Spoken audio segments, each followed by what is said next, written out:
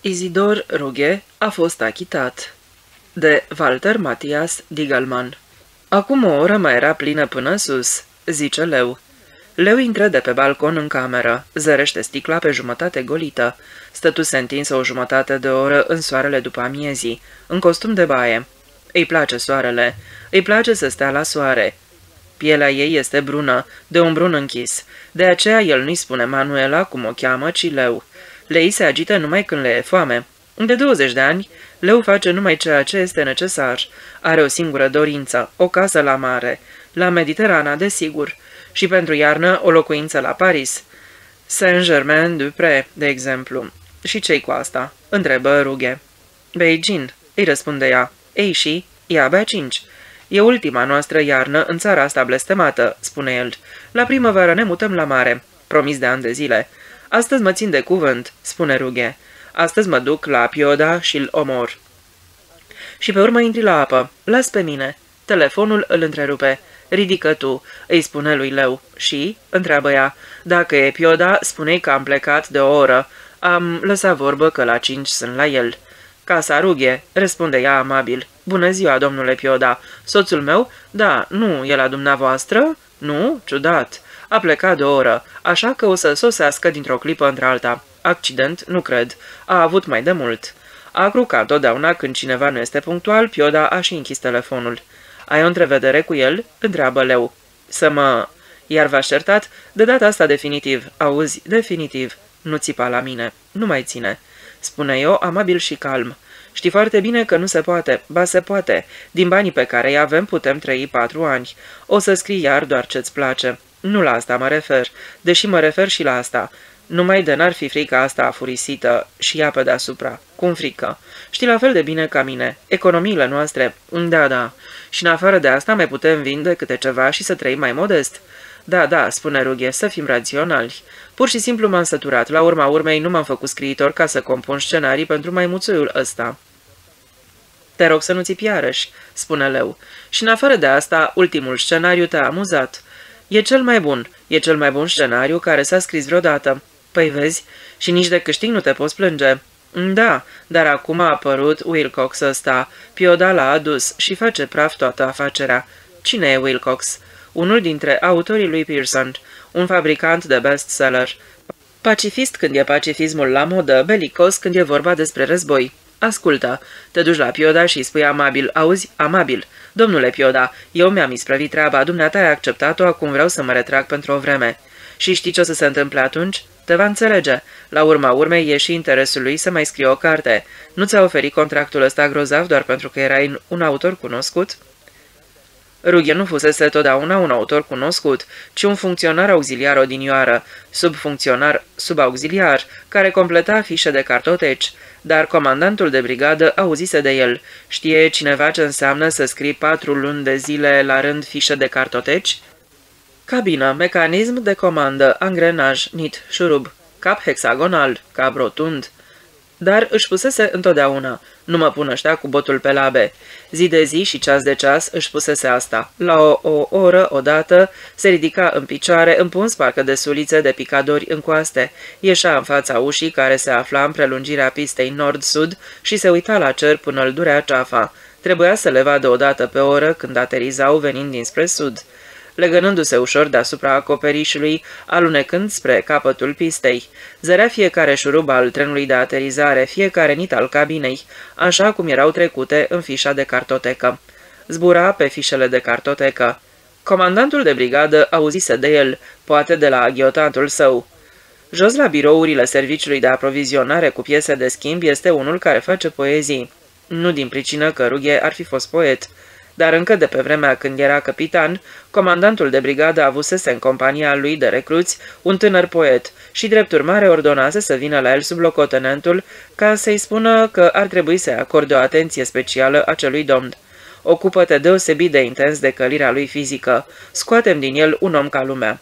Sublocotenentul, umăr acru și verde ca toți sublocotenenții, își îndreptase deci atenția asupra domnului literat, În fond, el, care în civilie se înțelege, îl citise pe Rilke și Hermann Hesse, nu avea nimic împotriva poeziei, dar era ambițios, stăpânit de ideea că ar trebui să aleagă ceva de capul lui și pentru asta, evident, erau necesare calificative bune din partea capitanului. Povestea se terminase prost. După o încercare de sinucidere urmase Gloria. Când comandantul de brigadă auzi de rughe, îl chemă la el în birou.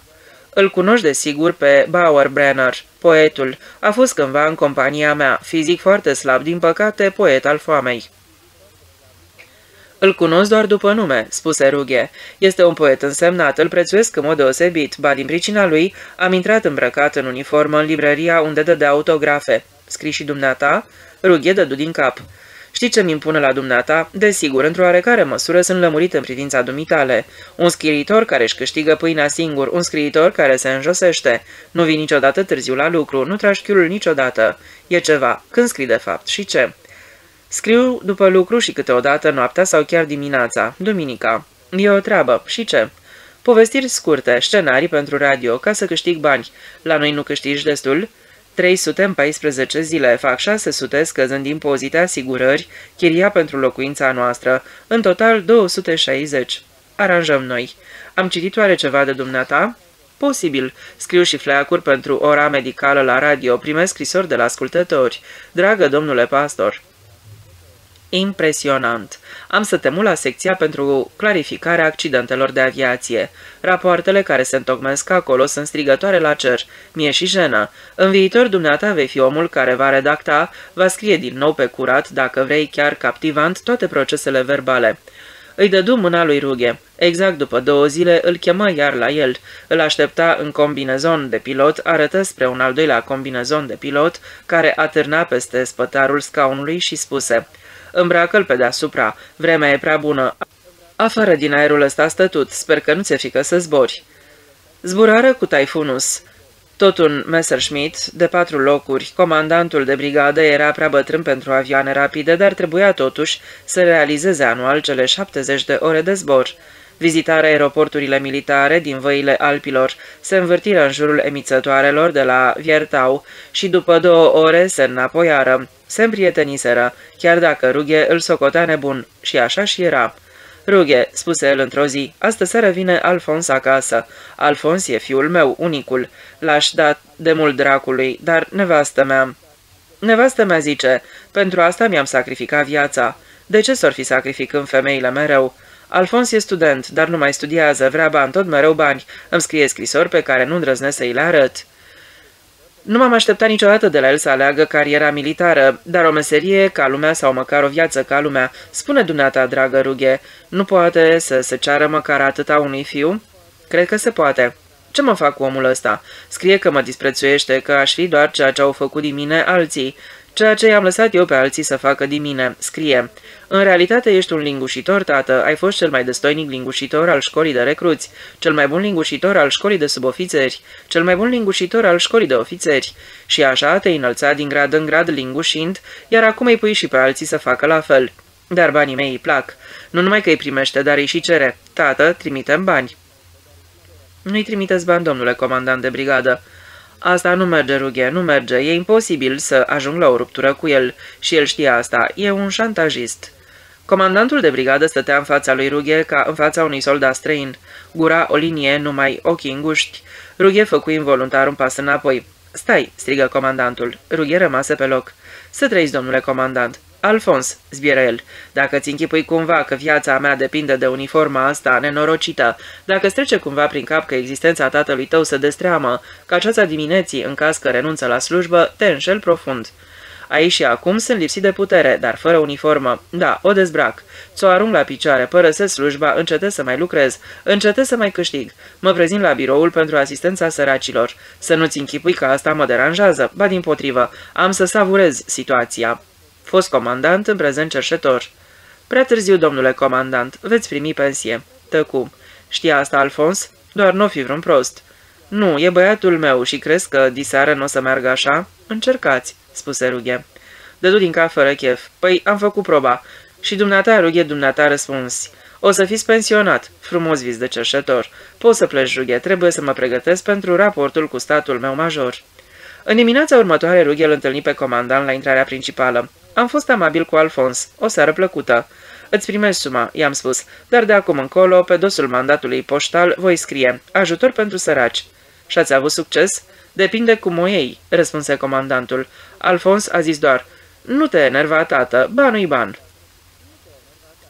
Rughe lucră un an și jumătate la secția pentru clarificarea accidentelor de aviație. Într-una din zile primiră vizita Comisiei Parlamentare, pentru care Rughe trebuia să întocmească rapoartele. Președintele, un om plăcut și amabil, vrut să-l cunoască pe autorul acestor rapoarte.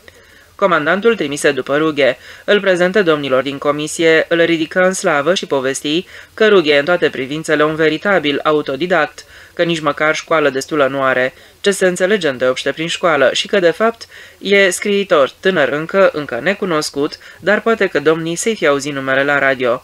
Scrii pentru radio? Întrebă președintele cel plăcut și amabil, Rughe în cuvință. Și pentru ziare? Când și când, răspunse Rughe.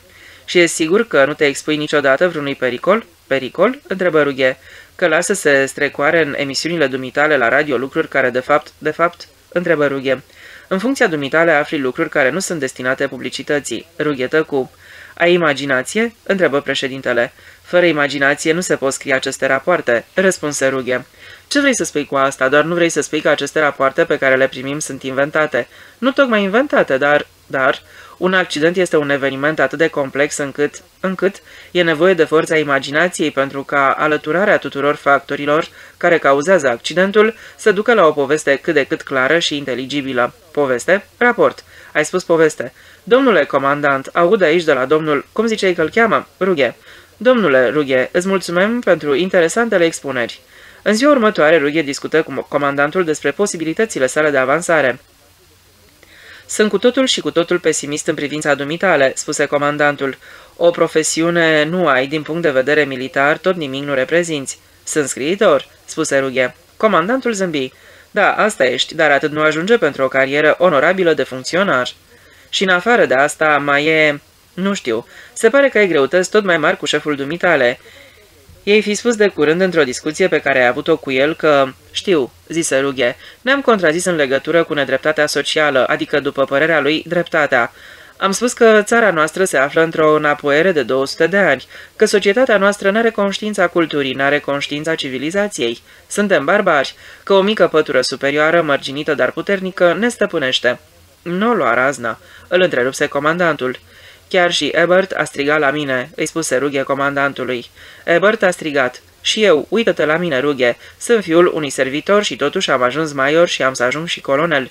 Eu i-am răspuns numai, săracul de dumneata, ai putut să ajungi doar major în țara asta, ai să poți să ajungi doar colonel, doar comandant, doar general, mai departe nu merge în țara asta.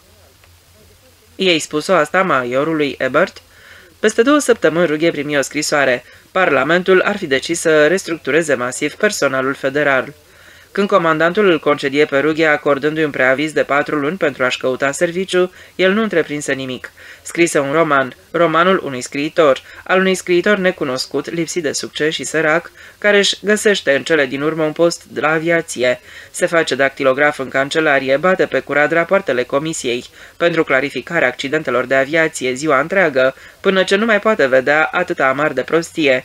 Nu mai poate să înțeleagă de ce asemenea lingușitori și cretini fac carieră, devin capitani, maiori, colonei, fără să fie în stare să exprime măcar o idee prin cuvinte.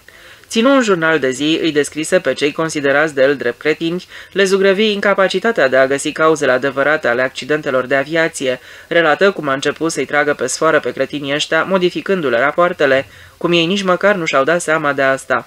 Povesti că delegația parlamentară avusese numai laude pentru aceste rapoarte exemplare desăvârșite, care, în realitate, n-aveau nicio valoare. Rughe duse manuscrisul romanului redactat în timpul serviciului și pe hârtia aviației militare la un editor. Editorul îl consideră drept satiră obraznică și izbutită care s-ar putea întâmpla în orice țară. Asta este important în literatură, să se poată întâmpla în orice țară. Și romanul apăru. Rughe îi explică unui redactor că el însuși a lucrat doi ani în secția pentru clarificarea accidentelor de aviație și că a întocmit asemenea rapoarte. Și scandalul izbucni. Dar bogat nu deveni rughe cu primul său roman. Datoriile lui erau enorme și în afară de două paturi, o masă și patru scaune, o etajeră pentru cărți confecționată din cărămizi furate și din șipci de asemenea șterpelite, în locuința lui nu se găsea nimic. Să-l sun pe Pioda și să-i spun că te-ai întors chiar acum acasă cu febră, gripă sau ceva de felul ăsta?" întrebă Leu. Să împingem lașitatea la extrem? Tu nu ești laș." Ba sunt, sunt un laș. Te rog, fără învinuiri, te rog." Am față de toți ceilalți un singur atu, nu sunt ipocrit. Eu mint. E o diferență considerabilă. Eu mint, cât se poate de conștient. Și mă las plătit pentru asta, pentru câți ani ne ajung banii. Nu ești nici laș, nici ipocrit, ești prea cinstit, îți faci prea multe probleme, ești pur și simplu obosit. Trebuie să lichidezi afacerile legate de filme, dar laș nu ești. Pe atunci valoarea lui pe piață nu era ridicată și totuși redactorul șef al unui săptămânal și un important consilier de publicitate îl achiziționară pe rughe. Ești liber să faci ce vrei la noi," spuse consilierul de publicitate Amaher. Toți creatorii își împart timpul după cum vor. Și așa mai departe. Domnul Amaher își conducea clienții prin cele 120 de birouri, iar în cel mai luminos și mai însorit, acoperit de covoare, ședea acest Izidor Rughe. Deci dumneata ești. Am vrut întotdeauna să vă cunosc personal. Domnul Rughe face textele pentru produsele noastre. Domnule Amaher, punem preț pe faptul că domnul Rughe... Și mulți spuneau... Apreciem în mod deosebit coloanele dumneavoastră nonconformiste, ba chiar radicale. În ele se află o forță revoluționară. O, Doamne!" răspundea Rughe. Și după aceea scandalul a izbucnit dintr-o dată. Rughe a adresat o scrisoare deschisă către redacțiile tuturor ziarelor burgheze. Vă rog să însărcinați colectivul dumneavoastră de colaboratori cu studierea și analizarea următoarei probleme. Americanii au intervenit în cel de-al doilea război mondial pentru a-l învinge pe Hitler sau pentru a ocupa Europa. Și tot aici ar fi de cercetat în ce măsură politica externă americană poate fi considerată ea însăși pacifistă, spre deosebire de politica internă. Ca ipoteză, vă recomand să porniți de la faptul că Rusia sovietică ar fi putut învinge și singură Germania hitleristă. În orice caz, să se țină seamă de faptul că America a acordat Rusiei sprijin material. Îndemnați pe colaboratorii dumneavoastră ca, înainte de a face acest studiu, să analizeze situația politică din America de Sud. De exemplu, Arbenz, președinte al Guatemalei, a fost răsturnat în 1954 cu ajutorul Statelor Unite. Arbans era un reformator. Reforma agrară era extrem de necesară. Înainte de alegerea lui Arbans, 22 de familii feudale posedau jumătate din pământul arabil. Cealaltă jumătate aparținea celor peste 300.000 de țărani săraci. Compania americană United Fruit era proprietatea marilor latifundiari. Când Arbans a pornit campania împotriva acestei firme, la Washington s-a afirmat că Arbans este evident un comunist. Această explicație a intrat în cap ministrului de externe John Foster Dulles, fiindcă în anii 30 Dulles fusese membru al firmei de avocați Sullivan and Cromwell din New York. Această firmă încheiase în 1930 și 1936 contractele între United Fruit Company și guvernul de atunci al Guatemalei. Trupele care, într-un răstim de 10 zile, l-au răsturnat pe Arbens au pătruns în țară din Honduras și Nicaragua, echipate cu armament și aviație americană.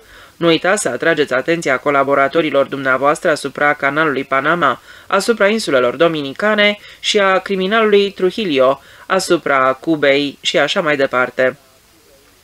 O analiză politico-istorică realizată de colectivul dumneavoastră de colaboratori, publicată în binecunoscutul dumneavoastră ziar, ar putea influența favorabil opinia publică în ceea ce privește o pace reală în lume. Săptămânalul pentru care scria Rughe apărea joi dimineață. În primele ore ale după amiezii, Amaher a intrat în biroul lui Rughe și l-a invitat la o plimbare cu mașina în afara orașului. Rughe și-a adus aminte de comandantul lui și a răspuns, Ce va venit, aveți cumva vreun fiu care vă face necazuri?" Amaher a râs fără a fi înțeles aluzia lui Rughe. Și cum s-o fi înțeles? A oprit în fața unui han, s-au așezat în grădină la un pahar de cidru și costiță. De fapt, cum te simți la noi?" l-a întrebat Amaher. Cidrul ăsta nu-i rău." Păi da," a răspuns Rughe. E amuzant să contribui la propria ta pieire." Amaher a râs iar. Vreau să spun, a zis Rughe, că atâta succes tot trebuie să facă cuiva plăcere. Grație strădaniei noastre, oamenii beau mai mult whisky decât le e necesar, fumează mai mult decât le priește, cumpără o mie de lucruri de care nu au niciun fel de nevoie, dar pe care, nota bene, trebuie să le plătească. Pe scurt, mi se pare grozav să produci mai mult decât are nevoie omenirea, ba chiar să creezi necesități și dorințe. În lumina umbroasă de sub frunzar, Rughe a observat cum Amahăr a pălit, dar s-a forțat și a zâmbit. Trebuie să poți pune sub semnul întrebării propriul tău comportament, a zis Amahăr, și să tragi poate și consecințele. Dumnezeule, a replicat Amahăr, nu o să schimbăm lumea noi doi. Am visat eu vreodată ca la 50 de ani să am una dintre cele mai mari agenții? Nu. Dumneavoastră sunteți deci acel Amahăr care... Amahăr nu l-a lăsat să sfârșească, ci l-a întrerupt grăbit. Cine n-a fost socialist, comunist în anii 30, orice om care gândea și spera. Ați visat pe atunci cumva că veți putea utiliza vreodată metodele de propagandă marxist-leniniste în folosul capitaliștilor, cu modificările corespunzătoare, se înțelege. Exagerezi, sarcasmul dumitale, dar tocmai asta îmi place. Recunosc sincer că dumneata ai adus un suflu nou în agenția mea. Toate bune, domnule Amaher, dar întrebarea mea... La întrebarea dumitale se poate răspunde ușor. Niciodată n-am intenționat să ajung atât de departe. La început, era în 1945. Mai lucram încă singur-singurel. Puținii mei clienți erau fără excepție instituții de folos obștesc. Căuta mijloace și căi noi în scopul de a realiza în beneficiul acestor instituții așa numitele acțiuni publicitare. Munca era dificilă, greoaie, prost plătită și aveam și copii și s-a născut întrebarea. Pot oare să le creez fiilor mei condițiile necesare să urmeze studii superioare sau nu? De altfel, managerul unui concern petrolier a considerat că noile mele metode, în ceea ce privește lămurirea publicului asupra rostului și scopul instituțiilor de folos obștesc, ar fi revoluționare. M-a rugat să decid dacă aș putea să lucrez în mod asemănător și pentru concernul său. Oferta de onorar. Ei, poți să-ți imaginezi. Și calculul a fost bun. Lucrând și pentru concernul petrolier, am devenit indiscutabil mai productiv, mai productiv, adică pentru instituțiile de folos obștesc. Rughea a cuvințat. Între timp aflase cine erau oamenii de încredere ai lui Amaher. Aveau titlul ca Art Director, Design Director, Copy Director, Media Director. Director artistic, director machete, director materiale publicitare, director reclame doamne și domni care cu ani în urmă îi se alăturaseră, oameni capabili, ambițioși, harnici, animale de muncă. Când angajezi 50 de oameni, ai și răspunderea lor, a spus Amaher brusc. Ce fel de răspundere?" a întrebat Rughe, care nu putea concepe așa ceva și o considera aroganță tipic feudală, ba chiar ipocrită căci unica grija lui Amaher era să obțină material destul pentru mașina lui, iar materialul îl dobândea numai dacă putea să prezinte colaboratori de încredere. Asta însemna cât mai puține schimbări în rândurile colaboratorilor, continuitate, armonie în cadrul colectivului și așa mai departe, dar și tot felul de înfăptuiri sociale care până la urmă nu le plătea el, ci consumatorul – de pe atunci, Rughe pricepuse sofisticăria acestor oameni și era uimit de fiecare dată doar de felul în care își considerau adevăruri propriile minciuni. Nu se aflau nici măcar de o jumătate de oră în grădina din fața hanului, când Amahăr a adus vorba despre motivul pentru care îl invitase pe Rughe cu el și spuse Ești de șase luni la noi și chiar dacă în ce privește condițiile materiale nu te-am asigurat limpede la început când ai venit la mine, vreau să-ți fixez un nou salariu, domnule Rughe. Salariul meu? Te obișnuit cu munca, te-ai dovedit a fi o forță grozav de productivă și trebuie să fii salarizat ca atare. Vă rog, domnule Amaher, a zis Rughe. Amaher ținea în mână o hârtie pe care i-a întins-o lui Rughe spunând Mă gândeam la 3000 pe lună, 13 salarii, 4 săptămâni de concediu. Și ret. S-a gândit Rughe și a citit proiectul contractului. Totul părea în regulă până la paragraful 9, când s-a oprit cu mirare. Domnul Rughe renunță la orice fel de activitate publicistică. Dacă domnul Rughe are intenția să se apuce de o nouă operă literară, va primi pentru aceasta concediul corespunzător și așa mai departe. Paragraful 9 trebuie tăiat, a opinat Rughe. Nu mă așteptam să semneze acest contract fără să obiectezi, dar lasă-mă să-ți explic. Nu e nevoie, domnule Amaher. Este vorba despre scrisori deschise către... Nu numai, a zis el, în general. Ați fost avertizat? A întrebat Rughe. Domnule Rughe, a răspuns Amaher cu vădit efort. De când ești colaborator al agenției mele și o reprezinți? Și agenția? Îi reprezintă și ea la rândul ei pe beneficiari? până într-un anumit punct, a replicat Amaher. Și dacă nu-i scălesc acest contract, nu în această formă, nu acționez nechipzuit, domnule Rughe. Am discutat problema cu colaboratorii mei cei mai apropiați, suntem de aceeași părere. Și alternativa? Dacă ar depinde numai de mine, dar colaboratorii mei se tem. De ce se tem? Activitatea dumitale publicistică este pentru noi toți un factor de nesiguranță. Pentru că spun lucrurilor pe nume. Crede-mă că dacă am merge din aproape în aproape, într-o zi ne-am întâlnit în aceeași baricadă. Avem și noi unele rezerve față de ordinea noastră socială. Fără să ne atingem de rădăcini însă, a spus Rughe. Nu găsim că ar fi necesar. Și deci alternativa. Oricum, Amahăr a ezitat. Ne-ar părea grozav de rău tuturor. Sunt concediat. Te rog, te rog, chipzuiește despre toate în liniște. Ce-i drept în familie? Mi-ar plăcea să le pot oferi copiilor mei o viață mai bună. Sărăcia, domnule Amahăr, nu este prea ambietoare. Păi, a spus Amahăr, știi deci ce ai de făcut. Gândește-te la copiii dumitale. Rughe s-a gândit la copiii lui. S-a gândit și la el, s-a gândit la leu, dar înainte de toate s-a gândit. Rughe nu poate fi doborât și a scris domnului Amaher o scrisoare deschisă. A povestit cititorilor săi întâmplarea. Ei i-au trimis sute de scrisori. Cam așa. Trăiască Rughe. Bine, deci, spune Rughe, nu sunt nici laș, nici ipocrit. Eu și totuși Pioda mi-a oferit contractul acesta oarecum acceptabil, abia după ce Amaher m-a dat afară. Și de ce să nu-ți fi oferi contractul? Întrebarea este de ce am iscălit eu? Și răspunsul, te duci acum la el și îi spui, domnule Pioda, știi foarte bine că nu pot. Mă și văd așezat în fața lui, îl aude pe acum rugându-mă. Rughe, nu-i poți face asta unui om bătrân. Of, doamne leule, întotdeauna intervine câte ceva. Îți cunosc, eroule, complexul, faptul că n-ai avut tată, închipuire. Asta n-ai priceput-o niciodată. Toți m-au tratat întotdeauna ca pe un fiu și m-am prins de fiecare dată, de fiecare dată lua ar dracu de treabă. La urma urmei și de tine tot de asta m-am îndrăgostit, fiindcă tatăl tău mă trata ca pe propriul fiu. Poveste veche, spune Leu. E adevărat, Leule, am încercat să-mi imaginez cum ar fi fost dacă aș fi avut părinți. Cum să-i povestești unuia care are tată ce simți când n-ai? Ce bine o duci pe lumea asta, Rughe. Ai suferit din cauza asta în tinerețe, Rughe?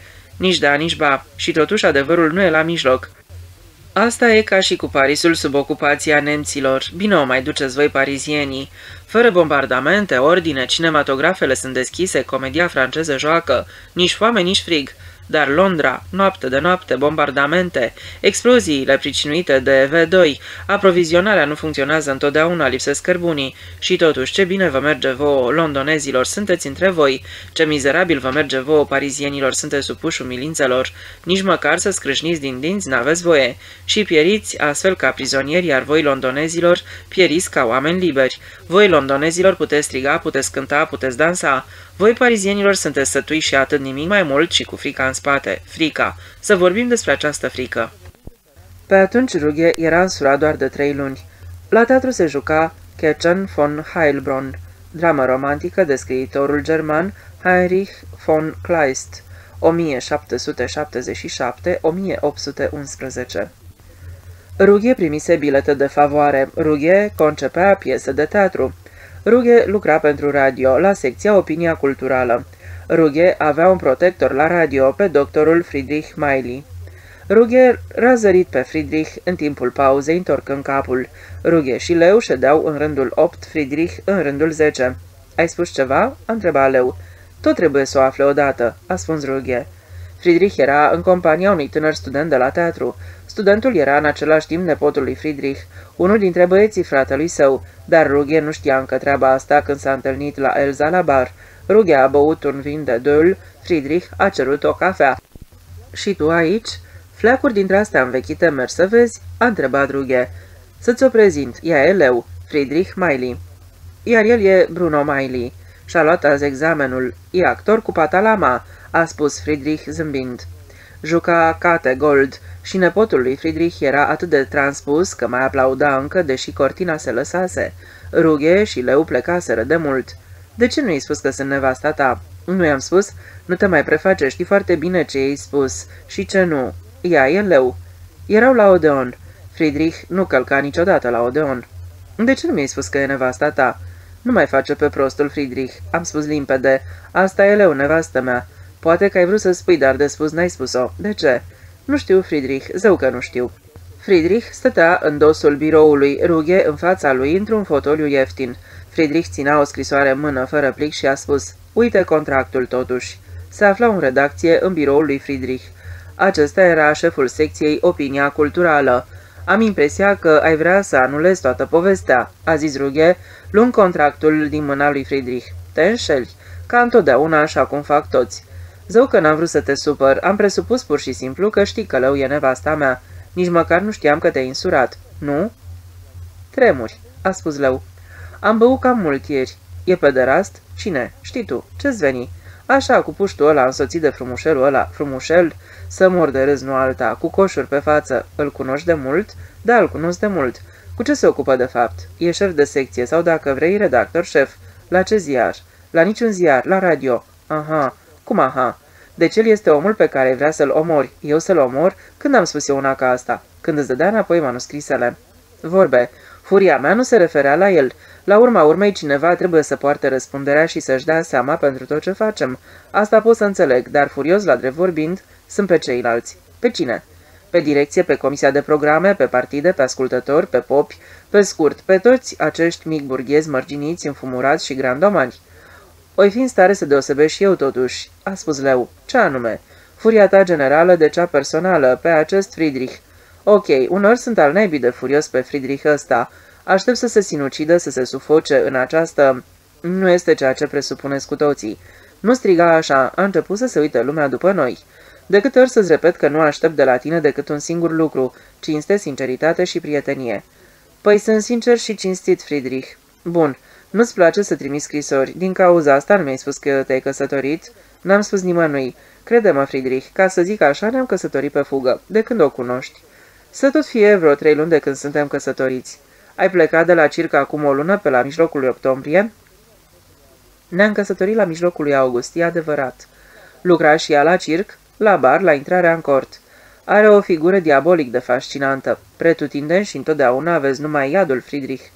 Chiar și în cazul tău, Izidor. De asta m-am căsătorit cu Leu. De asta ai ascuns că te-ai căsătorit. Nu trimis scrisori, asta e. Decât atunci când ai nevoie de bani.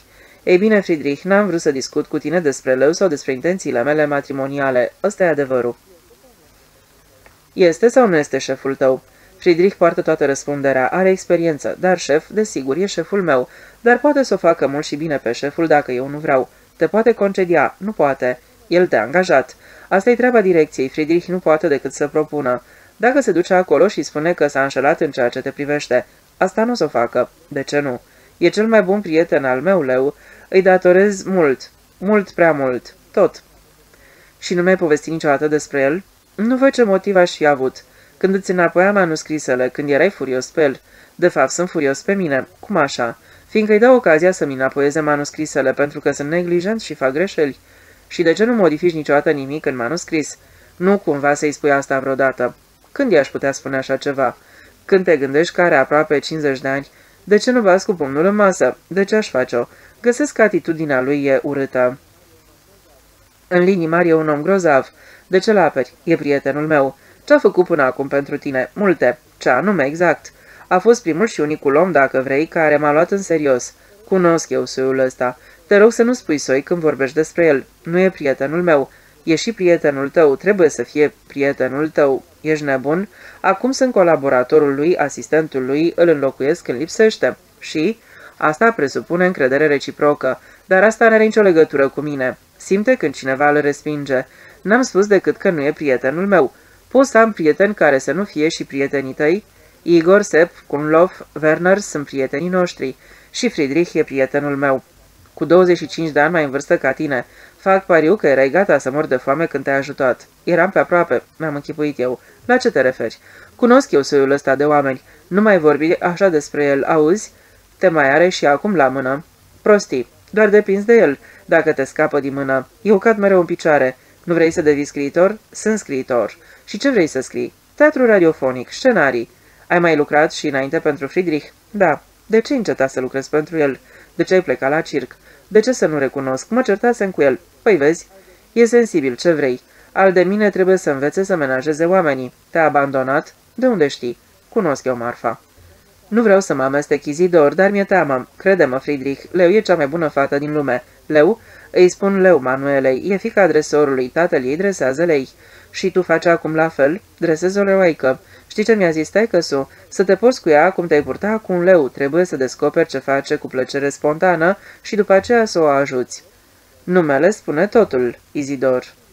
Ce vrei să spui? Îi spui leu. Lei sunt animale de pradă. În bazme sunt regii animalelor. Speram că o să scrii în fine un roman. Păi scriu unul.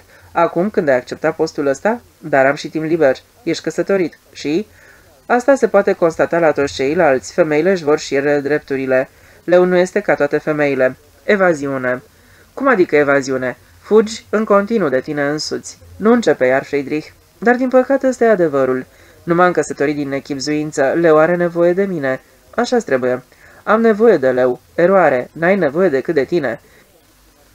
Tu ai crescut în condiții normale, ai simțit căldura unui cămin și mai târziu ai beneficiat de instrucție școlară. Sunt tați și tați, mame și mame. Am făcut din mine propriul tată, iar acum am și eu o familie proprie. Abia când apar copii poți vorbi de familie. Le o să aibă copii. Atunci poți să-ți îngrovi visele. Am să primesc premii? Când o să încep să înveți germana? Adică nu știu să scriu? Ai talent. N-ai zis tu că sunt un talent înnăscut? Când am zis asta?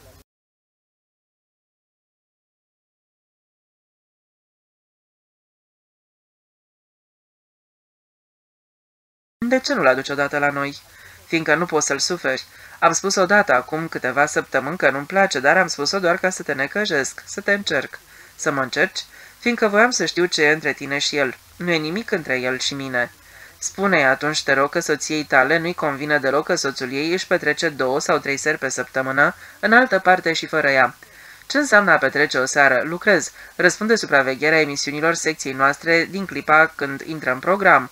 Aveți emisiune o dată pe săptămână, iar odată trebuie să iau masa cu Friedrich. Trebuie? N-are pe nimeni pe lume, de când i-au murit părinții. Doar are un frate, are un nepot drăguț. Da, dar noi suntem prieteni. Atunci adul cu tine acasă. Ți-o cer. Aha, așa deci. Ce vrei să spui, Lău? Nu vrea Friedrich. Am spus eu asta? Nu mă duci pe mine, nu vrea Friedrich, fiindcă Friedrich e gelos. Friedrich nu e gelos, este retras și sensibil. Își arogă drepturi. Îi datorez oarecare amabilitate, îi datorez bani, asta nu. Și în afară de asta, Friedrich are destui bani.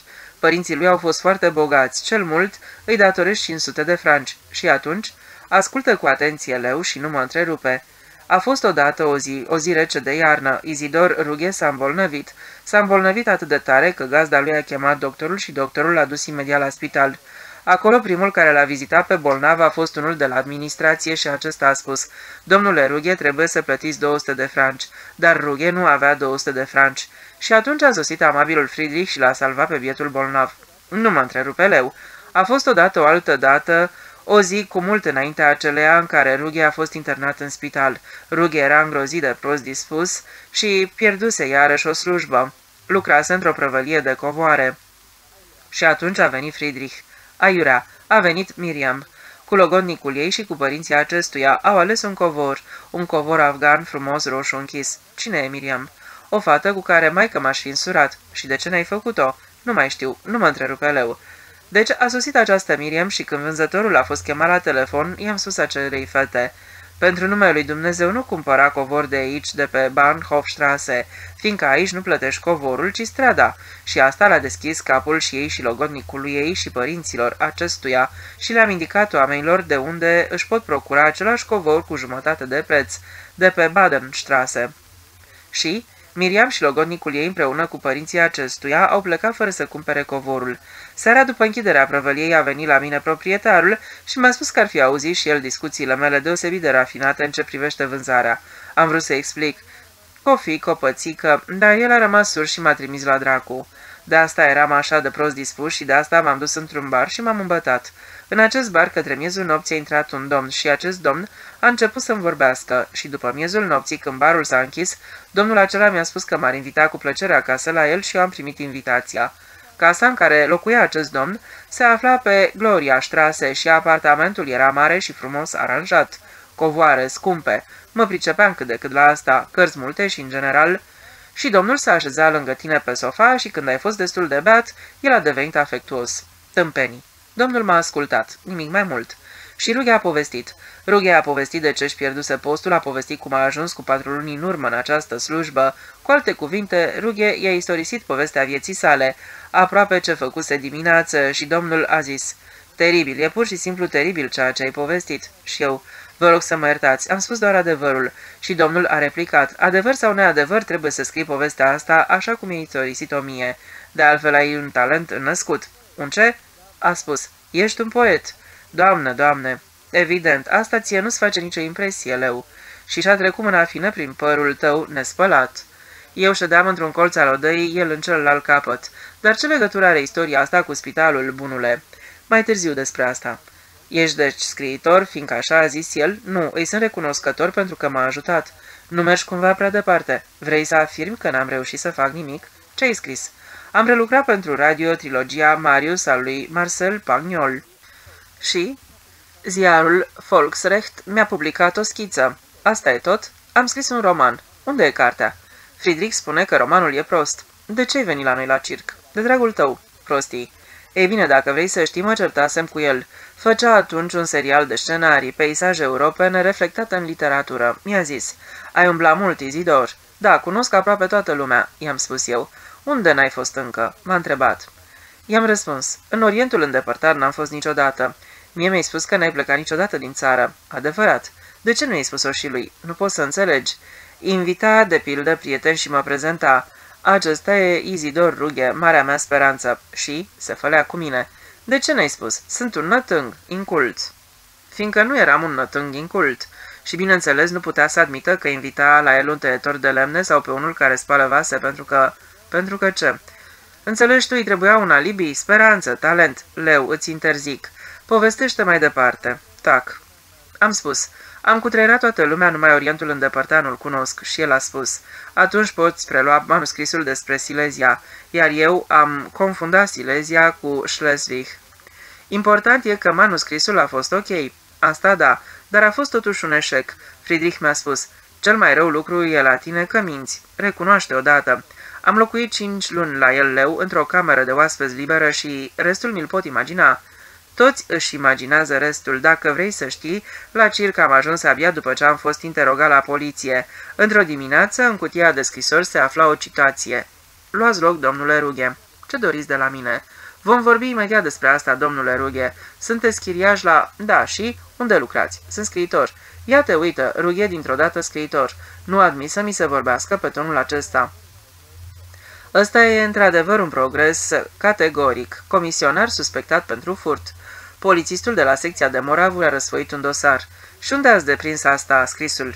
Ești scriitor sau nu ești? Asta nu se învață. Așa? Viața te învață. Să lăsăm asta. Din ce trăiți? Asta nu vă privește. Ba da, ne interesăm de asta. Nu vă privește.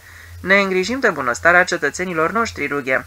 Domnule Rughe, din ce trăiți de fapt, domnule Rughe? Pentru cameră nu trebuie să plătesc nimic. În afară de asta, eu fac gospodăria, gătesc, mă îngrijesc de cumpărături. Sunteți fată în casă? Din când în când scriu pentru radio. Știți că patronul dumneavoastră, ca să o spunem așa, e înregistrat la noi? Înregistrat pentru ce? Nu faceți pe prostul, domnule Rughe. Suntem prieteni, asta e tot. Tăgăduiți deci că între dumneavoastră și el nu e nimic de tăgăduit, pentru că nu există nimic. Ce nu este încă poate să fie, Rughe, domnule Rughe. Să vă fie clar totuși că trebuie să vă înregistrăm și pe dumneavoastră. Ei povestit asta? Nu leu. Asta nu am povestit-o niciodată. Eu i-aș spune o data viitoare când o să devină iar scârbos. Ești groaznică. Trebuie să înveți până la urmă să ripostezi. Mi-ai promis că se poate de limpede că o să am prilejul să fac regie, Friedrich. N-am promis nimic, am discutat doar. Bine, nu vreau ceartă cu tine, dar spune-mi, pe Allenspach, de ce? Sunt obligat să-ți dau socoteală? Allenspach e un idiot, Friedrich. Nu admit să folosești astfel de expresii. Allenspach e un om excepțional. De fapt, de ce m-ai angajat? Ai și tu calitățile tale. Ți-a fost milă? Prostii, ești talentat, dar trebuie să înveți odată să te adaptezi. Păi, asta fac. Nu, ești nerăbdător și nedisciplinat, te crești genial. Pot mai mult decât toți ceilalți favoriței tăi. N-aș vrea să fiu obligat să repet a doua oară că nu admit asemenea ton la mine în birou. Lasă-mă să fac regie. N-ai pregătire de regizor. Am fost asistent la patru puneri în scenă. De altfel, cum de primește Alenspach 1100 pe lună și eu numai 900? Oricum am venit aici cu trei luni înaintea lui. Alenspach a fost adus, a fost chemat. Și eu? Dunei solicitat. Nu e adevărat, tu mi-ai oferit postul. Nu le mai întoarce acum, sigur că eu, dar abia după ce am discutat unul cu altul. Am tratat pur și simplu numele tău. N-a fost ușor, deci, să mă treci prin direcție. În orice caz, a trebuit să intervin în mod deosebit pentru tine. Și de ce ai făcut-o? Fiindcă am încredere în tine. Păi continuă să ai atunci. Îmi faci greutăți tot mai mari. Nu suntem la circ aici. Ai devenit meschin, Friedrich. Și tu te-ai schimbat, Izidor. Chiar așa au spus, Izidor? Da, leu. Alenspach a spus, a fost destul de prost cretinul ăsta să clevetească în timp ce microfonul era deschis. Mă aflam pe recepție ca să aud indicațiile de regie idiote a lui Alenspach doar pentru asta. Păcat că n-a ascultat și Friedrich. Dar ce le-a venit alora? În loc să scriu staruri, am scris strasuri. Pluralul de la star este, bineînțeles, staruri. Strasurile sunt pietrele false. Și? Guldenmeier, vaca aia, a început să râdă. Cine a scris asta? Alenspach a răspuns fără jenă. Un anume rughe, autor de casă și pat al șefului nostru. Dar asta trebuie să-i o spui, Izidor. Porcării din astea nu transmit. Acum știu exact, Friedrich, unde e buba, de ce lucrezi contra mea în loc să lucrezi pentru mine. Așa, deci lucrez împotriva ta. Îl prefer pe idiotul ăla, iarăși, fiindcă ți-e frică. Pentru Dumnezeu, ți-e frică de gura lumii? Termină Izidor. Tot trebuie să ți-o spun odată, Friedrich. Ți-e frică de idioția pur și simplu și îl număr și pe directorul programelor printre ei. Ce veți fi găsind la rughe ăsta, domnule doctor Miley? Ce știe el să facă? N-are nici măcar studii școlare ca lumea rughe ăsta. Un talent nativ, un om natural. Și tu, Friedrich, tu taci, tu te umeilești. Nu neg deloc faptul că din când în când am greutăți din pricina ta, dar nu le-aș avea dacă ai reușit să te adapte și tu odată. Sunt singurul care se prezintă în fiecare dimineață la nouă la slujbă. Sunt singurul care... Nici nu ți se reproșează nimic în această privință. Și atunci, comportarea ta, atât. Comportarea mea? Păi da, te porți de parcă ai fi un semizeu. De parcă slujba asta ar fi ultimul lucru de care te-ai putea interesa, de parcă ai putea o lua oricând de la capăt în altă parte. Pe scurt, aroganța ta exagerată, această siguranță de sine surprinde neplăcut. Poate că și prietenia noastră surprinde neplăcut. Mai mult nu i-ai spus? Nu leu. A ajuns atât. Am amețit și eu când am văzut cum se frânge, întâi alb ca zăpada la față, apoi galben. M-am înapoiat în biroul meu, dar peste cinci minute am vrut să mă duc chiar la el. Mi-era milă. Voiam să-l rog să mă scuze, dar nu mai era acolo. A cerut o mașină, mi-a spus portarul, și a plecat acasă. O migrenă cumplită. Renunță înainte să te dea ei afară. Nici nu mă gândesc să mă dea ei afară. Tocmai mi-amintesc că nu mi-ai istorisit niciodată până la capăt povestea cu spitalul. N-are importanță. I-am spus pur și simplu administratorului spitalului să se adreseze doctorului Friedrich Miley. Va achita el pentru mine. Ia loc, domnule Rughe. Mulțumesc, domnule director. Știi de ce am trimis după dumneata? Nu, domnule director. De zece zile șeful dumitale. Da, de zece zile este bolnav. Cine te-a însărcinat de pildă să răspunzi la scrisorile adresate șefului dumitale? Cred că asta face parte din atribuțiile mele. Așa crezi? Mi s-a spus că te ocupi și de producție, că dispui de operatori și regizori, nu fac decât ceea ce trebuie făcut. Fără îndoială că de făcut trebuie să se facă, dar întrebarea care se pune e cine trebuie să o facă. Nu mi-am pus niciun fel de probleme în legătură cu asta. Îmi închipui. Se pare că nu-ți prea pui probleme în general, nici în ceea ce privește scrisorile. La ce scrisori vă referiți? Scrisori către colaboratori vechi, merituoși, cunoscuți. Ai respins manuscrise. Nu din proprie inițiativă. Respingerea se hotărâse înainte ca Friedrich, domnul dr. Miley, să se îmbolnăvească. Fusese stabilit de asemenea ca respingerea să fie comunicată în forma aceasta? Nu știu la ce vă referiți. Păi da, e de mirare că ne-ai adăugat și imbecil bătrân. Nu cred că e bine să vorbim pe ocolite. Amabilitățile astea stupide fac ca apoi mine chiar să ne pomenim din nou pe masă cu manuscrise nefolositoare. Iată, uită, domnul Rughe al nostru își permite deci să facă apreciere asupra colaboratorilor vechi și merituoși. Și uită că el însuși poate și mai puțin. Domnule director, sau vrei să spui că nu e adevărat? Vrei să-ți prezint și dovezi? Stras în loc de star? Schleswig în loc de Silesia? Cine v-a povestit? Îndrăznesc să mă mai și interoghezi? E cineva mai bun decât mine în dugheana asta? Nu striga. Friedrich Miley ăsta poate să scrie măcar un singur scenariu? Nătângul de Alan Sprach. Așa va să zică. Asta e părerea pe care o ai despre șeful dumitale. Vă rog să mă iertați. Nu e nimic de iertat, domnule Rugheba, din potrivă, sunt încântat că în sfârșit am prilejul să-ți aflu opinia. M-am săturat pur și simplu să tot fac pe servitorul în timp ce slugarnicii și lingușitorii ăștia. Pe Alenspach l-am angajat personal. Și cum am arătat secția noastră dacă n-aș fi muncit eu? Ai acționat fără dispoziție, pe ascuns. Câtuși de puțin pe ascuns, domnule director. Și știai dumneata de ce. De ce? Fiindcă ai bănuit că nimeni niciodată nu-ți va da astfel de sarcini. Și de ce să nu mi se dea? Fiindcă ești incapabil. Păi am dovedit tocmai că, că ești incapabil, da, și să fim bineînțeleși, domnule Rughe, ai dovada scrisă aici, poți să te duci imediat la caserie. Nu accept una ca asta, domnule director.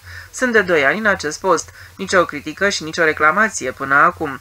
Nu suntem pripiți, noi dăm o șansă oricui, dar odată tot trebuie să tragem consecințele. Nu numai că mi-au fost lăsate mie toate treburile administrative, de pildă controlarea statelor de plată, dar mi s-a cerut să scriu în fiecare lună cel puțin un manuscris. Scrisorile ascultătorilor, domnule director. Domnule Rughe, nimeni din instituția asta nu-ți pune la îndoială meritele de scriitor, ba din contra, dar dumneata nu ești nici lector, nici dramaturg, dumneata nu ești regizor, dumneata nu ești redactor. Și ce o să se întâmple cu mine acum? Te descurci, dumneata, domnule Rughe. Adevăratele talente au izbutit întotdeauna. Sunt căsătorit, domnule director. Asta e treaba dumitale. Ce-ar fi dacă soția dumitale și-ar găsi un serviciu? Și în afară de asta, nu mă îndoiesc că vei putea scrie mai departe și pentru noi. Mi-o garantați dumneavoastră? Asta nu pot. Înțelege-mă, domnule Rughe, nu-ți pot promite nimic. Dar dacă doctorul Miley poate să-ți garanteze comenzi sigure... Ultimul dumneavoastră cuvânt, uite ce este rughe, datoria mea e să apăr interesele generale ale radiodifuziunii, nu interesele particulare ale unuia. Am crezut întotdeauna că aș avea aici un soi de siguranță a zilei de mâine și că aș putea... Ce-am avut de spus, am spus, domnule Rughe. În afară de asta e problema dumitale ultrapersonală, că vrei să fii scriitor cu orice preț. Nu trage societatea la răspundere pentru eșecul dumitale. Ai șanse egale ca orice alt cetățean, bineînțeles cu condiția să fii loial și cinstit. Mă concediați, deci, în timp ce Friedrich, iertați-mă, în timp ce domnul doctor Miley este absent din motive de boală. Poți să fii sigur că niciun caz nu acționez împotriva intereselor domnului dr. Miley. Acum Allenspach îl tutuiește pe Rughe, a devenit succesorul lui Friedrich. Rughe se vede rar cu el, dar uneori întâlnirea nu poate fi evitată, ca de pildă la ceremonia de deschidere a festivalului din iunie. Izidor, omule, zice Allenspach, unde-ai fi ajuns astăzi dacă atunci n-ar fi zbucnit scandalul acela zgomotos? Exact, răspunde Rughe de fiecare dată. Omul trebuie să preîntâmpine în mod constructiv forțele destinului. Rughe este lămurit în legătură cu vulnerabilitatea acestei formulări, dar asta nu schimbă cu nimic faptul că asemenea vorbe sunt ascultate cu plăcere. Chiar și Rughe se poate adapta. Bineînțeles că a fost greu pentru tine atunci, spune Alan Spach.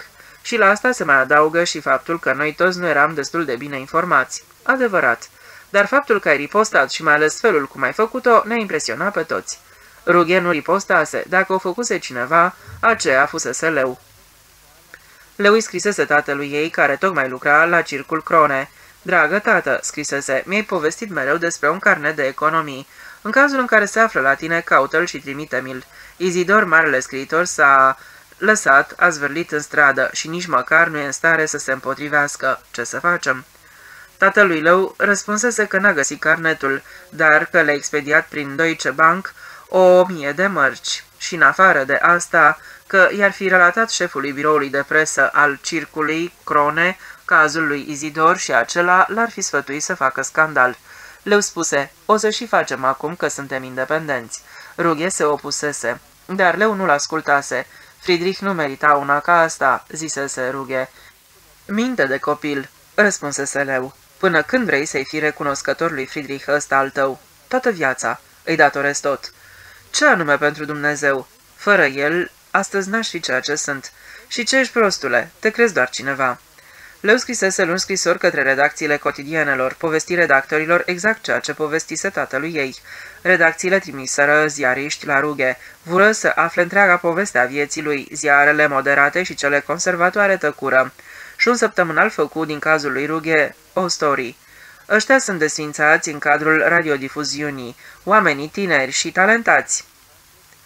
Redactorii șefi ai radiodifuziunii noastre se interesează mai mult de propriul lor câștig decât de promovarea cadrelor tinere. Poliția de Moravuri comentează, în asemenea cercuri întâlnim șantajele cele mai odioase. Problema promovării cadrelor tinere, critica adusă politicii selectării oamenilor și așa mai departe, nu rezolvară nimic.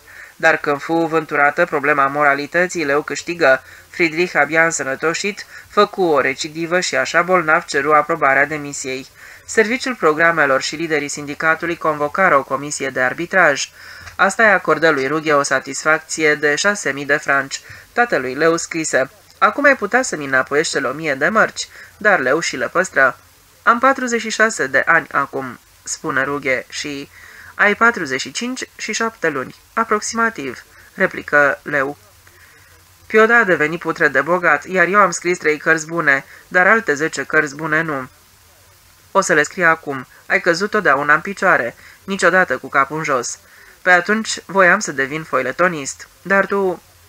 Intru în rândul foiletoniștilor, o anunțase atunci pe leu, ea însă spusese, totdeauna violenții sunt cei care predică non-violența, când le ajunge cuțitul la os, numai negustorii de sclavi predică umanitatea sclavilor, dar cei din urmă vor fi cei din tâi, spusese leu. Leu mersese prin anticariate și schimbase pe Thomas Mann și Hermann Hesse, Goethe și tot ce era literatură în general, pe scrieri de Robert Grimm, ziarist și lider social-democrat elvețian, 1881-1956. Și Lenin, Kautsky și Marx pe manifeste ale liderilor negri și ale revoluționarilor din lumea coloniilor. Cei din urmă vor fi cei din tâi, spusese leu și începuse să coasă la domiciliu pe o mașină de cusut ieftină de ocazie pentru un mic proprietar al unui magazin de confecții, iar Rughe se angajase ca paznic de noapte. Pentru referințe, indicase pe comandantul de brigadă și pe comandantul școlii de recruți, căci Trebuie să devii și mai șmecher, spusese Leu. Trebuie să-i zdrobești cu propriile lor arme pe indivizii ăștia. Trebuie să faci pe naivul și să n-ai voie să te rupi de biserica statului. Cei din urmă vor fi cei din tâi. Izidor Rughe își începea serviciul seara la ora 8.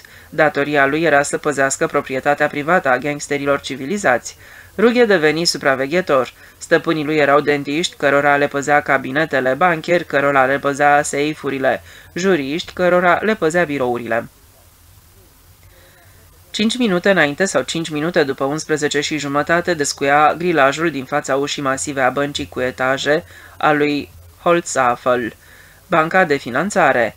Încuia grilajul, încuia ușa masivă în urma lui și și începea rondul de-a lungul etajelor. Sala ghișeelor, biroul, încăperea cu dulapuri blindate, încăperile împuterniciților comerciali, ale procuriștilor, camerele secretarilor și secretarelor. Încăperea mare a domnului Holzapfel. Aici se așează la biroul de mahon. Sertarele din dreapta nu sunt încuiate, cele din stânga, din potrivă, sunt zăvorâte. Ce păstrează domnul Holzapfel în aceste sertare? În dreapta rughe găsește doar hârtie, col cu inscripție imprimată, banca particulară dr. Alfons Holzapfel. Col cu antet, Institutul de Credit Mărunt dr. Alfons Holzapfel. Rughe găsește și hârtie albă obișnuită cu filigran pentru mașina de scris.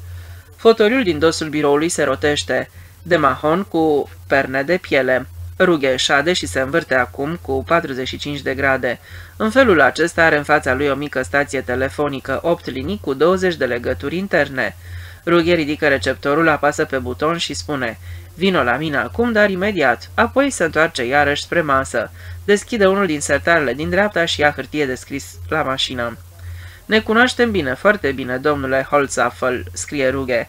M-am decis de la naștere să înving toate obstacolele. Lumea dumneavoastră, domnule dr. Holzapfel, o pot distruge numai prin violență. Stau la biroul dumneavoastră de mahon și visez să vă iau locul și am să-l iau într-o bună zi, căci cei din urmă vor fi cei din tâi. Între dumneavoastră și mine se va produce o ciocnire de moarte. Izador Rughe, la masa de mahon a domnului Holzapfel, scrie fraze pe care le-a citit undeva și pe care le-a învățat pe de rost. Sunt un invidios, domnule Holzapfel. Orașul dumneavoastră nu este și orașul meu. Orașul dumneavoastră este un oraș al bogaților, al puternicilor, al stăpânitorilor. Visez să mănânc la masa dumneavoastră, să dorm în patul dumneavoastră, să vă por cămășile albe, să alunec în încălțările dumneavoastră. Visez să vă posed nevasta. În privința timpului, Rughe nu comite abateri. Cinci minute înainte sau după miezul nopții, trebuie să ponteze afară, în fața grilajului. Niciodată nu uită cât e ceasul. Așează punctual hârtiile scrise și nescrise înapoi în sertar și, după un control minuțios, părăsește clădirea cu etaje a băncii Holzapfel. Dimineața următoare, doctorul Holzapfel parcurge corespondența, ridică receptorul, apasă pe buton și spune, vino la mine. Doctorul Holzapfel are burtă și suferă de hipertensiune. Respectă cei de dieta prescrisă, dar nu poate renunța la fumat. Cuifcar, un soi de țigară olandeză de foi. La 48 de ani a avut primul infarct, unul ușor doar. Doctorul său l-a trimis la Uberlingen, pe malul lacului Constanța. Patru săptămâni la rând a băut ceai cu lămâie, a mâncat bulion fără valoare nutritivă și s-au făcut masaje subacvatice. Masajele subacvatice erau dureroase, dar Holzapfel se bucura de orice schimbare. După siesta de prânz, se ducea la plimbare, îi plăcea mai ales să hoinărească prin orășel, se oprea de preferință în fața vitrinelor de măcelării și cofetării și contempla galantarele atât de îndelung, până ce nu mai lăsa gura apă. În unele zile se purta ciudat. Intra în restaurante și cerea lista de bucate. Comanda un antricot a la Café du Paris, îi spunea chelnerului, dar n-ai voie să mi-l aduci. Plătea antricotul neservit și neconsumat și lua în schimb lista de bucate cu el. Seara în pat asculta radio, chiar și teatru la microfon, cita listele de bucate pe care le cumpărase și puțin după miezul nopții stingea lumina. Adormea întotdeauna instantaneu, dormea mult și adânc, iar când se trezea iar, era unu și jumătate. Doctorul Holzapfel era însurat, dar căznicia îi rămăsese fără copii. Soția lui o cântăreață de operetă care, înaintea celui de-al doilea război mondial, apăruse pe o scenă vieneză, mai avea și astăzi o bucurie nestăvilită pentru orice gen de podoabe. Își cumpăra tot ce se nimerea să-i placă. Cățelul ei, un grifon, îi comandase într-o zi o zgardă din piele de crocodil garnisită cu pietre prețioase. Niciunui om cinstit, niciunui hoț nu le-ar fi dat prin minte să-i scoată câinelui zgarda neasigurată. Cui să-i treacă prin cap că un grifon ar putea purta o zgardă garnisită cu juvaere? Doamna Holzapfel purta bijuterii și în zilele obișnuite. De exemplu, când făcea cumpărături, simple cumpărături, purta o mulțime de podoabe. Ar fi fost ușor să oprească, fiindcă era fricoasă și nu se opunea niciodată. N-ar fi strigat pentru nimic în lume după ajutor. La asta se mai adăuga și faptul că nu lua în serios poliția. Pur și simplu nu voia să creadă că poliția ar avea și altă treabă decât să umble pe străzi haihui în uniforme frumoase. Nici măcar agenții de circulație nu impresionau. Un noroc, spunea soțul, că nevastă mea nu știe să conducă mașina. Și cu toate astea, doamna Holzapfel nu fusese atacată și jefuită. Nimeni, niciun hoz nu credea că poartă bijuterii în valoare de o jumătate de milion. La baluri, valoarea creștea la două milioane. Se ducea la Paris și purta taioare de la Saint-Laurent, iar celelalte femei spuneau, în ce magazin și-o fi cumpărat asta cârpele? Doctorul Holzapfel era un om cinstit. E probabil unicul care spune pe față, ascultă, sunt bancher, sunt capitalist, de rest, mă doare în fund. Nu gândește social și totuși acordă cele mai bune salarii. Merită, spune el simplu. Totuși e cunoscut la tribunalul pentru judecarea conflictelor de muncă, deoarece refuză să dea unui concediat fără preaviz salariul pe următoarele două luni. De fiecare dată judecătorul îl obligă la achitarea sumei, dar el răspunde incorrigibil. Pe gratis nu mi s-a dat mie nimic. Și eu am început-o de jos, explică. Cui nu știe să noate și cade în apă, să nu-i ajuți, continuă el, fiindcă ori înveți să noți, ori te ții departe de mal. Sunt supus, scrie Rughe, dar îmblânzit nu sunt. Un prigonit care visează continuu să devină prigonitor. Voi deveni un prigonitor. Visez la revolta celor săraci. Bogații predică non-violența. Au construit biserici și au angajat preoți în slujba lor.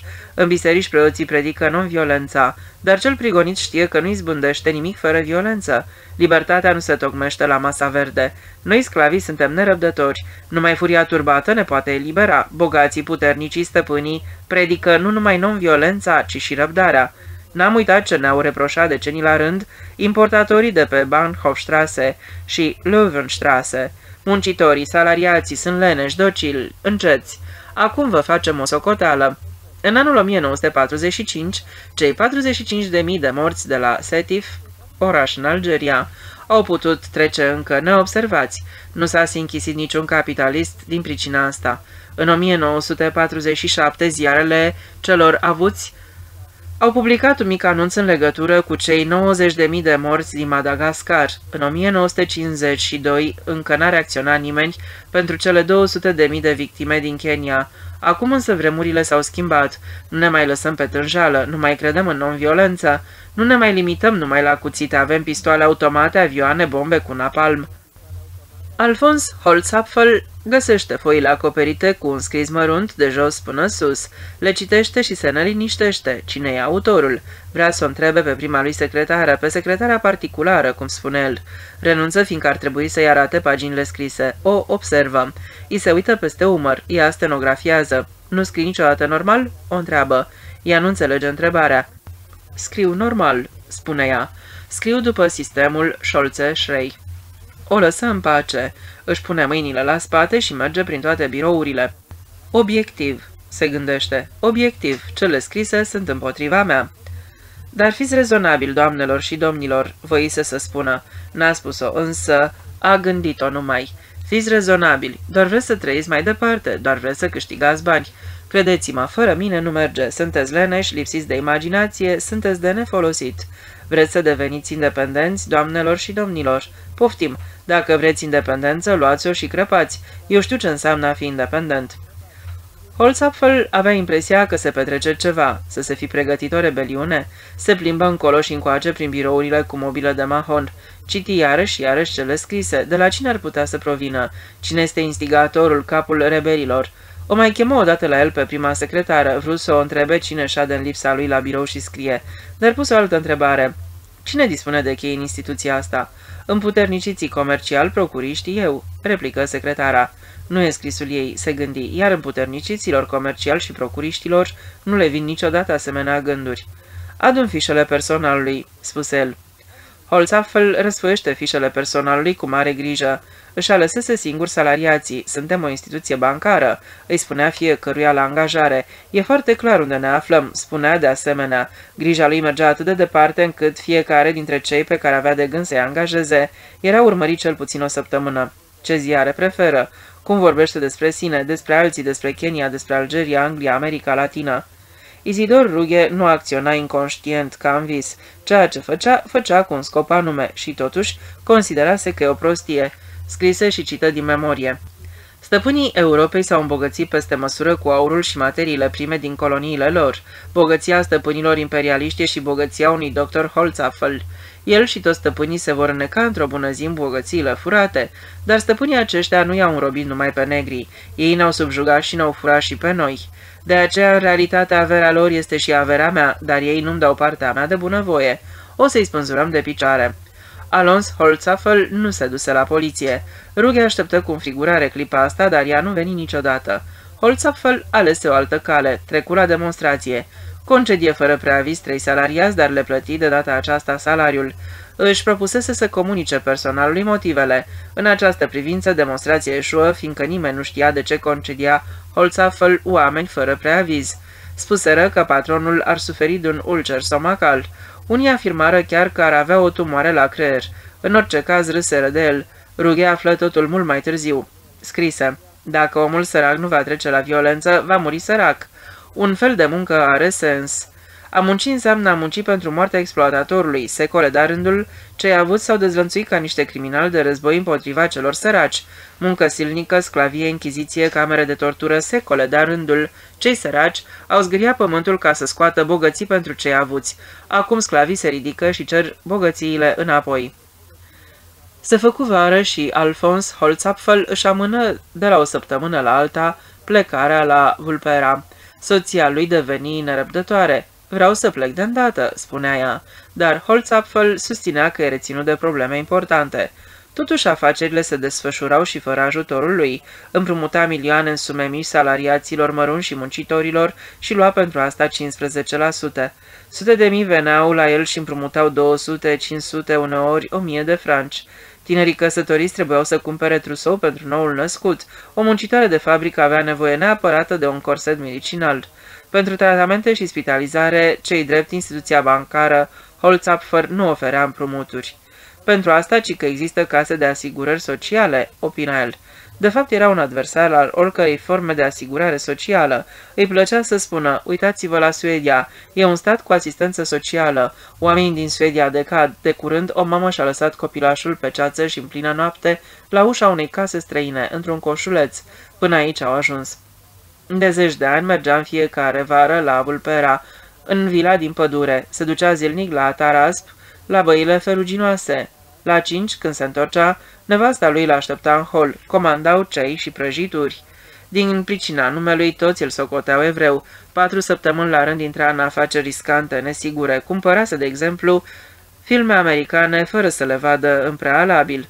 Nici nu i-ar fi ajutat prea mult, fiindcă nu se pricepea în acest domeniu. De obicei mergea la sigur, cumpăra terenuri. În localitatea H poseda mii de metri pătrați. Autoritățile școlare din H voiseră să construiască o școală nouă, dar Holzapfel nu ședase terenul. Autoritățile trebuiseră să-l exproprieze cu forța. Doi ani la rând se tot judecaseră. Nu-i se părea necesară o școală nouă, poseda și malul întreg și nu-l dăduse nici pe el când comuna H voise să construiască un strand public. Oamenii care vor să facă baie în lac pot să meargă la E sau la K, spunea el. Expropierea cu forța nu fusese posibilă în acest caz și din pricina asta comuna H n-are nici astăzi strand. A construit și locuințe pentru mai multe familii. Trei dintre chiriașii lui s-au și sinucis. Cine locuiește la el n-are voie să țină flori proprii pe balcon. Casele lui sunt dotate cu lăzi de flori de culoare ardeziei și cu mușcate. Trimetea chiriașilor săi scrisori. Nu putem tolera ca pe balconul bucătăriei să fie păstrate fel de fel de obiecte, din motive estetice. La Vulpera, Holzapfel a cumpărat odată și cărbune polonez. Când a sosit trenul cu cărbune, uitase de mult de el. Cum să se descotorosească de cărbune? Dar s-a vădit că uzina de gaze întâmpina greutăți. Germania avea nevoie de cărbunii din Rur pentru ea însăși. Holzapfel a hotărât repede. A spus, dacă e pe așa, înseamnă că trebuie să plătească prețuri bune. A cerut un preț ridicat și a scăpat de cărbune. Asemenea afaceri nesigure nu făcea decât la vulpera. Soția lui juca în fiecare seară cărți. Îi era o parteneră nevasta unui fabricant francez de șosete, sora unuia din New York care închiria filme și patroana unui magazin universal. Doamna Holzapfel pierdea mereu, dar refuza să-și plătească datoriile. În fiecare seară, puțin după 11, scandalul se dezrănțuia. O știau toți din hotel. Căscau și spuneau unii altora. Nu e niciun șpe măcar și ei și început să caști.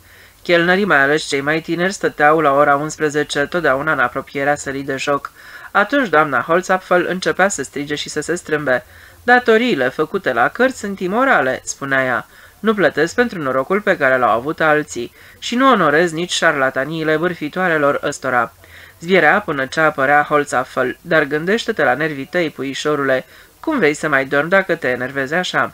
O lua de mână și o ducea sus în camera lor și comanda pentru ea un ceai de măceșe. Mai târziu se întorcea înapoi în salon și plătea datoriile.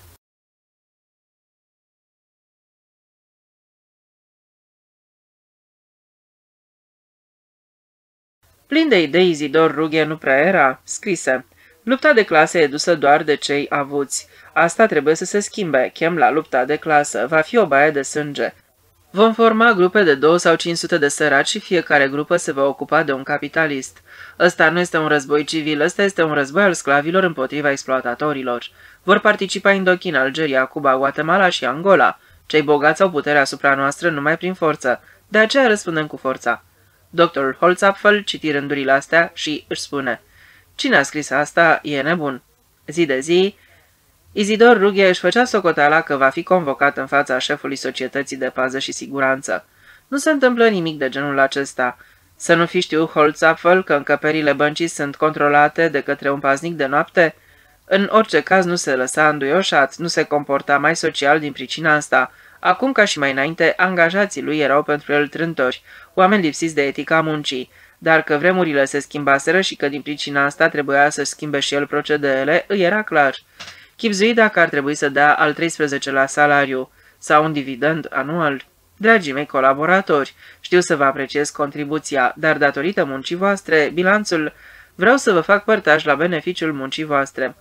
Cam așa cumva ar trebui să fie formulat discursul său, se gândește Holzapfel, numai că nu poate să se decidă, adică se decise mai întâi să-l găsească pe anonimul care scrisese acele pagini și să-l pedepsească. De câtva timp apărea primul la bancă, rămânea în biroul lui de Mahon, chiar și după ce își terminau treaba cele două femei de serviciu.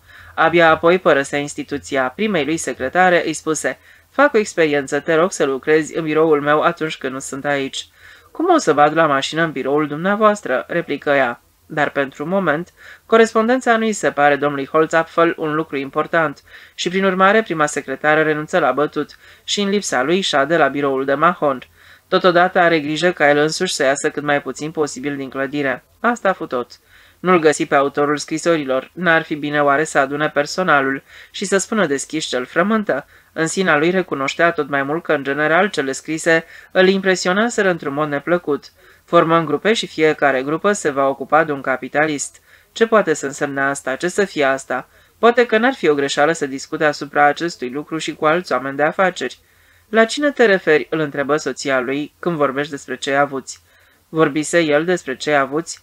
Uneori, adăugă soția lui, vorbești și despre cei puternici, despre stăpânitori. Da, studiez tocmai o dizertație despre structurile sociale. Minte el. Dar nu numai față de soția lui, ci și în discuțiile cu tovarășii de afaceri folosește cuvântul avuți. Spune, noi cei avuți, noi stăpânitorii, noi cei puternici. Sau în ceea ce privește lupta de clasă, la ce vă referiți, domnule director? Izidor Rughe scrie Franz Fanon spune În societățile capitaliste, respectul față de ordinea instituită a dobândit forme quasi-estetice.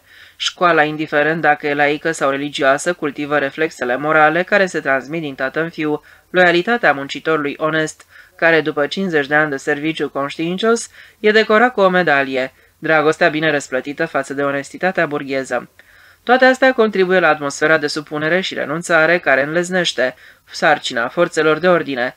În țările capitaliste, între cei exploatați și putere, se intercalează un grup de predicatori și moraliști care se îngrijește ca oamenii să fie dezorientați. Mie îmi lipsește instanța interioară. Eu sunt imoral, m-am născut pe celălalt mal al fluviului, nu mă tem de violență, nu dezertez din pricina morților. Sângele nu-mi provoacă leșinuri, de aceea trebuie să conduc. Eu conduc. Doctorul Holzapfel își amână din nou călătoria la Vulpera. Văicărelile soției sale se întețiră, amenință, te otrăvesc și mai strigă, fecior de cățace ești, fiindcă era convinsă că din pricina alteia nu voia să plece la Vulpera. Holzapfer i-ar fi spus cu plăcere că poate să plece înainte, dar se gândea la datoriile pe care le făcea nevastă sa la joc, nu voia să fie bărfită acolo. Te urăsc, îi spuse ea într-o zi când îi telefonă să se scuze că vine abia seara acasă târziu hotărâse să nu mai părăsească deloc banca până ce nu-l va descoperi pe scribălăul, pe luptătorul de clasă, pe rebelul, pe criminalul care scria. Rămase la masa lui de Mahon până la ora nouă. La nouă plecă fără să-l fi întâlnit pe scribălău. A doua zi își prelungi timpul de așteptare cu o oră. La zece își spuse, de acum precis nu mai vine și părăsi clădirea. Nevastă sa era beată. Începuse să bea whisky de când el, așa cum spusese, urmărea un criminal. Era convinsă de sigur că infractorul e o iubită. Când văzu în ce hal se află soția lui, se convinse că de acum înainte nu mai contează la ce oră vine acasă. Hotărâ să-l aștepte pe cel ce scrisese până la 11. Așteptă până la 11, dar rebelul nu veni. O săptămână în șir așteptă seară de seară până la 11, zadarnic. Așteptarea îi măcina nervii, pierdu în greutate, mânca tot mai puțin. Peste zi trecea mai des ca înainte prin bancă. Se oprea în birourile procuriștilor săi și spunea Nu pricep de ce de trei luni n-a mai venit nimeni la mine cu revendicări de sporirea salariului. Păi dumneavoastră plătiți cum se cuvine, replicau puterniciții comercial și procuriștii. Adevărat? întreba el nesigur. O chemă la el pe prima secretară. Dumneata cât câștigi? 1200. Nu vrei mai mult? Se înroșii și tăcu. Crezi că ar fi bine dacă am face toți împreună o excursie frumoasă? Ea îl privi și răspunse, nu, domnule director, lumea nu apreciază așa ceva. Ce înseamnă lumea? întrebă el neîncrezător. Înainte am lucrat la o agenție de publicitate. Aici făcu o pauză și acolo organizau regulate excursii de câte trei zile. Pe Bürgenstock, de exemplu, dar nu aprecia nimeni povestea asta. De ce nu? Vreau să afle Holzapfel. Dar secretarea nu știu ce să-i răspundă. Aș vrea să înființez o fundație spuse Holzapfel. Ce fel de fundație, domnule director? Mă gândesc că salariații ar trebui să se întrunească și să-mi facă propuneri. O fundație oarecare, în folosul colaboratorilor. Crezi oare că, într-adevăr, colaboratorii se interesează de mersul afacerilor mele? Hm, al afacerilor noastre? Cred că, răspunse prima secretară, cred că oamenii se interesează mai ales de salariul lor. Ești sigură? Să jur n-aș putea în orice caz. De fapt, majoritatea ar vrea să fie asociați, nu? Și să-și pună și ei cuvântul, să hotărească și ei. Nu știu, răspunse ea. Oamenii nu vorbesc despre asta, Nu știu despre ce vorbesc cu oamenii, domnule director. Păi da, colaboratorii din conducere e normal să nu vorbească de asta. Nici n-au de ce. Ei câștigă bine și în afară de asta se gândesc desigur că îi concediez fără preaviz dacă le trec asemenea lucruri prin cap. Dar salariații mărunți, cu ei ce e? Prima secretară rămase perplexă. N-ai remarcat într-adevăr niciodată că m-ar omorâ dacă ar putea? Dar, domnule director, un singur lucru nu știu ei, că n-am nicio vină. Ce vină, domnule director? Că sunt bancher, un om bogat. O, da, recunosc, sunt un om bogat. Ba chiar foarte bogat. Dar ce vină am eu? Lăsați, spuse prima secretară. Vezi, dumneata, continuă el, cândva cu zeci de ani în urmă n-am putut și eu decât să visez la asta. O privi pe fată încurajator, dar iată cum. Și dumneata trebuie să spui întrebări în legătură cu mine, în legătură cu averea mea. Nu mă întreb, domnule director. Păi, ar trebui să te întrebi despre nedreptatea de pe lumea aceasta. Există bogați și săraci, există exploatatori și exploatați, există colonialiști și colonizați. I-al privi țintă. Ultimii vor fi cei din tâi, spuse el. De asta dată i-a zâmbit timid, fapt care lui îi făcu enormă plăcere. Ei, fu de părele el, cam asta ar fi. Soția lui Holzapfel spuse, peste trei zile plecăm la Vulpera. Holzapfel dădu din cap. Trebuie să ai răbdare, iubito. Să nu-mi spui, iubito, stricatule. Ce s-a întâmplat cu păpușica mea? murmură Holzapfel. Așa-i spusese întotdeauna în primii zece ani de căsnicie. Mai târziu, numai când îl irita peste măsură. La Vulpera era pus deseori în situația să-i se adreseze cu păpușică. Seara rămase în biroul său de mahon. Păpușică, păpușică, se gândi el, undeva și cândva am comis o greșeală. De ce? Nu sunt eu de vină, se gândi el. De vină e revoluționarul. Holțafel își pironi ochii pe ceasul de la mâna stângă. Purta un Filip Pate cumpărat la Paris în Place Vendôme. La Zurich nu poartă Filip Pate mai mult de 500 de bărbați, spusese el. S-a făcut opt, apoi nouă. N-ajung la niciun rezultat, rosti el cu glas tare. La nouă și jumătate îi veni ideea pe care o suci până la 11 pe toate fețele. Gândi cu voce tare. Gânditul acesta cu voce tare acționa asupra lui liniștitor, ca un tonic antinervos. Mâine îmi convoc toți salariați în biroul cel mare. Convorbire explicativă, pe șleau. Nu fusese vorba așa? Doamne, ce departe, în urmă rămăseseră zilele când se hotărâse să vorbească întotdeauna deschis. Deci, doamnelor și domnilor, s-a produs o tulburare, de săptămână acționează forțe necunoscute care vor să iasă la lumină. Doamnelor și domnilor, la lumină cu ele, la lumină. Rughe împinsese grilajul în despicătura zidului și descuiase ușa. La lumină. Rughe își ținu respirația. În sfârșit. În sfârșit, rondurile sale de noapte căpătau un sens. Să încuie și să cheme poliția? Nu, înainte. Alergă prin coridorul acoperit cu covor. Deschise cu putere ușa de la biroul de Mahon, strigă. Stai, sus mâinile. Ce se întâmplă aici?"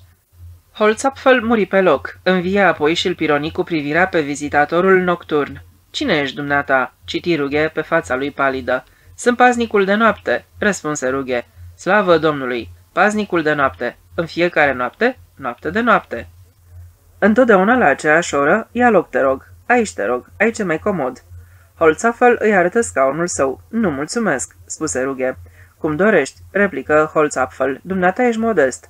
Cunosc pe alții care ar de nerăbdare să-mi ia locul. Da? Dacă l-ai întâlnit din întâmplare pe unul din ăștia, aruncă într-o doară Holzapfel.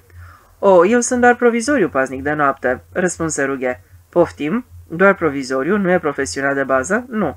Și cu ce te ocupi în afară de asta? Sunt scriitor. Ce vorbești, scriitor? Iată că întâlnesc la miezul nopții un scriitor în carne și oase. Te rog să iei loc. Te rog, da? Trebuie să... Nu acum. Care e numele dumitale? Rămâi pentru mine ca și când ar fi o înlănțuire necesară. O înlănțuire necesară, adică nu. Care e expresia corectă? Domnul Holzapfel povesti două ore în șir. Când rughe primi îngăduința să plece, spuse, Domnule director, fără îndoială că mi-am pierdut postul de paznic de noapte. Probabil că între timp magazinul de bijuterii Halperin a fost predat. Dumneata e scriitor, răspunse Holzapfel. Trebuie să rămâi ce ești. Treci mâine după amiază pe aici. Am o slujbă mai bună pentru dumneata, dar vii precis, poi mine plec la Vulpera. Și uite, au și trecut patru ani de când a murit, spune Leu. Și adăugă. O, Doamne, trebuie să o mai chemăm pe păpușica odată la noi. Atunci am mai pierdut un tată, răspunde Rughe. Ajunge unul. Angelo Pioda, fiți artații să-ți fie, oaie beată ce ești. spune leu. Tații lui Rughe. Era într-o zi de octombrie la începutul anului școlar. Învățătorul bătrân cu două vaci în graș și doi porci în cocină fără nevastă, doar cu un fiu care se făcuse și el învățător, ordona. Stai jos. Ședea în dosul unei catedre, purta ochelari cu ramă de sârmă și fuma pipă, încât clasa era mereu învăluită într-o ceață călduță albăstrui fumurie. Să vă scriu numele mai întâi. Cum te cheamă? Izidor. Și mai cum? Rughe. Câți ani ai? Șapte. Când e ziua ta? La 3 iulie. Cum o cheamă pe mama? N-auzi Izidor? Te întreb cum o cheamă pe mama. Nu știi numele mamei tale? Micul rughe scutură capul, ceilalți râd. El se roșește, râd și mai tare. Atunci îmi spui cum îl cheamă pe tatăl tău, da? Rughe scutură din nou capul. Abia cum își aminti bătrânul învățător, dirigintele poștei care era și președintele Consiliului Școlii și administratorul Fondului pentru Săraci, îi spusese că o seară înainte la primărie. Mâine îl primești pe micul Rughe. Pe micul Rughe? Ei, doar îți aduce aminte, copilul Lidiei Rughe, care a murit așa, dintr-o dată. Da, da, desigur, spusese învățătorul, micul Rughe. Am hotărât să luăm iarăși copilul în sat, continuase dirigintele poștei. Orfelinatele astea sunt prea scumpe când e vorba de o durată mai lungă și nu numai asta. Ne-am gândit că ar fi mai bine pentru micu să crească într-o familie. Îl ține Tony Spadin acum. Știi că Ștefanii a lui nu-i prea zdravănă și atunci copilul poate să dea o mână de ajutor, numai puțin pe la bucătărie, să care lemne, să meargă la cumpărături, să dea de mâncare la găini, nu mult, pe măsura puterilor lui. De ce râdeți?" îi întrebă învățătorul pe ceilalți. El e Izidor Rughe și a venit de curând la noi în sat. Izidor a avut destule de îndurat, când era însă mic de tot și a pierdut tatăl și mama. Amândoi au intrat în rândul îngerilor. Așa, micule Izidor," spuse roșcovanul, pe tine te-au făcut, va să zică, doi îngeri?" Izidor dădu strajnic din cap pentru statura lui. Izidor era mândru acum că n-avea părinți, mai precis că doi îngeri erau părinții lui. Și te cheamă Izidor Rughe? Izidor dădu din cap. Și pe mama ta a chemat-o Lidia Rughe? Izidor dădu din cap. Roșcovanul și ceilalți băieți mai mari care se strânseseră între timp în jurul lui chicotiră. Și pe tatăl tău cum l-a chemat? Izidor nu știa. Poate că tot rughe, chicotiră și mai tare și mai nerușinat. Da, da, spuse roșcovanul, nici mai căta nu și-a putut aduce aminte de taică tu. Îl îmbrânci pe micuț. Izidor vrut să se ferească dându-se înapoi, dar în felul acesta călcă pe picior un alt băiat mai mare. Ce?" Strigă găliganul, mai e și obraznic?" Lăsați-l în pace," spuse unul. Dar roșcovanul deschise o gură cât o șură și strigă, e al nostru și l-apucă pe Izidor de urechea dreaptă și răsucii răsucii până ce Izidor gemu. Râseră și plecară acasă. Ținându-se de urechea dreaptă, Izidor plecă și el acasă gânditor. Era în clasa a patra când au început orele de religie. De două ori pe săptămână, după pauza de dimineață, venea pastorul și ținea lecția. Izidor scrise pe o bucată de hârtie. Mergem duminică la Tarnaus să ne dragostim? Foaia scrisă o împături și o vârâ într-o cutie goală de chibrituri. Când pastorul se întoarse cu spatele către clasă, i-o aruncă Bibianei. Cu pași lungi, pastorul se repezi la Bibiane și îi smulse cutia din mână. Desigur că nu-i scăpase activitatea lui Izidor. Citi întrebarea uimită, apoi se întoarse hotărât către Izidor, care își împreunase mâinile pe pupitru. Pastorul ridică nuiaua de trestie și o lăsă să șuiere o veșnicie peste mâinile lui Izidor, tăcut fără să-și schimbe expresia. Nici Izidor nu și-o schimbă. Se auzi doar șuieratul nuielei de trestie. Toți își țineau respirația. Sânii mici ai Bibianei tresăltau. Era singura fată din clasă care avea sâni adevărați. Bibiane nu știa ce-i scrisese Izidor. Ea era comoara lui de la școală și el era a ei. Băieții își schimbau câteodată între ei iubitele. Unul dintre partenerii de schimb s-a legea totdeauna cu un câștig, celălalt trebuia de să plătească. Uneori era o minge de tenis, alteori un arc cu săgeți bine lucrat. Pentru Bibiane, Izidor trebuie să se plătească o ocarină pe care o căpătase de Crăciun. Când pastorul obosi și mâinile lui Izidor se umflară bine, trecu la interogatoriu. Ce este diavolul Izidor? Băiatul tăcu, fiindcă nu și-l putea imagina pe diavol. N-ai auzit niciodată de diavol? Nu, răspunse Izidor, dar auzise desigur de diavol, doar că nu și-l putea imagina. Minți, spuse pastorul și mai șfichiui odată cu nuiaua de trestie mâinile lui Izidor. Unde locuiește diavolul? Nici asta nu știa Izidor. Pastorul se întoarse spre clasă, brațele zburară în sus. Ei, în iad. Și ce este în iad, Izidor? Niciun răspuns. Iarăși, șuieră nuiaua de trestie peste mâinile lui. Purgatoriul, strigară ceilalți. Și ce face diavolul? Izidor tăcum. Dumnezeule din cer, dar îndărătnic mai e, o cărâ pastorul.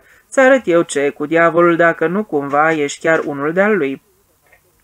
Izidor îl privi pe pastor cu ochii lui mari și rotunzi. Cu timpul ochii lui Izidor se făcură tot mai mici. Într-o vreme nu mai erau decât două linii. Diavolul, spuse pastorul, este un înger renegat. Și mai ce? Izidor stăruia în tăcerea lui. Desigur, auzise și el asta că diavolul ar fi adversarul lui Dumnezeu, dar mai mult nu-și putea imagina și în afară de asta nici nu-l interesa. Este răul, spuse pastorul. Și dușmanul lui Dumnezeu, interveni o fetiță. Foarte exact, răspunse pastorul. Și ce face diavolul? Preotul plecă de lângă Izidor și se îndreptă iarăși spre tabla de pe perete. Diavolul îi ispitește pe oameni și ce pot să facă oamenii împotriva diavolului? Ei trebuie să se roage, spuse un băiat. Desigur, trebuie să se roage.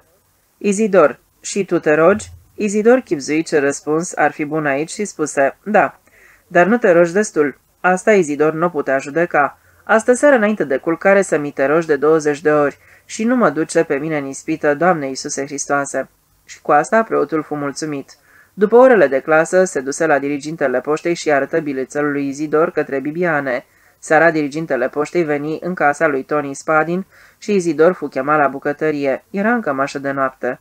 Frumoase poți ne mai faci, spuse dirigintele poștei când Izidor se opri în fața lui cu picioarele goale pe ciment. Tu ai scris asta?" întrebă Tony. Izidor dădu din cap. Și de ce? Nu știu. Și ceilalți scriu lucruri din astea? Nu știu. Ai fost vreodată cu Bibiane la Tarnhouse?" Nu. Bibiane a mea doar de alalteri. Cu cine ai mai fost la Tarnhouse?" Cu nimeni. De ce tocmai Tarnhouse?" Păi acolo e grajdul nostru," spuse Izidor. Și ce voiai să faci cu Bibiane acolo în grajd?" Izidor înghiți în sec. Hai, spune." Îl încurajă Tony. S-o dezbrac," șopti Izidor. Și pe urmă? Izidor își frecă una de alta mâinile umflate și nu știu ce să răspundă. S-o dezbraci pur și simplu pe Bibiane și... Da, replică Izidor. Și te-ai fi dezbrăcat și tu?" întrebă Tony. Dacă vrea Bibiane și altceva nimic?"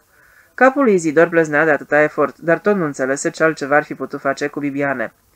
Ei bine," spuse dirigintele poștei, du-te acum la culcare și nu uita să te rogi. Ai înțeles? Nu cumva să vină diavolul să te ia într-o noapte." Dirigintele poștei plecă.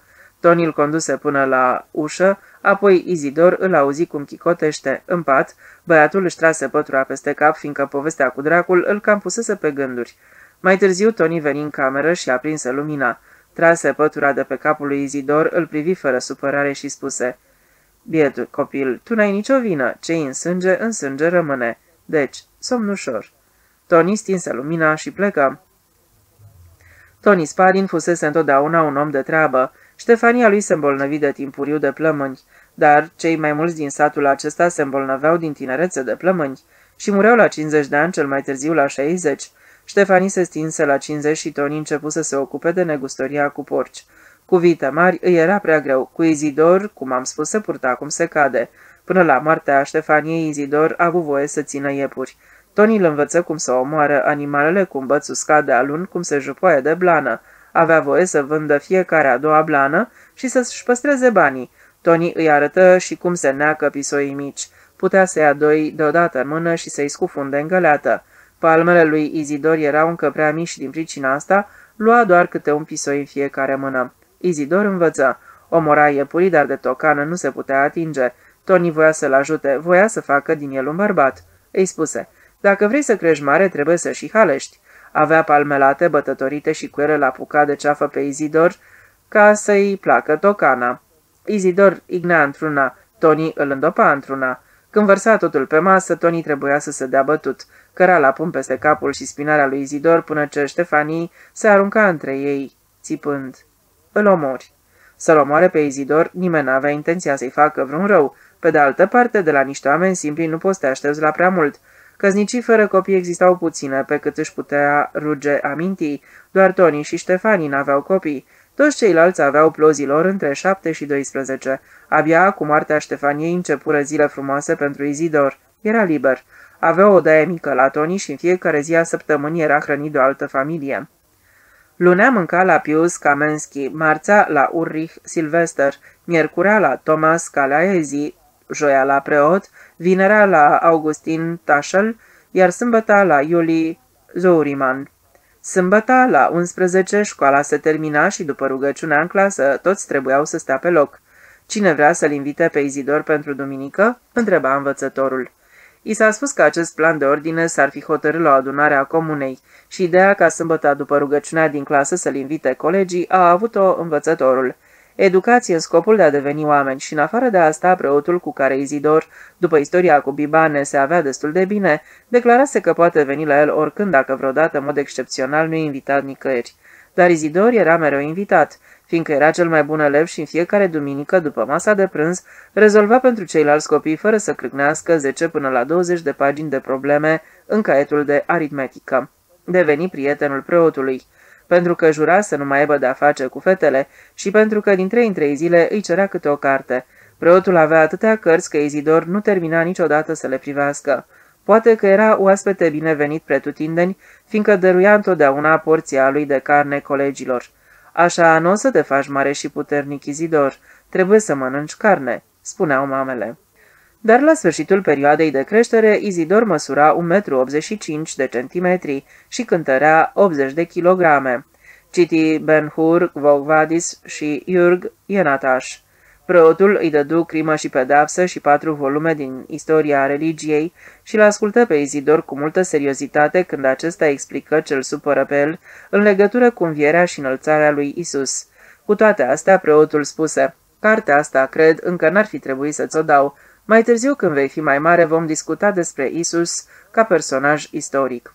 Izidor citi și Biblia, citi întreg Noul Testament, iar când împlini 14 ani și trebuie să scrie la școală o compunere liberă, respinse orice invitație pentru masa de duminică și scrisă de dimineața până seara târziu povestea părinților săi. Era o poveste foarte lungă care cuprindea 52 de pagini scrisă de mână. Marți, când învățătorul parcurse compunerile în fața clasei, lăudându-le sau criticându-le, o trecu cu vederea pe cea a lui Izidor. La ora patru, Izidor trebuie să rămână în clasă. Am vorbit și cu domnul părinte despre compunerea ta," spuse el. Am ajuns la concluzia că e mai bine dacă o scrii încă o dată." Dar Izidor nu înțelese ce voise să spună de fapt învățătorul. Chiar nu-ți dai seama limpede ce înșirată acolo?" întrebă el cu ochi grav, ba aproape triși și îngrijorați. Avea dreptate, într-adevăr. Dacă Izidor ar fi încercat să-și amintească ceva în legătură cu cele scrise, n-ar fi reușit. Tot ce mai știa era că se trezise dimineața și că se așezase la masă imediat, că nu socotise orele și nu simțise nici foame, că alunecase de pe scaun noaptea târziu, fiindcă probabil adormise la masă deasupra ultimelor pagini. Mergem acum împreună la preot," spuse învățătorul. Da, dragă Izidor, vocea preotului suna cald, ceea ce-i scris aici lasă să se întrevadă o fire de-a dreptul confuză. Va să zic că te compar cu Isus. Trebuie să-ți fie odată pentru totdeauna clar. Isus a fost fiul lui Dumnezeu. Aici nu e nimic de scormonit și nimic de interpretat. Iar tu ești fiul nelegitim al Lidiei Rughe. Asta nu-i nicio rușine, Izidor. În orice caz, n-ai nicio vină. Și dacă ești cinstit și ascultător, poți să reușești și tu în viață. Noi toți, toți, întreaga comună, fără excepții, avem intenții bune față de tine. Sau nu-i așa? Poate vrei să te plângi de ceva? Dacă da, spune-mi. Și nici nedreptatea nu trebuie să te atingă. Sau... Izidor Rughe n-are de ce să se plângă. Toți oamenii sunt prietenoși cu el. Sora măritată a lui Tony vine din două în două zile la ei acasă și de retică.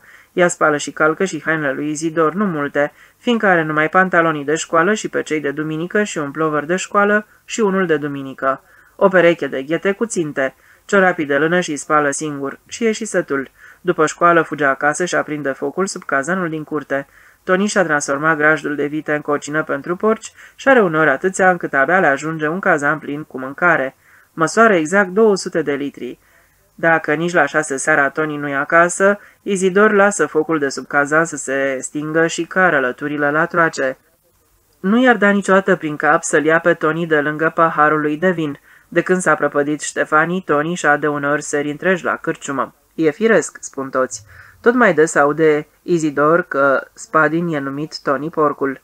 În aprilie școala se închide, iar până la sfârșitul lui mai, când se pleacă spre pășunile alpine, Izidor muncește în fiecare zi în gospodăria unde îi se dă de mâncare.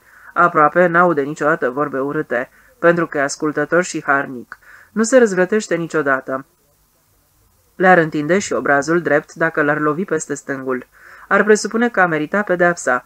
Nu e posomorât cum își deau cu părerea unii, cel mult îngândurat. fiindcă tot mai merge la preot și cere cărți. Citește tot ce îi dă preotul. Tina Trug, Saluț, Margaret Hauser, Pater Maurus, Carnot, Dostoevski, Knut Hamsun. Dimineața, după mulți, țesală vacile. E singur în graj cu animalele și Izidor vorbește cu ele. Le povestește ce a citit seara înainte de a dormi sau o crede Iurg, Ienata pe vaca pe care tocmai o curăță.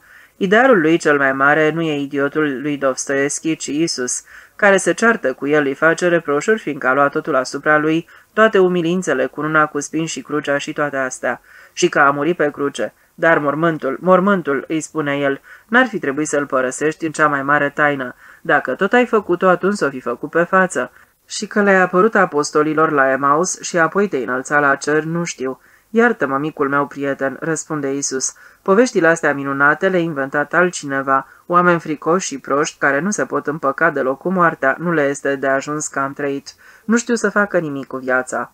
Izidor a citit de cinci ori povestea vieții lui Heinrich Pestalozzi și mai citește deseori din ea. Uneori îl consideră pe Heinrich Pestalozzi cel mai mare om.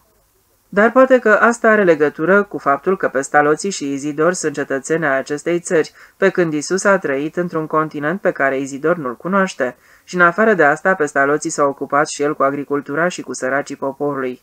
Dorința cea mai mare a lui Izidor este să primească odată casa și grajdul și câmpul lui Tony. Ar înființa cu plăcere o școală și un azil pentru toți cei care n-au mame și tați. Câteodată îl simte mai apropiat pe Pestaloții decât pe Isus, fiindcă Pestaloții a fost mai practic. Dacă lași la o parte minunile pe care se zice că le-ar fi săvârșit și în care eu nu pot să cred, Isus n-a făcut decât să predice, spune Izidor. Dar ce a făcut pe staloții pot și eu să fac. Recunosc că de multe ori sunt cuprins de îndoieli. Îl nedreptățesc pe Isus. Mă gândesc deseori la problema asta și atunci nu pot să adorm. Și Isus a fost copilul lui Dumnezeu, spune preotul. Cu fiul lui Dumnezeu nu vreau să am de-a face. Fii cât îți place fiul lui Dumnezeu. Și eu sunt un fiu. De ce plângi fiul lui Dumnezeu? Într-o poveste se spune că celui care îl blestemă pe fiul lui Dumnezeu tare și din toată inima, aceluia el îi apare plângând. Recunosc, domnule părinte, spune Izidor, față de care toată lumea se arată prietenoasă, că nu mă pot compara cu Isus. Învățătorul și preotul își aruncă priviri întrebătoare, apoi dau din cap. Acum ești la o vârstă când poți să afli totul, spune preotul. Mai mult, trebuie. Și vei fi destul de tare să suporți adevărul până la sfârșit. Izidor dă din cap. Probabil că te-ai întrebat adeseori cine sunt părinții tăi. Da sau nu? Izidor nu știe dacă s-a întrebat vreodată. Trebuie să fi băgat de seamă că în lungul și în latul ținutului acestuia nu există niciun om pe care să-l cheme rughe. Nici la asta nu m-am gândit. Își spune Izidor. Nu răspunde nimic. De ani de zile nu vorbește cu ceilalți decât strictul necesar. Bună ziua, mulțumesc, poftim, merg la grajd. Din pricina asta, mulți sunt de părere că ar fi o fire posacă. A existat odată familia Rughe la noi în sat, povestește preotul. Dar penultimul Rughe, străbunicul tău, va să zică, a plecat de aici de tânăr. Pe urmă, toți cei din sat au uitat de neamul Rughe. Cam acum 14 ani, poate că sunt chiar 15 ani de atunci, și-a făcut apariția la noi o femeie tânără. Vreau să spun că această femeie tânără, de fapt aproape o fetișcană încă, n-a venit singură, a venit însoțită.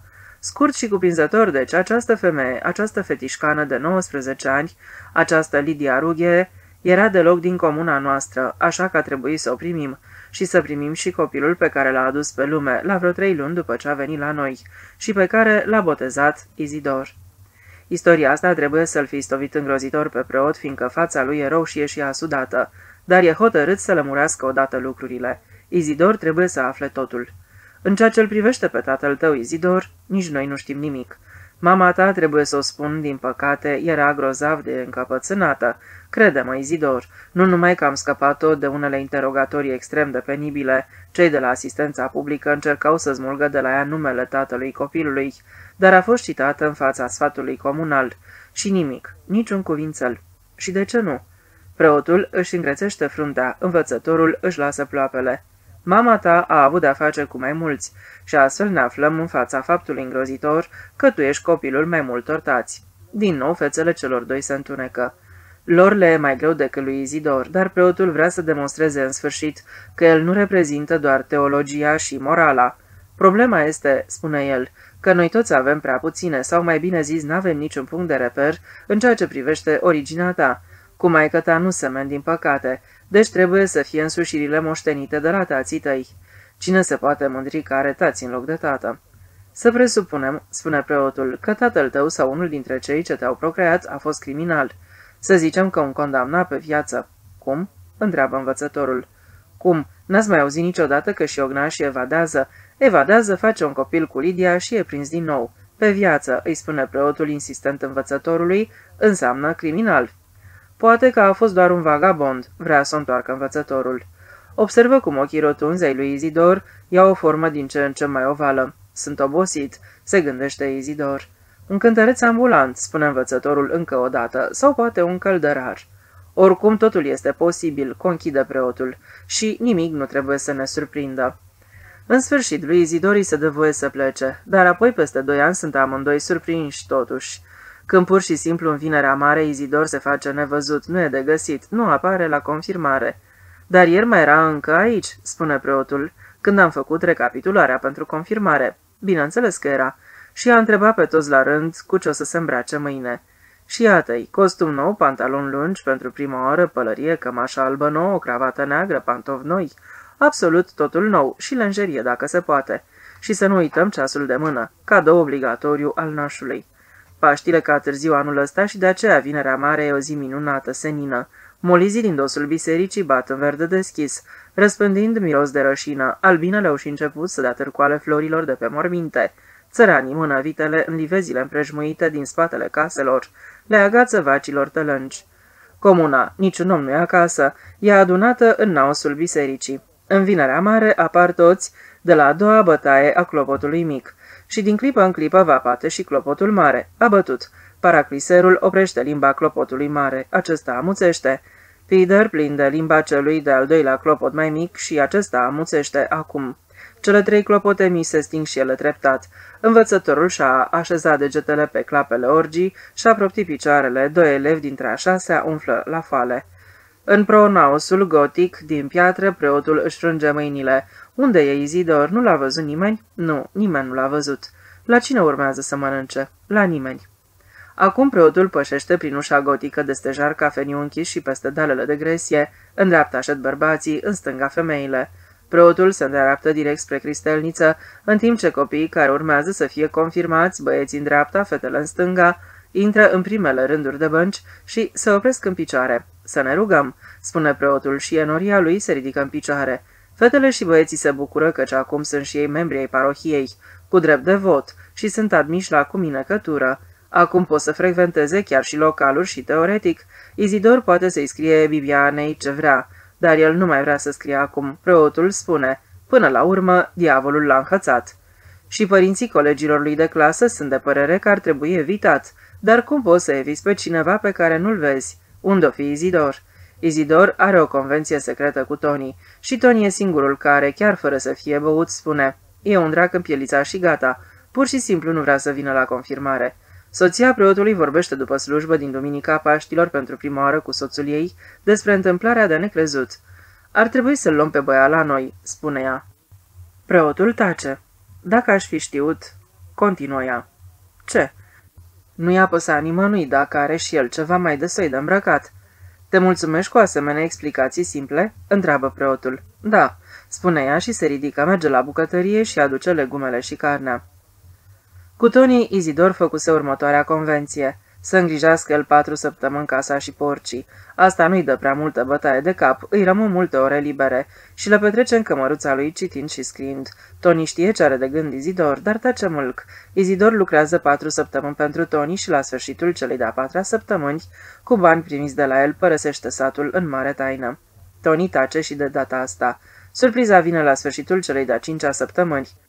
Figura lui Izidor Rughe apare de mărimea unei cărți poștale între importante cotidiene ale cantonului. Izidor Rughe a trecut examenul de admitere la gimnaziul cantonal cu media generală 1, media celui de-al doilea clasat 1,7. Dar cel mai senzațional este faptul că Izidor a reușit la examenul pentru clasa a treia gimnazială cu latină și nu pentru a doua cum era normal. Unde o fi vrând să ajungă ăsta? Își întreabă dirigintele poștei prietenei duminica după amiază la cârciumă, în timp ce joacă o partidă de ias cu ei. O cinste pentru satul nostru. Treanca, fleanca. Cel puțin o notă bună pentru școala noastră. Din asta nu se îngrașă porcii. Am să vă spun sincer și limpede ce semnificație are toată povestea. Derbedeul își bate joc de noi. Își râde de prostănacii care au răspuns de el timp de 16 ani. Prostii, nici așa să nu o luăm. E foarte clar ce ascund toate astea. Așa, și ce ascund? A trebuit sau n-a trebuit să stea Pius al tău de două ori la arest? Oare să vrea Tony să-i plătească gimnaziul? Îl știu eu pe Tony. Nu-i cine știe ce de capul lui. Dacă dă peste el ghinionul odată, o molimă, s-a zis. Păi, cine altcineva să-i plătească gimnaziul? Comuna, din fondurile pentru săraci. Asta mai lipsea copiii noștri să... Așa sau așa, spune dirigintele poștei, ce facem cu el până devine major? Ce facem? E acum destul de mare și de puternic. Poate foarte bine să muncească și dacă e după mine, l-aș trimite în pădure. Anul ăsta tăiem și așa mai mult lemn decât înainte. Și atunci, zic eu, să-i plătim numai jumătate din ce se cuvine. Eu cred că afurisitul ăsta trebuie să dea înapoi banii cheltuiți de comună pentru el și pentru maică sa. Ar fi ilegal, spune dirigintele poștei.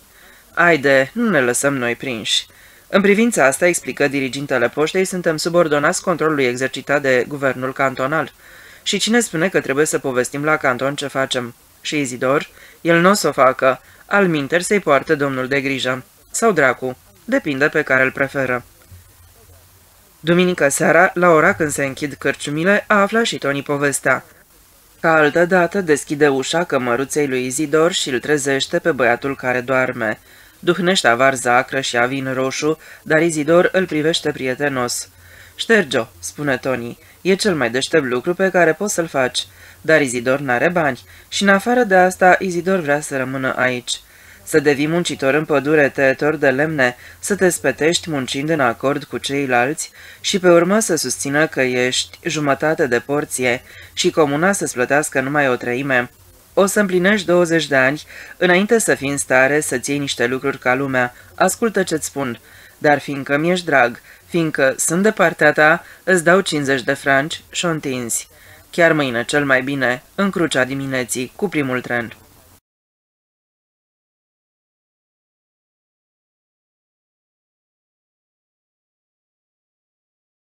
Poate că doream doar să fiu iubit și credeam că toți cei care au o istorie sunt iubiți, spune Rughe. Să ai o istorie? întreabă Leu. Toți cei care au o origine, una verificabilă, demonstrabilă, numele mamei, numele tatălui, profesiune, domiciliu, cetățenie, viitor. Dar tu ai fost un rebel. Nu, am fost blând, harnic și docil. Am urmat sfatul lui Tony, am luat a doua zi trenul de dimineață și am plecat la Cuera. Acolo am hotărât să mă urc într-un tren care pleca spre nord, imediat și indiferent unde. Tony îmi dăduse 50 de franci. La ăștia să mai adaugau alți 40 pe care îi economisisem eu. Când a pornit trenul, a venit conducătorul și a cerut biletul. N-ai?" m-a întrebat el. Am scuturat mult din cap. Nu ședeam în compartiment, ci afară la ușă. Conductorul m-a privit și a plecat mai departe. Mai târziu s-a întors iarăși și mi-a spus, dar unde ți-e biletul?" Și când m-a întrebat, așa, a doua oară m-a năpădit jalea și nu mi-am putut stăpâni clănțănitul dinților. Unde vrei să mergi fără bilet?" m-a întrebat. Ai fugit de acasă?" Iarăși am scuturat capul cu putere. Ești mut?" M-au alungat." I-am spus. Și n-ai bani?" Ba da, ăștia sunt." Și la cine te duci?" La tata. E la Zurich. Singur." Conductorul mi-a spus. Nu-i aproape nimeni în compartiment. Du-te, așează-te." De bilet nu m-a mai întrebat. Stația Terminus era Basel, dar eu îi spusesem conductorului Zurich, de aceea trebuia să cobor înainte. Trenul a ajuns la Zurich puțin înaintea prânzului. Conductorul a venit încă o dată în compartimentul meu și m-a întrebat, știi unde locuiește tatăl tău? Am spus că da și am șters-o repede. Am ieșit pur și simplu alergând din gară, am fugit printr-o piață și pe câteva străzi, până ce am fost sigur că nu mă mai vede conductorul. În fața mea era un restaurant. Atunci m-a răzbit foamea. Întâmplător era un local modest și la mese ședeau bărbați în salopete, muncitori. Și eram fericit că la Zurich există și muncitori. M-am așezat la o masă la care ședeau doi bărbați mai în vârstă, în salopete oliv și beau bere. S-au uitat imediat prietenos la mine și mi-au spus, nu mâncăm oameni. Fata care servea a venit și mi-a zis, Azi avem supă de zarzavat, friptură de porc și cartofi cu sare. Am dat din cap. Ești mut?" m-a întrebat ea râzând. Și ce bei?" Bere." I-am spus eu. Una mică, blondă?" Da." Dacă nu vă supărați, le-am spus celor doi bărbați după ce am mâncat supa, unde aș putea găsi de lucru. Au zâmbit. Nu ești de aici după accent. Vin din, am spus eu, singur singurel, sunt singur cuc. N-ai rude? Nu. Știi, a spus unul, atunci trebuie să găsești ceva cu casă și masă, cel puțin pentru început. Să meargă la un brutar sau la un măcelar. Ăia caută mereu băieți de prăvălie. Ia stai, aduc ziarul. Întotdeauna i-a anunțat câte un loc. Unul dintre ei a adus ziarul și a citit ofertele de serviciu. Ce-am zis eu? Se caută într-una băieți de prăvălie. Poți să alegi. Ia ceva în centru. E mai vesel. Cunoști orașul? Nu. Ei, în privința asta o să te descurci repede. De aici, în direcția asta, ajungi la lac. În stânga, peste pod, se merge la Belvu, spre dreapta, ajungi la Engă. Ține minte câteva biserici, domul și, așa, prostii. O să arate lumea străzile și drumurile exact. Poate că asta ți-ar plăcea. Gardenstrasse. Păi, pe ăsta îl cunosc. A jucat mai de mult la Blue Stars, extremă stângă, până ce s-a îngrășat prea tare. Hindenlang. Sigur. Ăsta a avut mai de mult o fabrică de cornuri cu nuci, sus, în Riginplatz. Glumeam să înțelege când îi spuneam fabrică de cornuri cu nuci. Cu asta îl tachinam totdeauna, fiindcă nici nu făcea altceva decât cornuri cu nuci, pentru alți brutari, și acum a preluat, va să zică, prăvălia asta de pe Gartenstrasse. Îi dau eu telefon. Cum te cheamă? Izidor. Și mai cum? Izidor Rughe. Frumos nume. Rughe. Prima mâncare avea în camera mea. Hindenlang, care se îngrășa tot mai tare, și nevastă sa, care era grasă și ea, cofetarul și vânzătoarea, toți erau prietenoși cu mine. Și cele trei calfe mă plăceau. Eram harnic și primeam 75 de franci pe lună. La cinci trebuia să mă scol și cu coșul plin în spinare o porneam cu bicicleta pe străzile pustii încă adormite, fluierând de bucurie. Duceam la cafenele chifle, cornuri, pâine și franzele. La opt primeam micul dejun și până la prânz aprovizionam clientela particulară cu pâine. Recrutam și clientelă nouă. Sunam la uși străine și spuneam, sunt Izidor de la brutăria Hindenlang și vă aduc în fiecare dimineață pâine proaspătă și tot ce doriți. Succesul meu era zdrobitor. După trei luni se făceau unu și jumătate până ce le aprovizionam pe toate clientele mele. Hindenlang mă lăuda. După masa de prânz, mă duceam în brutărie și spălam mașina de frământat aluatul, curățam mesele, răzuindu-le cu cuțitul și măturam podeaua. Mă gândeam că, de fapt, aș putea să mă fac brutar și i-am spus meșterului, cât timp trebuie să strâng bani ca să-mi ajungă să-mi plătesc ucenicia de brutar la dumneavoastră? Nu trebuie să strângi nimic. Dacă mai faci încă o jumătate de an pe comisionarul și îmi promis că după terminarea uceniciei să mai rămâi la mine cel puțin doi ani. Era toamnă și avusese multe zile ploioase cenușii când s-a întâmplat povestea. M-am întors cam pe la 10 înapoi ca să-mi umplu iarăși coșul, când am auzit în camera de alături, în biroul lui Hindenlang, numele meu. Hindenlang îi spunea cuiva, Personal n-am niciun motiv să-l bănuiesc, dar în referințele pe care le-am primit, se spunea de la bun început că ar trebui să fiu pregătit pentru surprize. Auzind că sunt acasă, m-a chemat în biroul lui. Acolo se afla el, omul de la poliție.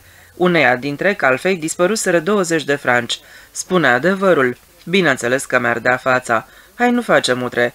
Domnule Hindenlang, eu nu... Cine atunci? Nu știu. Calfele își agățau întotdeauna hainele de stradă pe peretele din fund al depozitului de pâine și eu eram unul dintre puținii care intrau acolo de 8 sau 10 ori pe dimineață, singur și neobservat de nimeni. Banii au fost furați din portmoneu, a spus omul de la poliție. Ne-am dus împreună în odăița mea de la mansardă. A trebuit să-i arăt banii pe care îi aveam, 200 de franci. A scotocit și a spus, e imposibil să fi putut strânge atât de mulți. De ce nu? Hai, cunoaștem noi soiul. Primez lunar bani de la toate doamnele sau aproape de la toate. Unele dau un franc. Bătrâna doamnă Drittenbas de pe Brandschenkestrasse îmi dă chiar 5 franci. Pentru ochii tăi albaștri am ochi verzi. Vorbești cam mult. De unde ai hârtia asta de 20? Care? Faci pe prostul? Găsise hârtia în punguța de bani pe care o purtam mereu la mine. În schimb, nu mai am bani mărunți. Mai ai 3 franci și 37 de centime monede. Da, dar a trebuit să schimb toți ceilalți mărunți pentru hârtia asta. Așa, unde, la cine? La cine? Va să zic că nu poți să-ți amintești unde a trebuit să schimb mărunțișul pe hârtia asta? Și zău că nu puteam să-mi amintesc în acel moment. Împrejurarea mi se ștersese din memorie. Minciuna are picioare scurte, mi-a spus polițistul. Nu era un delict oficial. Ca și mine, reclamantul locuia în comun cu familia Hindenlang. Omul a renunțat la reclamație. Cu toate astea, polițistul m-a luat cu el la comisariat. Întocmim un act. Numele, pronumele, data nașterii, numele mamei. Lidia, născută? Cum a chemat-o pe maică ta înainte de a se căsători? Nu știu, numele tatălui. I-am povestit. Bagă de seamă, mi-a spus mai târziu polițistul. Băieți de teapa ta, avem destui la noi în oraș. Nu mă întorc înapoi în sat. Am strigat. Asta hotărâm noi. Am sărit în picioare și am ajuns lângă ușa micii camere de interogatoriu. Toate astea nu-ți ajută la nimic, mi-a zis polițistul. Fără mine nu treci de santinelă. N-am făcut niciun rău. Taci, să-ți pare bine că ai scăpat ieftin, dar data viitoare, du-te. A durat mult până am ajuns de la poliție în Gardenstrasse. Mai întâi am mers la un matineu la cinematograf. Filmul se chema Rhapsody in Blue și povestea istoria vieții lui George Gershwin. După matineu m-am strecurat în mansarda mea de pe Gardenstrasse. M-am întins în pat și pentru prima dată în viață m-am rugat cu adevărat. Doamne, ia-mă de pe lumea asta. Am murit învins și am plâns în fața propriului meu sicriu alb. Când m-am trezit era 11 noaptea și aveam ochii umflați. Mi-am făcut valijoara și am părăsit Gardenstrasse. M-am dus la Yogi. Yogi era birtaș la Kreutz pe Bright Gase.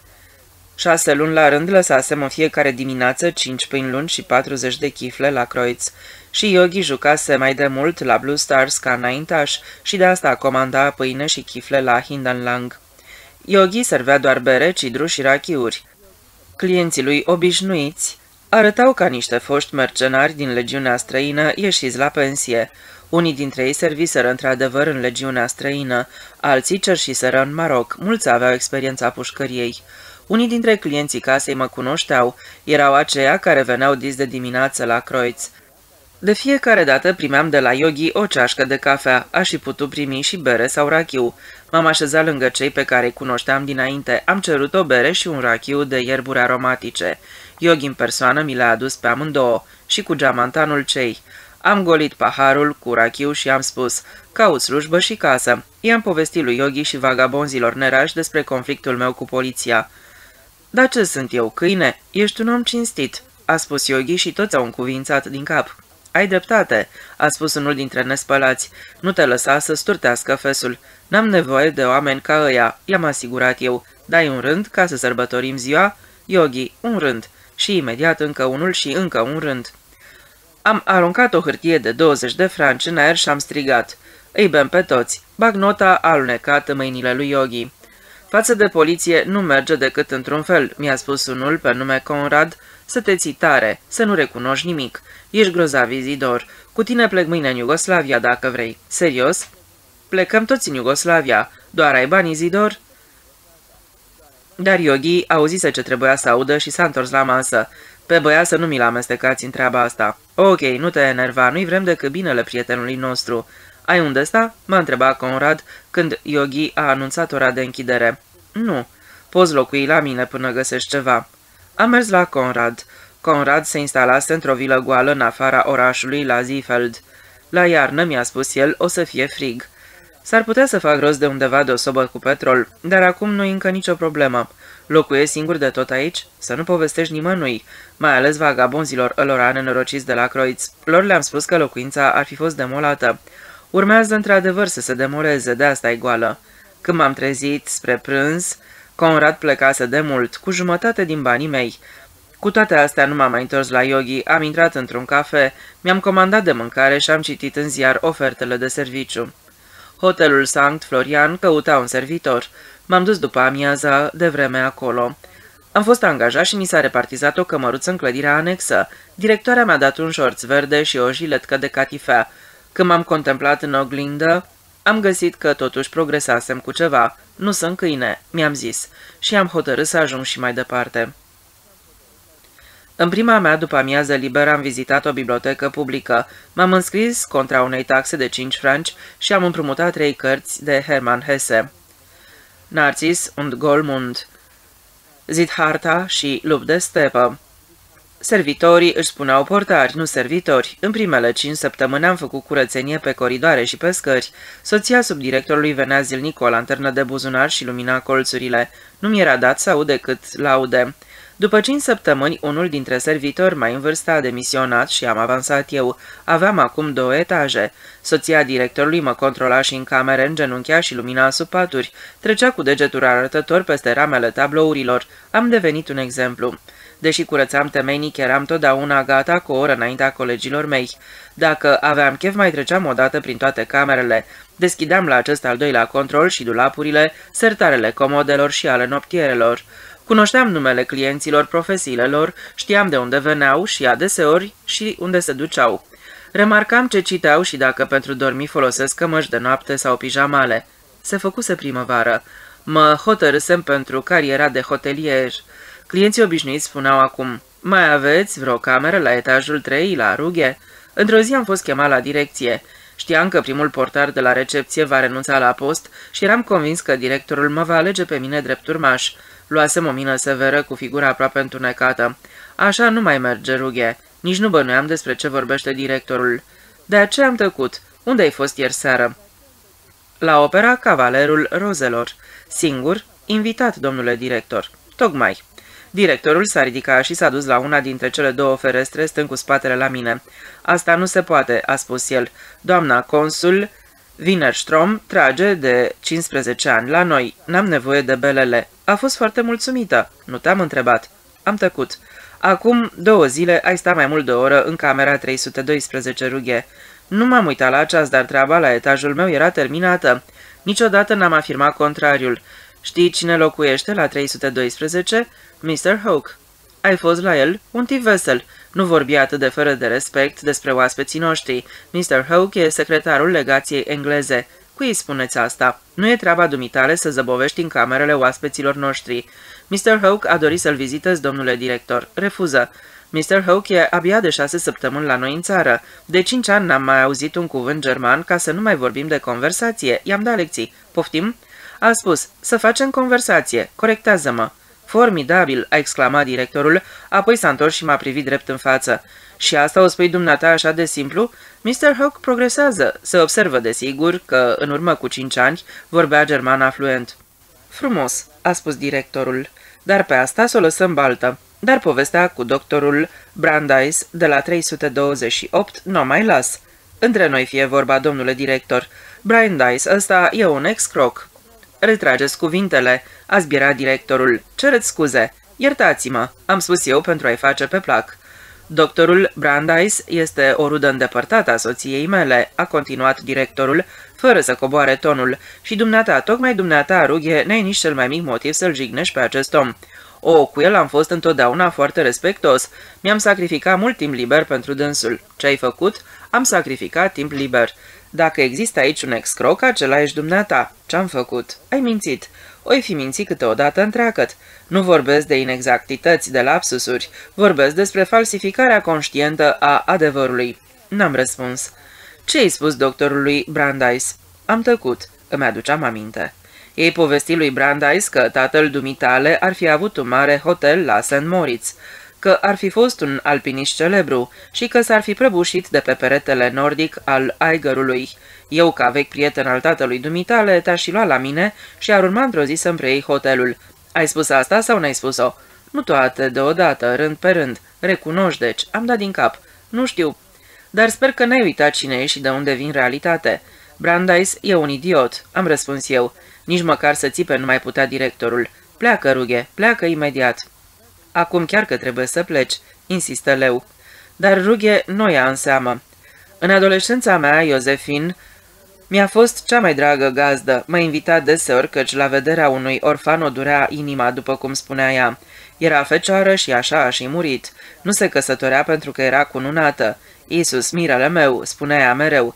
Taică su emigrase de tânăr în Franța, la Lyon. Era cofetar. Nu știu dacă mai există și astăzi asemenea cofetari. Cofetarii din Graubünden erau pe atunci cei mai renumiți. Porneau în lume în Franța cei mai mulți dintre ei și se îmbogățeau. Tatăl Iosefinei plecase la Lyon. se căsătorise cu o catolică, botezându-i și educându-i pe cei șapte copii în ritul catolic. Paul, tatăl Iozefinei, se întorsese în patrie când avea aproape 90 de ani. Iosefin era cel mai mic copil și avea pe atunci în jur de 60 de ani. Mama și-o îngropase cu mulți ani în urmă la Lyon. De Crăciun toți copiii sosau în mașini. Nimeni din sat nu știa ce meserie aveau fiii, de aceea noi le spuneam doctor. Și pentru că păreau distinși, primiseră titulatura aceasta. Lui Paul îi ziceam pul, dar toți se adresau cu dumneavoastră din respect. Purta niște ochelari înguști cu sticle groase. Priveam ades prin ochelarii lui pentru că îi dădeam mâna când îl întâlneam pe stradă și atunci voia întotdeauna să-mi cerceteze fața. Se apleca și căta fix la mine. Vara ca și iarna, Pul purta o pelerină neagră care îi ajungea până la glezne și o pălărie neagră cu boruri largi. Era respectat și pentru faptul că se întorsese tocmai în anii când unora din sat le mergea rău. Cei drept, Mulți aveau ogoare și livezi, o casă și o șură, ceva găini, un porc și câteva vaci și capre, dar nu aveau bani lichizi. Marea fabrică de cherestea și lemn fasonat își încetase activitatea și țăranii nu mai puteau câștiga nicăieri. Atunci a venit Pul și a cumpărat o mulțime de ogoare și livezi. Și cea mai mare casă din mijlocul satului, cu șura respectivă, pe care a pus-o dărâme și s-o ridice din nou. A tocmit un arendaș și acestuia i-a luat o arendă mică. Bisericii comunale i-a donat un nou ceas pentru turlă și un clopot nou, deși Iosefin era catolică și trebuia să meargă în fiecare dimineață un kilometru dus și un kilometru întors la liturgia din satul vecin. Nu pregetau să pornească pe orice vreme și din pricina asta mulți râdeau. Pul rămăsese protestant, dar nu mergea niciodată la biserică. La ce bun, zicea pastorul cu îngăduință. Abia deci mai aude propria voce și nu mai vede aproape deloc. Pul a murit când eu aveam 12 ani. Iosefini a comandat o piatră de mormânt uriașă. În comuna vecină au făcut slujbe pentru el. Acum Iosefin era singură și trăia de parcă Pul n-ar fi murit. Gătea pentru doi și când mă invita la masă erau întotdeauna tacâmuri pentru trei. Între orele de masă ședea în salon și croșeta sau broda odăjdii pentru preotul din satul vecin. În toate camerele atârnau cruci grele și icoane mari colorate cu Iisus, Maria și Iosif. Iosefin îmi vorbea puțin, dar tot ce spunea suna blând ca de foarte departe. N-am reușit să aflu niciodată dacă al treilea tacâm era menit pentru Isus sau pentru pul cel mort. Poate pentru amândoi. Căci Isus era prezent în timpul meselor noastre, chiar dacă rămânea nevăzut ochilor, nu m-am îndoit de fapt niciodată. Isus, Isus al meu, fratele meu, și așa era. Ai un tată în ceruri, zicea Iosefin. Pe ea nu contraziceam ca odinioară pe directorul orfelinatului și Iosefin trebuia să poarte ochelari cu sticle groase, iar într-o zi, pe când venisem la masa de prânz, ea mai ședea încă în salon și privea țintă, fără ochelari, la una din ferestre. Tu ești Izidor?" Vocea ei venea de departe, m-a vizitat Isus și mi-a scos ochelarii. Nu făcuse de mâncare, masa era goală. Tatăl tău din ceruri te salută și pe tine," spunea ea. N-am avut curajul să o întreb de mâncare. Ce să-i spun tatălui nostru dacă mă întreabă de tine? Am tăcut. Izidor e mut în credința lui față de milostenia ta, am să spun. Da, am răspuns eu. Ia crucea de pe perete și dă-mi-o. Da, Iosefin. Era o cruce mare și grea, cu un splendid copil Iisus pe ea. Din aur, a spus Iosefin, își va revărsa îndurarea lui minunată asupra ta, fiindcă i-am dat tot ce mi-aparține pe lumea asta. Crucea cea grea cu Iisus de aur i-a alunecat Iosefinei din mâini, iar ea a căzut încet pe covor. Am alergat la dirigintele poștei. Mai târziu s-a scris în ziare că Iosefin dăruise toată averea ei considerabilă instituțiilor bisericești. Ticăloasa, ziseră oamenii. De ce nu salvasem pentru mine măcar crucifixul de aur cu chipul lui Isus? Tatăl tău este în ceruri, spunea directorul orfelinatului, dar eu vreau un tată pe pământ. Asta o spunea Til și directorul orfelinatului răspundea, Auziți ce obraznic e ăsta? Ce nerușinat!" Izidor," zise directorul orfelinatului, acum te duci cu Til în cameră. Da, părinte, vreau să faci din Til un băiețel ascultător. Da, știi ce înseamnă asta? Da, părinte, du-te. Hai, Til." Directorul orfelinatului se ivi brusc în fața noastră. Izidor, da, ești la fel de neascultător și eu aș vrea un tată pe pământ, părinte. Rezolvă repede problema. Întâi mă bătu pe mine, pe urmă îl bătu pe Til. Til era mai mic decât mine cu un an și directorul orfelinatului cu subalternii și subalternele sale îi spunea uneori că e un cretin. Til nu era cretin, dar nu vorbea aproape nimic și își petrecea ore întregi prin colțuri. Nici în grădină unde plivea în buruien nu era de folosit, fiindcă nu putea să deosebească buruiana de răsadul de zarzavaturi. Til era bun numai la culesul spanacului. Tilu da patul din trei în trei nopți.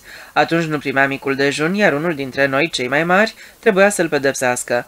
Directorul orfelinatului nu pedepsea cu plăcere și o făcea doar atunci când n-avea încotro. Odată l-am pedepsit eu pe Til, dar în timp ce îl băteam cu un băț de mesteacăn peste șezutul gol, mi s-a făcut negru în fața ochilor. Au venit și m-au dus în pat. Mi-au luat temperatura, aveam febră mare. În cursul după amiezii a venit doctorul, dar nu mi-a găsit nimic. Micuțul nu are nimic suspect la piept, probabil este doar începutul unui bol obișnuită de copii. Til nu-mi ieșea deloc din cap. Alții îl băteau pe Til cu plăcere. L-ai mai pedepsit și ieri, îi spunea directorul orfelinatului câteodată unuia sau altuia dintre băieți.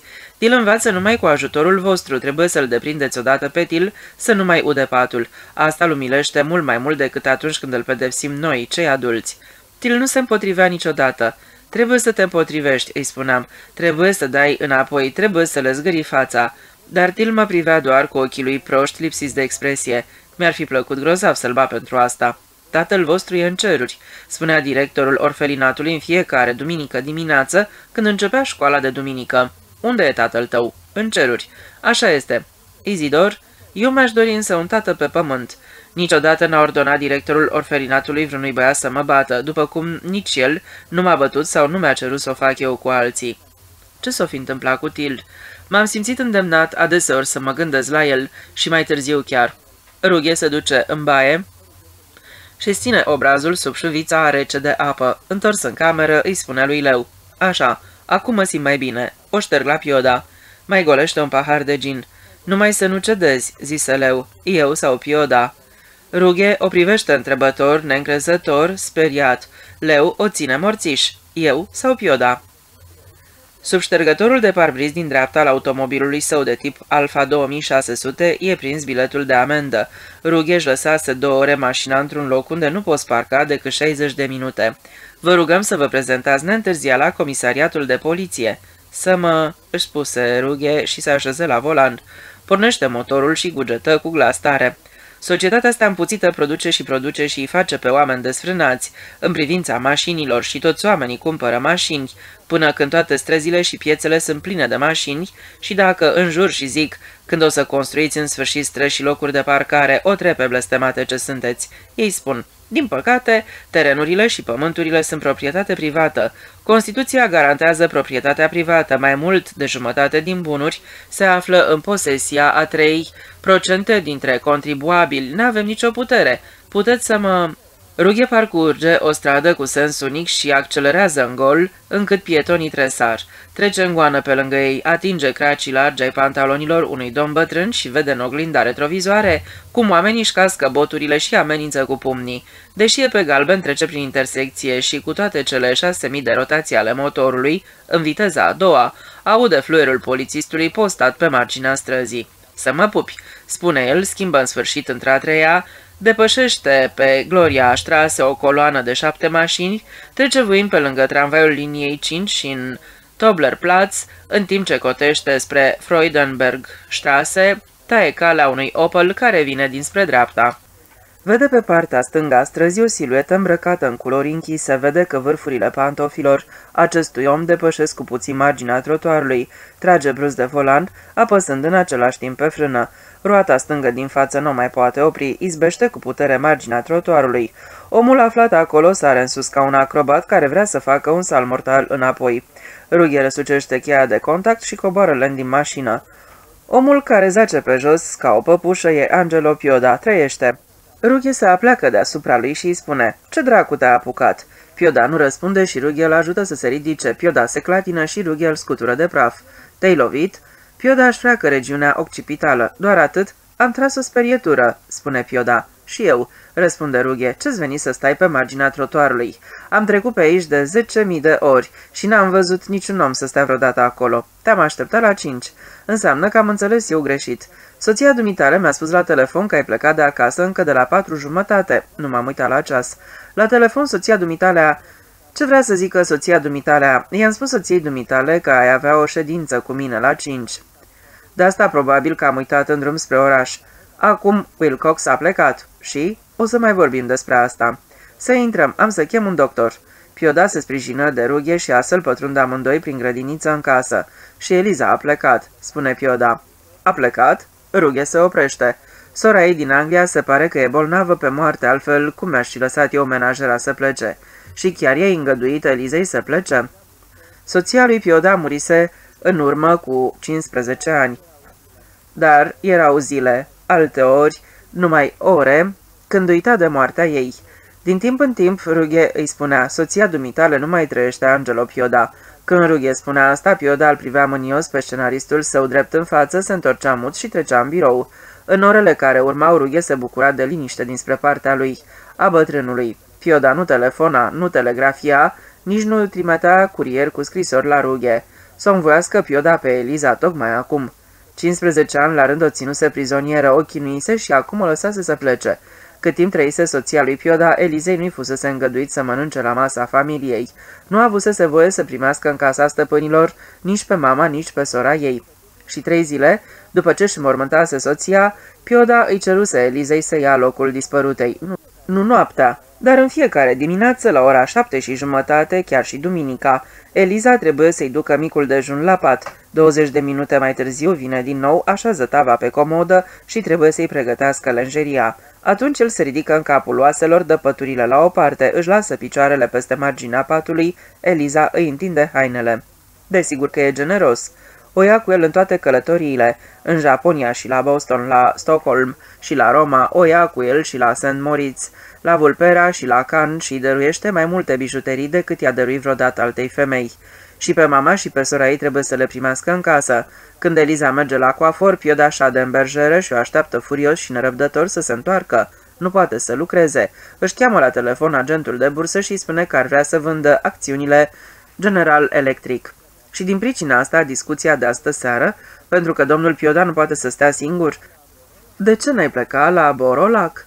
Acolo ai fi găsit precis prieteni. Sau dumneata crezi că am să-i țin locul Elizei? Cei drept, în caz de nevoie pot să fac pe servitoarea, să fac ordine.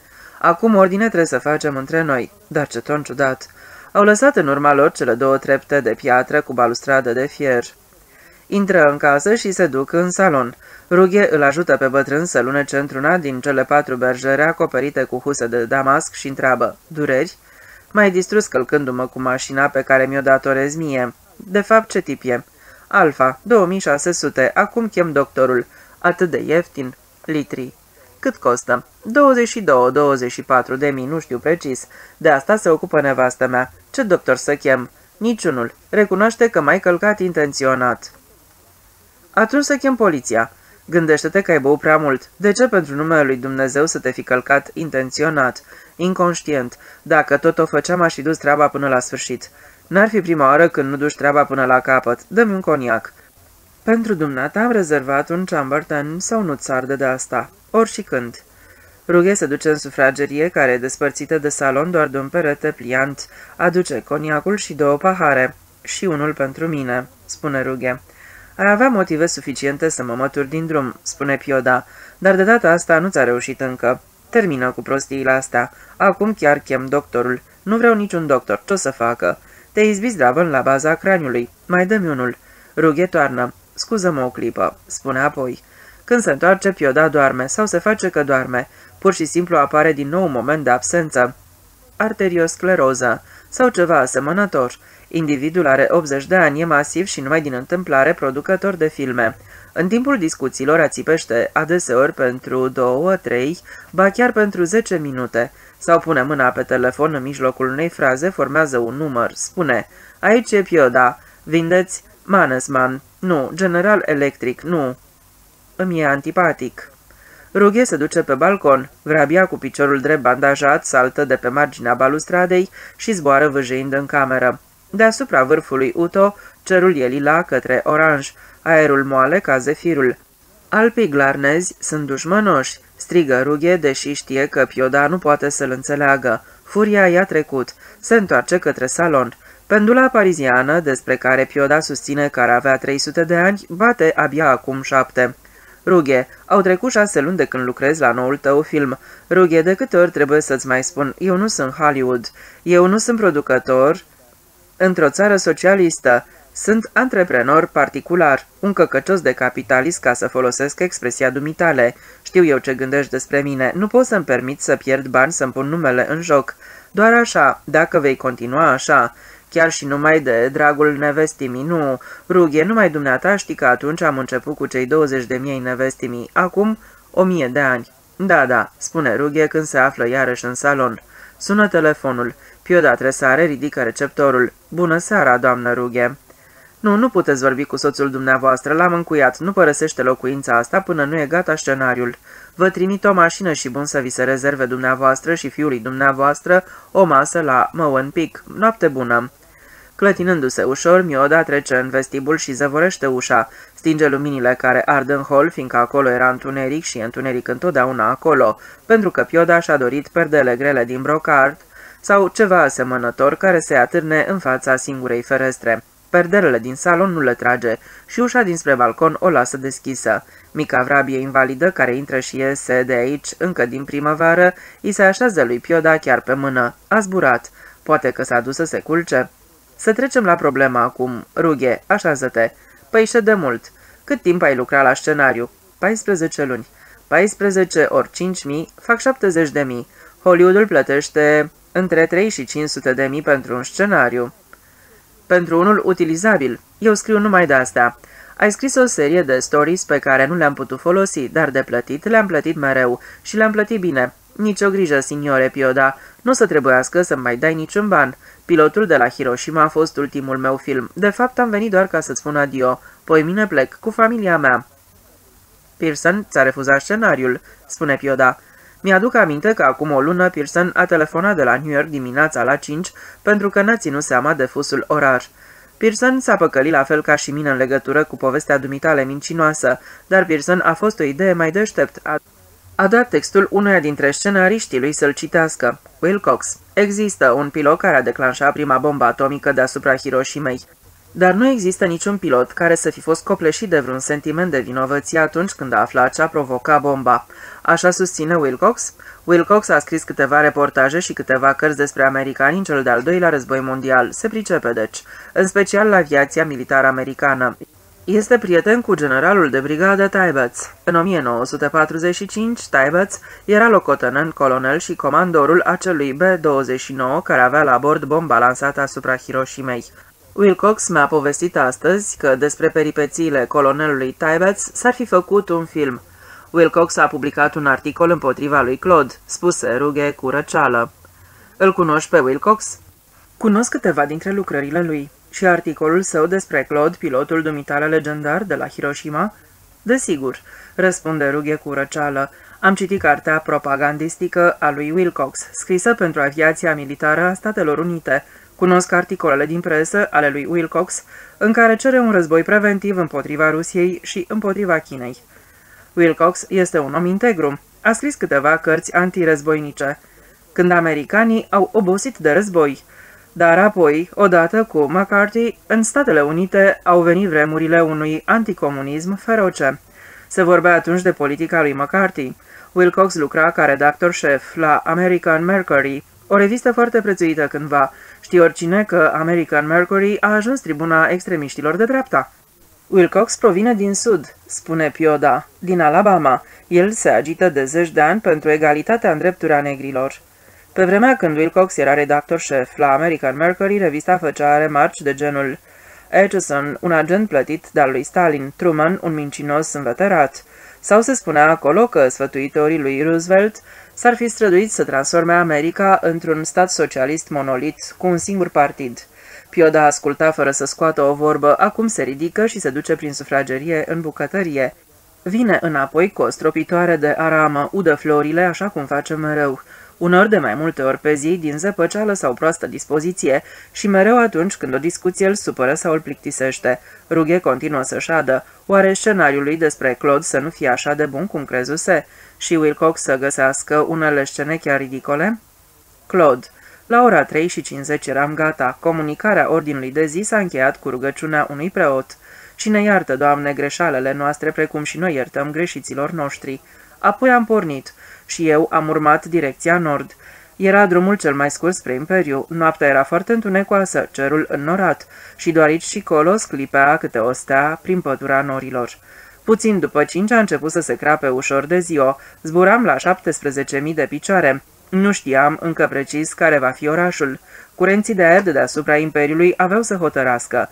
Dacă ar fi mânat niște nordești deasupra orașului, acesta ar fi fost salvat. Am atins coasta. Am înconjurat un timp în zbor regiunea pe care trebuia să o atacăm, până ce am găsit o spărtură în pătura de nori. Sub noi bătaia tunurilor antiaeriene, niciun avion dușman. Nu bănuiau nimic, nu mai aveau avioane. Am coborât la 16.000 de picioare, apoi exact deasupra mijlocului orașului am declanșat. Generalul tace. Claude, am văzut un obiect negru căzând. Generalul. Dumnezeu să-l binecuvânteze pe Oppenheimer. Fizician american, unul dintre organizatorii cercetărilor atomice în Statele Unite, s-a pronunțat împotriva războiului nuclear. Claude, am văzut obiectul negru căzând în mijlocul caselor. Un fulger inimaginabil de luminos s-a aprins și un val de presiune a cuprins avionul făcându-l să geamă și un al doilea fulger s-a aprins și a umplut universul. Un meteor s-a ridicat de pe globul pământesc spre cer, un nor de fum și praf a acoperit întregul oraș și o coloană de foc purpurie s-a înălțat din dărâmături spre cer, apropiindu-se cu viteză de noi. Generalul. Am văzut filmul color. Claude. 100 de mii de morți, 100 de mii de arși, 100 de mii de schilozi. Generalul. Acum știe oricine că posedăm cea mai grozavă armă din lume și că nu ne e teamă să o folosim. Pentru general, partea militară și oficială a acordării unei decorații a luat sfârșit. Întinde mâna după whisky. Generalul îi dă lui Claude un pahar. În sănătatea dumitale. Ești căsătorit, domnule Maior. Ai și copii? Te bucuri de concediu? Claude. Trebuie să mă ajutați, domnule general.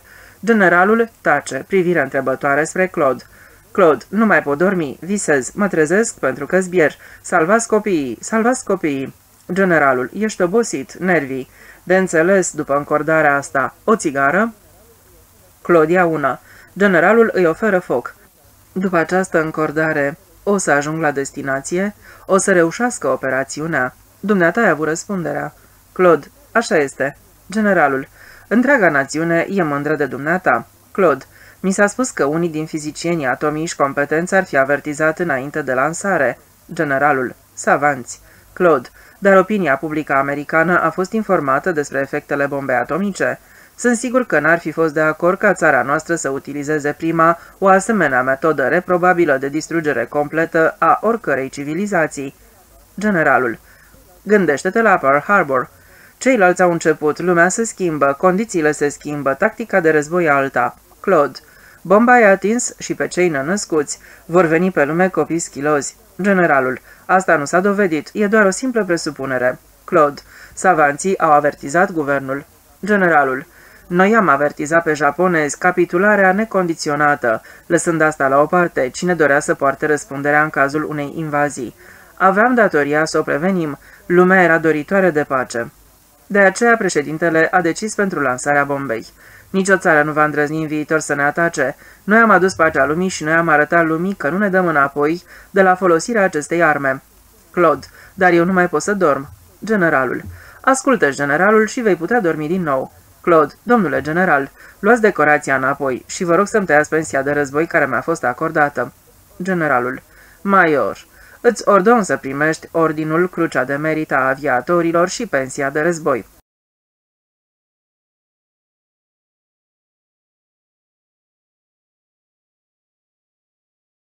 Bineînțeles, am stilizat, m-am detașat, am concentrat, am dramatizat, se apără rughe, dar de partea asta de adevăr, Scena aceasta Wilcox o găsește confuză, caragioasă, tâmpită.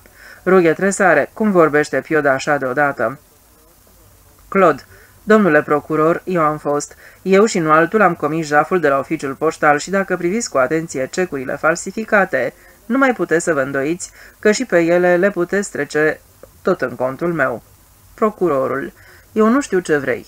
Rapoartele poliției sună altfel, declarațiile martorilor. Claude, eu am făcut, am stat două zile și două nopți la poliție. Procurorul. Din pricina asta s-a pregătit împotriva polițiștilor respectivă procedură disciplinară. Aici se află o scrisoare în care oamenii vă roagă să iertați. O eroare, chiar dacă a fost cam brutală. Claude. Mi s-a spus că v-ați ocupat de crimele de război. Procurorul. Printre altele. Claude. Acuzați-mă. Procurorul. Pentru ce? Claude. Am luat parte. Am luat parte activă la lansarea bombei asupra Hiroshimei. Procurorul. Era război.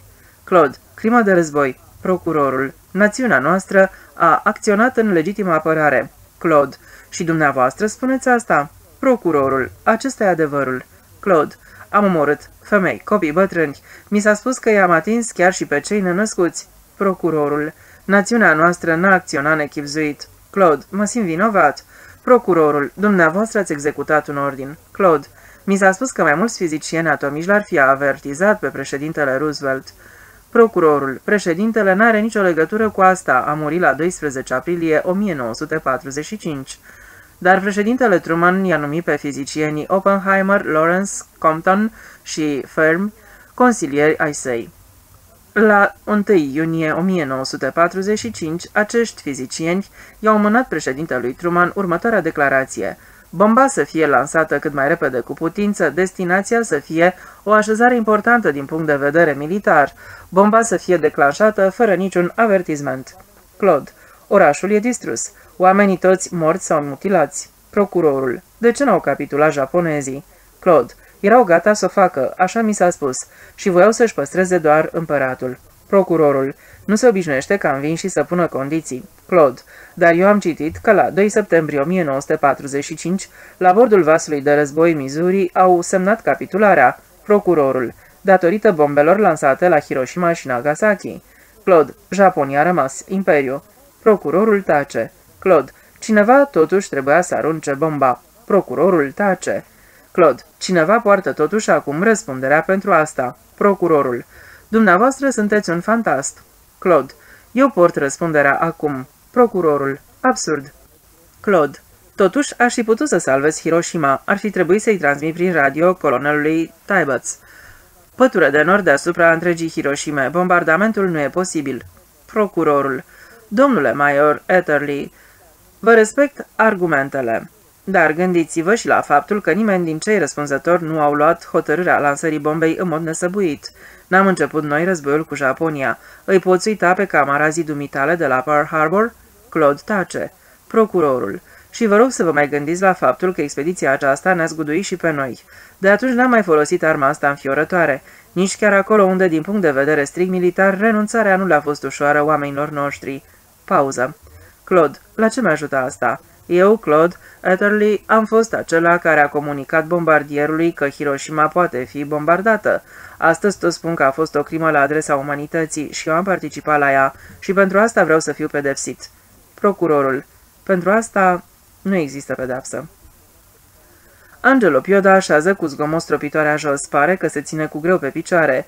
Rughe se ridică și la duce înapoi în fotoliu. Și totuși nimic nu te oprește să faci filmul dacă vrei, spune Rughe. Știi foarte bine că mă costă 4 milioane, pentru asta am nevoie de America. Dar așa, dacă așa stau lucrurile, găsești dincolo de ocean un alt coproducător.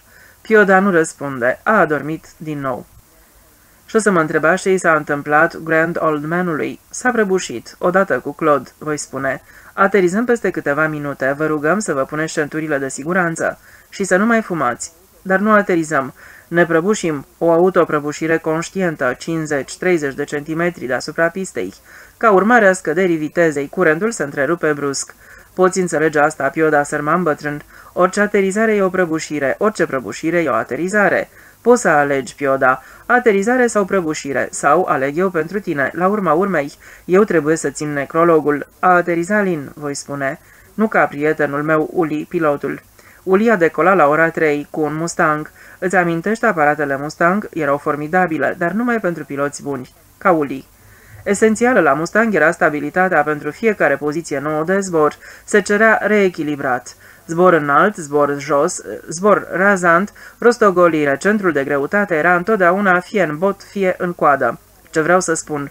50 de minute după decolare, anunță că se reîntoarce și pomenește ceva despre o hibă la mecanismul de comandă, presiunea uleiului. Contorul turaților aiurează sau, într-adevăr, oscilează turațiile și două minute mai târziu spune Dumnezeule, mecanismul de comandă s-a blocat. Nu funcționează, iarăși se oprește. Altitudine? Întrebăm noi din turnul de control. Altitudinea nu mai știu, dar era destul de sus, de asta mi-aduc aminte. Dacă nu poți să mai ajungi până la noi, îi spunem, așează rabla unde o fi. Pune frânele aerodinamice. Ok, spune el. Stabilitatea? Da ce, sunt începător? strigă microfon. Ok, spunem noi, gândește-te la unghiul de zbor planat. Dar Uli e îmbufnat și ripostează. Sunt la grădiniță? Mustangul era al dracului de greu, pierdea într-una și brusc din viteză, trebuia... A plecat puternic în față pentru zbor planat, fără solicitare. Și deodată Uli spune... A ieșit trenul de aterizare. Retrage-l, răspundem noi. N-ai mai auzit de aterizare pe burtă? Pierd viteză, spune Uli. Apleacă rabla cu botul în jos pe urmă, ia zbor înalt. Așteptăm. Am luat cam strâns volta, anunță Uli. Văd copaci în fața mea, plopi, cred că sunt prea jos. Dumnezeule din ceruri, ba nu, merge, așa cred. După cum s-a văzut apoi o oră mai târziu, a rămas totuși agățat cu trenul de aterizare în plopi. Care a fost ultimul lui cuvânt? A văzut moartea venind spre el, vrea să afle tânăra soția lui Uli. Ultimul cuvânt al lui Uli? Doar a iubit viața atât de mult, spune soția lui Uli disperată. Ar fi strigat, nu vreau să mor, spunem noi. Soția lui Uli a părut consolată. Wilcox nu este ațățător la război, spune Pioda. O spune pe jumătate adormită, abia mișcându-și buzele și fără să deschidă ochii. Rughe să duce în sufragerie și ia de acolo prima sticlă. Wilcox e un om de onoare, urăște poveștile mincinoase, e de părere Pioda. Rughe tace și bea vin, se gândește la Wilcox și la felul în care vede el povestea. Wilcox, eu n-am susținut niciodată că aș fi aruncat bomba. Atunci dezvăluie lumii, Claude, ce rol ai avut în istoria asta. Eram membru al grupului mix de luptă 509 din aviația militară americană și am fost ales pentru atacurile cu aparatele B-29 asupra Japoniei. La 12 iunie 1945 am sosit la Tinian, la puternica grupă de bombe atomice cu un efectiv de 1800 de oameni. Era o unitate de aprovizionare proprie cu buget propriu, poliție, servicii de transport și telecomunicații și personal terestru propriu. Ce funcție îndeplineai dumneata la Tinian? Eram comandantul unui B-29. Acest B-29 se numea Straight Flush. Eu și echipajul meu eram instruiți în vederea lansării de bombe atomice. Într-un antrenament cu o durată de 10 luni, efectuasem un număr de zboruri simulate cu bombe A, la început deasupra uscatului de la Wendover, Utah, apoi deasupra apei, de la Batista Field, Cuba și așa mai departe. După ce ne-am întors la Tinian, am făcut alte zboruri de antrenament înspre Tark și insulele Marcus și pe 20, 24, 26 iulie 1945, Straight Flash-ul a întreprins lansări simulate de bombe A deasupra orașelor japoneze Tokyo, Otsu, Tsugawa și Maitsuru. Relatează ce s-a întâmplat cu adevărat la 6 august. La 6 august 1945, la ora 1 și 37 dimineața, Conform calendarului și fusului orar din Tinian, Stray Flash-ul a decolat și a luat direcția Hiroshima, exact direcția pe care urma să zboare Enola Gay cu bomba A. În același moment decolau de pe alte piste Jabit 3 și Full House, având drept țintă Kokura și Nagasaki. La răsăritul soarelui mă apropiam cu Straight Flash de Japonia, la o înălțime de 10.000 de picioare și la aproximativ 300 de mile în urma mea, pe aceeași direcție zburau Enola Gay și Great Artist, care purtau aparatele de măsurare a exploziei. La ora 7.09 dimineața, Straight Flash-ul a atins punctul de pornire de lângă Hiroshima, un punct aflat la o distanță de 17 mile de locul țintei, un pod de peste râu din Hiroshima, adică apropierea în zbor de o țintă pornește dintr-un punct anume și zborul se desfășoară în direcția țintei. Exact pe direcția pe care urma să vină Enola Gay am făcut deci cu Straight Flash-ul un zbor simulat spre țintă și în vremea asta tot echipajul urmărea vizibilitatea și deviațiile de curenți. La ora 7.25 am transmis cartierului general din Tinian următoarea radiogramă. Pătura de nor mai mică de 30 la orice înălțime. Recomand bombardarea lui Primary. Primary însemna oraș, țintă primară, Hiroshima. După aceea ai zburat înapoi la Tinian, lansarea bombei, n-ai văzut-o? De atunci mă întreb de ce n-am transmis radiograma următoare. Pătură de nor compactă la orice înălțime. Primary nu poate fi bombardat. Pătură de nor compactă la orice înălțime. Dragă Claude, cuvintele astea se pare că le spui în film. Un scenarist european ți-a pus vorbele astea în gură, în realitate ai tăcut. E bine dacă poți să spun asta în film. Toate bune, Claude. Eu însă vreau să scriu o carte despre dumneata. De ce anume? Există mulți oameni care găsesc dezagreabil faptul că se abuzează de dumneata. Păi, eu vreau să mă las atras. Eu sunt pacifist. Există mulți pacifiști în lume, oameni importanți, renumiți. Îi tentează să scrie despre mine și eu, eu vreau să le fiu de folos. La asta n-am nimic de obiectat. Îmi plac pacifiștii. Dar dumneata nu ești? Nu, nu sunt apt pentru asta. Am considerat îndreptățit cel de-al doilea război mondial. Încă din 1937 am sprijinit războiul împotriva lui Hitler, dar am fost numit ațățător la război. Mai e valabil și acum? Nu cred, sunt pentru pace dacă este posibil pentru coexistență, dar nu sunt pentru pace cu orice preț. Cred că există nenorociri mai mari decât războiul, mai rele decât moartea, mai rele decât moartea unui oraș sau a unui popor. Dar știi ce pot pricinui bombele atomice? Știu, știu ce poate pricinui fiecare bombă. Am văzut victime ale bombardamentelor. Când am văzut pentru prima oară la Londra un copil care orbise din pricina șchilor spurătoare de sticlă, am plâns, după cum aș fi fost în stare să plâng pentru toți copiii din Hiroshima. Claude, eu nu sunt aici ca să lămuresc problema înarmărilor nucleare sau probleme asemănătoare. Am susținut întru totul politica înarmărilor dusă de președinții Roosevelt, Truman, Eisenhower și Kennedy. Dumneata ai dreptul să fii pacifist. Trăim într-o țară relativ liberă și dacă cineva vrea să-ți conteste acest drept, spune mie. O să fac tot ce pot să te ajut. N-are importanță dacă sunt de aceeași părere cu dumneata. Deci, ai semnat un contract pentru un film important? Da. Și ai citit scenariul? Desigur. Și ești de acord cu povestea? Autorul are un nume. Presupun. Povestea poate să fie utilă, utilă pentru pace, utilă pentru evitarea războiului atomic. Astea sunt scopuri onorabile, dar vreau să scriu ceva. Trebuie să știu mai întâi din ce se compune povestea dumitale. Îngăduiem să pun câteva întrebări. I-ai spus vreodată cuiva că ai fi văzut explozia de la Hiroshima și că apoi ai fi zburat prin norul bombei? Da. Și știai că e minciună? Desigur. Ai spus vreodată că ai fost la Nagasaki? Nu cred. Ai povestit vreodată că ai fi vizitat Japonia și că ți-ai fi privit victimele în față? Asta e născocire, ca și povestea că aș fi devenit brusc mut. Articolul din Newsweek despre Claude Etherly, pilotul de la Hiroshima care a fost făcut prizonier, l-ai citit? Desigur. Nu te-ai gândit niciodată să scrii la Newsweek și să le spui indivizilor de acolo că articolul nu corespunde adevărului, că de fapt dumneata te aflai la o distanță de 225 de mile de Hiroshima când a căzut bomba și că nimeni nu te-a numit erou pentru că în afară de camarazii dumitale nimeni n-a știut că ai fost la Hiroshima? Se pare că ai încercat să te sinucizi, ba chiar s-a vorbit de două tentative de sinucidere și apoi ai fost internat în spitalul de psihiatri, se pare că ar fi descoperit că suferi de sentimente de culpabilitate. Așa este. Și toate astea, precum și acțiunile dumitale criminale, au fost cunoscute în 1957. În 1957 a început publicitatea. În ce moment anume m-am simțit vinovat, nu mai știu. Poate că în timpul înapoierii de la Hiroshima. Ascultă, Claude, înainte de a veni aici la dumneata, am studiat câteva acte și am vorbit cu diverse persoane. Am reușit chiar să-ți văd certificatul de comportare de la aviația militară. M-am interesat și la FBI și la doctorii care te-au îngrijit. Chiar și de la foștii dumitale camarazi am reușit să aflu câteva lucruri interesante.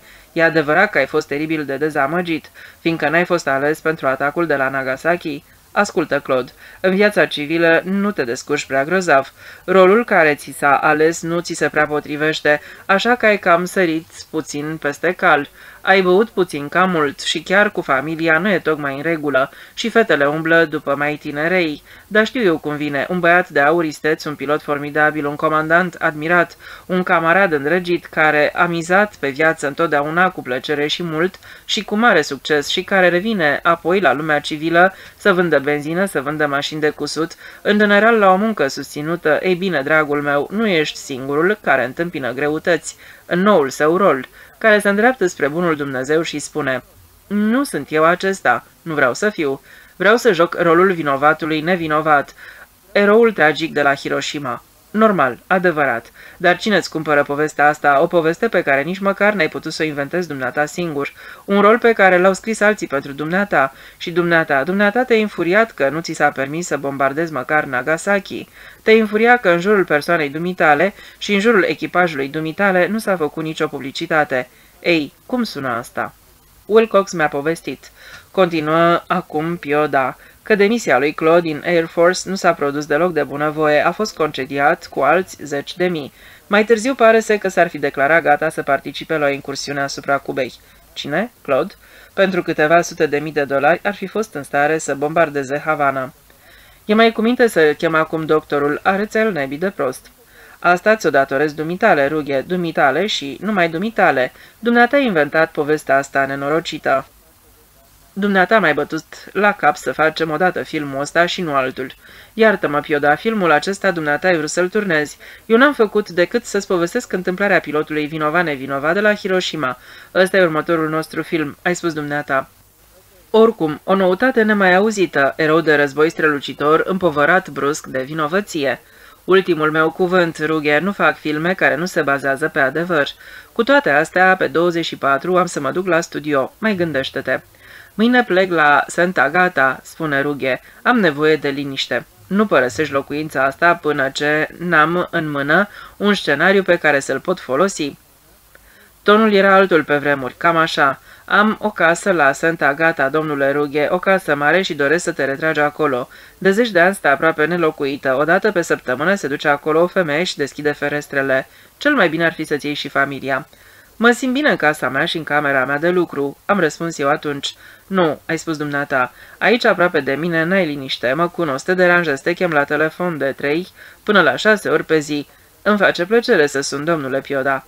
Minți, nu-ți face nicio plăcere. O pui pe soția dumitale să mintă. Și dacă vii totuși în cele din urmă la telefon, ești morocănos. Ce mai vrea individul ăsta bătrân și nesățios? Te gândești. Numai că nu spui.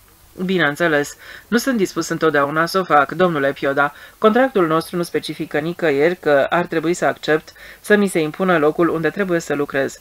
Nu te miști deloc acum, răspunde Pioda. Stai și gândește-te. Izidor Rughe se gândi la Santa Gata, se întorsese rabia de patru zile de la Mendrisioto, Rughe, soția și copilul. Băiatul trebuia din nou să meargă la școală. Despărțirea de Mendrisioto, zile cu averse, de ploaie și abur de ceață. Peste noapte, un vânt care împrăștie norii de ploaie, dimineață cer albastru și limpede deasupra ținutului. Pământul se încălzește și la prânz se merge iarăși în pantalon și în cămașă la plimbare. Bineînțeles, plovărul ți din precauție. Nu se știe niciodată în ce grotă, în ce popicărie te încurci și nici cât de mult după apusul soarelui. Viile, Rughe nu folosește niciodată cuvântul podgorii, mai împrăștie încă adieri văratice de căldură cu dulceață de toamnă. Frunzele sunt galbene, roșii, vineții, culesul a trecut, lanurile de tutun stau pustii, înmănunchiate cu grijă și uscate la vremea asta, cafenii, frunzele lungi și subțiri, atârnă acum sub streșini și sub pridvoare, expuse vântului și căldurii de vară târzie. În multe grădini, Rughe evită cuvântul ogor, mai stau în picioare doar coceni îngălbeniți de porumb, ștuleții atârnă de ei. Din când în când răsunăm pușcături, două, trei la rând, vânătoare, iepuri, dar și pisici care se vântură prin grădina paradis din Mendrisioto și adulmecă urmele de fazani. Rughe merge cu prietenii să-i locuiesc mai mulți pictori și sculptori în Santa Gata la Stabio, în localul Montalbano simplă grotă odinioară, ristorante acum, a cărui popicărie cei drept s-a mai păstrat, și fiul casei, care va prelua odată toate astea, aduce la masă fazan. Nici în Alsacia nu ți-l servește mai bun. Lângă el, un merlot de la cantina socială, pe care niciun dol de prima clasă nu-l bate, și în plus, focul din cămin. Toamnă la Mendrisioto Despărțire de Mendrisioto și Rughe întreabă, la ce bun să plecăm înapoi, înapoi în cenușiul acela zilnic de plumb. Luni fără soare. Unor duminicile se duce în munți, Flims, Lancer haide doar ca să vadă soarele, să schieze un ceas. Doar nu-i numai asta. Rughe spune, la ce bun, ce rost au toate astea? O locuință amenajată pe care o numești confortabilă, aparată de uscaznic de sute și mii de franci, altele mai bune nici nu există, cămin, instalație centrală de apă caldă, zi și noapte încălzită. Ne mai lipsește doar perioada din electrică. De ce-o fi dorit de fapt să ajungă atât de departe? Pioda, o întrebare capitală care macină creierul. La ce bun să vrei să ajungi atât de departe? Viață plăcută? N-am nimic împotrivă. Pe cuvânt, N-aș ști unde e răul, nu văd niciun motiv să renunț măcar la una din întrebările astea. În comparație cu nordul țării, Mendrisioto este mai autentic, spune Rughe, iar acel dolce farniente pe care îl luăm cu noi la drum când plecăm nu știrbește această autenticitate. E altfel ca în nord, ce mult se face acolo caz în legătură cu ceea ce se întreprinde, cu ceea ce se realizează, se merge atât de departe încât se face mai mult caz decât se realizează de fapt. Și oamenii de aici din sud muncesc din zor și până în seară. Satele sunt la fel de curate ca în nord, drumurile se mătură, ferestrele se spală. Despărțire de Mendrisioto. Noaptea nu mai sunt fluturi, micii scorpioni au părăsit dușul și baia. Nunta viespilor s-a sfârșit, doar muște singuratice mai bâzie greoaie și obosite de viață, de pe un perete pe altul. Brusc amuțesc și ele, liniște. Rughe se mai duce odată la fereastra camerei sale de lucru. Cerul e transparent, peisajul colorat aproape toscan se întinde lin și, din loc în loc, melancolic, de desubtul și înaintea lui. În sud, acolo unde aerul este foarte limpede, se înalță zgârie norii Pirelli din Milano. Spre sud, îi spune rughe lui Pioda, lumea asta pare să n-aibă capăt. Când m-am întors înapoi prima dată m-a întrebat, te-ai împrietenit cu localnicii? Viva mai trăiește? Am început să-ți povestesc, dar m-ai oprit cu un semn violent. De ce întreb de Viva dacă pe urmă nu mă lasă vorbesc? Cunosc minciunile astea, răspunde Pioda. Minciuni? Pioda tace. Poate că sunt minciuni, spune Rughe, dar îmi amintesc convenția noastră, minciuni sau nu important e ca povestea să fie bună. Ce găsești bun la povestea asta? Tot. Angelo Pioda are un vis. Angelo Pioda își alungă unicul fiu. Angelo Pioda este el însuși alungat. Regele contrabandiștilor devine producător de film. Păi, mi-ar face plăcere să ascult ce știi dumneata. Tot, spune Rughe, și m-am și gândit mereu că senior Pioda nu insistă fără motiv să locuiască cât de des posibil în casa lui din Santa Gata. O casă în care nu se locuiește niciodată se năruie, spune Pioda. Ai putea să o închiriezi, de exemplu. Nu vreau ca vreuna din haimenarele alea să locuiască în casa mea. Vindo. Nu se poate, o să o cumpere unul dintre impostori. La dracu, signor Pioda, de ce nu facem din asta o istorie formidabilă, un film, vreau să zic? Ești infam, rughe. Infam? Acum stai pe loc. Rughe se ridicase. Vezi doar cât de mizerabil îmi e mai întâi contramandarea asta lui Pearson, apoi recunoaște totuși că ai vrut să mă omori, doar că ai fost prea laș. Cum îți vin idei atât de absurde? M-ai călcat intenționat. Te-am lovit, nu te-am călcat și chem doctorul acum. Pioda face o mișcare spre telefon. Ești josnic. Acum vrei să mă dai gata cu ajutorul doctorului. Vine va să zică, spune că e posibil să mai fie niște leziuni interne. Cel mai bine e să-l ducem la clinică. Poate te-ai ales într-adevăr cu leziuni interne, răspunde Lughe. Dumneata ai fost cel care mi-a povestit întâmplarea cu acel motociclist care cade, continuă să meargă 15 km până la primul spital. Acolo își relatează accidentul, dar e lăsat să aștepte, fiindcă nu se plânge nici măcar de dureri de cap. Dar peste o oră e mort. Piodaj lasă capul pe spate și-și îndreaptă privirea spre tavan. Pioda visase, se trezi dimineața puțin după trei. Jos pe câmpia în terase, câinii lui Franco se porniră să urle răgușit. Probabil că Ștefano trăgea cu bicicleta lui cu motor tocmai prin fața casei. La muncă la Chiaso, Ștefano era funcționar la vamă. Când nu lucra dimineața, adică atunci când se întorcea seara pe la ora 8, înapoi, și trebuia să fie din nou la vamă abia la 9 a doua zi, în timpul nopții trecea granița pentru Pioda, ca hamal. Tot omul în Santa Agata și în celelalte sate de graniță lucra ca hamal pentru Pioda. Pioda cumpăra țigări angro. Camioanele treceau peste Gotthard spre Santa Agata. Jos pe terasă, în apropierea casei lui Franco, Pioda pusese să se înalțe un mare șopron. În acest șopron își aduceau camioanele încărcătura lor de țigări. Se prezentau vameși în uniformă, numărau, controlau, ștampilau, semnau și Pioda plătea impozitul obișnuit pentru cifra de afaceri. Noaptea apăreau hamali, îndesau cartușele de țigări în saș de grâu din Texas, săltau povara în spinare și se furișau în noapte prin desișul care ducea spre graniță. Dincolo se zăreau în pantofi înfășurați în cârpe spre punctele de întâlnire unde așteptau automobiliștii lui Pioda, oameni mai tineri temerari cu mașini sport camuflate vopsite în albastru ca noaptea, 8 cilindri, carburatoare speciale, compresoare. Ăștia îi schimbau pe hamali și plecau cu țigările până jos la Roma, uneori până la Genova sau Florența. Câteodată se întâmpla ca unuia dintre tinerii automobiliști să-i trebuiască șase sau chiar mai multe luni pentru întoarcere, dar Pioda se aștepta la asta până și pierderile suferite cu automobilele erau calculate. Pioda deveni un om bogat. Hamalii țărani, cei mai adesea salahori, meșteșugari, nu se mai îmbogățiră, dar câștigau bine. Pe automobiliști, Piodai făcuse părtaș la câștig, ei se retrăgeau din afaceri ca vedetele de fotbal la 30 de ani, aveau rezerve destule, intrau în mici întreprinderi de comerț cu amănuntul, deschideau stații de benzină sau garaje, preluau agenții de voiaj. Unul dintr-o sudă arendă o linie de mașini poștale din Malcantone sau Vale di Muccio, un altul îl ajuta la groto pe tatăl său, care și el fusese odinioară hamal. Pioda visase.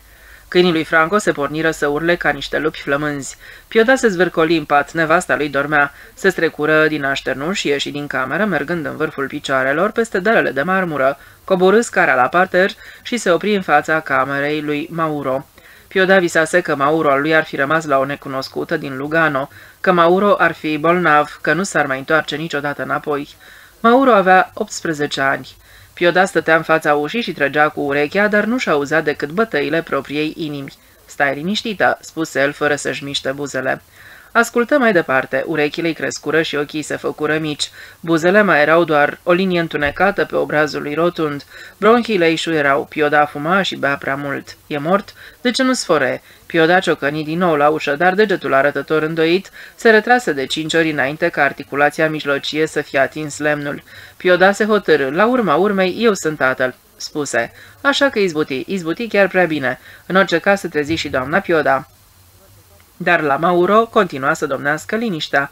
Pioda trebuie să-și înfrângă și fărma de reținere care îi mai rămăsese. Respect zona intimă a fiului meu. Bătu cu tot pumnul în lemn. În spatele lui se ivi brusc soția sa, foarte brusc după cum i se păru, coborâse scara și cu frică. Ce face aici? Pioda încetă să mai bată, deschise ușa. Patul lui Mauro era neatins, intră repede înăuntru și își vârâ mâna sub pătură. Rece, spuse el. Rita își ținea respirația, n-avea pe ea decât cămașa de noapte, iar pe deasupra un șal totuși pe care și-l împletise singură. În sfârșit, Pioda se răsuci, Rita se sperie, se dădu înapoi. Nu e prima dată. Bronchile lui Pioda erau mai tare ca de obicei. Despre ce vorbești?" spuse Rita. Am visat, am văzut totul foarte limpede în vis. Ce ai făcut?" Am visat," strigă el. Ai visat? Ajută-ne, Sfântă Fecioară Maica Domnului." Adică eu, Angelo Pioda și cetățean cinstit, n-am voie să visez?" O dădu la o parte pe Rita, care stătea în prag și deschise ușa ce răspundea în curte. Și ce anume ai visat, Angelo?" Îi spusese Angelo. Ea, care îl numea mereu Pioda. E bolnav," răspunse Pioda. Mauro?" Și nimeni nu-l poate ajuta, nici eu. Are un foc aprig în piept. Vrei să spui că fiul tău nu se întoarce acasă într-o noapte și tocmai în noaptea asta tu visezi. Dar tu n-ai visat încă niciodată, Angelo. De când te cunosc, încă nu s-a întâmplat. Nici măcar pe mine nu mai visa vreodată. Vorbesc de trecut odinioară, nu în ultimii ani. Vezi? Pioda triumfă. Își ridică încet capul rotund acoperit de părmițo și închise din nou ușa care dădea afară în curte. Trecu aproape mândru pe rângărita lui spre bucătărie. Ea îl urmă și puse apă pentru cafea. Familia Pioda fusese prima care își luase în Santa Gata mașină electrică de gătit. Mauro are 18 ani, spuse ea, aproape 19, nu poate să doarmă. Se duce să se plimbe. Poate este pe San Giorgio. Patul lui e rece. Mauro este ordonat și a erisit patul înainte de a se duce pe San Giorgio. Taci. Rita tăcu și aprinse focul în cămin. Sub cenușă se afla jar de aseară. Pioda se așeză pe bancheta căminului și își întinse picioarele spre grătar. Lipsește acasă două nopți, trei, patru, cinci, nu mai vine înapoi. Obiceiul ăsta nu-l are de la mine, focul ăsta năpraznic în piept. Rita doar râse de el. Și tu?" spuse ea. Ce drac ai mai fost la 18-19 ani?" M-ai lăsat în pace măcar o noapte? Te mâna dracu din spate." Asta era la țară, Mauro e însă în oraș. Mauro e culcat cu o femeie în pat, e mai bătrână decât el cu 10 ani, o târfă. Are aproape 19 ani, să nu fie cu o femeie în pat, să fie la Luția, dacă vor să se căsătorească. Eu m-am însurat cu tine, deși tu... Calma, strigărita deodată. În afară de tine, nici măcar nu m-am uitat la vreun altul. Am spus doar adevărul. Bineînțeles că eu am fost, dar cu toate astea tu nu mai erai. Rita și pusese mâna pe vătrai, dar înțelege, se plânse Pioda. Mauro e la o târfă. Da, da, asta sunt, târfe, o travă, foc în trup. Apa pentru cafea de un clocot și Rita o turnă. Ține, spuse ea. Asta e mâna lui Viva, explică Pioda după ce bău prima ceașcă. Dăm sticla de grapa. Rita ai dădu sticla de rachiu de casă. Aiurezi, răspunse ea. Tocmai Mauro să asculte de Viva. Peste un an Mauro merge la universitate. Mauro, fiul lui Pioda, a lipsit atunci multe nopți. Nu se culca tatăl întotdeauna de vreme. Mauro le spunea, astăzi cobor la Mendrisio. La cinema. Mă duc la Lugano, la casino, bineînțeles, mă îmbăt și mai și joc puțin. Ce independent e Mauro al meu, se leuda Pioda față de prieten jos la ping, la popicărie. Foarte independent, merge la cinema, ba chiar și la casino. Angelo, era întrebat, ăla de săptămâna trecută de la Turing nu era fiul tău? Cu o târfă drăguță, cei drept. Și el se lăuda. Adică să aștepte băiatul până se sclerozează? Până ce o să fie bătrân ca brânza ta puturoasă de capră, Mauro e băiatul meu, are sângele meu, foc. Un foc aprig, spunea Rita. Pioda se făcea că n-aude. Bătrânul Viva cu poveștile lui, Viva în Mexic, Viva în Hong Kong, Viva la Eschimoș și Viva nici ca hamal nu putea fi folosit, îi era frică, frică de foșnet când castanele coapte cădeau în întuneric. Viva îl enerva pe Pioda și Viva spunea, Aud șerpii, de când am stat fără muniții în tranșe în timpul războiului civil spaniol. La Saragota, sau cum se chema, se dăduse luptă la Saragota, există oare Saragota în Spania? Mauro îl întrebă pe Viva, și cum ai reușit atunci să scap de aici? Cum am scăpat? Am plecat pur și simplu. Mai întâi trebuie să pleci, pe urmă dus ești. Fără bani? Pioda are bani. Dacă vrei să pleci, spuse Viva. Dar Angelo Pioda n-avea bani pentru Mauro. Dacă mai continui așa, îi spuse Rita lui Pioda, prevenindu-l, o să-l visezi plecând de acasă. Dar cum să pleci fără un dolar în buzunar la Paris, Hong Kong sau în America? Îl întrebă Mauro pe Viva. Furi, răspunse Viva. Fur de la Angelo Pioda. Să fur? Dacă nu-ți dă de bunăvoie, ce aparține lui, îți aparține și ție. Plătește-ți rachiul singur dacă nu știi ceva mai inteligent. Ei bine, Mauro, îți dezvălui. Nu, îți vând secretul meu. Cât dai pentru asta? Dacă e utilizabil, e utilizabil. Uită-te la mine. N-am fost în Mexic? N-am fost la Eschimoș? Da, pe vremea ta, suspină Mauro. Plătești sau nu plătești? Cât? Întrebă Mauro. Cât ai? Mauro scoase o hârtie de 100 din buzunar. La dracu. Îți dă totuși bani, bunul Angelo, banditul, cămătarul. Lui Mauro îi se urcă sângele în obraz. Viva înțelese. Jumătate, spuse el. Dar nu sunt ai mei. Jumătate și când o să-ți vină ea, să-i te uiți în ochi ca un șarpe, atât de mult până ai să auzi un oftat. Știi tot? Cine mai știe? întrebă Mauro. Jumătate. Hai odată și secretul meu e și secretul tău. Deci, e foarte simplu, trebuie doar să-ți dorești o altă viață, una proprie. Dar dorința ta trebuie să fie atât de puternică, încât să te prindă și să te scuture frigurile, iar ei să plângă din cauza ta, să le clănțene dinții, să strige după preot ultima miruire. Și ai primit ultima miruire, nu râde. Când o să te furnice picioarele, dorința ți se va împlini. Cu ochii pe jumătate închiși, Mauro îi spuse lui Viva, Învăț la școală latina și matematică, engleză și biologie și să plătesc trâncăneala asta cu 50 de franci? Nu înveți la școală nimic, latina nu-i viață, biologia nu iubire, iubire ca un foc năpraznic în suflet, un foc năpraznic care să mistuie întreg San Giorgio, să-l închită. Și tu ce-ți dorisești de fapt? Nevastă bogată, firmă, fabrică, Paris, New York și într-o zi, viva triumfă. Și într-o zi a apărut ea, Rolls-Royce-ul ei s-a oprit lângă cheiul din Paradiso. Pot să vă fiu de folos, lady? Întâmplător sunt specialist în Rolls-Royce. Pe urmă, mers de probă singur, mers de probă cu ea, apoi șoferul ei, apoi amantul ei, la urmă bărbatul ei. Și când te gândești că toată suflarea din împrejurime știe că Javra a zăcut zece ani la pârnaie, spuse Pioda supărat, și Mauro crede fiecare cuvânt. Mauro nu crezu nicio silabă din spusele lui Viva. Las cam să-i spun eu lui Mauro cum stau lucrurile. Ba, nu să-i spui nimic. Devii pasibil de pedeapsă. Știi ce a pățit Tazio, fiindcă i-a reproșat lui Viva că... Viva și-a ispășit pedapsa și cu asta basta, spuse Rita. Am pe cineva, recunosc cu Mauro. Tânără? întrebă Viva. Eu mă dau de 23. Te culci cu ea? Trebuie să te culci cu ea, al minter nu ta? Mauro spuse, dacă pleacă înapoi, o urmez. Viva susținuse o viață întreagă că el ar fi fost cel mai bun hamal, dar Pioda, porcul ăla, o să-i o plătesc eu odată. Ar trebui să facă și asta parte din film? Rughe se aplecă spre Pioda și îi șoptește. Acum 30 de ani ai susținut că ai auzit-o clar pe mama lui Viva, strigând după ajutor, Viva, ce vrei, nu ridica mâna asupra mamei tale, Viva, Viva!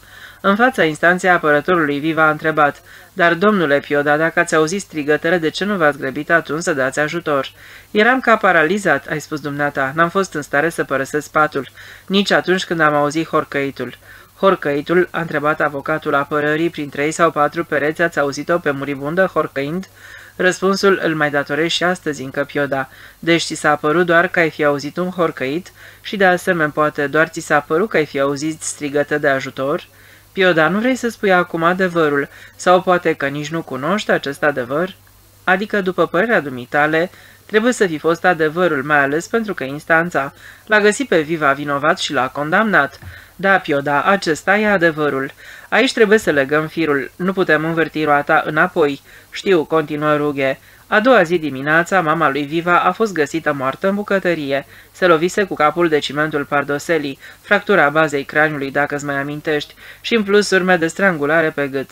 Am strâns-o adeseori de gât, a recunoscut Viva, am zgâlțit-o. Avea mereu urme de strangulare pe gât, întrebați-l pe preu, vă rog, am mărturisit-o întotdeauna la spovedanie. Dar de trântit, n-am trântit-o. Dar Pioda era un martor care auzise totul până și horcăitul. Rita nu putu să tacă. Se duse ca de obicei la magazin, râse și povesti tuturor femeilor. Pioda a visat. Mauro se prăpădește, fodnă praznic în piept, târfă la Lugano. Pioda și-a omorât fiul. Ca de obicei, Pioda se duse la Ping la cinci. De fapt, ei l-așteptau de la patru, asta era ora obișnuită, și îi fu dat să aude multe. Asta nu-i treaba voastră," spuse el, țap nenorociți. Am spus doar ceea ce visează cineva e o chestiune personală. Dar nu trebuie să ajungă la urechile altora, replicară prietenii, de când visează bandiții. Când e vorba de propriul tău copil, Bruz, mâna lui Pioda se înfipse în beregata lui Ping. Bietul om se învineți. Strigătul lui Pioda pare să fi fost la fel de strident ca sirena pompierilor din Raone. În vis, domnul vorbește cu ai săi, spuse Ping. Așa va să zică și tu, cămătar prăpădit. Ne vinzi vinul de Chianti cel mai prost drept Catinara. Și ce anume mi-a șoptit domnul? De ce vrei să-l pierzi pe Mauro al tău? Nu-l mai socotești destul de bun pentru tine? Dacă nu încetezi imediat, amenință Pioda. Pioda nu mai înțelege de glumă, se învinețire de atâta râs și Pioda pleca acasă. După mătănii trebuiră și femeile să ia de la capăt povestea în piața. Un om ca Pioda visează. Cu care dintre muierile astea nu s-a culcat de-a lungul anilor diavolul ăsta? Tatălui Angelo fusese din Bergamo, dacă e adevărat. Dacă Mauro voia bani, Angelo obișnuia să spună, va să zic că vrei banii mei, ți dau cu împrumut, ți dăruiesc, pentru că sunt un tată bun. Așa vorbește un tată cu propriul fiu. Vrea să-i o plătească băiatului, vrea să-l învețe minte și să-l îndepărteze. Rita închide ochii în fața lui și nu numai ochii.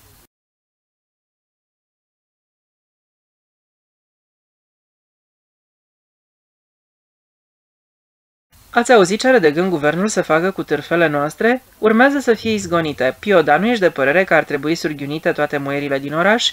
Niște stricate toate fără excepție. Noi le-am făcut târfe. Noi dispunem, noi plătim. Trebuie să fie supuse, să zacă sub noi. Muierile astea, toate muierile. Noi le-am strivit, le-am torturat pe lumea asta și le-am promis în schimb o existență de sfinte fecioare pe lumea cealaltă. Le-am nimicit până în măduva oaselor și ele s-au mulțumit să fie târfe. Sexul lor a devenit o armă ucigătoare, biserica se leapădă de spirit. Unde să se adune acest spirit dacă biserica distruge vasul, îi aruncă satanei carnea drept hrană? Dărâmați bisericile și pereții bordelurilor se vor prăbuși. După cum spuneam, dacă vreți să alungați târfele, mine în orașul nostru nu vor mai fi femei.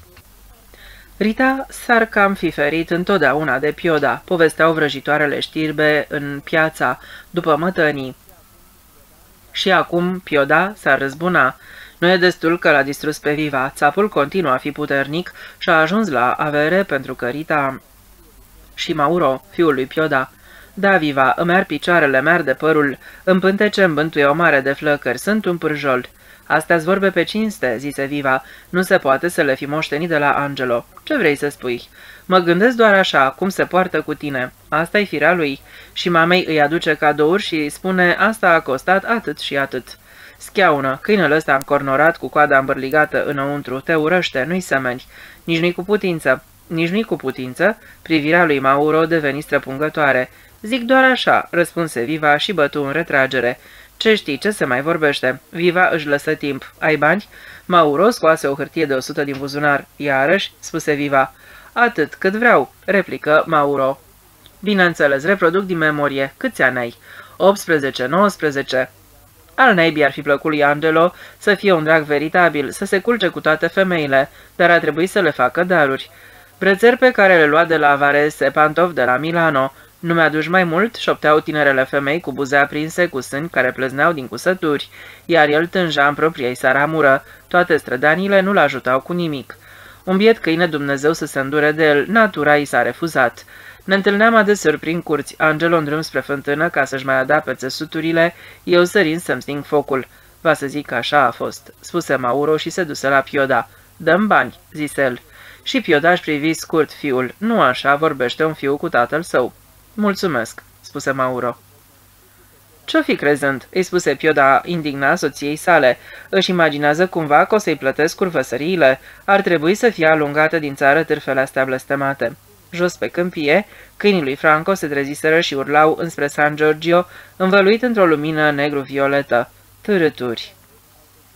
I-am spus astăzi lui Franco, amenință Pioda, că dacă nu le înfundă botul creaturilor ălora nenorocite, la noapte le împușc.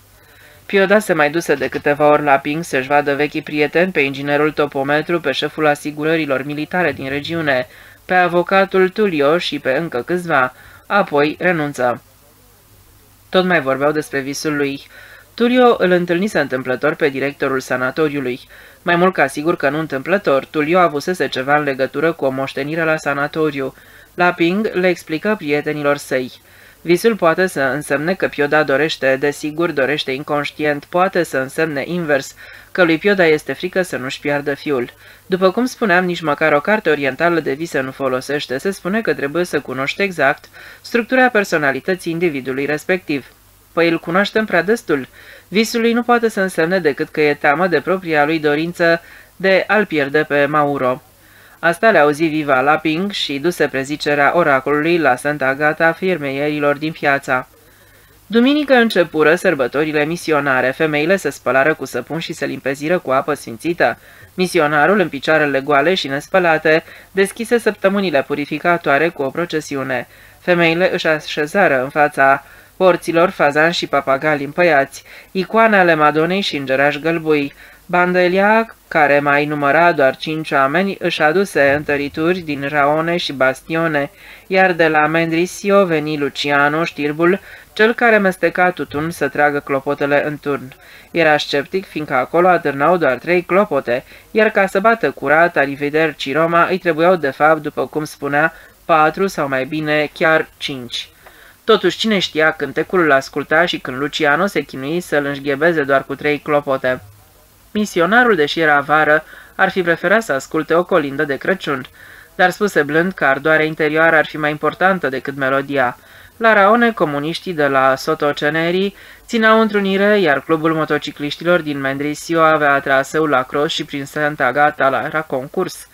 Abia trecuse procesiunea de altare sărăcăcios împodobite și se pregătea să cotească pe strada îngustă dintre poștă și băcănie, care ducea în piața și la portalul bisericii, când motocicliștii năvăliră cu un zgomot infernal în duminica plină de solemnitate. Cu demnitate, aproape ca un agent de circulație, misionarul întinse mâna stângă pentru a-i opri pe credincioșii care mergeau în spatele lui și astfel, cu ajutorul preotului, li se croi un drum turbaților. Tămâia se lupta cu norii negri de funingine de la țevile de eșapament ale motocicletelor. Când în fața portalului bisericii participanții la procesiune vrură să strângă baldachinul și din pricina asta aproape că dură jos tichia de pe capul chel al misionarului, la colțul poștei apărură claxonând o mulțime de mașini și o cotiră tot spre piața. Imediat ce Bandelia îi recunoscu pe noi veniți, întrerupse marșul draperului și intonă un husar credincios. Intrară în osteria antică, trecură prin cele două saloane mici și ieșiră în curte, unde Bandelia începu iarăși să cânte. Și ea îl așteptă pe Pioda. Se cădea ca Pioda să fie prezent la asemenea ocazii. Vinul și mâncarea trebuiau plătite și în afară de asta trebuia umplută caseria Bandeliei. Pioda nu veni și nici scuze nu trimise. N-aduse nimeni un plic cu bagnote de o mie. Nimic. De față însă fusese Viva, ca întotdeauna, unde altundeva să fi fost. Doar că astăzi Viva era altfel ca de obicei. Mauro a plecat, spuse Viva. Și e la o târfă, de fapt. Mauro la o târfă? Are o travă măruntaie, spuse Viva. Plătește pentru păcatele lui Pioda. Viva dădu pe gât vinul alb de pedalul din Santa Gata și le turna oamenilor picătură de picătură în urechi din atot știința sa. Păi întrebați-l pe misionar dacă una ca asta nu-i târfă. Le îndemnă pe femeile care veniseră și ele între timp. Vezi că e măritată. L-a luat pe Mauro cu ea. Pioda se încuie și Perita o încuie. Introduse în Santa Gata o inovație nemai auzită. Femeile își făceau cruce pe ascuns, îi cerură povață misionarului care acum predica în fiecare seară. Faceți penitență păcătoșilor, nenorociților și căiți-vă, târâți-vă în genunchi până la rană și blestemați-vă trufia. La două zile odată, la Pioda sosea un camion de transport. Pioda avea telefon, prima linie particulară din Santa Gata, se aproviziona cu alimente prin cablu. Camionul venea de la Chiaso.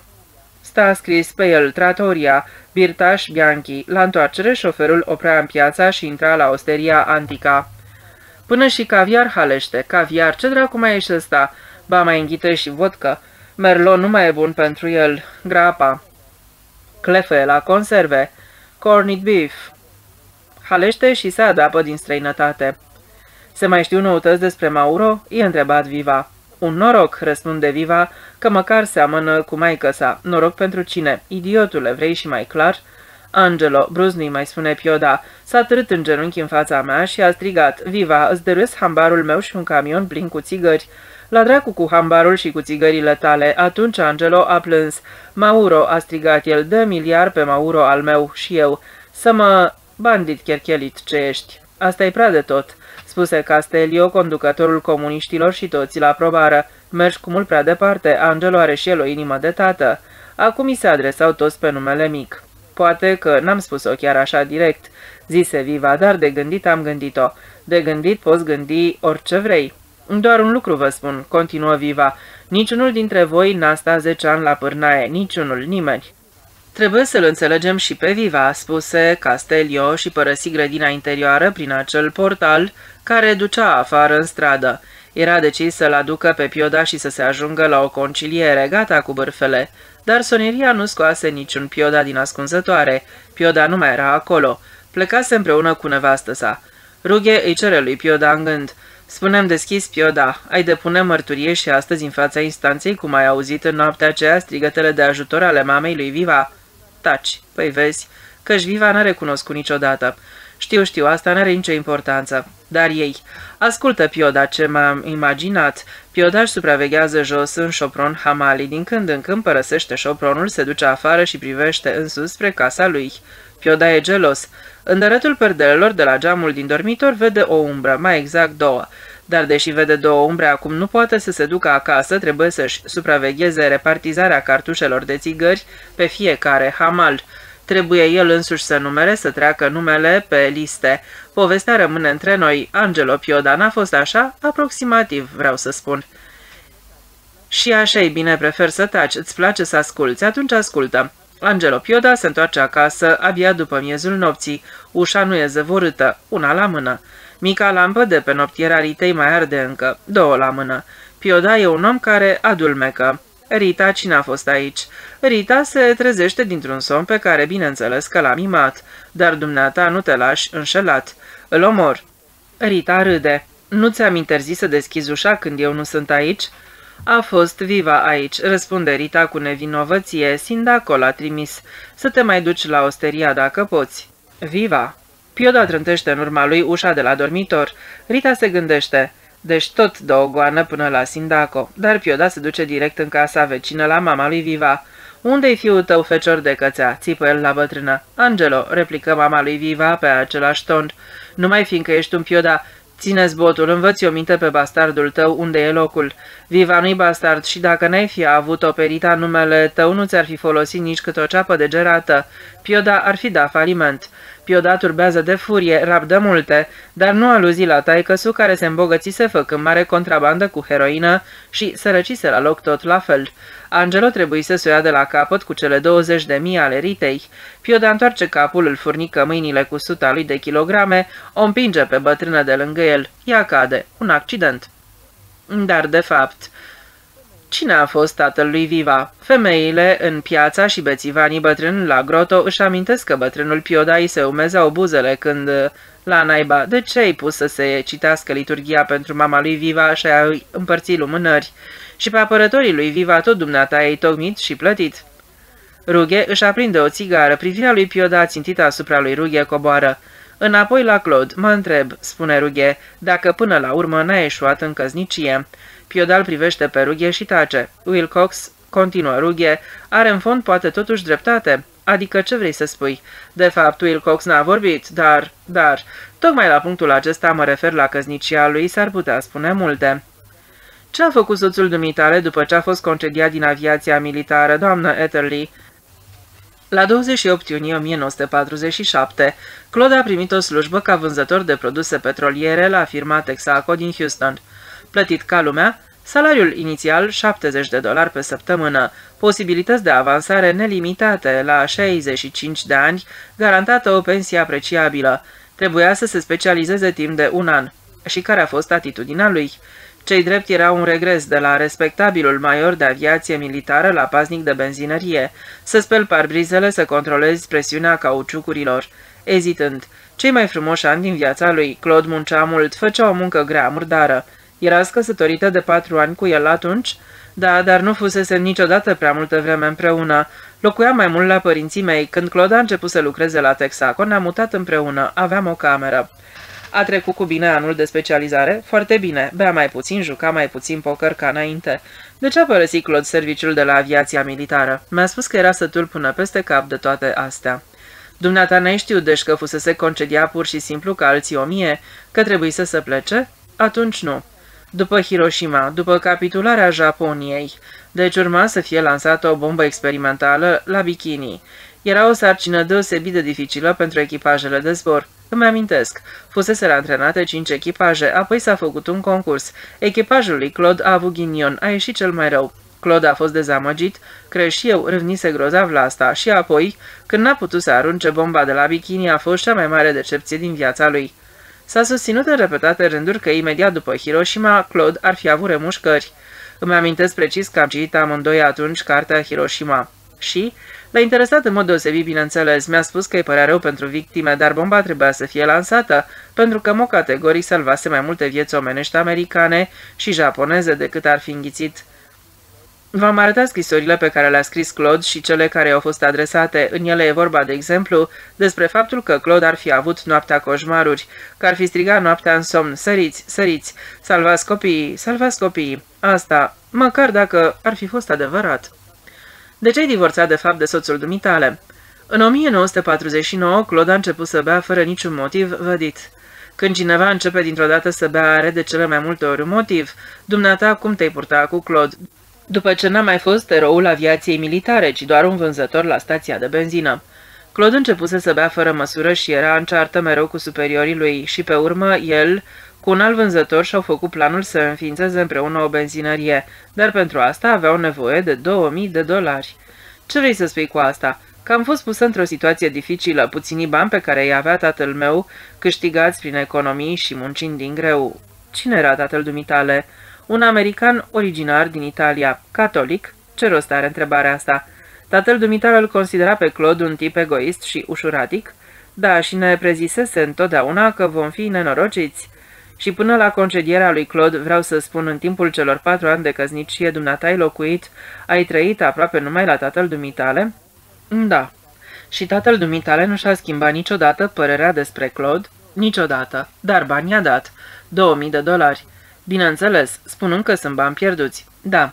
Și dumneata continui să susții că Claude a început să bea fără motiv? Sunt sigură în orice caz. De fapt, întreprinderea pe care o înființase Claude împreună cu celălalt vânzător s-a năruit când cei doi au început să se certe, deși pentru explicație, faptul acesta înseamnă destul de puțin. Claude începuse să bea regulat, să joace poker și să lipsească necontenit de acasă. Și dumneata nu te-ai întrebat niciodată de ce lipsește Claude, tocmai pentru că era egoist și ușuratic. Ca major în aviația militară, comandant al unui B-29, ca membru al renumitei grupe de luptă 509, îl găsei grozav, dar după 1949 ți-ai schimbat părerea? Am avut multe greutăți cu el. O vreme, la dorința dumitale, a trebuit să ia chiar ore de religie. Îi voiam binele. În 1952 așteptați cel de-al treilea copil? Da. La ruptura finală s-a ajuns abia în 1954? Da. De ce ai rămas atât de mult cu el? Ca să-l ajut, credeam că se va lăsa ajutat să se schimbe. Doctorii de la spital, prietenii lui Claude, cunoscuții, ți-au spus că ar trebui să rămâi lângă el. Că ar fi trebuit să arăt că am încredere în el. Și Claude era convins că ai încredere în el? Da. Claude nu știa că în sinea dumitale îl respingeai? Nu îl respingeam. Și totuși îți doreai un alt Claude. Doream doar să se cumințească. Poți să-ți închipui că Etherly nu era conștient de situația lui? Știa ce face. Puțin probabil. Nu putea să priceapă că dumneata nu te-ai căsătorit cu el, ci cu maiorul din aviația militară. Era ușuratic și superficial. Ușuratic și superficial era încă de pe când fusese maior, dacă vrei, dar atunci nu te-a supărat, ba, din potriva.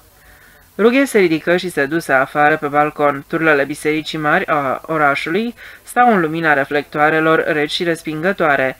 Un oraș frigid. Odată Rughe acostase o târfă, se urcase cu ea în taxi și mersese pe Borzenstrasse, unde se afla apartamentul ei, apartament cu cadă de șezut. Ei, dezbracă-te odată. Goală până la cordonul negru al poșartierului, expediase cățelușul supat. Dar ce face acolo? Ședea în cadă și se spăla. Rughe examinase fotografiile înrămate de pe comoda veche, desigur părinții. Au o mică gospodărie în Vineland. Băiatul meu, patru ani. Ce tot faci? Hai odată. Sau cum crezi? Te mai duci din când în când la părinți, la copil, din două în două duminici. Dar hai acum. Era culcată în pat. Se culcase lângă ea. Totul în el rămăsese mut. Banii nu se dau înapoi, spusese ea. Vrei să număr stelele pentru tine?" întrebase apoi ca să-i spună ceva drăguț.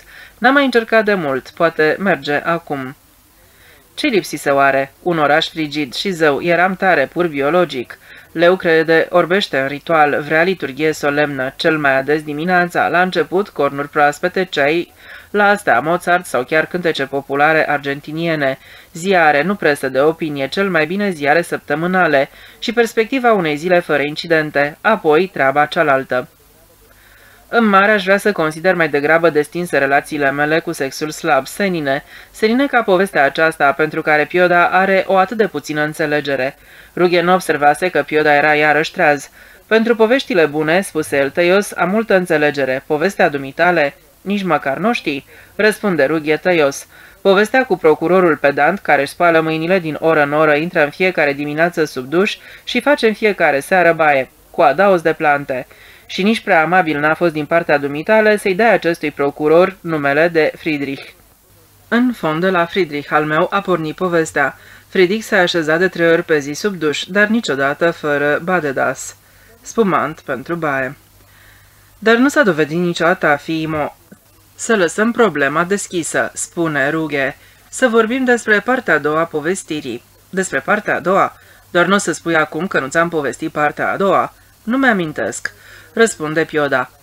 Dar de procurorul Wulschlanger îți amintești de omul acela onorabil cu urechile clăpăuge și fruntea blajină, care avea un mers ca de rățoi bătrân, fusese nevoit să preia cazul când totul se pusese în mișcare și asta pentru că un coleg se îmbolnăvise grav și murise câteva săptămâni mai târziu de un icter infecțios la spitalul cantonal. Lui Wulschlanger nu i-a fost ușor să-și înfrângă reținerile. Un Colgering o casă de toleranță unde clienții își pot comanda prin telefon partenera. În orașul nostru. Și ce clientelă! Și ce matroană de bordel, văduva bătrânului filolog Cunert. Oricum, văduvă de 20 de ani și în plus înstărită. E groaznic, doamnă profesor, spuse Wulschläger. Își scoase greu Batista din pantalon și și-o trecu peste frunte, deși acolo nu era nimic de uscat. O cunoștea pe pârâtă doar după nume, doamna profesor Cunert. Dar cine nu o cunoștea? Zău, cel mai bine e să-mi povestiți sincer cum s-a ajuns aici, spuse el. Doamna Cunard respingea titlul ostentativ. O femeie cu părul alb în vârstă de 62 de ani fusese aproape cu 30 de ani mai tânără decât răposatul ei soț. Dar totuși luați loc, doamnă profesor. Spuneți-mi simplu, Cunard. Vă rog, doamnă Cunard. Vă rog să mă scuzați," spuse Wulschlanger, trebuie să mă spăl pe mâini. Câteodată îmi transpiră mâinile grozav, mai ales când conduc mașina. Volanele astea din material plastic nu sunt chiar ideale." Deschise ușile unui dulap în perete, de unde ieși la iveală o chiuvetă cu un boiler mic pentru apă caldă. Se spălă temeinic și cu mânecile hainei și ale cămășii ușor suflecate își șterse mâinile, făcând câțiva pași către mijlocul camerei. Ei, doamnă Cunert, cum a pornit deci povestea asta îngrozitoare?" Spuneți pentru a doua sau a treia oară poveste îngrozitoare, domnule procuror, dar povestea nu e îngrozitoare în niciun caz. Dar vă rog, un call girl ring. Știu, răspunse doamna Cunard. De când se pot vedea la cinematograf asemenea povești care nu redau niciodată realitatea, au început să aibă ceva de neauzit, de picant și suspect. Dar, dar, doamnă Cunard, Vedeți dumneavoastră, domnule procuror, când a murit soțul meu, trebuie să spun din capul locului, noi duceam o viață cu adevărat de societate, primeam adeseori în vizită pe prietenii noștri. După ce a murit soțul meu, într-o oarecare măsură am continuat împreună cu prietenii aceștia viața de societate, atât cât s-a putut. La început n-a mers deloc bine, umbra mortului era printre noi și de multe ori n-am găsit înțelepciunea socratică să închinăm zâmbind un pahar cu această nălucă. Ce fel de prieteni erau? Mai trăiesc încă toți, adică iertați-mă, doi au murit între timp. Și deci ce fel de prieteni erau? Credeam că s-a întocmit o listă. Desigur, doamnă Cunărt, dar aș prefera să o aud de la dumneavoastră. Doamna Cunărt înșiră nume, nume de academicieni, profesori, savanți, publiciști, tot oameni cunoscuți. O, Dumnezeule!" exclamă Wulschläger. De ce așa deprimat, domnule procuror? Dar, doamnă Cunărt, numele astea, Oameni deosebiți, credeți-mă. Nu mă îndoiesc nicio clipă, doamnă Cunărt, dar tocmai de asta. Dacă se află numele astea și, domnule procuror, cu ce au greșit acești domni, prietenii mei? Asta nu știu nici eu, doamnă profesor. Dar spuneți-mi simplu, Cunărt. Doamnă Cunărt, da? Doamnă Cunărt, e chiar adevărat că pentru prietenii dumneavoastră ați fete tinere? Ce să fac cu fete tinere? Ei, ați ademenit fete tinere pentru prietenii dumneavoastră? În privința asta vă înșelați foarte, domnule procuror. N-a fost vorba niciodată de ademenit. Vă rog, nu vreți să-mi povestiți cum sistemul acesta... acesta... Niciun sistem, domnule procuror. Dar trebuia totuși să chemați fetele astea dacă unul dintre clienții dumneavoastră nu mai prieten personal, domnule procuror. Nu găsiți și dumneavoastră că e foarte cald aici?" Wulschlanger se ridică și deschise o fereastră, fără să vrea deschise și ușile dulapului în care se afla chiuveta. Dacă v-ați fi numărat și dumneavoastră printre prietenii noștri, domnule procuror, vă rog să nu întreceți măsura, doamnă Cunart, replică Wulschlager pe un ton hotărât în timp ce închidea ușile dulapului. Nu vreau să vă jignesc în niciun chip, domnule procuror. Ei, doamnă Cunart, în dărătul întregii povești se ascunde totuși un soi de organizație, altfel nu s-ar fi ajuns niciodată la cercetarea asta. Vedeți, la început a fost prietenul meu Wolf, Wolf Türler. O poveste mai nouă, cunosc numele. Între noi fie spus, într-o bună zi, Wolf a trebuit să recunoască faptul că mariajul lui nu mai mergea. A venit la mine, s-a plâns, iar eu am încercat să-l consolez atât cât m-am priceput. După modestele mele puteri, domnule procuror, înțelegeți? Wulschläger se înroșii în loc să răspundă și pentru că nu m-am priceput prea bine la asta, Wolf a venit tot mai rar. O jumătate de an mai târziu a murit soția lui Erich. Nici pe el n-am putut să-l consolez în măsura în care avea nevoie, înțelegeți, domnule procuror. Doar există deosebiri fundamentale între bărbați și femeie. Prietenii mei sunt bărbați viguroși, chiar dacă nu mai sunt foarte tineri. Acum înțeleg, doamna Cunart. Nu știu dacă înțelegeți cu adevărat, domnule procuror. Ba da, ba da, pe urmă ați căutat și ați găsit câteva fete ușuratice. La urma urmei locuiți pe Duforstrasse. Exact la asta mă așteptam, domnule procuror, și tocmai asta este eroarea. Sunt fericit dacă îmi puteți oferi o soluție mai bună, doamnă profesor. Când am început să înțeleg că nu le mai puteam da prietenilor mei ceea ce aveau nevoie, m-am întrebat pur și simplu, de ce au nevoie de fapt prietenii mei? Au nevoie de întinerire, indiferent ce formă.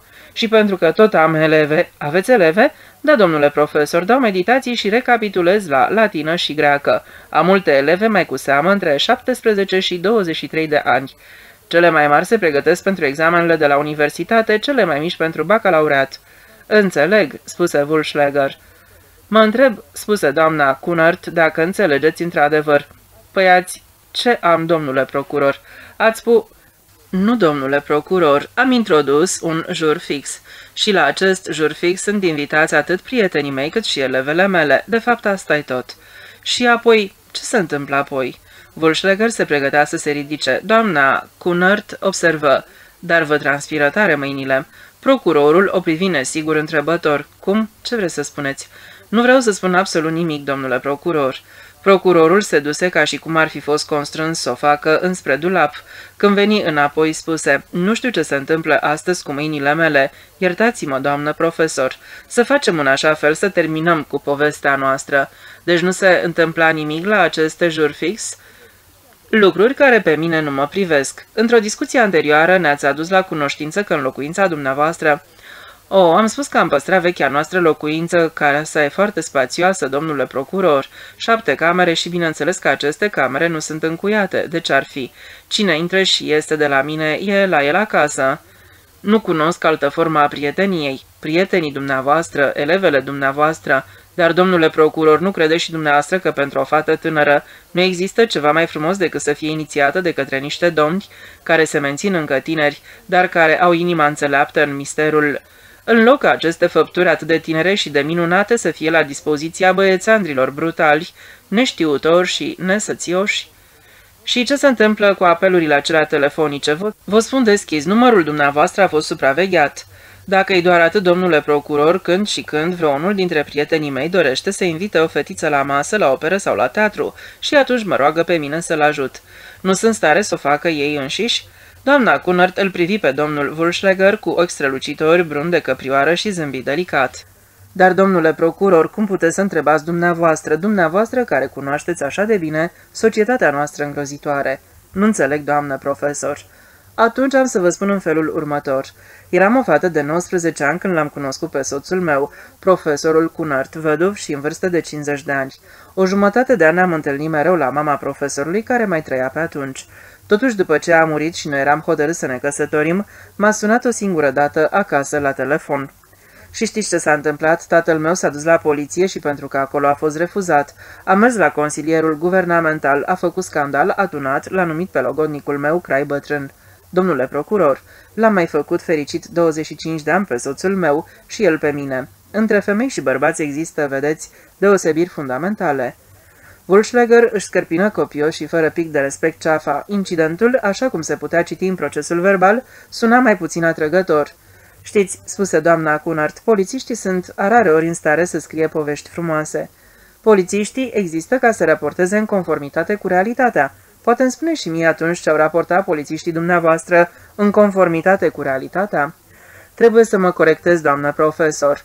Ce raportează polițiștii nu e totuși realitatea. Vedeți, domnule procuror. Fapte, doamnă profesor, oricum realități. Ce să înțelegem branșa dumneavoastră prin fapte, domnule procuror? Trebuie să mă sprijin pe rapoartele oamenilor mei. Și ce fel de rapoarte sunt astea, domnule procuror? Rapoarte despre fapte, rapoarte despre acțiuni care au fost comise. Și ce fel de acțiuni s-au comis? Vreau să spun acțiuni comise în prezența polițiștilor dumneavoastră? Nu, vreau să presupun că și poliția noastră a fost la dumneavoastră la ceai. Excludeți posibilitatea ca printre prietenii mei să se fie aflat și un polițist, poate nu tocmai un polițist în uniformă, dar să spunem de pildă un ofițer de poliție. O, doamne, spuse Wulschläger, ascultați, doamnă profesor, să nu mai pierdem timpul cu pedanterii. În acest dosar se află câteva rapoarte ale poliției din care pare să reiasă că nu v-ați primit prietenii doar la acel jur fix, cum îi spuneți. Ce-mi puteți declara în legătură cu asta? Nu sunt pedantă, domnule procuror. Bineînțeles că sunt de găsit oricând pentru prietenii mei, în măsura în care pot să aranjez lucrurile. Deci recunoașteți deschis și limpede că ați primit tot timpul în locuința dumneavoastră atât oaspeți de sex masculin cât și de sex feminin. Cât de puternic subliniați atât masculin cât și feminin, domnule procuror. Recunoașteți că locuința dumneavoastră n-a fost deschisă numai prietenilor, vreau să spun prietenilor casei? Prietenii sunt prieteni, domnule procuror. Nu vreți să mă înțelegeți? Ba din potrivă, mă străduiesc cât se poate de mult să urmăresc relatările dumneavoastră ciudate. Îngăduiți-mi să mă exprim mai direct. Vă rog chiar. Credeți că sunteți atât de deosebit în comparație cu alți bărbați de vârsta dumneavoastră, domnule procuror? Ce vreți să spuneți cu asta, doamnă profesor? După cum reiese parese din rapoartele polițiștilor dumneavoastră, am de-a face mulți ani cu bărbați instruiți și cultivați, mai maturi. Să revenim la problemă, doamnă profesor. Din rapoartele poliției trebuie să constat pur și simplu că dumneavoastră n-ați intervenit numai pentru prietenii vechi, ci ați făcut avansuri și unor domni necunoscuți. Avansuri, domnule procuror? Înțelegeți doar ce presupune asta? Că îi primesc în locuința mea. Exact. Dar ce înseamnă domn necunoscuți? Un om îmi este necunoscut doar până mi se prezintă, după ce am schimbat câteva vorbe cu el și asta se întâmplă de regulă afară în vestibul când ușa abia s-a închis, încă înainte ca el să-și scoată paltonul. Nici dumneavoastră nu mai sunteți un domn necunoscut. V-am spus la începutul acestei discuții cât de penibilă mi este povestea asta. Vă rog, ajutați-mă să nu devină și mai penibilă. Nu găsesc absolut deloc penibilă povestea, domnule procuror. Oricum, doamnă profesor, în rapoartele poliției, locuința dumneavoastră este comparată cu un stabiliment. Acum spuneți-mi totuși de unde vin acești prieteni noi. Foarte simplu, domnule procuror, vechii mei prieteni îi aduc cu ei. Dar printre noi, dumneavoastră, prieteni, nu se află numai academicieni, savanți și așa mai departe. Nu mă interesez niciodată de profesiunea prietenilor mei, niciodată de poziția lor socială. Câteodată mai aflu una sau alta din discuții și astfel știu că Gerhard lucrează în domeniul publicității, că Filip e actor, Oscar tehnician dentar. Dar, doamnă profesor, dumneavoastră vă tratați prietenii, îi serviți cu vin, whisky, gin și așa mai departe? Bineînțeles, domnule procuror, asta înseamnă că primiți bani în acest scop. Cum aș putea cu pensia mea și cu onorariile pentru meditații să plătesc din propriul buzunar asemenea cantități de whisky și de vin? Și cu abonamentul pentru telefon, cum este cu chiria, nu țin contabilitate, domnule procuror. Constat însă întotdeauna că la sfârșitul anului am tot atât ca la început. Negați, deci, că v-ați făcut o profesiune din asta? Asta mă jignește grozav, domnule procuror. Chiar dacă m-aș lăsa întreținută de prietenii mei, ar trebui să resping o asemenea exprimare. Da, da, spuse Wulschläger, nici mie nu-mi plac în mod deosebit asemenea formulări, dar de, avem și noi termenii noștri tehnici. Altceva, doamnă profesor, din rapoartele poliției rese în continuare că fetele, elevele sau prietenele dumneavoastră acceptă cadouri. Mi-ar fi rușine pentru prietenii mei dacă n-ar face cadouri. Și cadouri în bani, doamnă profesor. Cei drept, astea nu-s grozav de plină de fantezie, dar... Dar... Îmi pot imagina foarte bine că un om tânăr poate face mai multe cu un dar în bani decât cu un obiect, fie el oricât de frumos, dar care are doar valoare de suvenir. Gândiți practic. Trebuie măcar puțin. Și apoi mai este aici un punct. Așa cum s-a extins cu timpul cercul prietenilor dumneavoastră de gen masculin, s-a extins și cercul prietenilor mele. Asta e foarte normal. Îmi închipui că prietenele casei s-au îngrijit de la sine de asta. Prietenele mele se lasă conduse de aceeași lege ca și prietenii mei. Da, fu de părere Wulschläger. Atunci sunt încântat că am putut să stau de vorbă cu dumneavoastră personal. Spunând acestea, își privi palmele, se ridică și se duse la dulap, în timp ce apa curgea peste mâinile lui, observă. Fac un fel de cură knipe. Poate cură e mult spus, totuși e ceva în asta, metoda knipe. Apă rece peste mâini, mai ales peste încheietura mâinii, acolo unde artera să vorbim despre altceva, spune Pioda. Nu ți-ai luat rămas bun de la nimeni în Santa Gata, nici măcar de la prietenii dumitale, iubiți, cu care zi de zi, an de an, ai jucat popice la ping, sau când ploua câteodată cărți. Ai lăsat o casă în urmă și un șopron gol jos, pe câmpie, și Angelo Pioda vise întâmplări și pe Viva, acum Viva e bătrân și știrb. Grapa iese pe nas și salteaua, se spune, putrezește sub fundul lui dar mai poate să trâncănească. Viața lui împlinită. El l-a alungat pe Angelo Pioda. Din pricina lui a plecat Angelo Pioda în orașul mare din nord. Și acum mai susține Viva că el ar fi fost cel mai bun hamal al meu? A fost cel mai bun hamal al dumitale. A fost cel mai bun prieten al meu. N-am vrut deloc să-l bag la închisoare. La prima sperietură, înțelegi, când am găsit-o pe maică sa moartă, când poliția a apărut brusc în piața, am spus că știu acum de ce striga așa de tare, nu păcătui față de mama ta. Așa am spus, ce mai? Și toți au auzit. Și cum aș putea să retractez în fața instanței? Cum aș fi putut? Un om de onoare, oricum un om de onoare, trebuie să susțină tot ce a spus. Și eu spusesem. Dar nu l-am considerat niciodată criminal. Asta am și accentuat și am susținut, întotdeauna. Altfel i-aș fi căutat cel mai bun avocat, l-aș mai fi plătit și aș mai fi pus să se citească slujbe pentru maică sa. Înțeleg, zise Rughe. De asta am și plecat din Saint Agata. Numai de asta, ca să nu mi se mai întâmple încă o dată, să declar ceva și tot să creadă și pentru că sunt om de onoare să fiu nevoit, să-mi susțin afirmațiile și să nu pot nega după aceea că asta și asta și aia n-am spus, cu toate că am spus-o. Nu pricep, rughe? Ba da, domnule Pioda. Și asta am spus și am susținut. Și ca om de onoare am plecat, ca să nu mi se mai întâmple încă o dată așa ceva. Te înțeleg perfect, domnule Pioda. Nici lui Edgar nu i-a mers mai bine. Cine e Edgar?" și doamna Krumholtz îl considera pe soțul ei criminal nu numai pentru că acestuia îi venea să vomite ori de câte ori auzea numele Colvitz sau când apăreau în ziare note despre Colvitz, ca de exemplu, apărătorii lui Colvitz ar fi înaintat pentru a treia oară recurs sau instanța ar fi refuzat din nou recursul în cazul Colvitz. În cele din urmă, într-o bună zi, Krumholtz a dispărut. A lăsat o avere de aproape un sfert de milion, Cealaltă jumătate a luat-o precis cu el, a fost ea de părere și s-a apucat iar de vechea îndeletnicire de femeie cu ziua, la care renunțase de zeci de ani. De banii ăștia nu mă ating, a spus ea și într-adevăr nu i-a atins. Când înainte de a împlini 60 de ani a murit de un cancer la stomac, banii mai existau încă. Din ei autoritățile au plătit spitalizarea, iar restul a rămas la bancă, fiindcă legal, Edgar Krumholz nu putea fi declarat dispărut. Eram sub chiriaș la familia Krumholz. Ocupa o locuință de patru camere pe Müllerstrasse și nu aveau copii. Mai de mult, Edgar fusese șofer de taxi, acum era șeful unei centrale de comandă prin telefon care exploata în comun cele mai mari servicii de taxi din oraș. Asta era într-o vreme când eu lucram ca paznic de noapte la Societatea de Pază și Siguranță sau ca instructor de nod la strand sau presupunând că pusesem iar ceva bani deoparte, stăteam culcat în camera mea și mă gândeam dacă să-l chem la telefon pe Friedrich.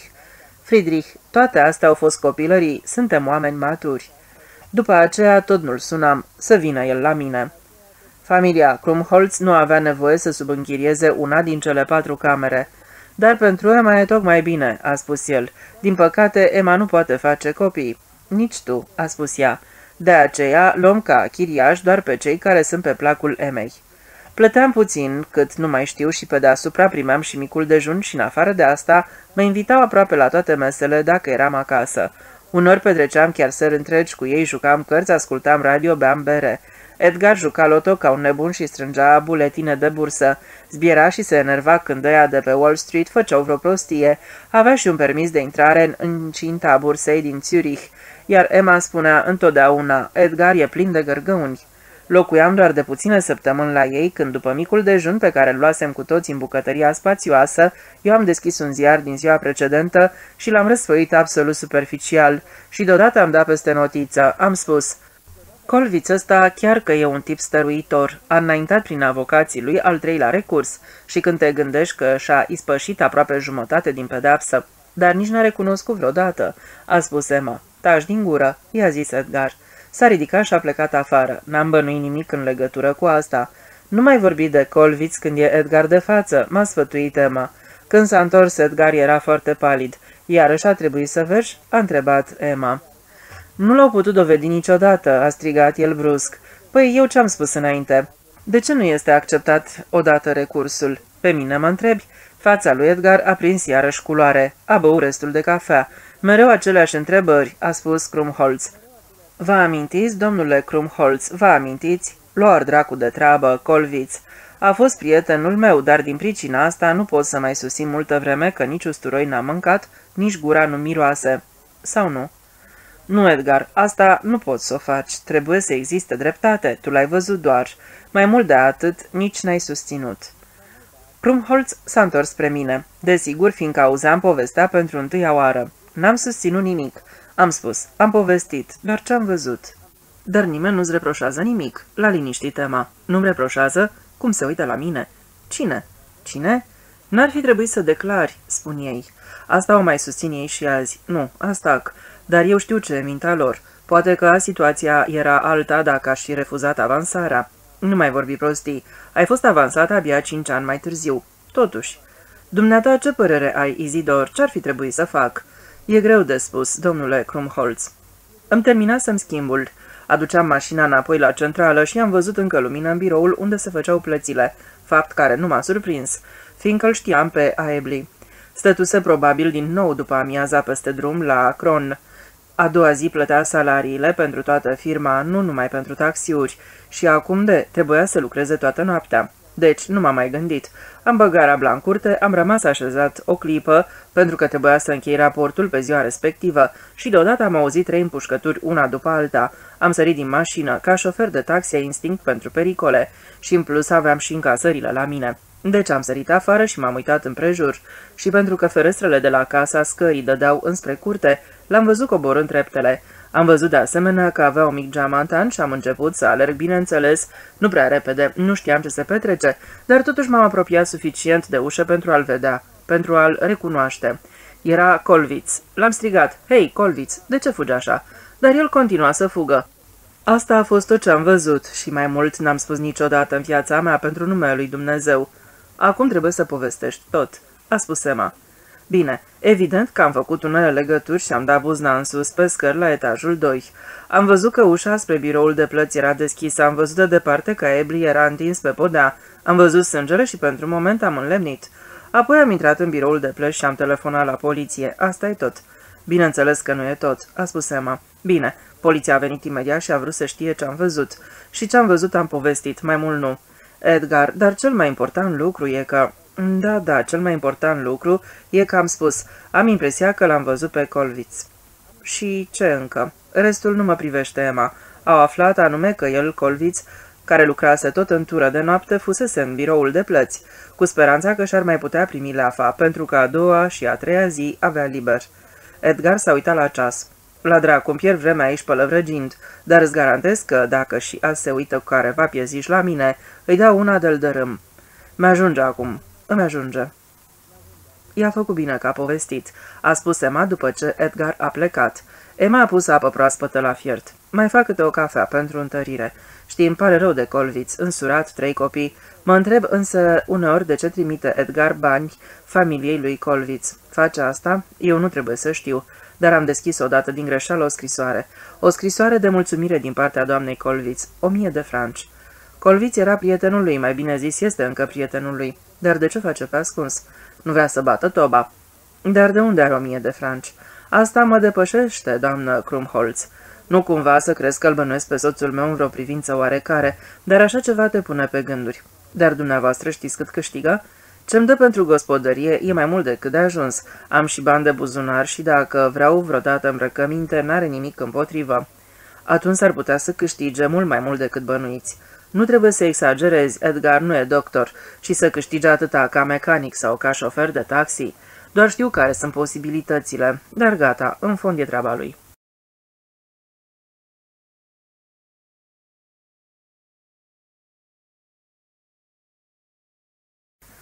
M-am dus la mine în cameră și m-am gândit la Friedrich. M-am gândit la un scenariu radiofonic, dar fără Friedrich, adio scenariu. Nu mi-a plăcut niciodată să scriu un vânt. Mi-am imaginat un erou asemenea lui Krumholz.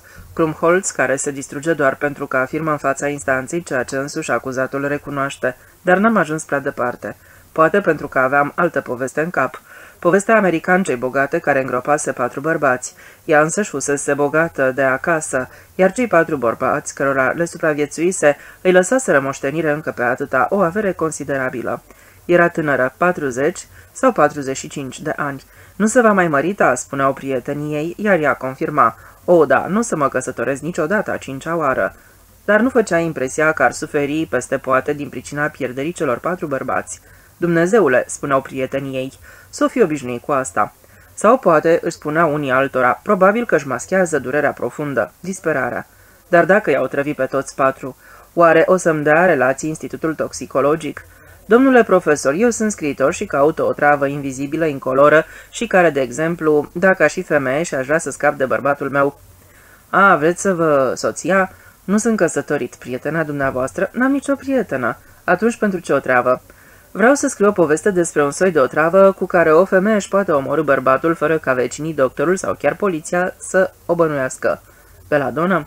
Profesorul anunță poliția. Pe mine mă reține sub pretext că ar căuta o otravă potrivită într-o mică încăpere din institut, până ce vine poliția. Deci dumneavoastră sunteți persoana care vrea morțiș o otravă. Nu, moartea celor patru bărbați nu se discută. Ceea ce îi se poate reproșa Eleonorei, așa se pare că o cheamă, este cel mult faptul că s-a căsătorit de patru ori la rând cu bărbați însemnați de moarte. De exemplu, bărbați bătrâni, bărbați bogați. Dar de ce reproșuri? Păi de, societatea trebuie să aibă ceva de bârfit. Dar înapoi la poveste. Eleonor face invitații pentru un party. Cu prilejul zilei de naștere. Când în sfârșit toți sunt suficienți de beți, unul dintre prietenii Eleonorei începe să vorbească despre tinereței. Trebuie să te recăsătorești, o îndeamnă el. Mi-e frică de bărbații bogați, răspunde Eleonor. Dar ea nu e beată. Căsătorește-te cu un om sărac. Dar fac pariu, spune invitatul, că n-ai rezista un an alături de el. Vreau să zic, lângă un om cu adevărat sărac. De exemplu, alături de unul care curăță canalele, care înțelege limba șobolanilor. E adevărat, spune Eleonor, dacă mi s-ar cere să trăiesc în asemenea sărăcie. Nu, nu, mă refer doar ca bărbatul să fie sărac, dar să trăiască aici la dumneata Eleonor și să aibă acces la toate, la banile societate. Adu-mi-l pe cel mai sărac dintre toți bărbații săraci. Să fie însă tânăr, nu mai mult decât 30 de ani. Chiar țipaiul cu mine, Eleonor, precis, să fi doar un an căsătorită cu cel mai sărac dintre bărbații săraci. Eleonor se gândește, nu vrea să riște prea mult. Pentru un an, răspundea. Bine, pentru un an mă încumet. Am să te ajut să găsești bărbatul sărac. Prietenul Eleonorei caută un om sărac. Amicii Eleonorei fac pariu. Nu o să reziste un an. Prietenul anunță în câteva ziare. Ce bărbat între 30 și 40 de ani care poate dovedi că primește mai puțin decât salariul minim fixat prin lege, este dispus să se căsătorească pe durata unui an cu una dintre cele mai bogate femei din țara noastră. Trebuie să mai lămuresc problema dacă există ziare care publică asemenea texte sau dacă există legi care interzic asemenea texte ca lezând moralitatea. Dar un om sărac se găsește oricum. În ceea ce privește povestea mea, el e găsit. Dar, spune Leonor, pun o condiție. Bărbatul trebuie educat trei luni de zile. De exemplu, trebuie să fie în stare să mănânce cu cuțit și furculiță. N-are voie să soarbă supa. I se acceptă Eleonorei concesia asta și când e găsit sărmanul curățător de haznale, care înainte de culcare fredonează melodiile șobolanilor, el e reeducat. Are loc nunta. Îl numesc Pit pe bărbatul sărac. Are 35 de ani, își scrie greu numele pe documentele de căsătorie. La dinău se comportă stângaci. Nu că ar sorbi consomeul, dar nu poate nici să mascheze de unde să trage. Nu vreau să ascund nimic, se gândește el. Dacă se gândește, dacă într-adevăr se gândește la așa ceva. Pit se află aici? Atât. Decid că Pit este aici, că nu-și face gânduri, că uneori, când farfuria e goală, îi aruncă o privire Eleonorei și poate că se gândește. Nu arată de 40. Cum se comportă Pit după nuntă? Pit îi tratează pe servitor ca pe egalii lui, nu face deosebiri între ei și între prietenii Eleonorei. Pit își dorește perdele galbene în dormitor. Pit învață să conducă mașina. Pit își dorește o mașină frumoasă, un Maserati, de pildă, un Ferrari sau așa ceva. Pit primește tot ce își dorește. Asta e o clauză a contractului de căsătorie. Dar după scurgerea anului, Pit n-are voie să ia nimic. Trebuie să se întoarcă înapoi la șobolanii lui. Pit își cumpără un tren electric de jucărie. Mă gândesc la Merklind. Pit merge cu Eleonor în localuri scumpe de noapte. Pit e un dansator formidabil, spune Eleonor. Dar comportamentul lui cu personalul e îngrozitor. Dă bacșișuri exagerat de mari și-a pierdut mințile, se gândesc chelnării. În rest nu se comportă anormal. Eleonor și Pit fac o călătorie în Europa, Paris, Roma, Madrid, Atena, cum se obișnuiește. Pit nu înțelege de pildă de ce e renumit în toată lumea Muzeul Prado, doar vânători sângeroase de cervi. Eleonor le găsește formidabile. Pit, ca să nu uită asta, e un amant foarte bun. Are vitalitate, știe chiar din a doua noapte petrecută cu Eleonor cum să țină pasiunea trează fără margini. Bineînțeles, Eleonor spune doar atât. În pat, ești cu adevărat ok. Dar pentru că scriu un scenariu radiofonic, n-am voie să mă întind prea mult. M-ar tenta să compun un număr mare de scene care se petrec între Eleonor și Pit, să scriu o piesă radiofonică monumentală. Nu ține. Să o vând pe asta întâi, și anume lui Friedrich. Cu 75 de franci, cu asta pot trăi două-trei luni. M-am săturat să vând ca scriitor covoare pe Bahnhofstrasse, să curăț izolatorii conducte aeriene la calea ferată federală, să fac de gardă la strand. Ultimul act. Anul lui Pitt se sfârșește. Cu două săptămâni înainte, Eleonor pleacă într-o călătorie fără să-i pomenească lui Pitt un cuvânt. Prietenul Eleonorei vine la Pitt și îi spune Acum cerem divorțul. Pitt răspunde Asta nu te privește pe dumneata, eu sunt soțul Eleonorei. Fă bine și du-te dracului. Eleonor îi spune la rândul său prietenul amabil, a și înaintat divorțul. Așa. Și cum sună plângerea Eleonorei? Cruzime sufletească. Pit devine foarte serios. Nu strigă. Eleonor, spune el încet. Eleonor și cu mine ne iubim doar. Cruzime sufletească, îi repetă prietenul, instanța o va accepta. Instanța va recunoaște că deosebirea asta de stare socială... Pit îi scălește. Divorțul se pronunță și Eleonor se întoarce acasă. Pit își procură o armă și așteaptă în camera soției. Nu i-a fost greu să pătrundă în casă, fiindcă Pit are toți servitorii de partea lui. Instanța îl achită pe Pit. Către ora 12, doamna Krumholz a bătut la ușa camerei mele și a intrat. Edgar nu vine la masă, mi-a spus. Mi-ar face plăcere dacă ai vrea să prânzești cu mine. O, oh, e grozav, am răspuns. De alminter, tocmai voiam să-i telefonez unui prieten și să mă invit. Într-adevăr, fusesem cât pe ce să-l sun pe Friedrich. Voiam să merg să iau masa cu el undeva și la cafea să-i povestesc planul scenariului meu. Eram convins că mi-ar fi dat pentru el un avans. Emma Krumholz pregătise o masă festivă. Piept de vițel umplut, fasole, cartofi prăjiți, salată.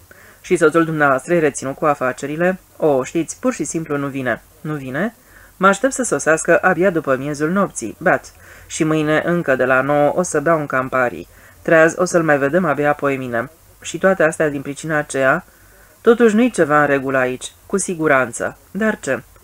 Că ajută familia Colviț, i-a fost prieten sau coleg, asta o mai înghit, dar că trebuie să vomite ori de câte ori vine vorba despre el. Pieptul umplut de vițel era într-adevăr bun. Fac umplutura întotdeauna singură, mi-a spus Emma, pe măcelar nu te poți bizui, bagă înăuntru tocătură de cârnați. I-ai spus soțului dumneavoastră ce mâncare bună ai pregătit? Mai e și asta, mi-a spus Emma. Nu sună niciodată el singur, pune pe altcineva să anunțe că nu vine acasă la prânz. Și asta se întâmplă des. Dumneata crezi că îmi fac gânduri pentru nimic și iarăși pentru nimic? Aveți motivele dumneavoastră, desigur. Altfel dă întotdeauna el telefon. Întotdeauna? Întotdeauna. Poate că ar trebui să-l convingeți să consulte un medic. Un medic pentru ce? Un psihiatru, vreau să zic. Un psihiatru? Păi doar are sentimente de vinovăție. Vezi? Ce anume? Și dumneata o spui. Ce spun eu? Edgar are sentimente de vinovăție. Dar sentimentele de vinovăție pot să se nască din nimic. Da, dar dumneata e scriitor sau așa ceva, dumitale poate să stracă una ca asta prin cap, dar nouă. Vezi, dumneata, când mai eram încă tânără, dar tânără cu adevărat, vreau să spun atunci când aveam și eu sentimente de vinovăție, aveam conștiința încărcată uneori. Dar aveam și motive să fie așa. Și mai vreau să spun ceva. Când un om are cugetul încărcat, atunci trebuie să spună adevărul și să ia asupra și pedepsa. Și totul va fi iarăși bine. Bine, am spus eu. Dar oare ce fel de adevăr ar trebui să mărturisească Edgar în cazul acesta? Emma m-a privit îndelung tăcută, mișcându-și maxilarele de parcă măcina. Hotărâtă femeie care îi place să dea cărțile pe față și pe deasupra blajină. Să presupunem, am spus eu, că starea gravă a conștiinței lui Edgar nu se bazează doar pe motive imaginare. Ce pricină reală poate exista? S-a înșelat. Nu fusese Colviț. În bezna aceea s-a înșelat și totuși nu s-a înșelat. În fața instanței Colviț a recunoscut tot și chiar mai înainte, în afară de crimă și furt, bineînțeles. Ce a recunoscut Colviț? Că fusese în biroul de plăți, că voise să-și ia salariul. Și l-a luat? Nu. De ce nu? Ce știu eu? La urma urmei, Aebli era mort și nu mai putea motiva de ce nu i-a dat lui Colviț plicul cu salariul. Dar Colviț a trebuit doar să spună de ce n-a vrut Aebli să-i dea plicul cu leafa. Bineînțeles că a spus în fața instanței și chiar mai înainte. Și ce anume i-ar fi spus Aebli? Aebli, așa susținea Colviț, ar fi fost beat și ar fi spus Mâine zi de plată, nu astăzi, și șterge-o acum. Așa era Aebli. Era furios, pur și simplu era furios pe sine însuși. I-ar fi putut da lui Colviț plicul cu banii, dar nu. S-a legat de dată. Mâine zi de plată. Gata. Și Colviț a tras, el susține și astăzi că nu. Dar bani s-au găsit asupra lui. Emma m-a privit iarăși cu ochii ei blânzi hotărâți, maxilarele îi mestecau calm și regulat, a înghițit. Nu s-a găsit nimic asupra lui, absolut nimic. Nu e atât de prost a spus instanța. Și arma? Pistolul? Nici el. Dar se știa ce fel de pistol avea Colviț. Totuși asta nu e o dovadă suficientă. Dintr-un model nu se pune în comerț doar o bucată. Aebli ar fi putut fi împușcat la fel de bine și cu pistolul lui Edgar. Păi vedeți, doamnă Krumholz, am spus eu. 10 sau 15 dintre ei și-au cumpărat atunci pistoale, deodată, după crima din taxi, dar Colviț a spus că n-a mai pus mâna pe pistol de săptămâni, că îl lăsa mereu în caseta pentru mănuși chiar și atunci când mergea altul cu mașina lui. Și a fost mare suma pe care a pus mâna Colviț? Toți banii de salarii. Firma era mare încă de pe atunci. Serviciul de taxiuri, transporturi, vagoane pentru mobilă peste ocean și mai știu eu câte altele. În jur de 200 de mii. Și soțul dumneavoastră posedă deci aceeași armă? Păi ce crezi dumneata? Înnebuniți cum erau cu toții, și-au schimbat pistoalele sau le-au vândut sau și-au cumpărat altele noi. Și poliția instanța? Asta a întrebat și Edgar. De ce au ales idioții aia doar urma asta singură, zicea el. De ce nu au avut în vedere niciun alt făptaș ipotetic? Asta se întreabă soțul dumitale. Da, eu spun întotdeauna, măi prostule, ce tot mai trebuie acum, după ce tu ai spus că a fost Colviț și Colviț a recunoscut că a fost în biroul lui Aebli? Dar cazul e clar, am replicat. Colviț recunoaște că a fost în biroul lui Aebli, că a vrut să-și ia leafa, iar soțul noastră l-a văzut fugind de acolo, cu banii. Dar Colviț spune că el a fost la 11 și jumătate în biroul de plăți, iar Edgar a sosit cu mașina abia la 12. Să presupunem că soțul dumneavoastră a intrat în curte, am zis eu. A oprit motorul, a coborât din mașină și exact în clipa aceea l-a văzut pe Colviț ieșind pe ușă. Brusc, maxilarele au încetat să mai mestece și un dumicat i-a rămas în esofag. Domnule Rughe, a spus ea după ce a înghițit greu dumicatul, vă rog să mă iertați, am spus. Nu fac decât să urmăresc reflexiile dumneavoastră, adică m-am gândit. Să fi fost Edgar chiar așa de nebun și să cheme poliția, el care e ultimul din tură? Zău, vă rog să mă iertați, nu asta am vrut să spun, de fapt, dar, cum vorbiți dumneavoastră de obicei, intră omul la bănuiel. Doamna Krumholz a încrucișat cuțitul și furculița pe farfurie. Așa am vorbit?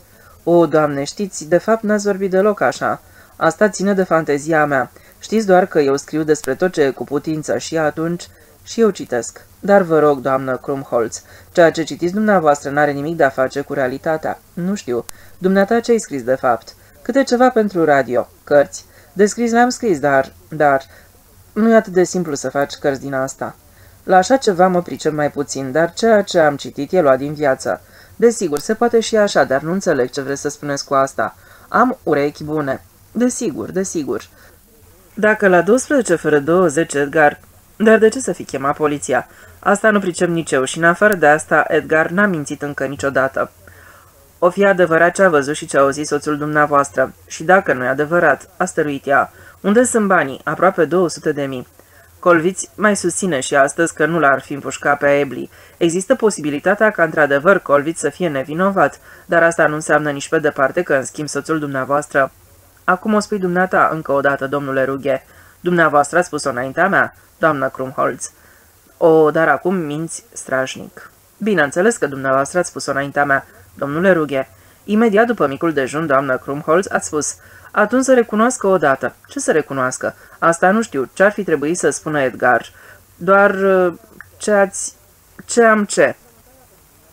Și frământarea pentru mia pe care soțul dumneavoastră o dă familiei Colviț. Robinetul picura. M-am ridicat, m-am dus la chiuvete și am strâns mai tare robinetul, dar el continua să picure. Edgar are un post de răspundere, a spus Sema, dar nu mi se adresa mie. Chiria locuinței noastre nu e mare. Fără să mai privească încă o dată, doamna Krumholz a ieșit din bucătărie. Am rămas așezat. După puțin timp a venit înapoi gata de plecare. Dacă ai fi așa de amabil să strângi vasele, la cine sunt înapoi? Am spălat vasele și le-am pus la loc pe masă, o făceam pentru prima oară și nu știam în care dulable e locul. Apoi m-am dus în camera mea să mă gândesc la Pit și Eleonor. Peste o oră m-am hotărât să-l sun totuși pe Friedrich. Prostii, m-am gândit. Friedrich și cu mine suntem bărbați în toată firea, ne putem spune în față ce ne deranjează pe unul la celălalt. Friedrich era la el în birou și s-a bucurat vădică meu de vocea. Dacă nu sunai tu acum, a spus el, aș fi făcut-o eu cât de curând. În aceea seară trebuia să plece însă pentru trei zile la Lucarno, la un congres al dramaturgilor, unul internațional din păcate. N-avea timp acum pentru mine decât la telefon. I-am istorisit povestea lui Pete și a Eleonorei. Părea să mă asculte cu atenție. A spus la intervale scurte, bine, bine, frumos, foarte bine, dar pe urmă a tăcut. Să fii chipzuitoare. Ei, Friedrich, cât îmi dai pe povestea asta? În trei săptămâni îți aduc manuscrisul gata pentru emisie. Nu prea știu, a spus el. Vezi tu, pentru aspectele vieții americane e formidabil, dar pentru ale noastre... Păi se și petrece în America. Dar de ce n-ai schimba finalul? Fă propuneri, am spus. Mă gândesc așa, Eleonor șade în camera ei la birou. Foarte bine, lasă-mă să termin. El, Pit, s-a ascuns undeva și observă. În momentul când ea termină scrisoarea trage. Doar o rănește, slavă Domnului. De ce slavă Domnului, Friedrich? Lasă-mă să termin, Izidor. Ei? Eleonor îi scrie lui Pit, între timp ei au divorțat, care vrea să se căsătorească iar cu el, dar de data asta fără pariuri. Și, mai ești la aparat, Izidor? Desigur. Ce părere ai despre propunerea mea? Sunt de acord, Friedrich. Tu ești întotdeauna imediat de acord. Atunci nu sunt de acord. Serios, Izidor, ce zici de ideea mea? Dar povestea se petrece tot în America? Ar fi frumos o putem muta din coace. Să mă gândesc la asta? Fă-o, te rog, și în altă ordine de idei. Cum ți-l imaginezi tu pe Pit ăsta? Păi ți-am povestit doar Friedrich. Mă refer la caracter. Otelo? Bine. Dar, zău Izidor, tu spui întotdeauna bine, pe un ton... Să spun nu, dacă găsesc că propunerile tale sunt bune? Nu, dar trebuie să înveți să opui rezistența. De ce? În meseria noastră nu te ia nimeni în serios dacă spui la toate da și amin. Despre asta trebuie să mai discutăm, Friedrich.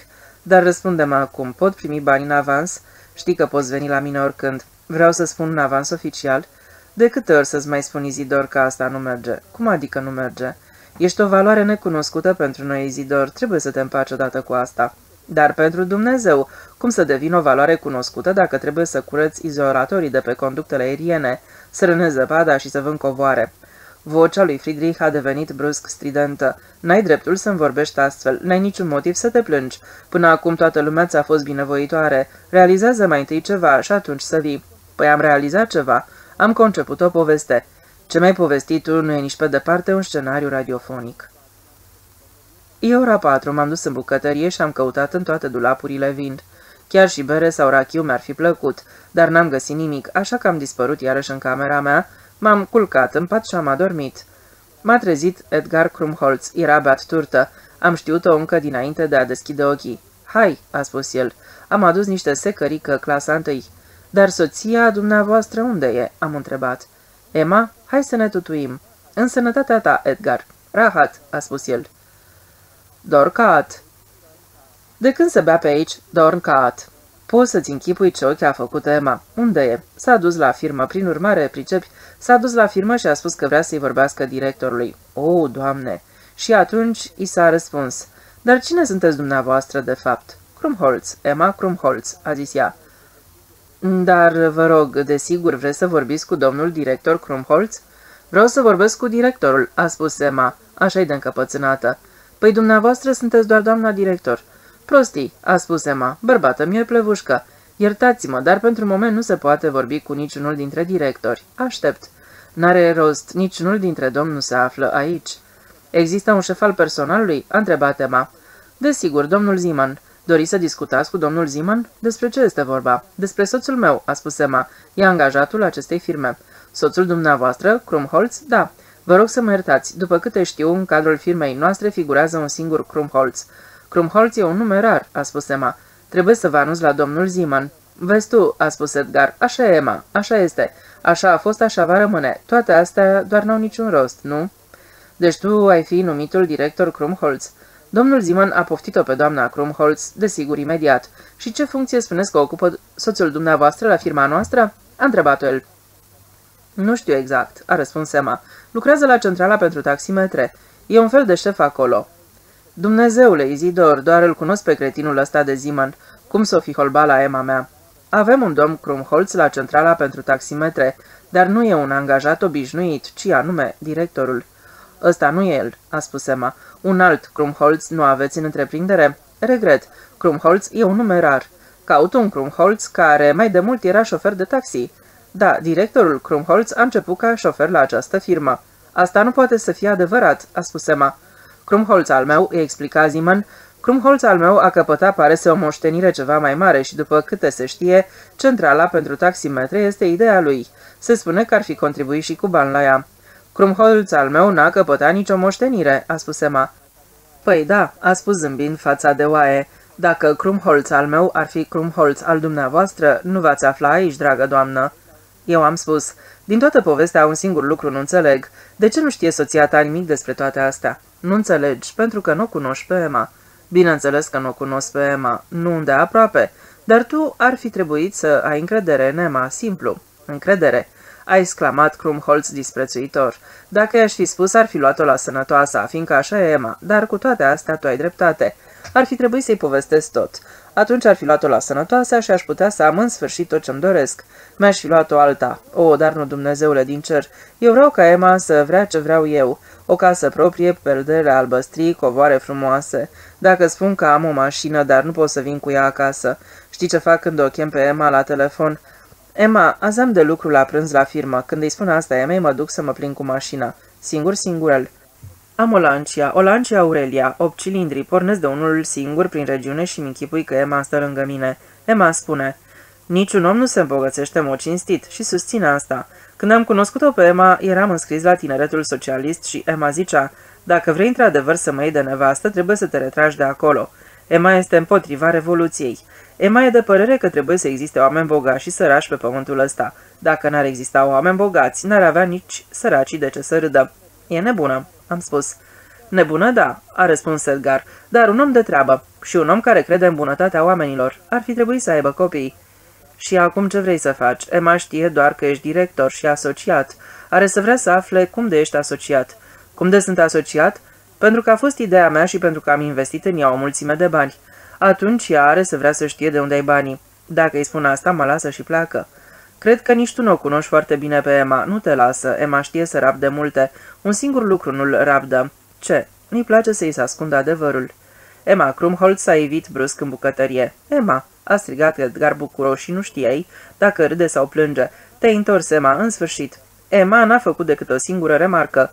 Sunteți beți amândoi. Și tu pe unde ai umblat?" a întrebat Edgar, arțăgos dintr-o dată. Ce-i cu cina?" N-ai decât să cauți în frigider, puteai să vii la prânz." Prețuiesc peste măsură faptul că sunt spionat. Nu vorbi păsărește," a spus Emma. A vurăt în dulapuri vasele pe care le spălasem. Și ce ai descoperit? De unde ai banii? Care bani? Nu întreba ca un dobitoc. N-am niciun ban. De când nu mai lucrez la centrala pentru taximetre? Ce prostii tot îndrugi. Am fost la Ziman, dobitocul ăla. Nu există niciun Krumholz la centrala pentru taximetre. Edgar a ridicat pumnul, dar l-a lăsat apoi iarăși încet în jos. Acum chiar că e țignită, mi-a spus. Vreau să știu, a întrebat Emma, de unde provin banii. Care bani? Banii din care trăim, banii pe care îi trimiți doamnei Colviț. În fiecare lună 500, odată 1000. E poate prea mult, 500 pe lună. Cât crezi că li se dă de la asistența socială? Nu întoarce, Edgar. Ți-am pus o întrebare limpede și vreau un răspuns la fel de limpede. Vreau și eu o bucată de cozonac. O bucată mi se cuvine și mie. Fac îndată o cafea cu lapte, a spus Emma.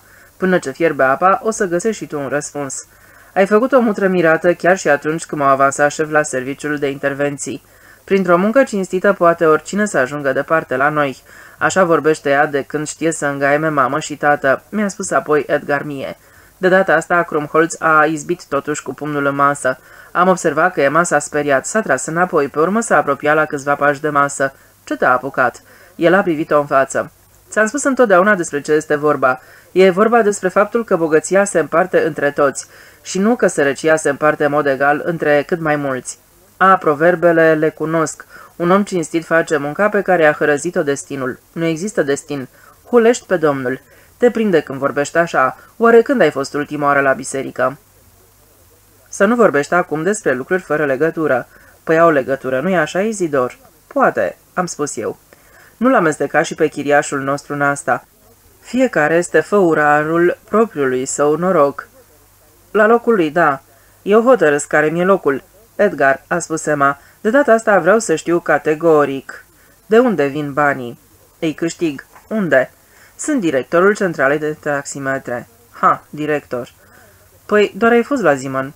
Emma arăta de parcă ar fi apucat-o brusc grața. În tot cazul s-a așezat gâfâind ca o femeie grasă care suferă de inimă. Edgar, a spus ea cu voce schimbată încet aproape șoptit rugător. Edgar, nu e adevărat. E adevărat, Emma, eu sunt directorul Krumholz și asociat al centralei pentru taximetre. Ține-mă, doamne. Bucură-te. Și eu mă bucur. Ține-mă, doamne. Acum știi în fine. Și pot în sfârșit să-mi cumpăr casa mea. O casă pe Friesenberg, sus cu vedere asupra întregului oraș, cu vedere asupra lacului, asupra Alpilor. Edgar, da, draga mea, de ce ai făcut-o? Emma, de când mă știu, clocea în mine. Încă de când eram băiețel, intenționam asta. Vezi tocmai ce deosebirea dintre tine și mine. Tu spui, așa ți-e dat pe lumea asta. Eu spun, ori le sfârși lupilor beregata, revoluție, sau urli cu ei. Fiindcă tu nu poți să vezi sânge, m-am încetat să le sfârși lupilor beregățile. Am început să urlu cu ei. Ce tu spui iar? N-a fost deloc simplu, Emma, și n-a fost nici chiar așa de greu. Să fii viclean, să știi să aștepți, da, dar să stai la pândă, să ataci la momentul oportun. Și ce să se întâmple cu noi, Edgar? Acum trebuie doar să mă ridic, să mă duc la telefon și să formez un anume număr. Păi fă -o. Edgar a sărit în picioare, a țopăit de după colțul mesei și și-a îmbrățișat soția, dar iar s-a plecat și mai mult înainte obrazul aproape îi se sprijinea pe brațe. Cred că plângea. Emma, în sfârșit, dacă ai ști, acum mergem să mâncăm în oraș, o masă de zile mari. Emma s-a îndreptat de spate. Edgar, a spus ea cu vocea unui om care tocmai e pe cale a se arunca mormânt. Edgar, din banii ăștia eu nu mă ating o centimă. Edgar a rămas cu gura căscată, arăta de parcă îl lovise de amblaua. De ce nu s-a prăbușit cât era de lung? Edgar, a continuat iar ridicându-se. Edgar spune adevărul, spune-l în fața chiriașului nostru. În sfârșit, Edgar a izbutit să-și închidă iar gura. Am avut un noroc porcesc, a răspuns el, fiindcă de la începutul începutului poliția l-a vizat doar pe unul, pe Colviț. Ce înseamnă asta?" am spus eu. Nu-ți fac nimic," i-a spus Emma. Ce anume nu-mi face Emma? La poliție nu mă duc, dar plec." Edgar a amuțit. Părea perplex. O clipă. Deodată a prins-o pe Emma și a împins-o cu toată puterea în dulapul de bucătărie. Du-te!" a strigat el. Apoi și-a suflat nasul și s-a prăbușit pe un scaun. Să mă, a spus el și a umplut ochi cu rachiu amândouă paharele. Emma s-a strecurat afară, încet. Așa va să zică, mi-a spus Edgar. Își închipuie deci cu toată seriozitatea că eu l-am ucis pe Aebli. Și de acolo am banii, vaca asta blestemată de Dumnezeu. Nu vorbea așa, l-am îndemnat eu. Vorbesc cum îmi vine, e o vacă blestemată de Dumnezeu. Ar fi trebuit să-i dezvălui secretul, așa, pe încetul. Prostii, nu mergea. Dar acum, serios, Edgar, ce s-a întâmplat de fapt cu Colviț? Pentru că trimi bani familiei lui? De exemplu, nici nu-i dăruiesc măcar ceva. Ceea ce trimi familiei sale îi se cuvine. Am făcut întotdeauna afaceri împreună. Am cumpărat acțiuni, înțelegi, dar i le-am vândut și am pierdut o groază de bani din pricina asta. Ce pot să spun e că uneori am fost în apă până la gât, dar o acțiune la care era și el părtaș ne-a produs o mulțime în cele din urmă. Și cealaltă poveste? Care cealaltă? Colviț și Aebli. Edgar m-a privit îndelung. Înainte de a răspunde, am mai băut o înghițitură. Cel mai rău este că, într-adevăr, a tras. Serios? Eu n-am recunoscut decât ceea ce la nevoie mi s-ar fi putut dovedi. N-aș fi spus absolut nimic, dacă aș fi putut avea certitudinea că nu m-a văzut nimeni. Sau trebuia poate să fi spus că nici usturoi n-a mâncat, nici gura nu miroase. N-am auzit și n-am văzut nimic. Ai fi putut să spui, am observat o siluetă, dar n-am recunoscut-o. Da, da, asta aș fi putut-o spune, dar vezi tu... Hai, dă drumul. Când a apărut poliția cu tot aparatul și eu a trebuit să asist cum îl fotografiază pe Ebli în balta de sânge, am înjurat deodată și am exclamat, Colviț, prostănac blestemat ce ești. Auzind asta, n-am replicat nimic. Crezi că porcul de mine ar avea banii? Nu, asta nu cred. Jur că nu știu nici eu unde au rămas banii. Pe el l-au găsit abia a doua zi dimineață, beat crița. Îmi închipui că beția lui a îngropat banii undeva și nu mai știe nici el unde. Pe Ebli nu l-a omorât pentru bani, a tras pur și simplu pentru că își voia leafa și Ebli a spus, mâine e zi de plată, Colviț, mâine trebuie să-ți gospodărești în așa fel banii, încât să-ți ajungă de la o plată la alta. Deci poți să-i dovedești temei cum ai ajuns să ai bani și poliției trebuie să-i dovedești. Bagă de seama, nu o cunoști pe Emma. Dacă îi aduc toate dovezile, toate extrasele de cont de la bancă, dacă îi spun, Poliția o să-mi răspundă. Poliția nu vrea să știe nimic despre asta, pentru că poliția nu e în stare să-și recunoască greșeala. Și asta așa e. Și acum hai, Izidor. Abia de acum încolo dăm o raită prin cârciumi. Edgar a pus dopul la sticlă și a început să cânte. Emma îl distrusese prin credința ei înspăimântătoare. Toți credincioșii distrug adevărul. Rughe se duce iarăși afară pe balcon, se întoarce și continuă. Pământul nu doarme, cerul nu doarme, Tocmai au fost condamnați la moarte doi astronauți.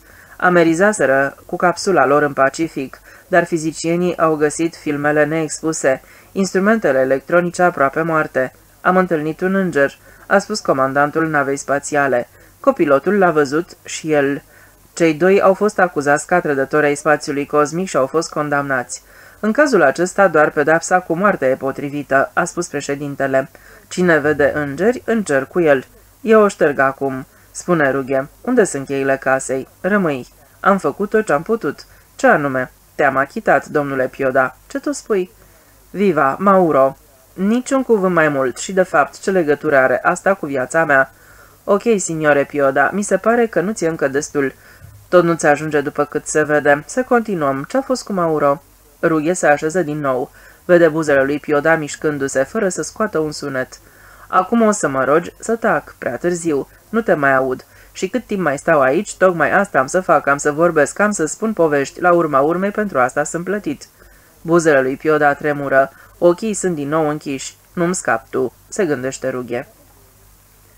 Tatăl pierdut și-a regăsit fiul. Acesta nu era încă pe de-a întregul de căzut, se prezentase la serviciul pentru controlul populației, provizoriu pentru că nu avea certificat de cetățenie.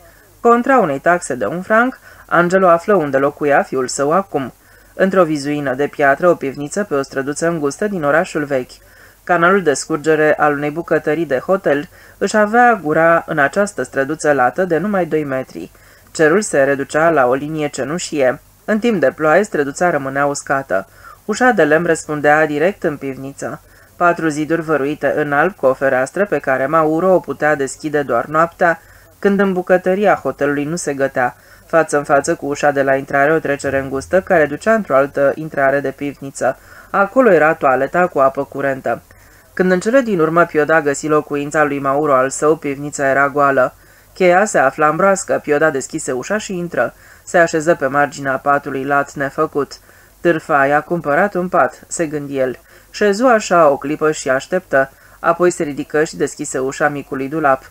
Și acesta era nou și nou era biroul mic cu un sertar în partea dreaptă. În dulap haine pe care le știa un impermeabil și două cămăși pe umerașe. Pe birou scrisori. Femeia îi scria lui Mauro, evident. Nopțile, probabil zilele, nu le ajungeau deci. Tina și Peter Brund, casa de filme global, citi el pe un plic. Tina. Pe femeie o cheamă Tina? Băgă plicul în buzunar și o porni agale înapoi spre hotel. Ajuns acolo, nu urcă în camera unde îl aștepta Rita. Îl luă deoparte pe portar și întrebă în șoaptă, știi o casă de filme global? Portarul ridică din sprâncene și și aminti că ar fi auzit parcă de casa asta. Pioda se duse la centrala telefonică și ceru să-i se dea legătura într-o cabină. Niciun om nu trebuia să știe cu cine vorbește la telefon. Doresc să vorbesc cu domnul Peter Brun, spuse el când la global îi răspunse un glas de femeie. Cu domnul director Brun? Da. Și pe cine să anunț? Pioda chipzui pe scurt și spuse. Pe directorul Pioda. Un moment, vă rog.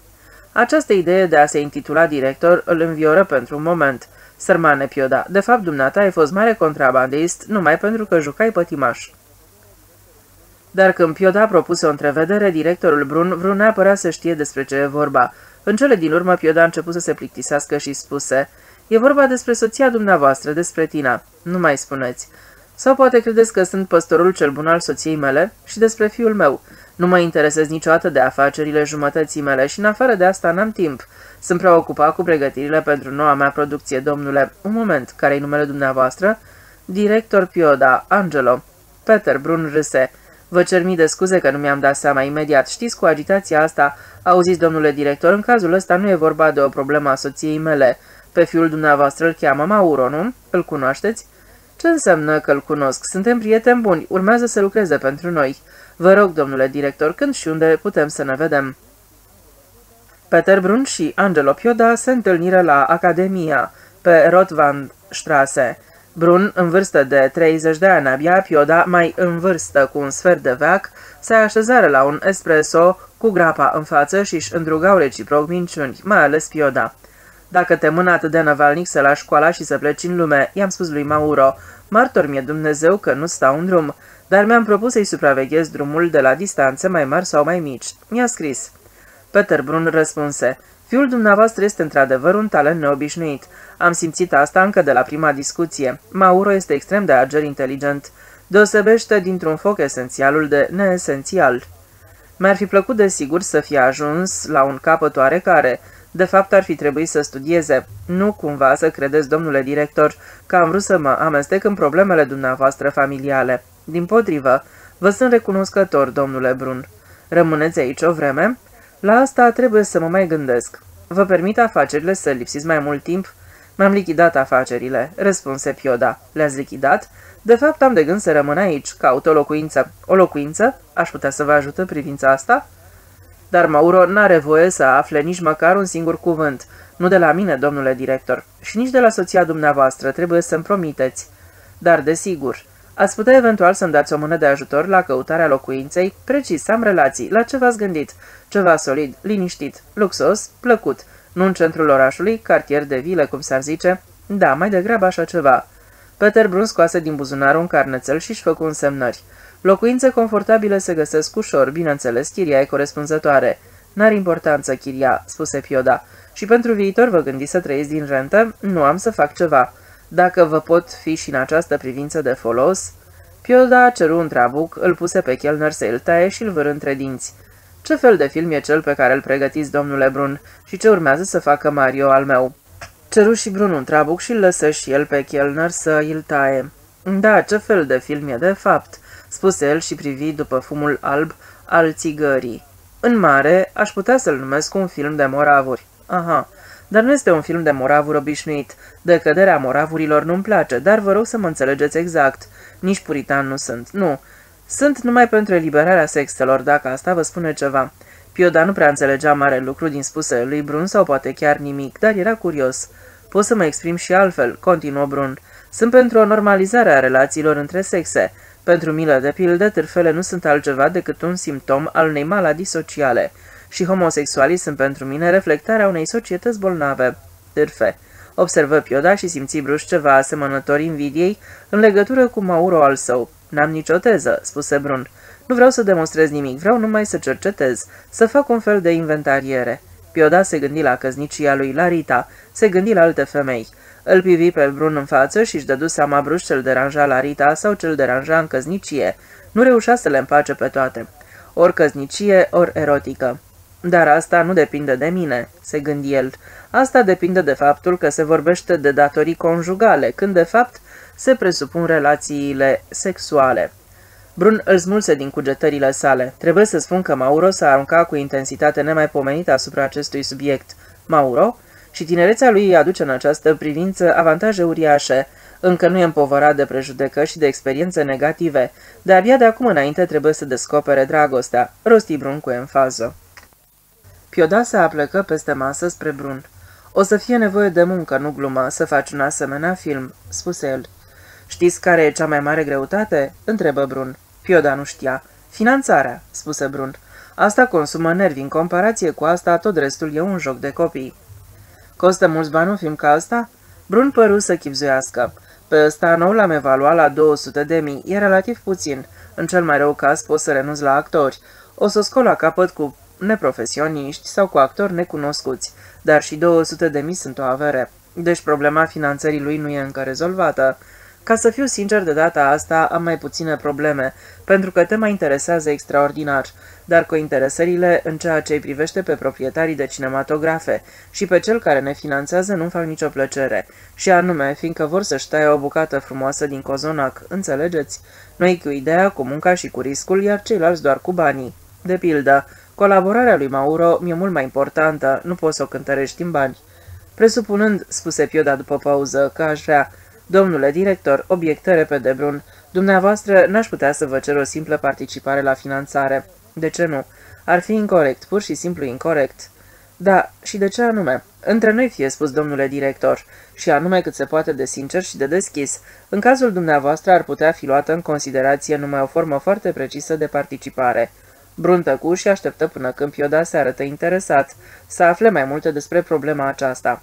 V-aș oferi o cointeresare corespunzătoare la societatea mea, altceva zău că n-aș putea să vă cer, și anume la cât se ridică în prezent capitalul societății.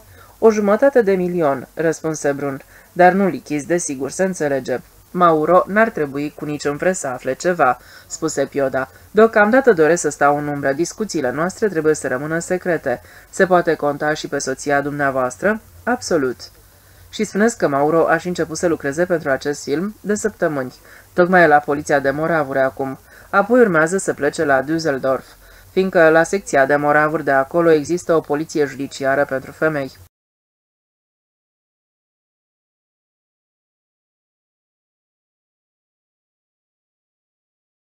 Mauro își petrecu 10 zile în localul comisariatului și studie mai multe acte din arhivă. Peter Brun aranjase totul pe sumână, se avea bine cu secția de moravuri, trecu sub tăcere vârsta lui Mauro. Din procesele verbale ale interogatorilor, Mauro transcrise pagini întregi de dialoguri dintre femei, de moravuri ușoare și funcționarii poliției. Bătu la mașină în birourile casei de filme global aceste extrase scrise de mână și le în mână lui Peter Brun. Brun îi dădu o copie lui Angelo Pioda și el o citi seara târziu în pat, după ce Rita adormise. Peste câteva zile se duce la doctorul pe care îl recomandase Peter Brun și ceru o rețetă pentru somnifere puternice. Cu toate astea visa mereu poliția de moravuri și clienții ei. În cele din urmă nu mai rezistă, îi spuse asociatului său. Domnule Brun, la povestea asta eu nu pot să colaborez. Nu vreau ca fiul meu, Mauro, nu aveți pe altcineva. Și ce o să se întâmple cu fiul dumneavoastră?" întrebă Brun. Să-l trimitem în America la concurență," spuse Pioda, să învețe acolo ceva." Munca lui Mauro fu preluată de rughe. Își oferise în repetate rânduri serviciile de scenarist la Global Film. De data asta, Peter Brun îl chemă la el. Dar pe atunci nu știa încă povestea lui Pioda, nu știa nimic despre Mauro, îi era doar foame și acceptă propunerea, pentru o sumă derizorie, dar se gândi. Notau să o prezint mai târziu că căcioșilor ăstora, funcționarii de la poliția de moravuri, se arătară amabili. Șeful era de părere că un film documentar captivant i-ar ajuta și poliției și de aceea se îngriji personal ca Rughe să poată ajunge la o privire de ansamblu asupra tuturor problemelor. Rughe trecu drept asistent și putu chiar să ia parte la interogatorii. Într-una din zile îi spuse inspectorului Loiba. Aici miroase al dracului a fum de pipă stătut și scuipătoare și a poliție. Inspectorul Loiba era gras și vesel, totul la el era oarecum roșcat, părul sprâncenele, genele, pielea. Despre Loiba se spunea că e un inspector de treabă atâta vreme cât e lăsat să fie de treabă. Păi a ce să miroase aici dacă n-a poliție? Nu mă înțelegeți, explică Rughe. Vreau să spun că mă întreb într-una dacă aici n-ar trebui să purtăm de fapt halate de doctori. Așa, pentru interogatorii. Dar ce te-a apucat, tinere? Păi, câți ani are fetița? Curviștina? Eu îi spun fetița. 16 și jumătate, spuse Loiba. Față de un medic, ar avea mai multă încredere. La medic a și fost, la control. Nu mai face acum pe asistentul. Loiba puse mâna pe telefon. Când vine doamna Gama, sunt gata, la 112. Și acum, tinere, așează-te la cealaltă masă, răsfăiește prin acte, prefăte că ești tare ocupat. Ia din când în când notițe, dar nu te holba la noi. Rughe să așeză. Biroul de culoare maro deschis era vechi și fără lustru. Femeile de serviciu frecau tăbliile în fiecare sâmbătă după amiază cu perii și pastă de săpun. Vechi și scorojiți erau și pereții de lemn și podaua. Aici totul arăta la fel. Loiba părea bătrân și scorojit, mașina de scris la care inspectorii scriau procesele verbale ale interogatoriilor avea în urma ei 40 de ani și aerul părea să fie la fel de bătrân, chiar și lumina. Nici o rază de soare nu pătrundea vreodată înăuntru. Camera se afla la etajul 2. Ferestrele dădeau spre o curte interioară cenușie, care era în realitate un luminator îngust. Se vedea un petic de cer dacă scoteai capul pe fereastră, sucindu-ți gâtul până te durea ceafa. Pe scaunele vechi și scorojite ședea înghesuit cu bărbia vârâtă în stern. Inspectorul Loiba scoase dintr-un sertar un trabuc. În același sertar avea și o ciocolată, pentru tinerele doamne ca semn de bunăvoință și încredere. Rughe răsfoia vrafurile de acte, dar cu fața aplecată îl privea pe inspector. Cu pântecele foarte umfla și cu picioarele scurte și mici, semăna cu trabucul lui gros. Odată Rughe înălță capul și spuse, Cum vă petreceți de fapt timpul liber, domnule inspector?" Poftim?" Rughe își repetă întrebarea. Vrei să arăți și asta în film? Poate. La ce bun. De fapt, mai puteți să dormiți, să dormiți liniștit, adânc mulțumit? Caragioasă întrebare. Bineînțeles că pot dormi. Nu sunt chiar așa de bătrân. Eu mă chinui, recunosc cu rughe. Mă trezesc mereu. A sudat. Du-te la doctor, probabil că ai o gripă. În mijlocul verii. Am auzit că anul acesta bântuie o gripă de vară. Visez. Văd chipurile acestor fete, le văd ochii, ele se uită la mine. Și dumneavoastră? Înainte de a răspunde, Loiba trase un fum din trabucul gros. Eu? Păi de. În zile ca asta de azi, la căldura asta umedă tropicală, aș spune, până seara mi se face o sete îngrozitoare. După terminarea serviciului, mă duc la grădină și beau trei halbe mari, una după alta. De aici mi se trage și pântecul ăsta. Acasă îi spune vestimii. Făm o salată orientală proaspătă. După ce mănânc, mă așez pe balcon și citesc ziarul și beau iarăși bere. Bere la sticle. Cel mai mult îmi place Pilsner la 11 mă culc și dorm până la 6. Asta în cazul când nu se dă nicio alarmă. Mulțumit de informație. De când lucrați la poliția de moravuri? Trebuie să socotez mai întâi. Peste 2 ani ies la pensie. La 21 am intrat în corpul de poliție, 35, 63, 32 de ani. Și dumneata de când e ziarist? Nu sunt ziarist. Lucrez pentru o casă de filme. Scenarist? Nu, eu trebuie doar să adun materialul. Asta se cheamă cercetare. Ai găsit la noi material mult suficient? Mai mă duc și la Düsseldorf, Weisbaden, Kassel. Crezi că acolo o să găsești lucruri noi? Rughe ridică din numer, se uită prin fereastra deschisă la lumina cenușii a luminatorului. Loiba dădu din cap. Spune, ce vârstă ai? 23, zise Rughe. Ești tânăr, poate prea tânăr. Prea tânăr? Pentru poveștile astea murdare, vreau să spun. Nu poți să te detașezi suficient de mult. Dumneavoastră vă puteți detașa? Vreau să-ți povestești ceva. Acum vreo 10 ani, guvernul a trebuit să concedieze pe cel mai capabil dintre șefii noștri. Omul avea vreo 40 de ani, era jurist, provenea dintr-o familie veche. Un om minunat, un inspector grozav, dar...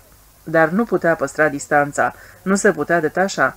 În schimb, dumneavoastră puteți, spuse Rughe. Dumneavoastră beți bere, din pricina asta pântecul. Dacă vrei să îndrepți lumea, mai bine nu intri în slujba poliției, răspunse Loiba. Și de ce anume s-a făcut vinovat șeful pe care guvernul a trebuit să-l concedieze? A început prin a face să dispară procesele verbale de interogatorii, a nu înainta actele tribunalelor. Și cum s-a sfârșit? S-a împrietenit cu târfe și cu vagabonzi, umbla după ei, căuta prin baruri, bea cu ei, îi lua acasă la el. Unii dintre colegii mei susțin chiar că ar fi avut raporturi cu ei. Și ce crezi că făcea în realitate? Spunea, oamenii aceștia sunt bolnavi sufletește, trebuie să fie tratați ca atare, nu să fie vărâți în închisori. Dar fiindcă la noi aproape că nu există psihiatri și nu avem niciun fel de competență, să îndrumăm cu de la noi putere târfele și vagabonzii la psihoterapeuți, s-a apucat după cum susținea să studieze psihologia, a frecventa cursurile la universitate, chiar și în timpul orelor de serviciu, ceea ce desigur n-a prea mers. Înțelegi doar. N-avea nevastă? Tocmai asta a fost fatal. La început a circulat doar un zvon, unul răutăcios. În cele din urmă însă o târfă a declarat aici că omul s-ar fi culcat cu ea, că s-ar fi culcat aproape cu toate. Nu a slujit la nimic declarația prin care arăta că pe femeia asta n-a luat-o niciodată acasă la el și nu i-a ajutat la nimic că toate celelalte au susținut contrariul. Directorul poliției a așteptat ca el să-și înainteze demisia. Și a făcut-o? Nu. Și-a exprimat vreo părere în legătură cu asta? Nu. Și deci directorul poliției l-a înlăturat? Directorul poliției a avut răbdare. Dar opinia publică, târfele și borfașii îl au pe conștiință. Cum adică? Ei l-au făcut de rușine, au trimis scrisori la ziare, l-au numit popa târfelor. Toate acelea pe care le-a luat acasă la el, de exemplu, nu alea, celelalte. E o poveste tristă, spuse Rughe. Să sperăm că acum ești informat, încheie Loiba. După amiază, Rughe se duse la dezbaterile curții de apel din Zurich. Să notez cuvânt cu cuvânt ce spune mama acuzatei. Îi atrăsese atenția Peter Brun. Rughe făcun tocmai. Avocatul apărării plădă pentru dreptul de a dispune de propriul trup. Avortul, spuse el. Avortul este egal cu o crimă, strigă procurorul. Ce are de spus în privința asta specialistul? Pur biologic, cel târziu după implantarea ovulului fecundat în uter, cel târziu când inima bate. Doctorul este întotdeauna apărătorul copilului, spuse genicologul. Cât timp?" strigă tânăra acuzată. Cât timp sunteți apărătorul copilului, domnule doctor?" La zece zile după naștere sunt aruncată în stradă." Societatea n-a rezolvat această problemă," spuse ginecologul. Societatea trebuie să ia copiii acestor nefericite, statul trebuie să îndeplinească față de ei obligația paternității." Instanța îi permisese Margritei Gama, mama împricinatei Ursula Gama, acuzată de pruncucidere, să apară ca martoră a apărării. O femeie îmbrăcată în negru pătrunse în boxa martorilor. Dezbaterile se desfășoară cu ușile închise. Margaret Gama are cam 45 de ani. Îmbrăcăminte discretă de o decență burgheză, martora iradiază din toată ființa împotrivire, e iritată pentru că nu știe cu ce scop a fost citată. Vă rog să mă iertați, domnule președinte, mă aflu prima dată în fața instanței. Chiar ca martoră. Da, Gama Margaret, cu 2 de M, T, H, născută Schultless la 8 august 1918. Desigur, Ursula e fica mea, dar cu toate astea, domnule președinte, nu pot să-mi explic. Soțul meu și cu mine, de când ne știm, nu mai avem nicio noapte de somn. Încercăm... Vă rog, domnule procuror. Soțul meu și-a motivat lipsa. Negustor de cei, cumpără cei. În China, Ceylon, aproape jumătate din an e plecat de acasă. Nu putem să ne plângem în ceea ce privește starea materială. Cât nu știu, dar directorul este... Casa e a noastră, da. Ursula e singura noastră fică, domnule procuror, nu singurul nostru copil. Avem și un băiat, Richard, mai mare, cu trei ani, ca Ursula. Richard studiază medicina, vrea să devină chirurg. Dar, domnule președinte, o întrebare, domnule președinte, pentru ce am fost citată aici? Ce anume să declar? Ce să certific? N-am știut niciunul despre nimic. Ce-a făcut Ursula nu s-a petrecut în apropierea noastră. Noi nu suntem martori, domnule președinte, sau poate ne bănuiți pe noi, părinții, că am fi știut de asta, ba poate chiar că am încuvințat ca... Nici măcar n-am știut că fica noastră așteaptă un copil. La 17 ani, domnule președinte. Da, când ne-a vizitat pentru ultima oară... Nu-mi fac însemnări zilnice, dar a spune că acum trei luni. Despre asta am vorbit cu domnul doctor Lambrecht. Nu, domnule doctor. Se adresează avocatului apărării. Nimeni n-a observat ceva la Ursula. Serios, domnule președinte, nu pot spune nimic, pentru că nu știu nimic. De ce n-a mai venit acasă Ursula în cele trei luni? Să mi se fi părut curios. O, doamnă, ne-am gândit că așa îi place ei. Și de ce să facă atât de des călătoria asta lungă până la noi, până la mine? Ne-am închipuit că e greu la școală, că trebuie să pregătească lecțiile duminica, iar vara ne-am gândit că îi place mai degrabă să meargă la strand. Nu înțeleg întrebarea dumneavoastră, domnule procuror. Nu, Ursula a vrut să plece de acasă. Ne-am gândit că am putea să-i facem o bucurie fetei. Și în afară de asta, limbile străine, desigur, măcar franceza. Vă rog? Nu, nu ne-a scris des. În privința aceasta e ca fratele ei. Nici Richard nu scrie decât atunci când îi se termină banii de buzunar. Nu știu, domnule președinte, ce legătură este între căsnicia noastră și pruncuciderea. Margaret Gama se sperie de propriile sale cuvinte. Fericiți? Nu știu ce vreți să spuneți cu asta, domnule președinte. Eram pe atunci secretară, secretarea lui. Eu, tânără, foarte tânără, 22. El zâmbește jenată, bătrân, credeam eu atunci, 38. Da, da, acolo așa. Otto a spus pur și simplu, ne căsătorim. Asta e adevărat, atunci mi-era frică. Teamă că trebuie să fiu soția unui bărbat, pur și simplu. Ce anume aș fi putut face? M-am dus la părinții mei și le-am spus că șeful vrea să se însoare cu mine și ei mi-au spus să-l iau. Trebuie să mă gândesc, domnule doctor. Da, asta e adevărat. I-am spus uneori Ursulei așa ceva, dar eu cred că fiecare femeie regretă odată și odată că s-a măritat. Adică, nu știu. De, Otto a rămas ca un burlac, șase seri pe săptămână iese în oraș, când nu lipsește chiar și peste noapte. Păi da, se întâlnește cu prietenii, copiii a lăsat în grija mea. Ba da, întotdeauna a fost mândru de copiii lui. Ceartă? Cu ani am învățat să mă apăr. Nu, zgârci n-a fost niciodată, nici astăzi nu e, dar vedeți, am avut întotdeauna senzația că pe el nu-l interesează problema cadourilor. Desigur, e foarte frumos să ai un bărbat care îți face cadouri, însă un bărbat care comandă să fie aduse la domiciliu cadourile, nici măcar nu pune el mâna pe telefon, o cheamă pe secretară și îi spune Gândește-te la ceva drăguț pentru nevastă mea. Dar, Ana, dumneata știi doar ce-i place soției mele. Cât? Te rog, nu mă face să mă simt jenat. Și copiilor le-a făcut cadouri mereu. Da, asta e adevărat. De câțiva ani a luat obiceiul să ne dăruiască cecuri. Într-un anume sens, iertați-mă, și doctorul Lamprecht este un cadou al lui Otto pentru Ursula. Păi, sigur, Ursula să aibă cel mai bun avocat. O, doamne, nu puteți întreba asta acum, nici eu n-am fost întrebată mai de mult. Ce poate spune o femeie în legătură cu așa ceva? N-am susținut asta, domnule procuror. Eu spun doar că femeia nu e întrebată, bărbatul hotărăște. Întâi își dorește moștenitorul. Nu v-am înțeles întrebarea. La asta trebuie să mă gândesc. Nu știu de ce, dar într-adevăr, Ursula a avut încă din fașă o aversiune împotriva mea. Ursula refuza să sugă, fiindcă eu... Nu, nu e adevărat, domnule procuror. Asta recunosc, îmi era frică și n-aveam chef. Copiii, domnule doctor Lamprecht, trebuie să fie bineveniți. Sigur că i-am spus soțului meu, dar ce-a răspuns el? Otto a spus doar, la urma urmei nu mai ești o fetiță lipsită de experiență. Îți cunoști ciclul doar, ar fi trebuit să-mi spui. Domnule președinte, aș vrea să vă și eu odată bărbatul căruia femeia îi spune astăzi. Da, sigur, domnule procuror, contează și asta. Și văd și în ziua de astăzi, acest bun plac al bărbaților, această lipsă de considerație. Voi, femeile. Dar ce poate întreprinde o femeie împotriva unei lumi de bărbați? O femeie nu e un cal, domnule președinte.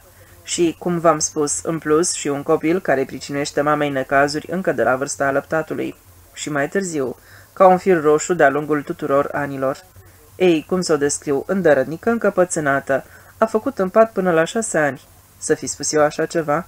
Da, îmi amintesc, acum îmi amintesc, dar n-am gândit-o cu răutate. Am spus doar că visul meu de când mă știu a fost la plimbare, însoțită de doi feciori frumoși și puternici.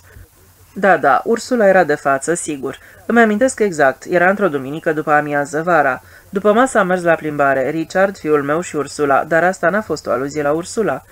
Poate, pentru că nu le-am dorit decât binele copiilor mei, de aceea.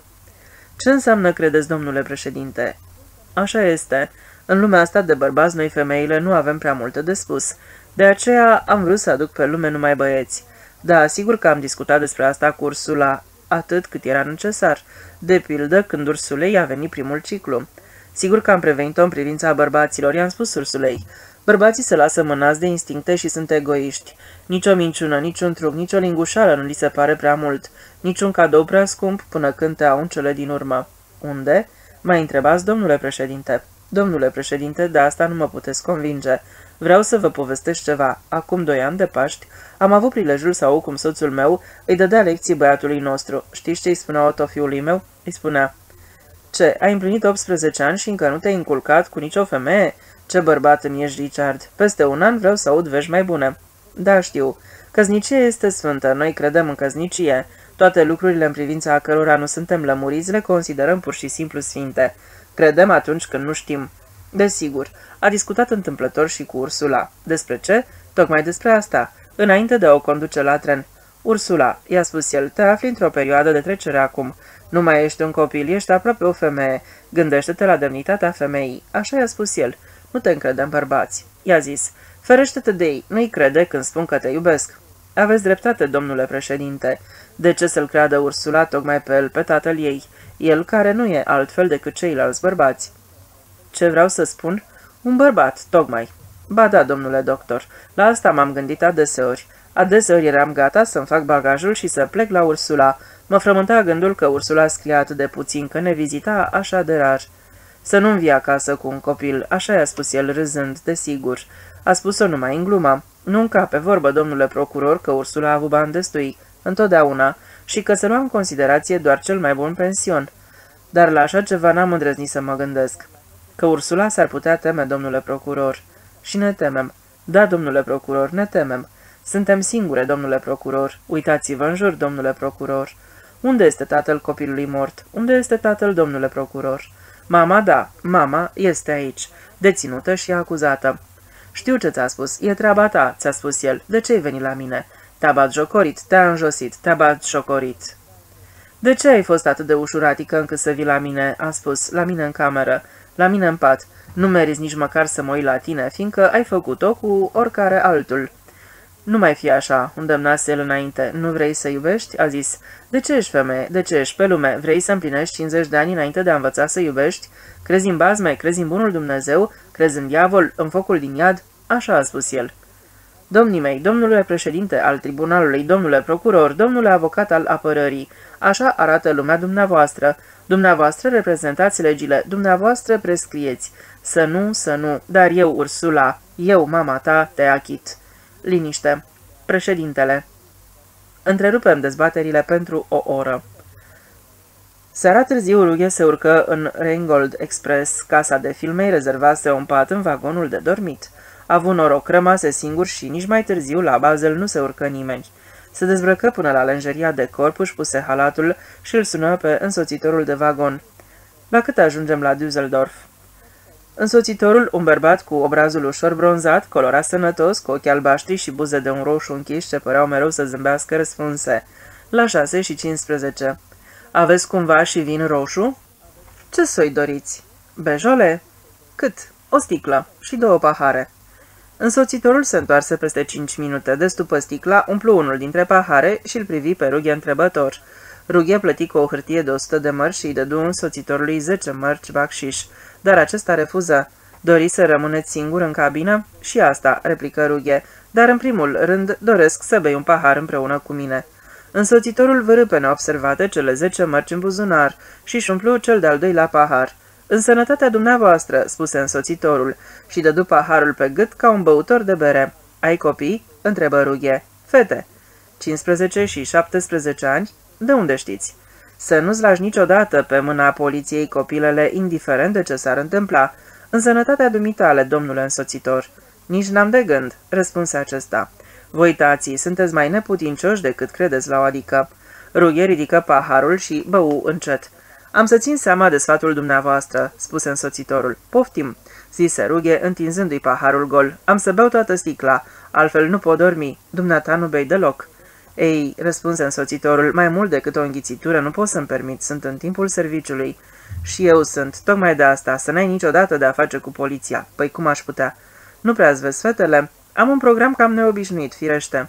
Acum vara, când serile sunt blânde și calde și ferestrele stau deschise când luna urcă plână în odăi, parcă au vorbind un poet. Nu se întâmplă nimic dacă fetele dumitale bat mingea în curtea din spate, până ce luna roșie și rotundă se ridică deasupra coamei albastre a acoperișului și tot nimic nu se întâmplă dacă în crengile castanilor și platanilor, în coroanele teilor stau ghemuiți băieții și sperie fetele. Da, da, asta făceam și noi pe vremuri și cum o mai făceam? răspunse însoțitorul. Și pică din coroanele copacilor în hora fetelor. Prinde-mă, ține-mă, ia-mă și faunii își ling buzele de mănăs fetele în semintuneric. Da, spuse însoțitorul, de, așa e tinerețea, dar vă rog să mă iertați, cred că am fost chemat. Între deschise ușa îngustă. Buzele fetelor sunt ca moscul. Însoțitorul râse prietenos și plecă. Rughe trase perdelele, stinse plafoniera și aprinse lămpița de noapte de deasupra patului. Se întinse și răsfăi ziarele, dar lumina era prea somnoroasă și chioară ca să poată citi fără efort. Lăsă ziarele să alunece jos și închise ochii. Târziu noaptea se trezi speriat din somn. Auzi un strigăt. Ursula Gama, rughe sări în picioare și smulse la o parte perdelele. Trenul trecea cu viteză mare peste macazuri, lumini galbene se succedară în goană.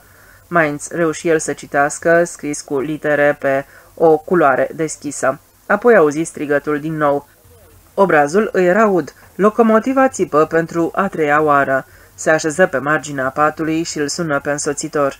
Poți să capăt micul dejun? De pe acum mai avem mult până la Düsseldorf. Rughe întinse o hârtie de zece mărci, dar însoțitorul nu văzu banii.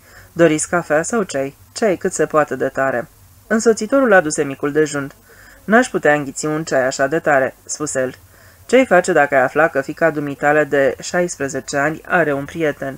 Însoțitorul lungea chiflele. Din partea mea, dar ei se iubesc. Da ce, noi n-am făcut curte, fac dragoste, nu brigita a mea. O fac de adevăratele, nu strigați așa. Și acum ce zici? I-aș bate măr. Altceva nu-ți vine minte? La vârsta pe care o au să nu... Să nu, să nu, să nu, dar ei o fac, domnule însoțitor. V-am mai spus, i-aș bate măr. Și dacă Brigitte vine acasă cu un copil, serios că nu știu despre ce vorbiți, ba, chiar și mai puțin nu știu de ce vă ascult. Aș vrea pur și simplu să știu ce-i spune. Nu m-am gândit niciodată la asta. Fetele dumitale știu ce au de făcut să nu rămână însărcinate? Trebuie să vă spun, domnul meu, Însoțitorul ieși cu spatele din compartiment. Rughe se rase. Între timp își bău ceaiul. Puțin după șase, trenul intră în Düsseldorf. La șapte rughe se și afla la hotel și se pregătea pentru vizita la prefectura poliției din Düsseldorf. La ora 8 fix era acolo și fu condus imediat în biroul șefului, unde repetă verbal dorința pe care și-o exprimase în scris. Șeful poliției judiciare o chemă la el pe șefa poliției pentru femei și rughe mai spuse încă o dată lecția, deși mult prescurtată. Fu ascultat, apoi condus printr-o mulțime de coridoare și printr-o mulțime de camere, îi se arăta arhiva și un plan uriaș al orașului Düsseldorf. Rămase până aproape de prânz. Temperatura creștea de la o oră la alta. Pe străzi asfaltul devenise negru și moale și tocurile cui ale pantofilor de damă rămâneau înfipte în el. După 11, deasupra orașului se abătu o furtună ca o rupere de nori și aburi imbibați cu gudron se ridicară până sus la etajul 4 și pătrunseră prin ferestrele deschise în camerele și în plămânii funcționarelor și funcționarilor poliției judiciare. O puștaică din Wuppertal, care nu împlinise încă 17 ani și pe care poliția judiciară pentru femei o culesese cu o noapte în urmă dintr-un bar unde era animatoare, făcu un acces de tuse, începu să se sufoce, așa încât asistenta care interoga a trebuit să cheme doctorul. Când acesta a apărut, accesul de tuse se și potolise. Rughi avea capul greu și abia înțelegea ceea ce îi se explica în detaliu și cu amabilitate. Îl interesa doar soarta fetei cu accesul de tuse. I se răspunse că ștrengărița va fi anchetată în aceea zi temeinic, că apoi va intra pentru câteva zile în carantină și, în cele din urmă, se va vedea ce mai e de făcut fie un orfelinat, fie, pentru că de acolo fugise, o școală de corecție. Rughe mulțumit și părăsi clădirea roșie. Mașinile își întipăreau în asfalt contururile cauciucurilor. Ce aflați la volan inspira o travă cu ceva oxigen. Rughe căută cu privirea un restaurant.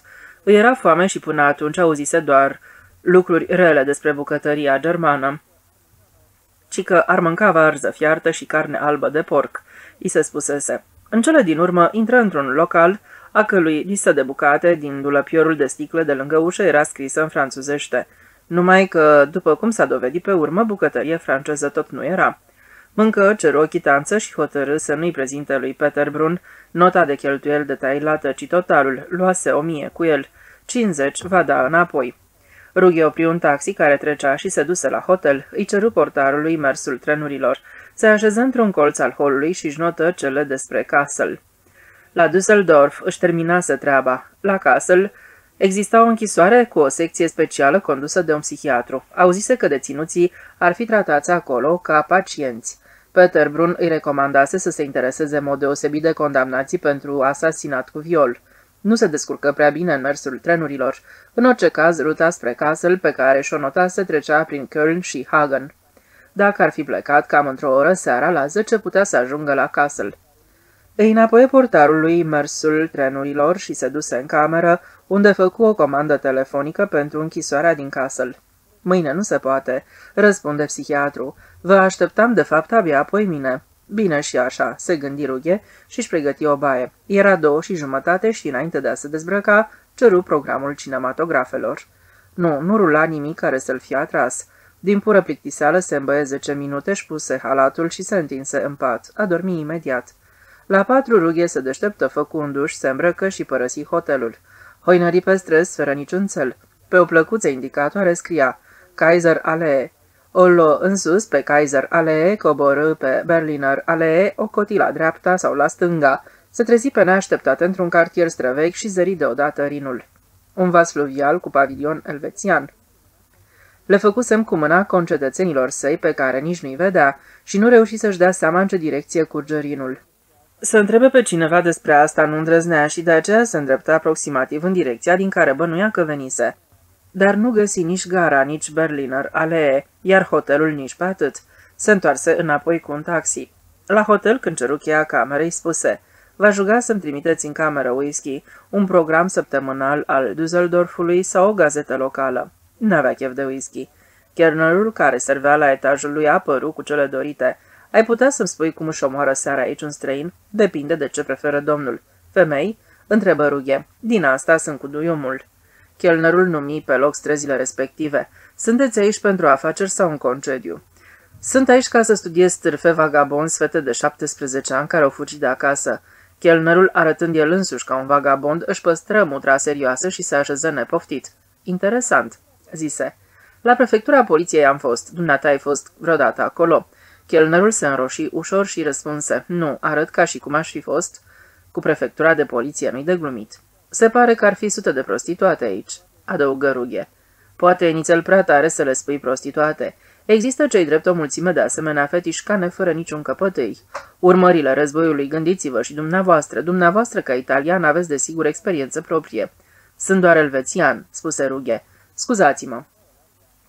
Animatoarele astea, spuse Rughe, mi s-a povestit despre ele la prefectură. Lasă că și poliția face întotdeauna un tărăboi. Animatoarele astea nu se culcă deloc cu clienții? Depinde dacă e un client cum se cade, dar bineînțeles nu înainte de închiderea localului. Și pe urmă sunt obosite. Ești chiar așa de sigur? Asta e bună, păi am lucrat eu însumi destul de mult timp într-un asemenea local. Vreți să încercați? Dar fiți cu ochii în patru. Ei, nu mă refer la boală, în ziua de azi sunt curate. Dar dacă o păpușică de asta spune că are 19 ani și de fapt are 16 și este prinsă, intra și dumneavoastră la apă și după ce anume pot vedea dacă are 19 ani sau nici măcar 17. Dacă doriți, vă dau o adresă.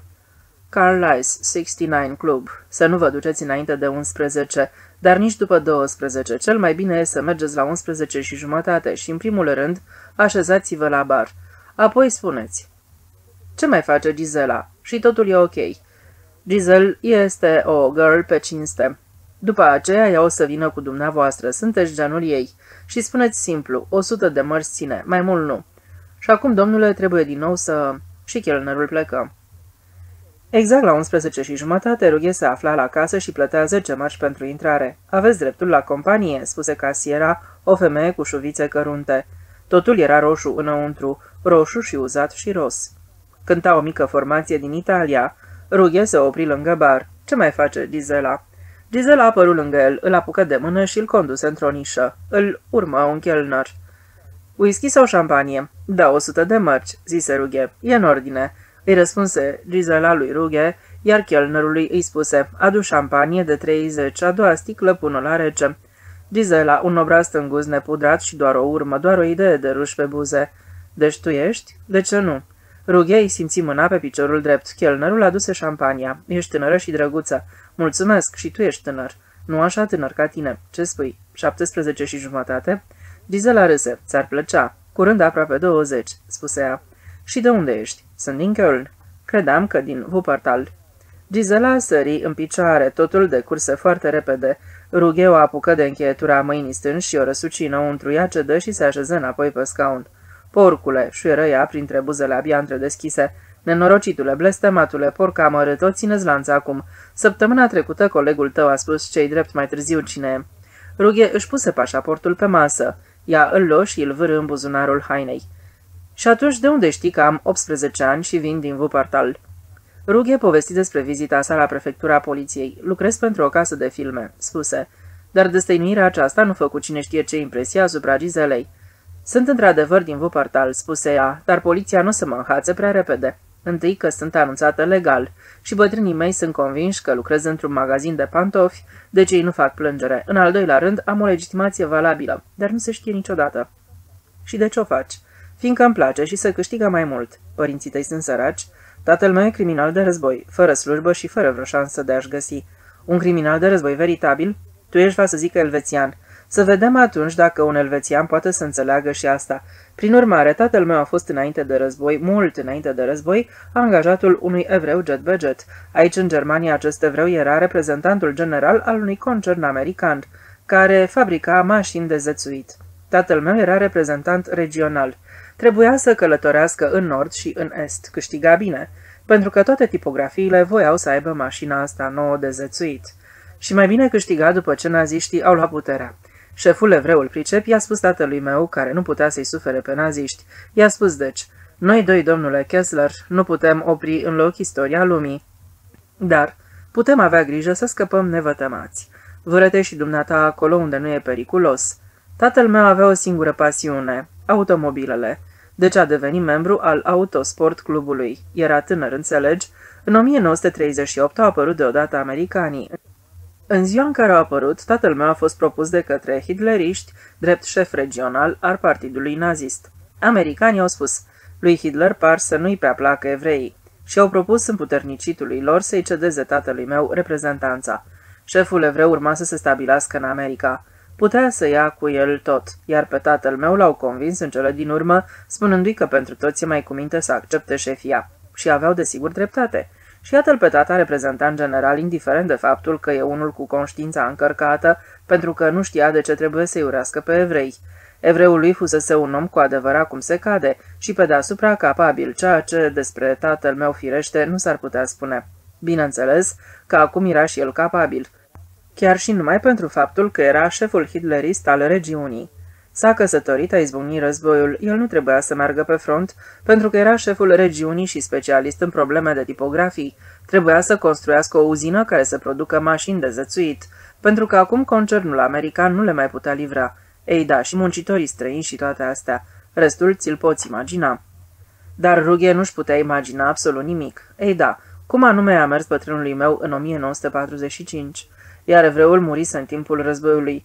A venit cel mai tânăr dintre fiii lui, în uniformă, și a zis, Kessler, porc nenorocit, l-ai furat pe tatăl meu, dar nu e adevărat, spuse Rughe. Ești un băiat cam ciudat, există desigur în exemplar unic, nu? Rughe tăcu. Stai până la patru, la patru închidem. Stau cât vrei. Deodată, Gisela îi luă obrazul în mâini și îl sărută, apoi îl cuprinse cu o mână de după umeri și în timp ce îl săruta în continuu și îl mușca de buza inferioară, începu să-l mângâie cu mâna dreaptă pe coapsa piciorului și șoptii. Vrei să te dau gata?" Gisela luă paharul de șampanie și îl goli dintr-o înghițitură. Îmi plac bărbații pe care poți să-i dai gata," spuse ea, dar vreau să mă dea gata și ei pe mine. Tu poți?" La patru când se închise localul, Rughe se duse cu Gisela la ea acasă. Avea într-un bloc o garsonieră cu nișă pentru gătit și baie. Rămase toată ziua următoare în apartamentul ei. După amiază, când Gizela plecă după cumpărături, își puse discuri, iar seara la 11 o conduse din nou la bar. Peste trei zile își reaminti de Cazel și se duse după amiază târziu la hotel. De acolo telefonă la închisoare și spuse că trebuie să amâne puțin vizita pentru că s-a îmbolnăvit. Îi telefonă și lui Peter Brun și îi spuse Până la urmă n-am scăpat. Aici bântui o gripă de vară puternică, nu se cunoaște virusul. De două zile zacă în pat cu 39 de grade, trimitem urgent bani. Trebuie să aștepte până la 9 când banii sosiră telegrafic. Peter Brun îi expediase imediat 2000. Rughe achită hotelul și la 9 jumătate fun apartamentul Gizelei. Merseră să mănânce împreună. Gizela știa un restaurant cu bucătărie bună franceză. La 11 și jumătate se aflau la bar. Gizela îl rugă să o scuze o clipă. Rughe se așeze la bar. Directorul localului veni și luă loc lângă el. De două ori black and white. Spuse el fetei de la bar, iar lui Rughe îi zise V-aș fi recunoscător dacă astăzi, în mod excepțional, ați renunțat la Gizela. Nu puteți avea pe Gizela noapte de noapte, doar pentru dumneavoastră. În afară de asta, personalul m-a înștiințat că în ultimile două nopți consumația dumneavoastră a rămas sub 100 de mărci. Rughe nu răspunse. Gizela a revenit și directorul localului comandă și pentru ea un whisky. La 12 și jumătate veni un client și întrebă, ce mai faci, Gizela? Gizela îl sărută pe Rughe pe gură. Pe mai târziu. Rughe rămase la bar și cam pe la ora 3 directorul localului se așeză încă o dată lângă el. Spuse, fetele noastre au mai multă nevoie decât celelalte femei de un prieten cum se cade și permanent. Peste trei săptămâni, Rughe își isprăvise banii de mult, dar Gizela nu întreba niciodată de bani și renunțase să mai aștepte la bar în clubul de noapte. O conducea acolo între 11 și 11 și jumătate, se înapoia în apartament și aștepta până la patru și jumătate să se întoarcă. Dar într-o dimineață de toamnă timpurie, nu mai furughe cel care o aștepta, ci o funcționară a poliției judiciare. Gizela o urmă la prefectură fără să obiecteze și află că prietenul ei era căutat de săptămâni de poliție și că, acum, în sfârșit, fusese găsit, iar între timp ar fi fost expulzat.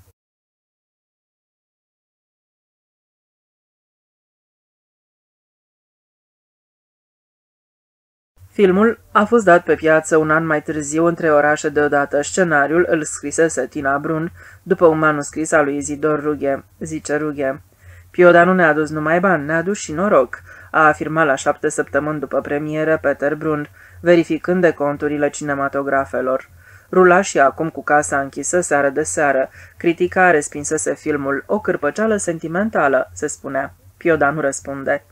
Îți mai amintești prima noastră discuție? Scăpasem cu fața curată atunci. Poliția din Düsseldorf trecuse cazul meu la dosar și mă expediase. Am ajuns sub escortă înapoi în mica mea țară frumoasă. Peter Brun m-a răscumpărat după ce m-a ascultat trei ceasuri în șir. N-aveau de unde să știu că mă răscumpărase numai pentru că povestea mea îl fascinase.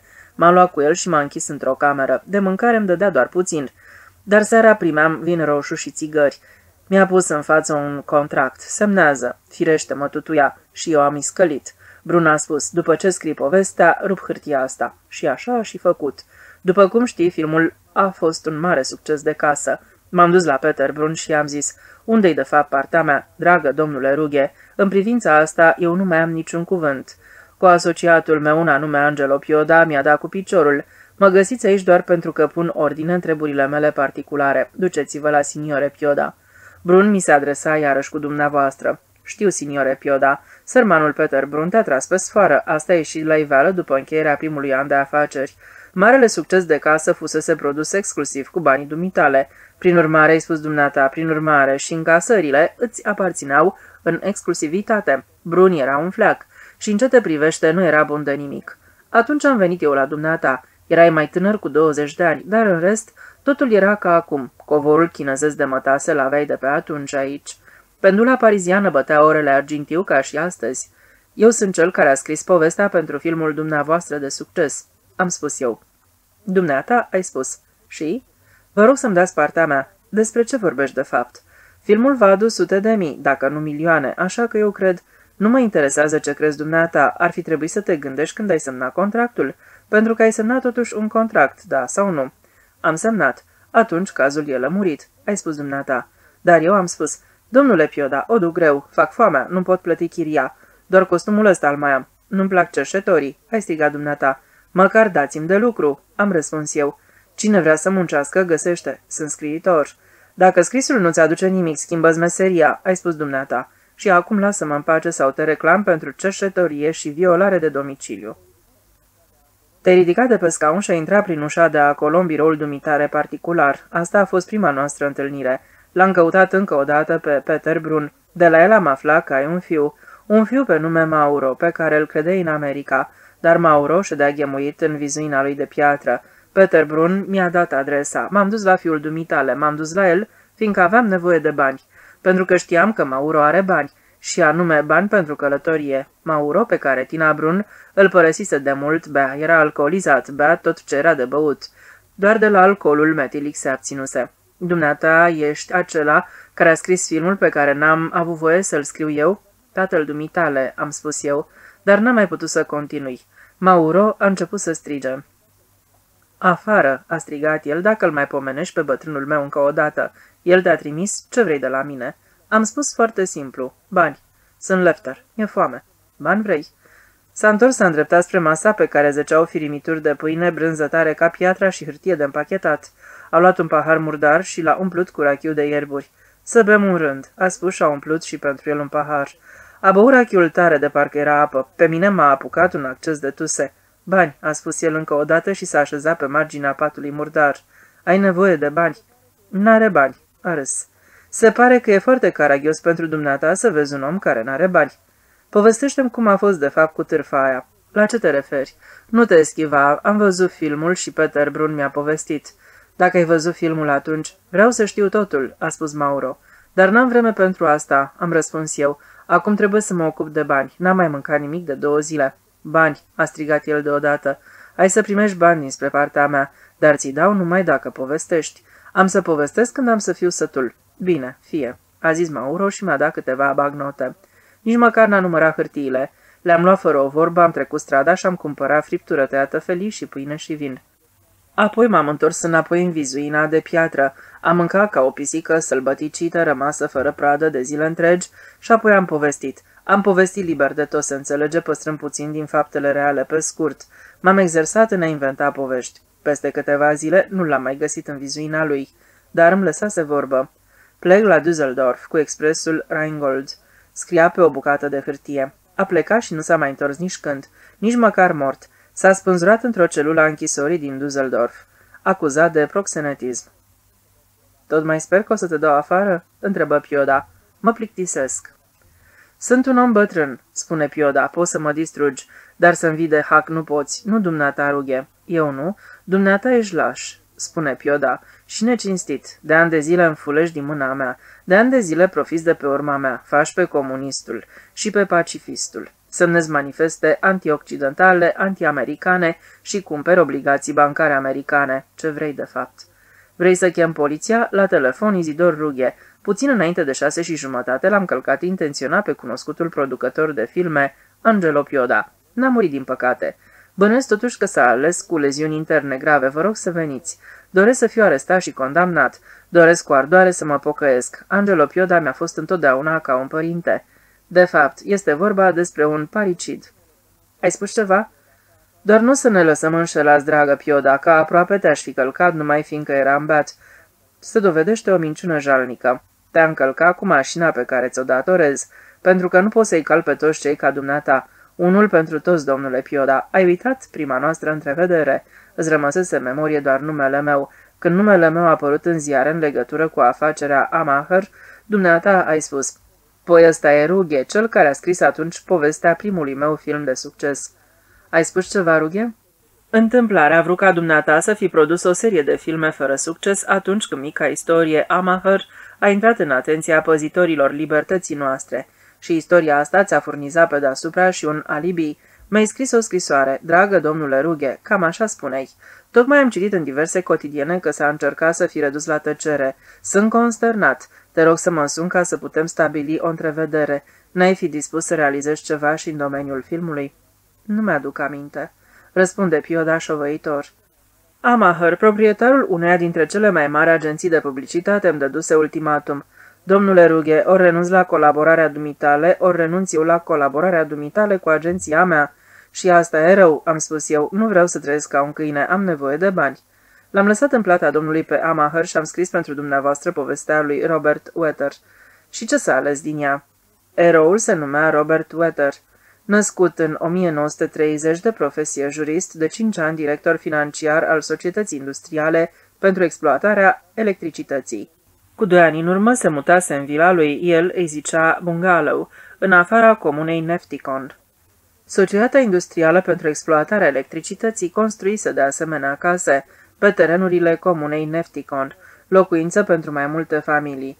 Robert Wetter stătea numai cinci ore pe zi la masa de lucru, în confortabilul său birou din blocul de beton al societății. Cu toate astea lucra 12 ore pe zi.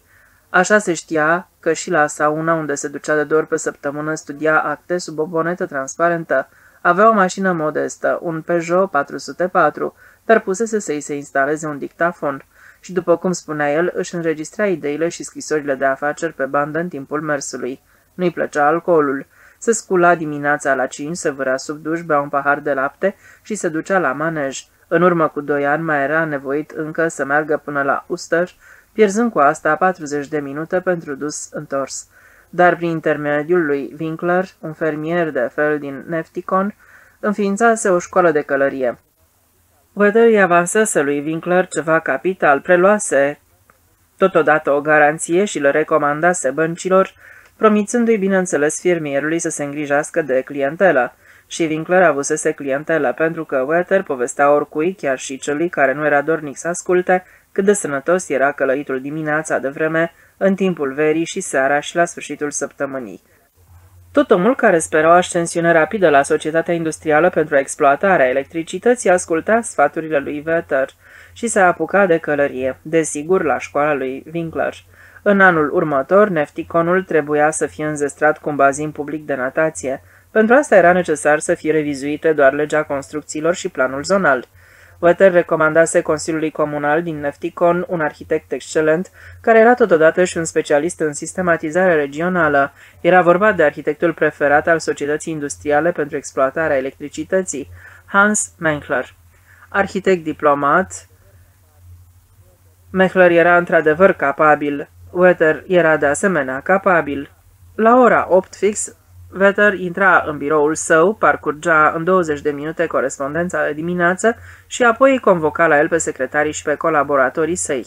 La 10 părăsea palatul societății industriale și întreprindea un marș, în cel puțin 10, de preferință chiar de 15 kilometri. Șoferul pus la dispoziția lui pentru afaceri pornea înainte și făcea opriri în patru locuri dinainte stabilite. Îl aștepta pe mărșăluitor și dacă acesta mai voia să parcurgă încă vreo câțiva kilometri, șoferul mergea la stopul următor. La 12 și jumătate lua un prânz simplu în compania altor directori. Iaurt, o porție de salată combinată, un grătar. La asta se adăuga lapte pasteurizat. De la 1 și jumătate până la 4 și jumătate, cele trei ore care mai rămâneau, le petrecea în biroul său. La patru și jumătate pleca la Nefticon, supraveghea lecțiile copiilor lui, Vara cosea peluza, iarna le citea copiilor o poveste. Robert Wetter relata cu plăcere cum că fusese al cincilea copil al unui salariat sărac și că jurase răzbunare societății. Răzbunare? Va lupta pentru dreptatea socială, n-ar fi vina Constituției noastre, spunea el, nici a legislației noastre. Vinovați ar fi poate acei indivizi care pretutindeni și întotdeauna sunt gata să ocolească legile. E cu minte, spuneau învățătorii. E cu minte, spuneau profesorii lui. Robert studiase, mama sa curăța seara birourile unei întreprinderi mijlocii. Asta aducea familiei exact surplusul de bani necesar fiului celui mai mic, Robert, ca să poată urma o școală superioară și apoi universitatea. Studiase dreptul vrând să devină un apărător renumit și eficient al celor lipsiți de drepturi.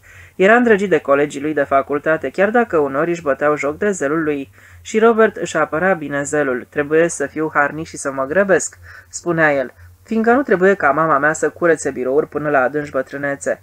Robert Wetter nu avea decât 24 de ani când își luase doctoratul în drept. Anul acela părea senin, dar pe la începutul toamnei se întunecă. Tatăl lui Robert muri de o apendicită depistată tardiv și Robert acceptă primul post care îi se oferi, deveni inspector financiar. Doar provizoriu, spuse el, țelul meu este... Dar temenicia și hărnicia, cinstea și loialitatea erau în firea lui și pentru că de toate aceste calități dispunea fără efort, ajunse repede un inspector financiar bun, istez, ba chiar subtil. Nu trecu nicio jumătate de an de la intrarea lui la secția financiară și nu mai a avut de-a face cu persoane civile, ci numai cu persoane juridice. Și acum munca îi făcea mai mare plăcere decât înainte. Nu rămânea la birou, numai în orele de program prevăzute, presta voluntar și fără vreo pretenție ore suplimentare. Seri trei și jumătăți de nopți și le petrecu împreună cu consilierii financiari ai unor mari societăți economice, industriale și comerciale. Seriozitatea se transformă în joacă, simpla îndeplinire a datoriei deveni pasiune. După altă jumătate de an, Wetter ajunse până acolo că își trata cu cel mai mare dispreț contractanții, cei inși lipsiți de orizont, cea creaturi lipsită de fantezie. Aici și aici, așa și așa, ați putea economisi milioane, spune el. Trebuie doar să vă treziți creierul adormit.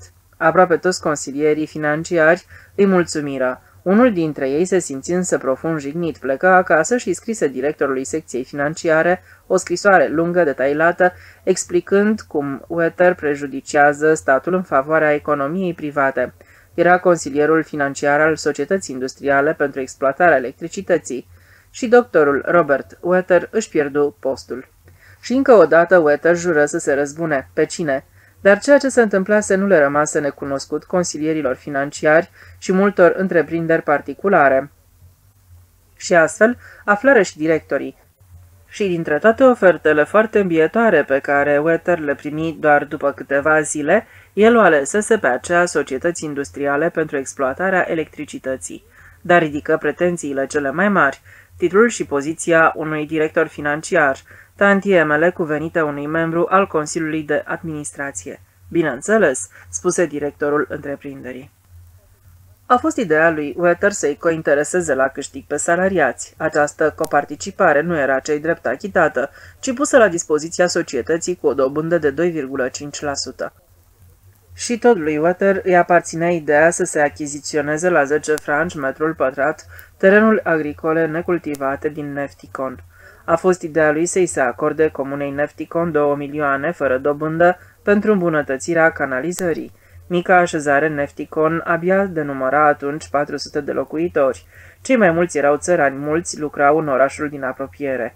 Și tot ideilor lui Wetter îi datorează comuna faptul că numărul locuitorilor s-a dublat, că fondul comunei dispune de mai multe mijloace decât alte fonduri comunale.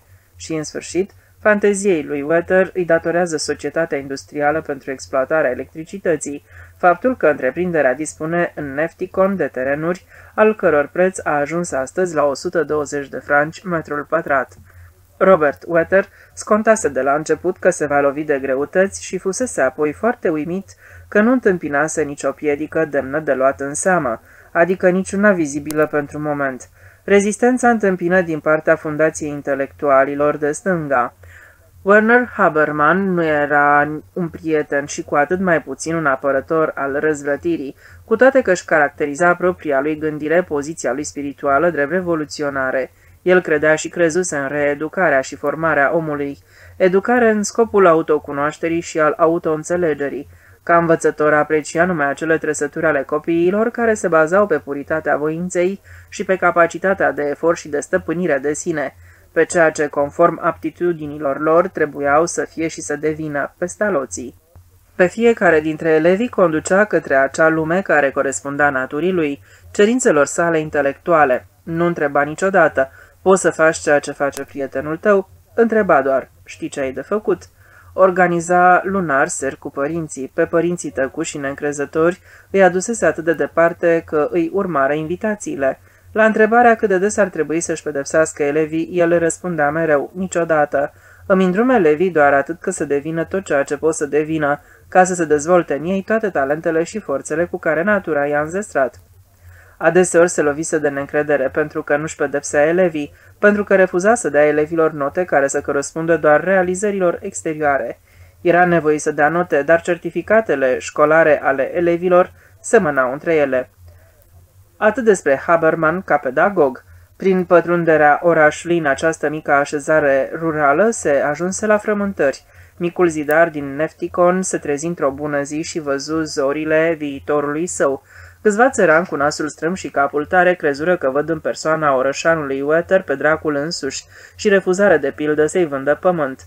Fantezia lui Robert Water era productivă, el nu se alia cu cei puternici, cu chiaburii satului, ci cu cei lipsiți, cu cei prejudiciați. Primul aliaș îl găsi în proprietarul unei mici întreprinderi de construcții, zidarul Carl Müller. Păcat, îi spuse Wetter acestui Carl Müller, că aici încă tu nu există atât de puțini oameni cu judecată. Îi cunosc pe oameni, spuse Müller. Cine are, are. Wetter a o idee. Înființăm un nou partid politic, îi propuse lui Müller. Înființăm Partidul Liberal din Nefticon. Dumneata, domnule Müller, ești inițiatorul. Dar să nu te adresezi chiaburilor și meșteșugarilor. Müller pricepu și întrebă cine va construi aici case, dacă se vor construi vreodată. Ar fi ușor de dovedit că asociatul firmei Müller Company se numește Robert Wetter. Răspunsul lui Wetter a avut drept rezultat faptul că Müller, care în acel an plătea impozit pe un venit de 6.000, plătește astăzi impozit pe un venit de 80.000, iar Partidul Liberal din Nefticon este astăzi partidul cu o majoritate absolută. Din el fac parte aproape toți chiriașii care locuiesc în blocurile societății industriale pentru exploatarea electricității. Werner Haberman a fost singurul care a intuit la timp pericolul. A fost primul care a avertizat. Cei drept n-a avertizat în legătură cu progresul economic. Ce motive ar fi putut avea împotriva bunăstării? Nu, el a avertizat împotriva abuzului, împotriva pericolului de manevrare insensibilă a omului. Vorbea cu oricare dintre cei pe care îi întâlnea pe stradă, dar discută chiar și cu elevii lui despre dezvoltarea comunei și încercă să afle adevărul înaintea lor sau odată cu ei. Examină pătrunzător, ascultă cu atenție și înțelese la timp adevăratele raporturi și, după cum am mai spus, nu tăcu. Desigur, Robert Water ar fi putut să treacă indiferent peste asta. Puterea el o avea banii și, din motivul acesta până la urmă, și majoritatea publică. Dar nătângul ăsta umanitarist îi displăcea. Mai târziu l-a caracterizat pe Haberman drept intelectual de stânga, a încercat să aducă dovezi că Haberman ar simpatiza cu comuniștii, ceea ce era adevărat, și singura năzuință a lui Wetter a fost începând de atunci să-l îndepărteze pe Haberman din comună. A strâns toate rapoartele către părinții elevilor mei, pe care Haberman le întocmise de-a lungul multor ani. Și înainte de toate își procurase caiete de istorie de ale elevilor lui Haberman. Rezultatul. Haberman le povestise elevilor săi că Martin Luther trădase reforma devenind un lacheu al principiilor sângeroși. La afișarea tezelor nici nu se ajunsese în realitate. Luther nu avusese absolut nimic împotriva iertării păcatelor. Îl supăra doar faptul că veniturile intrau în mâini care lui nu-i conveneau.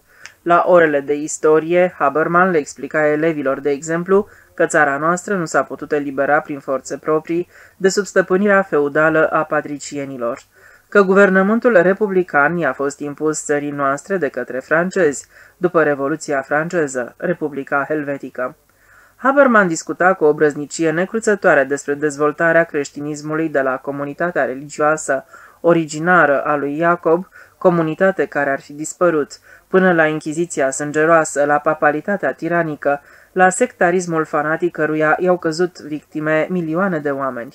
Haberman susținea pe față părerea că o, o rânduire socială liberală, după modelul european, n-ar fi poate tocmai potrivită pentru popoarele Africii și Asiei de Sud-Est, societatea socialistă fiind eventual soluția potrivită. Haberman le explica elevilor săi cât de important este de a ști că Gottfried Keller a fost un ateu și un liber cugetător. Haberman le istorisi că de când există omenirea, credincioșii ar fi persecutat întotdeauna pe necredincioși, niciodată invers. Haberman era împotriva înarmării nucleare a armatei noastre. Haberman participase de două ori la marșul de Paști. Haberman caracterizase armata drept un rău necesar și se declarase împotriva tuturor defilărilor și împotriva tuturor sărbărilor militare și așa mai departe. Un asemenea educator este un educator infam, îi spuse Robert Wetter lui Carl Müller. Îi dădu patru foi cu citate și comentarii multiplicate. De altfel, adăugă Wetter, nu vreau să mă amestec în problemele de politică internă ale comunei. Mai mult până o să locuiesc aici.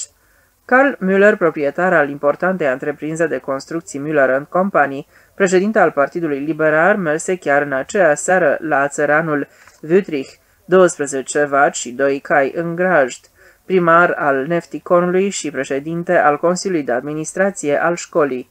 Wütrich parcurse cele scrise și spuse, Haberman e învățător la noi de șase ani și e cel mai bun învățător pe care l-am avut.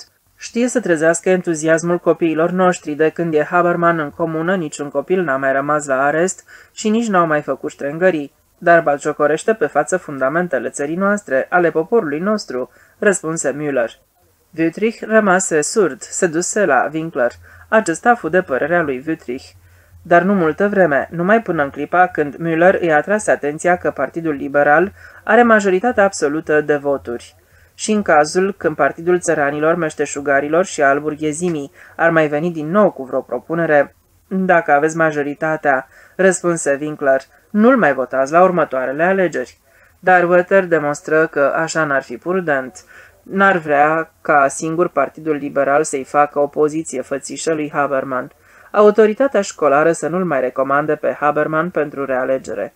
Apoi Wetter făcu propagandă împotriva echitației matinale pe cai lui Winkler. Wetter îi molipsi pe mulți.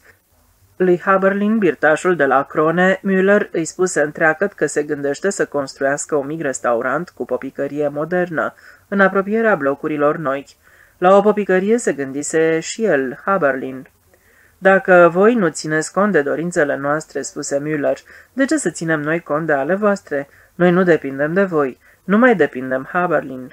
Au trecut vemurile alea.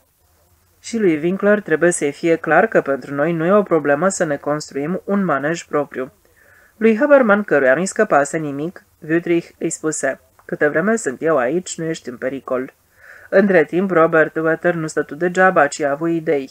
Fiindcă avem majoritate absolută, îi spuse el lui Carl Müller, prezidiumul comunal ne aparține tot nouă de fapt.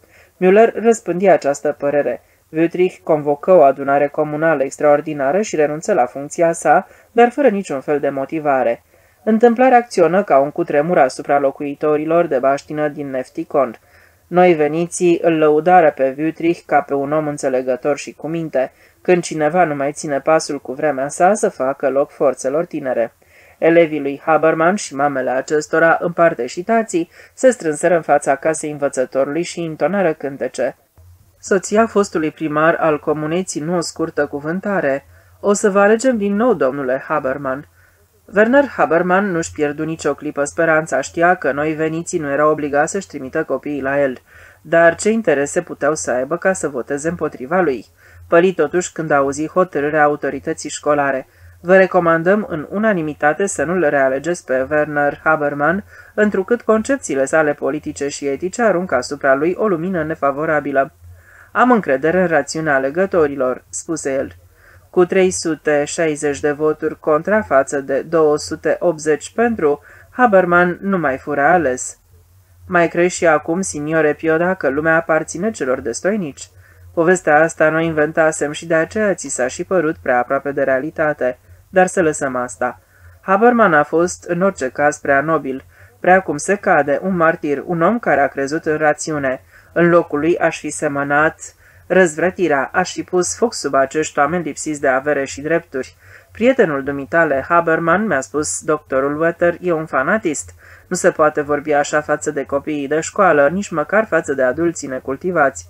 Prietenul dumitale n-a semănat decât confuzie în inimile acestor oameni simpli. Și dumneata, domnule director, uită-te în jur. Aici alături e proiectat strandul. Se fac planurile pentru o școală nouă. Întreprinderile de transporturi din oraș vor inaugura o linie de autobuz până la Nefticond. Economia înflorește. Nu avem nici șomeri, nici oameni realmente săraci. Chiar la primăvara viitoare, 12 tineri, fete și băieți vor începe cursuri profesionale în întreprinderile noastre. Aveați acest cel în fața ochilor când ați plecat de la universitate, domnule director? Mă privi și spuse cu glas hotărât, da. Nici măcar nu asculți, spune Rughe. Dorm tot timpul.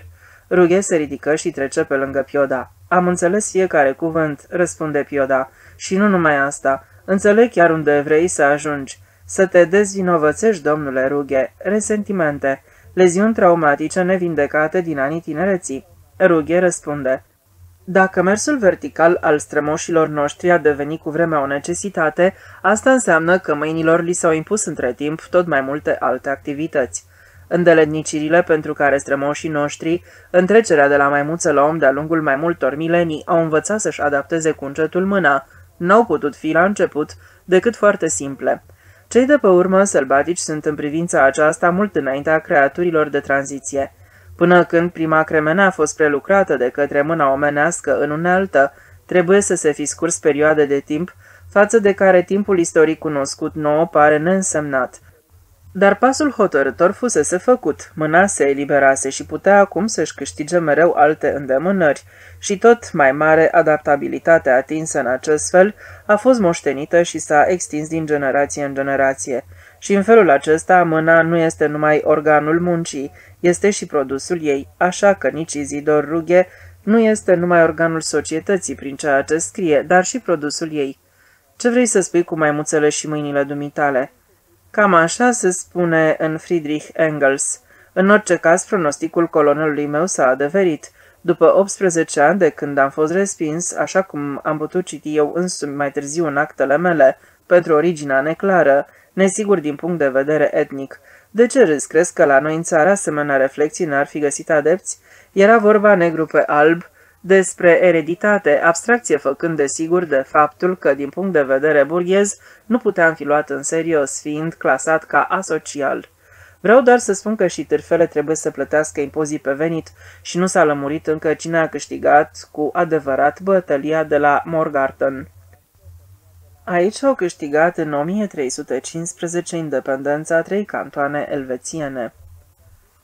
Se zvonește că von Reding i-ar fi asmuțit pe asocialii surghiuniți și pe răufăcători împotriva austriecilor și că surghiuniții ar fi considerat intrarea în luptă contra austriecilor drept o adevărată căință, drept o ispășire. Faptul că tocmai eu aproape l-am călcat cu mașina pe Pioda se poate explica numai pe baza unei cercetări dialectice. Și ce vrei să explici cu asta, domnule Rughe? Tot ce înțeleg e că vrei să te disculpi, Victima e mai vinovată decât criminalul, naiba soia dialectica dumitale, spune Pioda. Deci, storiul despre Wetter ți s-a părut prea puțin potrivit pentru film.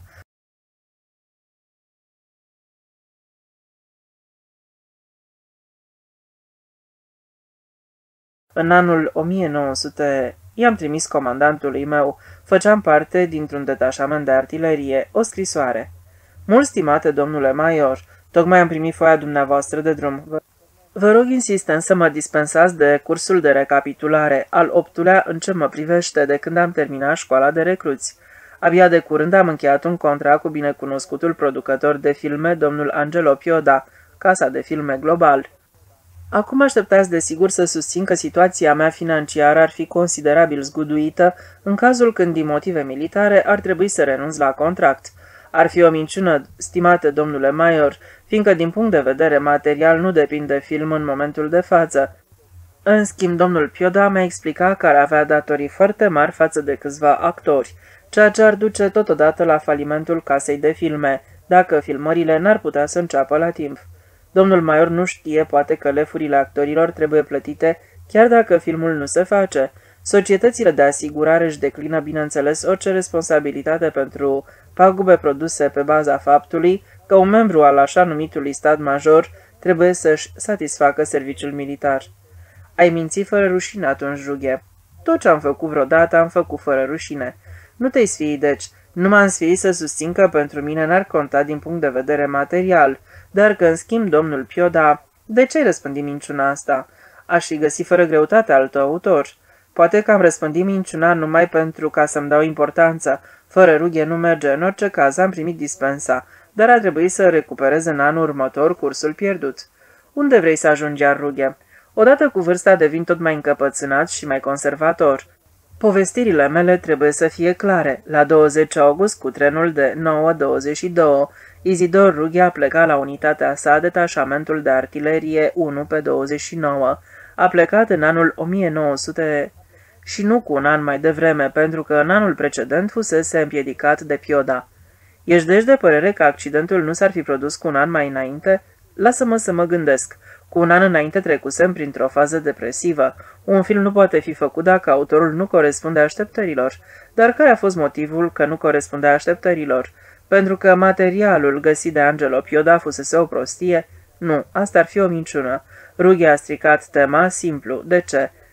Dar ce legătură are asta cu accidentul? Să presupunem că m-aș fi dus la armată cu un an înainte. Dispoziția mea era proastă, eram un pesimist. Aș fi stricat și dispoziția trupei în lipsa unui subofițer, comandantul de pluton, nu m-ar fi numit în niciun caz pe mine șef de grupă sau comandant de tun. Din nou socoteală greșită. Era vorba, dacă mi-amintesc bine, de ultimul curs pe care contingentul dumitale trebuia să-l absolve. Deci, toți fuseseră încorporați. Soldați, subofițeri și ofițeri erau practic prezenți în front. Nu trebuiau numiți tunarii ca șef de grupă. Asta e adevărat.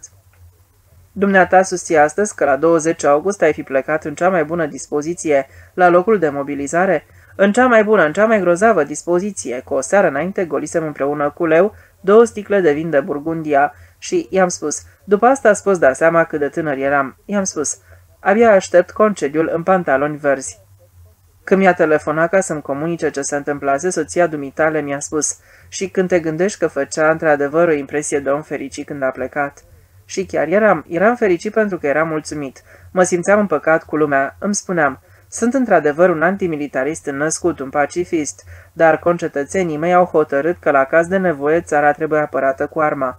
Și după aceea, când m-am gândit și la fasciști, la faptul că în caz de nevoie propria țară va trebui apărată cu arme în fața propriilor fasciști, mi-am zis. Rughe, și ție poate să-ți fie într-o bună zi de folos instruirea pe câteva arme de foc portative și pe câteva tunuri. Așa vorbea și se gândea Izidor Rughe? Rughe se maturizase. Dezgustător, spuse Pioda. Cine dezgustător? Rughe care și-a făcut datoria sau ceilalți care, deși îl tratau ca pe un fecior de cățea, l-au repartizat totuși în divizia lor? De altfel trebuie să știi că în viața lui de până acum Rughe s-a întors de trei ori în satul tinereții sale, de fiecare dată în uniformă, fiindcă el aparținea acelei divizii de munte care în caz de nevoie urma să apere cu arma ținutul munții copilăriei sale. Când un recrut, care trebuie să se prezinte pentru primul lui curs, a tras semnalul de alarmă cu 10 km înaintea locului de mobilizare, Rughe nici măcar nu s-a supărat, a zâmbit doar. Trenul s-a oprit și impegații au controlat acuplajele. Că unul dintre noi ar fi putut trage semnalul de alarmă nu le-a dat lor prin cap, din moment ce în tren se aflau în exclusivitate militari. Nu l-au descoperit pe infractor, Rughe însă l-a găsit, o față palidă, prelungă și cu păr camata s-a crescut peste urechi. Comandantul trenului, un locotenent repartizat doar provizoriu la unitatea noastră și trebuind de asemenea să recupereze un curs de la care lipsise în anii precedenți, a examinat în trecere grupa noastră, s-a oprit în fața obrazului alb și a întrebat apoi blând, Ce fel de medalie de vitejie e asta?" Tăcere. Ei? Este insigna adversarilor armei atomice. Vai de capul meu, a spus locotenentul, și pe unul ca ăsta ni-l trimi nouă. Tânărul l-a strâns din din și locotenentul a ordonat. Casca pe cap, în 30 de minute totul să fie împachetat. În continuare urmează aprovizionarea, apoi îmbarcarea, predarea drapelului va avea loc în mers. Ce înseamnă în valuri, domnule locotenent? Dar locotenentul făcuse stânga împrejur și plecase mai departe. Eu, după el, m-am prezentat regulamentar și i-am spus, domnule locotenent, propun să îndeplinim misiunea fără căști pe cap. Exersăm mobilizarea ca pentru timp de război, a spus locotenentul. Pajiștea ieșea cosită ca în timp de război și predalea trapelului mers și circulația civililor pe autostradă. Bine, căștile jos. Dar să nu se fumeze, asta e clar. Cu unul din ăsta tratați dumneavoastră?" a întrebat celălalt. Casca jos," a spus Rughe. Dacă îi dăm zor în 15 minute, terminăm cu împachetatul și ne întindem la umbră și fumăm." Celălalt, cum mi se spunea mezinul, stătea deoparte fără să pună mâna. I-am dat zor și, după cum prezisesem, în mai puțin de 20 de minute am isprăvit treaba. Domnule locotenent, raportez grupa X gata pentru pauză. Cum te cheamă pe dumneata? Rughe, domnule locotenent. Atunci asta e grupa Rughe. Nu se poate, domnule locotenent. Cum nu? Eu sunt pacifist și membru în comitetul central al adversarilor armei atomice. Și cu toate astea știi că ordinul e ordin. Bineînțeles, domnule locotenent. Și că ordinele trebuie executate? În armata noastră sunt executate doar ordinele raționale, domnule locotenent. Noi suntem doar niște civili de ghizași cetățeni camuflați, care nu înțeleg nici măcar de ce ofițerii poartă haine mai frumoase, dorm în paturi adevărate și se bucură de alte avantaje. Ordinul meu e rațional? E cel mai rațional ordin pe care l-am auzit vreodată în armata noastră. Sunteți cinic, a spus mezinul. O pornisem către un copac și când m-am întors se afla în fața mea. În general aici ne tutuim, am spus eu. Bine, ești cinic, Rughe. Ce se întâmplă cu tine, de fapt? E foarte neplăcut aici, mi-a răspuns. O să fie și mai neplăcut, dacă ai ști cum era când am început eu, acum 15 ani. Așa, și cel de colo, zece pași în față, la dreapta, ia priviți-l mai bine, ce cu el? Toți au tăcut. Am întrebat, ce cu el? A repetat colonelul. Asta e frizură? Și cum îl cheamă? Numele meu e Rughe, domnule ofițer. La mine sub locotenent. Ia-l pe omul ăsta în spatele cazărmii și mâine să fie cel mai bun recrut al bateriei. Ce sunt eu? Ce grad am? Sublocotenent. După sublocotenent ce urmează? Locotenent. Și apoi capitan. Și apoi... Rughe nu știa mai departe, avea un lapsus. După capitan urmează major, după major locotenent colonel. Comandantul nostru e locotenent colonel, dar îi se spune colonel. Când ești la raport, spui, domnule colonel, sunt unarul Rughe, înțelegi? Am dat din cap. Da să trăiți, domnule sublocotenent, se zice. Da să trăiți, domnule colonel. Nu, domnule sublocotenent. Colonel e celălalt și să raportezi tare, Rughe, tare, cât te ține gura. Strigă, gata. Strigă și te las în pace. Da să trăiți, domnule sublocotenent, am strigat eu. Grozav, și acum părul, ce cu el? Am tăcut. Du-te imediat la frizer. tunde părul ca un iuncker prusac, așa-i place bătrânului. Du-te. Raportează de plecare. Domnule sublocotenent, raportez, plec la frizer. Hai, hai, domnule sublocotenent, am spus eu, mai tare. Domnule sublocotenent, văd că nimeni nu se întreabă, oare frizerul e pe gratis? Dar cum ai venit dumneata la armată, fără bani? Am avut bani, nu mulți, dar i-am promutat unui prieten și ăla... Deci n-ai niciun șfanț. Ei bine, îți dau eu doi franci, poți să-mi restitui la soldă și acum du-te. Domnule colonel, sunt onoarul Rughe, pe loc repaus, excelent onoar Rughe, și acum să inspectăm echipamentul personal. Ne aflam din nou în curtea cazărmii pe, pe cerul fără nori soarele de ora 11, casca jos, centironul jos, baioneta jos, dezbrac tunica. Rughe, ordonați, domnule colonel. Zece pași înainte la dreapta. Se află din nou la o distanță periculoasă. ce asta, Rughe? Un jnur, domnule colonel. Nătângule, asta văd și eu, ce cu jnurul ăsta? Domnule colonel, jnurul acesta are menirea să împiedice pantalonii. Ceilalți s-au pornit pe râs. Liniște, a zbiera colonelul. Ținuta asta corespunde prevederilor militare rughe. Domnule colonel, nu cunosc prescripțiile militare referitoare la asta. Par să de cam obrăznicești, jughe. Bagă de seamă, la mine sublocotenent. Sublocotenent, 30, nu, 40 de minute, pistă cu obstacole cu tunarul rughe. Nu acum diseară. Domnule colonel, îmi permite să vă explic ceva? Oricând sublocotenent. Sublocotenentul vorbea atât de încet încât eu nici nu-l înțelegeam. Colonelul s-a îndepărtat 20 sau 30 de pași, apoi a strigat. Tunar, rughe la mine. Treci în partea dreaptă, rughe. Aud prost cu urechea stângă. Da să trăiți, domnule colonel. Îmi pare rău, rughe, pentru ce s-a întâmplat. N-am avut încă timp să-ți văd actele. Sublocotenentul mi-a atras însă atenția acum în legătură cu asta. N-ai deși părinți, da? Și nici rude. Deci ce vreau să spun, rughe, pe viitor, bizuete pe mine dacă ceva nu în regulă. Da să trăiți, domnule colonel. Încă ceva, rughe. Un element bun, doar unul singur într-o baterie, poate să facă minuni. Dar să nu exagerezi, nu-i așa, fără slugărnicie. Nu-i așa? Poți să pleci. În a doua jumătate a instrucției recruților. Îmi pare cu adevărat rău, domnule colonel, că am spus-o. Ai spus într-adevăr, idiotule. Mai mult chiar, am țipat la el, idiot nenorocit și tâmpit, ce ești? Asta trebuie să o pedepsezi, rughe. Dar între noi fie vorba, domnule colonel. Caporalul ăsta e cel mai mare idiot pe care îl avem. Nu vorbi așa, rughe. Bag mâna în foc, domnule colonel, dacă școala de ofițeri raportează că bateria noastră a lucrat mizerabil, numai el e de vină. Așa? Vedeți, domnule colonel, al minter mă lasă pe mine întotdeauna. Ce te lasă? La inspecție să împart echipele de tunari. Tu le împarți? Doar cunosc oamenii mai bine decât oricare altul. Îi au întotdeauna pe cei cărora le place jocul, nu pe cei militaroși, pe ambițioși. Asta trebuie să mi explici mai bine, rughe. Vreau doar să spun că tunurile astea de 34 sunt totuși arme rafinate. Dar dacă ar fi vorba odată cu adevărat despre avioane de vânătoare cu reacție. Pentru așa ceva sunt prea greoaie, dar un Spitfire aș doborâ. Crezi? Sigur. Numai că dacă vreau într-adevăr să dobor un Spitfire, nu pot în niciun caz să țin cont de mânuirea învățată. Ce? Nici la demonstrații nu ne folosim de ea. De asta tunurile mele sunt gata de tragere cu mult înaintea celorlalte. Și cum faceți? Le schimbăm direcția prin rapiditatea mișcărilor noastre, dar tocmai astăzi, când școala asta de ofițeri vrea să învețe ceva de la noi, pe el îl apucă ambiția. Astăzi vrea să comande el, să arate el că... Rughe, el este subofițer, nu tu. Nu-i contest gradul, domnule colonel, dar, dar nici nu poți să-l faci idiot. Sau dacă tot o faci, atunci cel puțin nu țipa așa de tare ca să audă toți. Trebuie să te pedepsesc. Trei zile de arest sever. Înțeleg, domnule colonel, dar am o singură rugăminte. Ei, nu poți să executa arestul în timpul vacanței mari? Nici nu se discută. Pleci la fel cu toți ceilalți. Sau... Vrei să spui cu asta... Nu știi încotro, n-ai bani, nicio scuză, rughe. Unul care fumează și bea din când în când câte o bere, își termină repede soldat de recrut amărât. Aș putea să dorm și să citesc în arest. Bun, am să mă mai gândesc la dorința ta, mai gândește-te și tu. Nu vreau să te silezi la nimic. Iar la sfârșitul școlii de recruți. Ceea ce trebuie să spun astăzi nu-mi place deloc. Eu sunt de altă părere și aș hotărâ în sens contrar, dar în privința asta n-am nimic de raportat.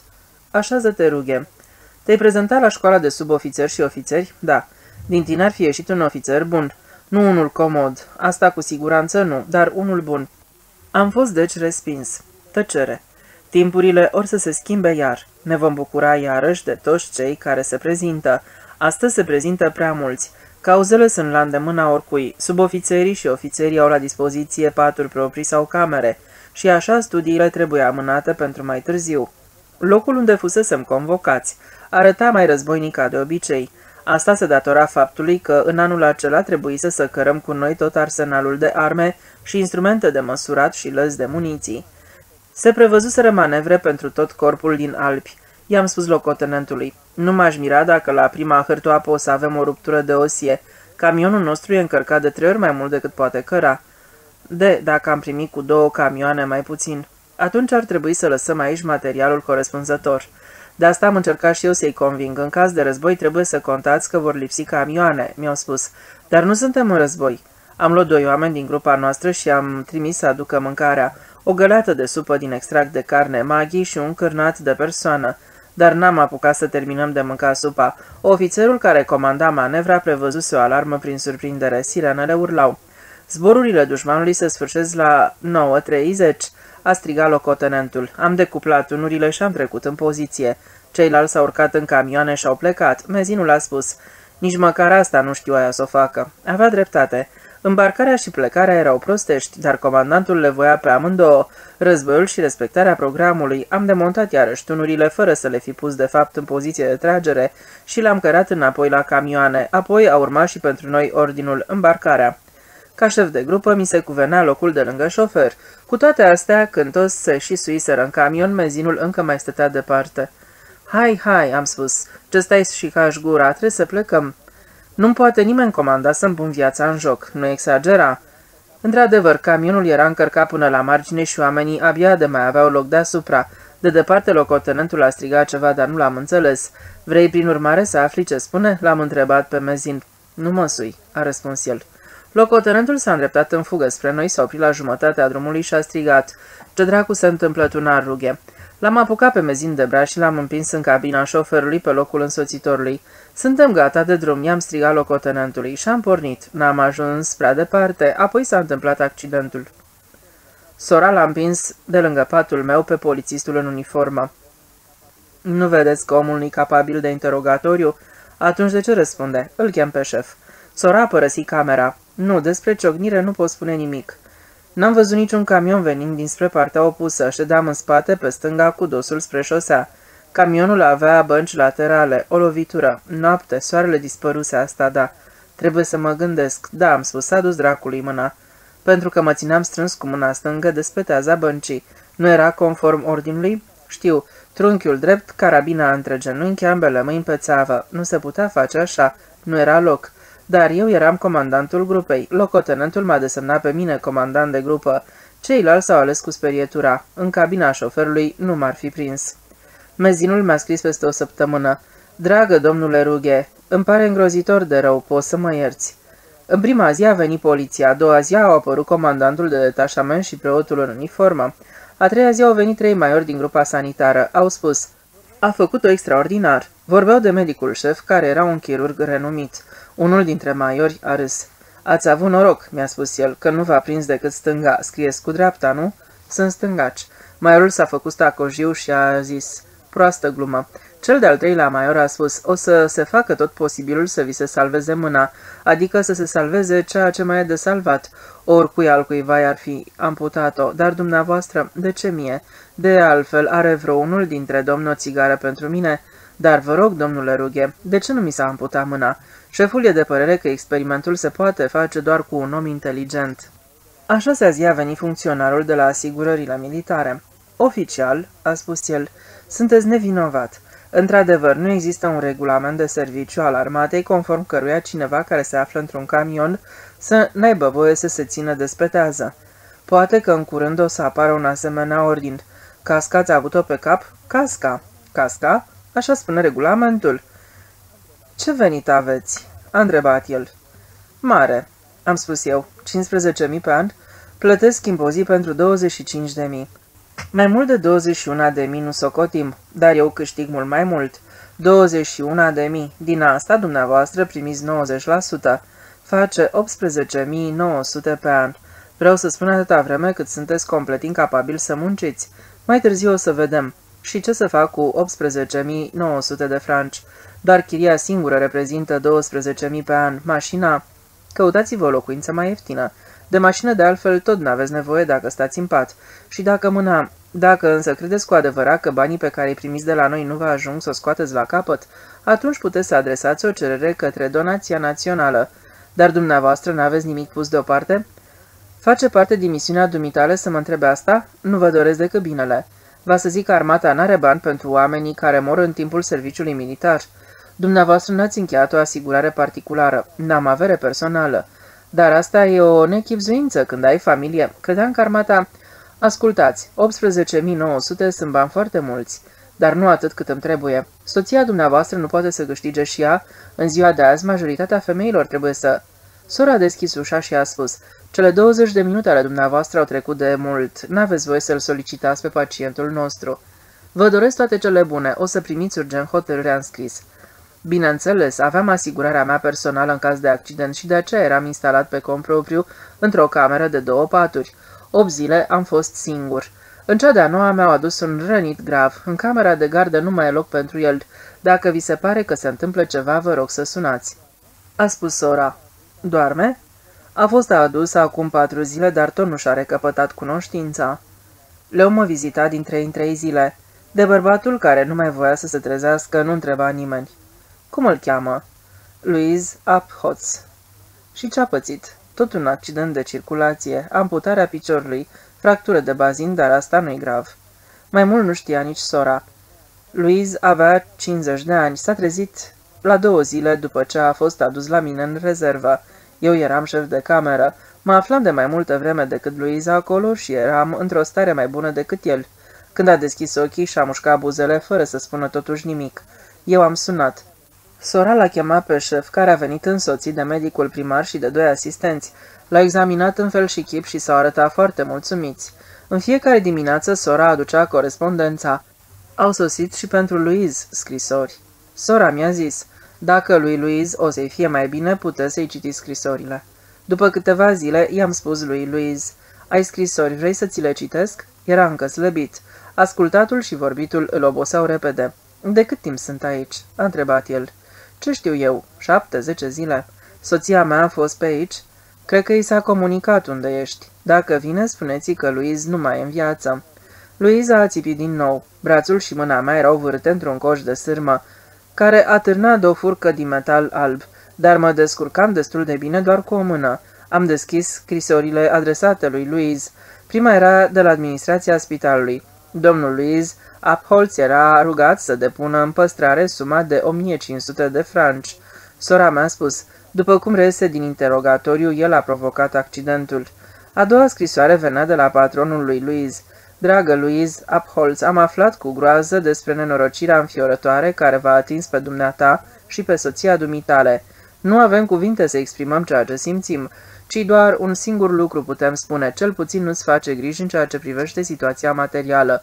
Mașina era asigurată și în caz de provocare de accident, așa că împrumutul acordat pentru aceasta de firmă, mai departe n-am citit.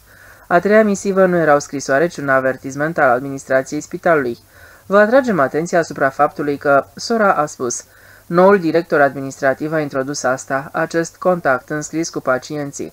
În al patrulea plic era nota de plată trimisă de un garaj care transportase vehiculul avariat de la locul accidentului, iar în al cincilea plic se afla doar o enumerare de cheltuieli.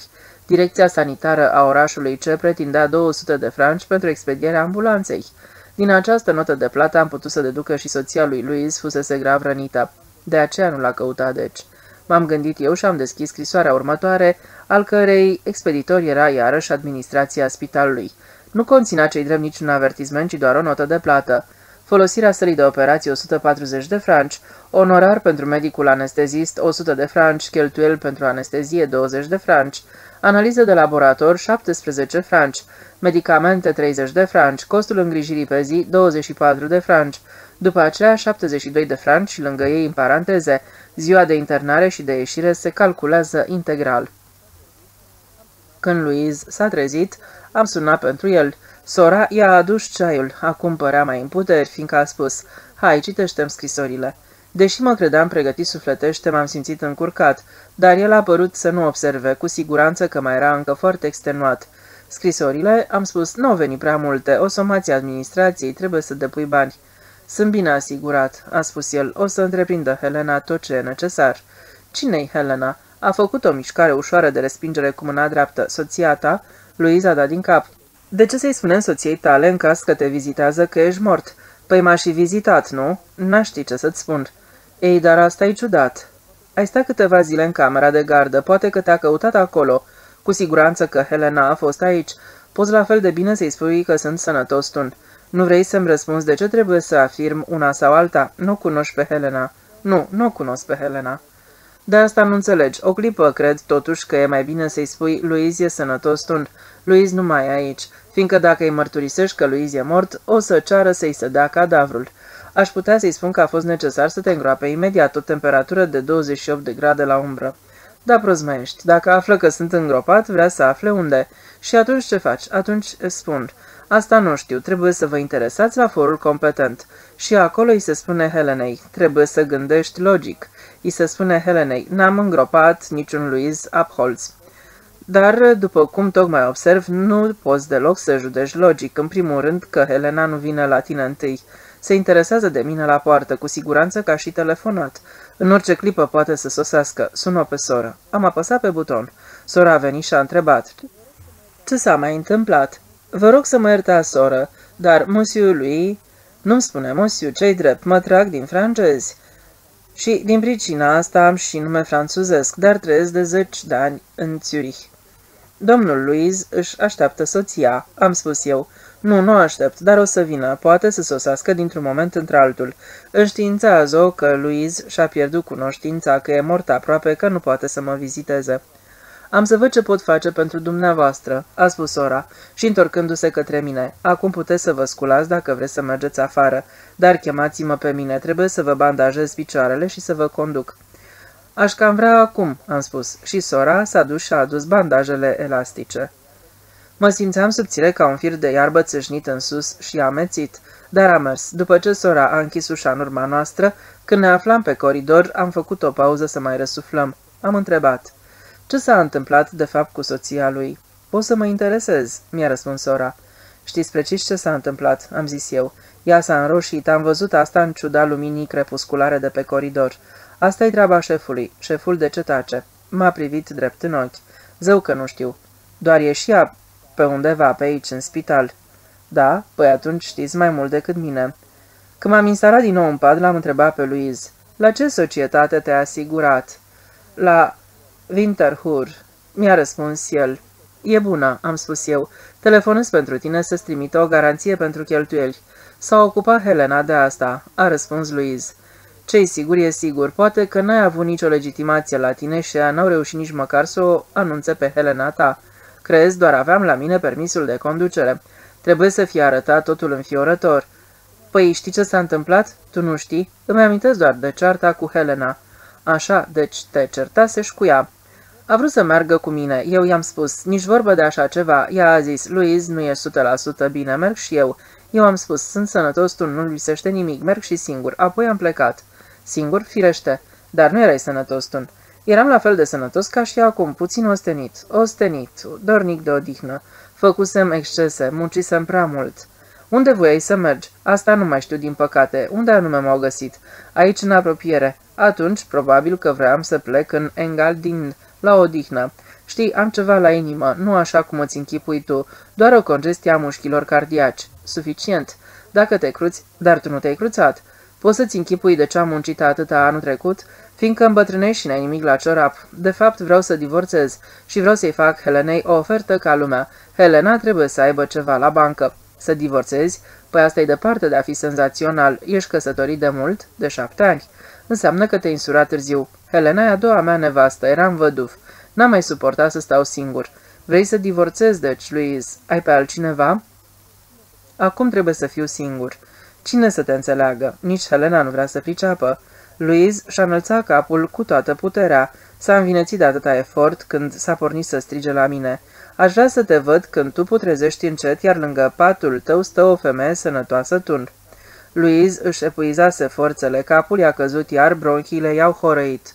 După ce a adormit, am cerut legătura cu societatea de asigurări Winterhur. Deși tot ce știam era numele lui Louise și faptul că locuiește la Zurich, am descoperit despre cine era vorba. Sunt fratele lui, am spus.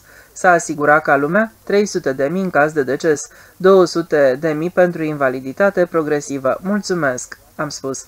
Au făgăduit să trimite imediat o acoperire pentru cheltuieli.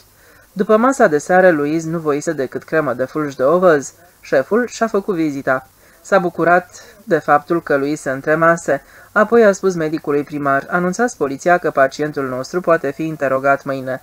Apoi a dat pătura la o parte și s-a aplecat peste picioarele lui Louise.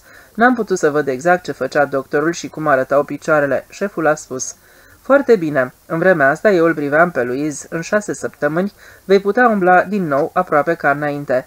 În domeniul ăsta am făcut mari progrese. Pun pariu că nimeni nu o să vadă că porți o proteză. O ce? Șeful a amuțit, zâmbetul i s-a răcit, l-a privit cu reproș pe medicul primar. Acesta a bătut în retragere. Ați vrut să-i spuneți personal pacientului? A, da, e adevărat. Da, domnule Upholtz, ai zăcut la noi patru zile și patru nopți fără cunoștință, ne era frică. La ce fel de proteză vă referiți? Nu mai era nimic de făcut, domnule, a trebuit să-l tăiem, adică la drept vorbi nu mai rămăsese aproape nimic din el când a sosit aici ambulanța. Piciorul meu drept? Da. Șeful a vrut să continue, dar pentru că Louise își întorsese fața, s-a gândit de sigur că pentru ziua aceea ajunge. S-a îndreptat spre mine. Nici pe asta n-am fi riscat-o acum zece ani, a spus el. O asemenea mână am fi tăiat-o. Ați văzut radiografia? Nu? Soră, de-mi te rog. S-a așezat pe marginea patului și mi-a explicat ce se vede în radiografie. Așa profan cum era, mi-am dat seama că toate oasele fusese răzdrobite. Și totuși vă veți consola, a zis șeful, dacă măcar ca aspect exterior o să mai putem obține câte ceva. În rest, nu pot să vă dau speranțe. N-am vrut să-mi exprim părerea în privința asta și am spus doar, dacă vine poliția, n-ar trebui să meargă prea departe. Eu dau instrucțiuni până unde, a promis șeful și a urat noapte bună. Am dormit până după miezul nopții, când m-am deșteptat, Louise mi-a zis, Fereastra e prea larg deschisă, chem sora. Lasă, am replicat eu, doar pot să mă scol. Eșafodajul de metal puteam să-l duc lezne cu mine, legat de un bandaj petrecut pe după gât. Ce-i cu mâna ta?" a întrebat el. Acum zece ani ar fi fost amputată și ea. De ce nu și astăzi? Unui muncitor, de exemplu, i-ar fi tăiat-o și astăzi. Ești mai ceva? Nu, dar cu muncitorii vor să aibă relații clare. În cazul unui muncitor se știe exact pentru ce-i trebuie mâinile. Tu n-ai deci nevoie de mâini. Am nevoie de ele doar ca să scriu la mașină. Ești funcționar? Sunt scriitor. Și cum te cheamă? Rughe. N-am auzit niciodată. Nici n-are importanță. Nu citesc cărți. Poți trăi din asta? Dacă ai citit și tu, poate ar merge. Asigurările nu să plătească cine știe ce pentru mâna ta. Mâinile sunt lucrul cel mai important pentru om. Picioarele, spuse Louise. Picioarele. Pentru ce trebuie omului picioarele? Păi uite-te la mine, s-a complet neajutorat în culcușul ăsta în timp ce tu faci plimbări lungi. Păi stai, ce-a zis șeful, în șapte săptămâni ai să mergi să te ții pe picioare ca și când nimic nu s-ar fi întâmplat. Cu tehnica actuală în materie de proteze. Și ție ce ți-a spus ca aspect exterior? Și cu ce mă aleg în realitate din asta? Păi încă mai antebrațul stâng, presupunând că încheietura omorului și a cotului vor fi iarăși ok. O să fie bine, altfel ar fi făcut șeful o aluzie. Dar mâna... Tu poți, de exemplu, să-i pui unei surori antebrațul pe după gât. O poți trage spre tine așa și cu mâna dreaptă faci ce vrei. Dar eu? Cum arată un asemenea cio de carne la capătul piciorului? Dar cine o să vadă asta? Așa, deci asta nu se vede. Te-ai culcat vreodată cu vreo femeie care să se fie ocupat de picioarele tale? Poate că da, nu știu. Prostii. Vrei doar să faci pe grozavul cu piciorul tău pierdut. Sau ești un amant mizerabil dacă femeilor tale le dă prin cap să se uite la picioare. O mână neutilizabilă e o piedică mult mai mare. Cu antebrațul... Da, dacă șed sau sunt culcat în dreapta ei, dar dacă șed în stânga și brațul drept trebuie să îl pun după gât, ce mai pot face cu stânga? Ai? Lui s-a gândit o clipă și a spus, poate că asta o pasionează cu atât mai mult. Mă rog, trebuie să ai de-a face numai cu femei care au preferință pentru invalizi. De parcă ar exista așa ceva, când femeile se uită tot timpul doar după eroi. Există femei care găsesc că burtoșii sunt peste măsură de erotici. Alte femei visează bărbați mici cocoșați. Precis că există și unele care râvnesc la cei cu mâna amputată, deci trebuie să fie și din alea care anunță la Anabel. Unde e bărbatul de 50 de ani, ușor suferind de inimă și cu piciorul drept amputat? Luiz a tăcut. În ce mă privește, nu mai vreau nicio femeie. Sunt fericit dacă scap de Helena. Chiar și acum, când ai putea avea nevoie de un ajutor, cu atât mai mult acum, mă îmbolnăvesc numai când îmi imaginez cu câtă dragoste, ba chiar cu câtă căldură se va uita Helena la ciotul meu. Ai să vezi, o să vrea să-mi scoată zilnic proteza și să o prindă dimineața la loc. Helena râvnește la bărbați bolnavi și infirmi. Ești delos pe tinerețea și pe sănătatea ei. Știi măcar câți ani are? A fost de ce aici pe când eram fără cunoștință și acum minți. Tu ai spus-o, o femeie sănătoasă tun. E adevărat, iartă-mă. De altfel pot să pun capă discuției noastre într-un mod obiectiv și anume pot să-ți spun precis cât valorează piciorul tău. Cât valorează pentru mine știu eu mai bine. A spus Louise. Presupune că omul întreg tafăr reprezintă 100%, atunci piciorul tău face 40%. Piciorul drept, a replicat Louise. Indiferent dacă e dreptul sau stângul, 40%, basta. Și mâna, 60%. Stânga, aia ar fi doar 50, dar în practică îi se atribuie de cele mai multe ori tot 60. Fără stânga, nici dreapta nu mai atât de valoroasă pentru om.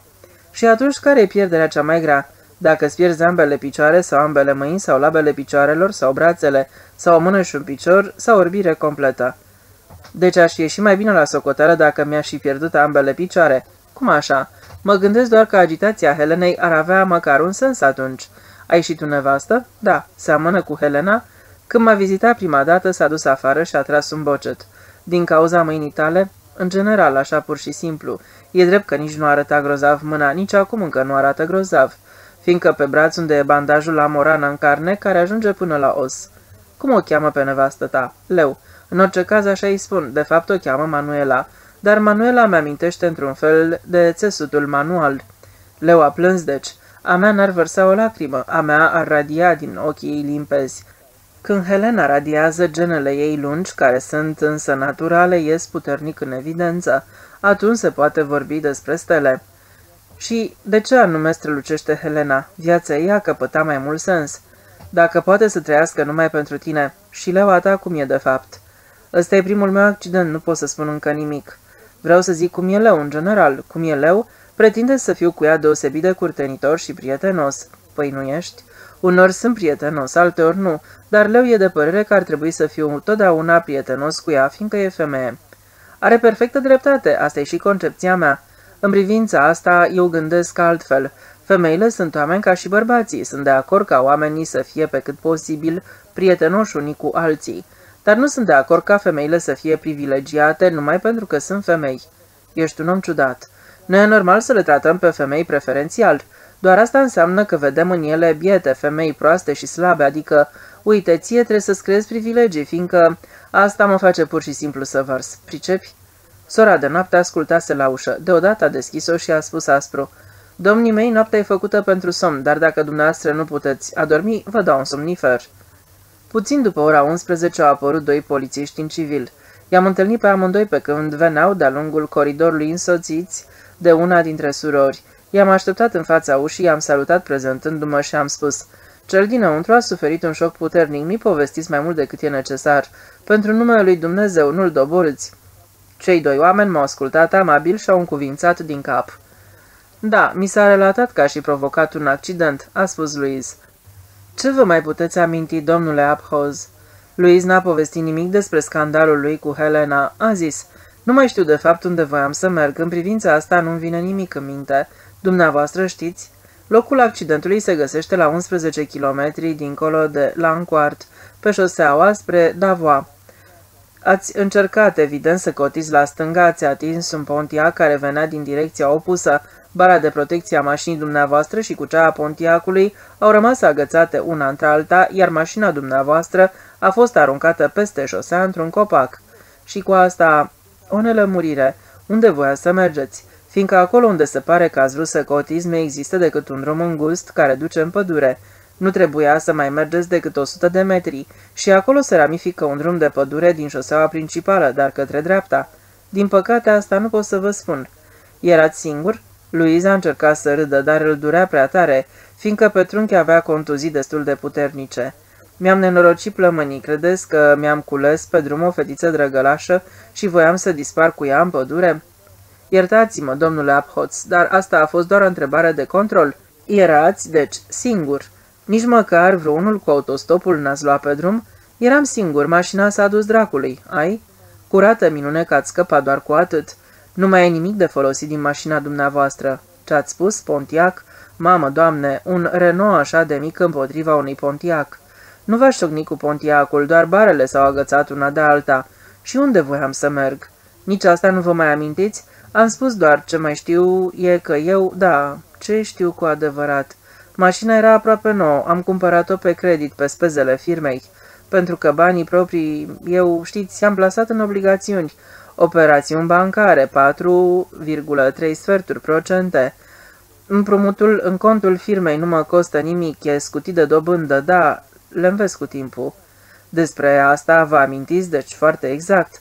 Dar ce s-a întâmplat pe urmă? Conducerea firmei spunea că v-ați exprimat intenția să plecați pentru câteva zile la odihnă la Engadin. Da, într-adevăr, îmi amintesc, dar ce spune conducerea firmei e inexact. Soția mea vorbea în continuu despre concediu în Engadin, chiar și numai pentru patru sau cinci zile. Dar eu am fost împotrivă și deci n-am plecat într-o călătorie de concediu. Dar ce mă interesează pe mine? Pontiacului nu-i s-a întâmplat nimic? A mai mers 5 km, s-a oprit, apoi s-a întors. De ce? Conducătorul nu simțise decât o mică zguduitură, iar când s-a uitat în oglinda retrovizoare, Renault dispăruse, ieșise din șosea. Atunci a intrat la bănuel însă și s-a întors înapoi. Și ce a spus? Cine e de fapt? Un ofițer american din Germania. Își petrecea vacanța aici. Spunea tocmai că ar fi văzut două persoane în Renault. Da, ascultați, a zis Louise. Dacă ar fi fost două, ar fi trebuit să găsiți tot două și la locul accidentului. Desigur, aveți perfectă dreptate.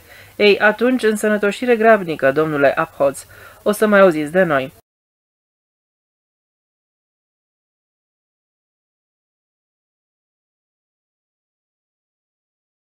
După amiază au venit doi subofițeri și mi-au adus efectele împreună cu cele mai bune urări din partea locotenentului și a comandantului de grupă. Am întrebat de mezin, dar n-au putut să-mi dea nicio lămurire. De ce ești tunar?" m-a întrebat Louise. Fost," am răspuns eu. Vrei să spui că te reformează? Poți să lupt doar cu o mână validă? Se poate, spre deosebire de unul cu un singur picior. Cel cu un singur picior nu poate face absolut nimic. O poate să stea culcat în poziții și să servească o mitralieră, spre deosebire de cel cu o mână. Și în cine anume vrei tu să tragi? În fasciști, de exemplu, am spus eu. Am citit de curând o carte despre războiul civil din Spania. Luiza a zâmbit cu dispreț. Noi am tras în fasciști, a spus Luiz. Tu? La Madrid. Doar nu vrei să spui, ce-i adevărat, adevăr să rămână, a zis el. Ea spune la Madrid, parcă v-a căzut în mână soția unuia dintre generalii lui Franco și voi ați lăsat-o pur și simplu să fugă. Noi nu eram fasciști. Erai comunist? Nu știu. Antifascist, asta sigur. Anarhist? În orice caz am fi putut să-i învingem pe fasciști. Dacă ce? Dacă am fi fost ca ei brutali, sângeroși, fără milă, dar ne-am lăsat libere grupe întregi de ale lor numai pentru că își spuneau că recunosc greșeala. Așa de prostește v-ați purtat. No, nu ni se mai întâmplă a doua oară. Halal dorință. O să vezi tu, nu-i mai lăsăm să ajungă iar sus. Am învățat-o în cel de-al doilea război mondial. Noi amândoi o să luptăm în linia întâi, am spus eu. Cel comună și cel cu un picior. Dacă vrei să știi, atunci nu eram comunist. Dar uneori mă gândesc că astăzi trebuie să fii comunist dacă nu vrei să fii considerat fascist. Sau creștin. Ce crezi despre asta? Dumnezeule, a răspuns el, printre fasciști erau doar și buni creștini. Să fi văzut preoții spanioli cum mai trăgeau noi. Nu vorbesc de cler. Nici eu nu vorbesc de ei când spun că ești ori comunist, ori fascist. Atunci trebuie să ștergem ambele noțiuni. Fascistul este și rămâne fascist. Mă refer la creștinism și comunism. Nu cred nimic, nici eu. Dar undeva ceva... Vezi, și tu faci parte dintre cei care trebuie să se roage la ceva. Și tu? Eu cred în mine. Ești nebun. Până în ziua când ar fi trebuit să fiu confirmat, am crezut în Dumnezeu și în Fiul Său, Isus. Mă rugam ca un nebun. Că nu o să se mai coboare încă o dată de dragul meu mi-era clar. Cu toate astea credeam că îi va comunica cel puțin locțiitorului lui, preotului din sat, că n-am haine de duminică și nici pantofi noi, ca să nu mai vorbesc de ceas. Ei și... Mi-am zis că preotul satului sau cineva, oricine altcineva din sat, n-a mai primit nicio înștiințare, fiindcă nici nu s-a făcut vreo înștiințare, fiindcă nu există nimeni care să fi putut face o asemenea înștiințare. L-ai destituit deci pe Dumnezeu? Cum să-l destitui pe Dumnezeu dacă nici măcar nu există? Asta n-ai de unde să o știi. Dumnezeu la care se referă popii în niciun caz nu. Ai studiat teologia? Fii atent, Louise, teologii de azi scriu ei înșiși. Acest Dumnezeu nu există. Mie de altfel puțin îmi pasă, nici mie, Luiz, nu cer nimănui să gândească la fel ca mine.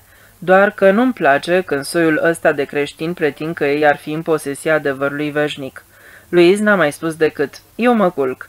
Și-a întors fața într-o parte și cu asta a pus capăt discuției. Poate se făcea doar că doarme. Am privit țintă în tavan.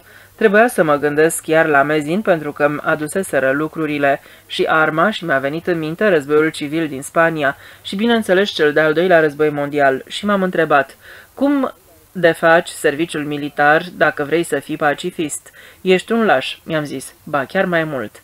Ca să pun capă gândurilor, am luat hârtie și un pic și am schițat un scenariu de film pentru Angelo Pioda. Vineri dimineață, la vizită, șeful a spus, din partea mea poți să dai o mică raită prin oraș, măsura în care te țin puterile. Exista o linie de autobuze și astfel, după amiază, am pornit. Am mers până la stația Postplatz și acolo am coborât. Voiam să vizitez gimnaziul la care dădusem examen acum 100 de ani. Dar când se traversă strada, veneau înspre mine motociclete. 12 motociclete ale detașamentului meu păcăneau ritmic pe poststrase în jos. Cei care le conduceau purtau uniforme de gală. Abia acum am zărit oamenii de pe marginea străzii, cărora li se adăugau noi și noi veniți de pe toate străzile și străduțele laterale. L-am întrebat pe băiatul de lângă mine, ce se petrece aici? Răspunse jignit. Păi astăzi defilează divizia alpină. Când am auzit asta, mi s-a făcut pielea ca de găină pe spate și m-am strecurat tocmai în față. Hei, spuse unul, ce te împingi? Cine a fost aici mai întâi? Vă rog să mă scuzați, am spus, sunt tunar în detașamentul 1 pe 29, accidentat în timpul manevrelor. De ce am spus asta? Omul m-a măsurat cu privirea. Cu asemenea înfățișare vii în oraș, dar m-a lăsat tocmai în față și s-a postat lângă mine, așa ca nimeni să nu mi se poată așeza înainte. Și mai vrei să-i vezi după tot ce s-a întâmplat? Păi și dumneata stai, am spus. Cine se uită la defilare nu trebuie să lucreze, mi-a răspuns. Renunț deci la leafa dumitale ca să vezi câțiva soldați, timp liber plătit nu mă uit decât la primi în caz că unul din direcția întreprinderii e prin apropiere, pe urmă o șterg. Vii și dumneata la o bere. Undeva în colțul străzii a început să cânte muzica militară și au apărut primele unități de infanterie. Am așteptat până când au trecut și s-a apropiat artileria. Oamenii de pe marginea străzii au aplaudat. Nu face plăcere să o spun, dar când am văzut artileria în fața mea, detașamentul meu, 1 pe 29, m-am simțit îngrozitor. În coada detașamentului se afla și tunul antiaerian specific artileriei. Am numărat camioanele și tunurile. Probabil că m-am încurcat la numărătoare, căci acum nu mai lipseau vehicule, aveau destule camioane. După ce au trecut, m-am dus să beau o bere cu tipul respectiv. A vrut desigur să știe unde, de ce și cum m-am accidentat. I-am relatat pe scurt, dar i-am spus. Am remarcat că acum pentru defilare au avut dintr-o dată vehicule suficiente. Da, mi-a spus el. Păi e clar, Tocmai avem un curs de recruz la cazarmă și probabil că au împrumutat de acolo câteva mașini. Problema mă preocupa în chip de-a dreptul neplăcut și astfel am scris mai târziu o scrisoare comandantului bateriei, care era un tehnician cinstit și nu un armăsar de armată sălbatic. El mi-a spus, în cursul manevrelor am mai pierdut încă două camioane și pentru a putea participa la defilare a trebuit să împrumutăm patru vehicule de la depozitul de arme. Dacă era vorba de unul singur, desigur, n-am fi strișat. Când m-am întors la spital, Louise nu mai era în cameră. Sora a intrat după mine și mi-a spus, Domnul Abhoț a insistat. În legătură cu ce? A spus că dumneavoastră ați fi... Vorbește deschis, soră. Scurt și cuprinzător. A zis, rughe, ăsta e un golan, un nemernic, nu mai poți sta cu el împreună în cameră. Cui a spus asta? Mie. Și dumneata l-ai mutat pe răspundere proprie? Era și șeful de față. Șeful? Da, când erați în oraș, șeful a venit și a spus domnului Abhoț că... La urmă, domnul Abhoț a început să înjure și a spus, porcul ăsta de tunar știa totul și m-a mințit tot timpul. Ce să fi știut? Chiar n-a știut? Păi ce? În timpul accidentului, soția lui... Am zis, prin urmare totuși, dar Luiza a stăruit în a nu mă mai vedea niciodată și am respectat această dorință. Peste două zile mi-au adus unul nou. Îl chema Stefan și avea 31 de ani. Sora șefă trecuse cu o zi înainte pe la mine. Mâine vă vine un nou vecin de cameră. Acum sora îi spune noului venit. V-am așteptat încă înainte de masă. Din partea mea, a răspuns Stefan, un om posac. Sora i-a adus imediat cămașa de spital cu șliț în spate. Vă rog să vă culcați de îndată, apoi am să vă aduc un medicament. Prima tabletă o luați de îndată, cealaltă pe la 10. Internistul vine între 4 și 5. Laboratorul după cei. O să mă interesez când putem face radiografia. Din partea mea, a replicat Stefan. Cine nu vi se dă, a spus sora. Și pe cât se poate, nu mai fumați de acum înainte. Pe urmă o să vă facem și o clismă. Asta e ultima metodă?" a întrebat Stefan posomorât. Da," a răspuns sora. Probabil că nu sunteți de multă vreme aici, de aproape un an. În orice caz, anul trecut nu se făcea clisma," spuse Stefan. Noul șef o cere, trebuie să faceți și baia," a spus sora. Dar asta după ce terminați cu toate celelalte. Sora a părăsit camera. O soră auxiliară a adus cel și a vrut să ridice storurile. Lăsați-le jos," a spus Stefan. Dar nu mai e soare. Eu sunt pacientul," a replicat Stefan.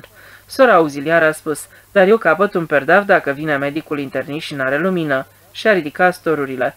Stefan a tăcut și și-a despachetat valijoara. Mai întâi a scos la iveală un mic tranzistor, ascuns în grămada de rufărie și articolă de toaletă.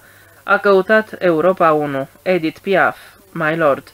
După ce și-a despachetat lucrurile și l-a așezat în dulap, m-a privit pentru prima dată. Dumneata ce face aici? Aștept să mi se dea drumul. A început să se dezbrace. De mult pe aici? Aproximativ patru săptămâni.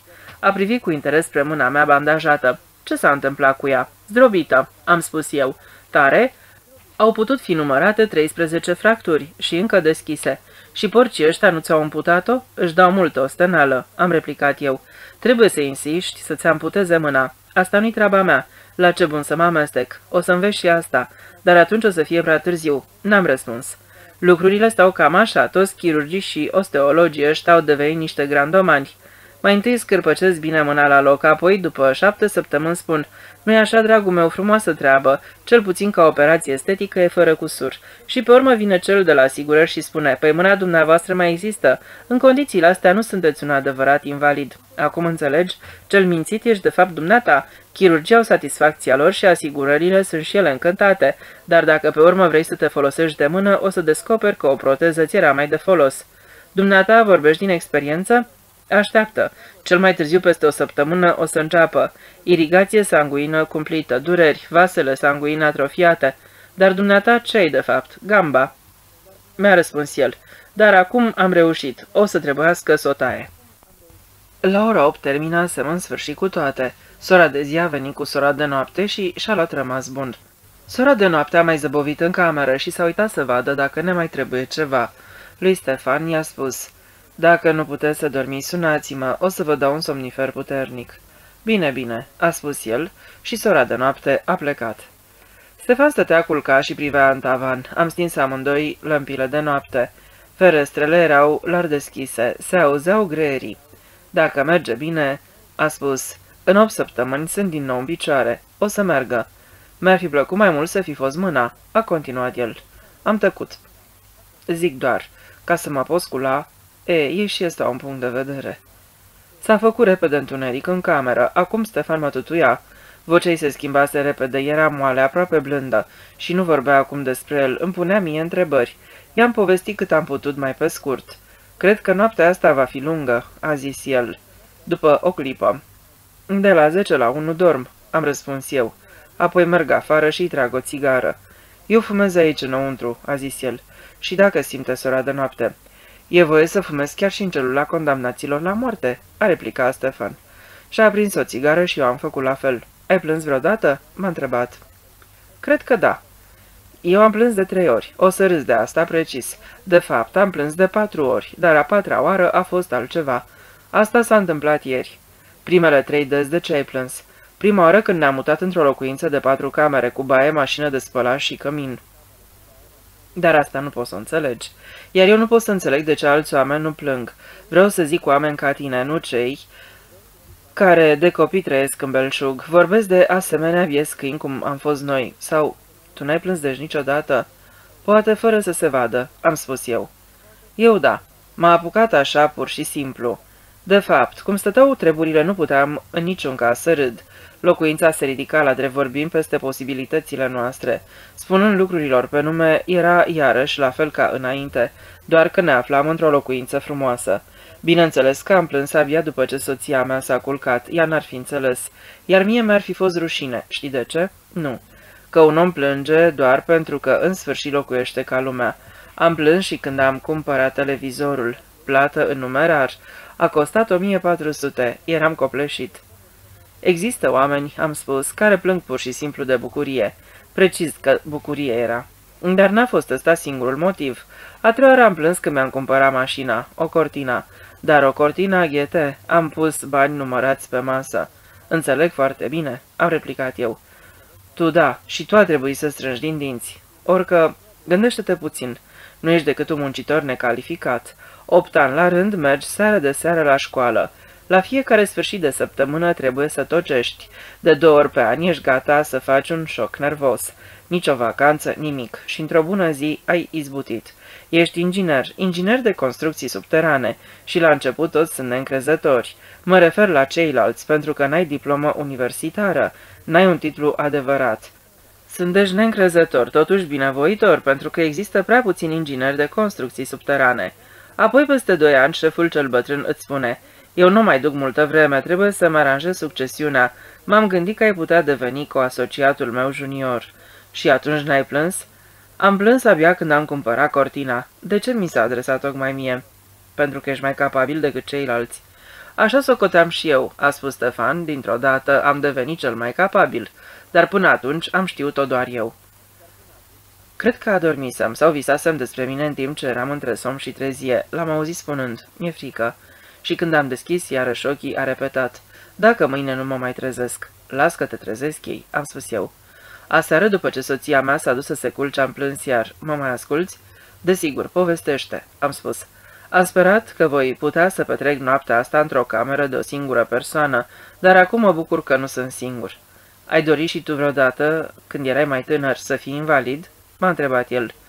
Când eram foarte tânăr aveam cele mai contradictorii dorințe.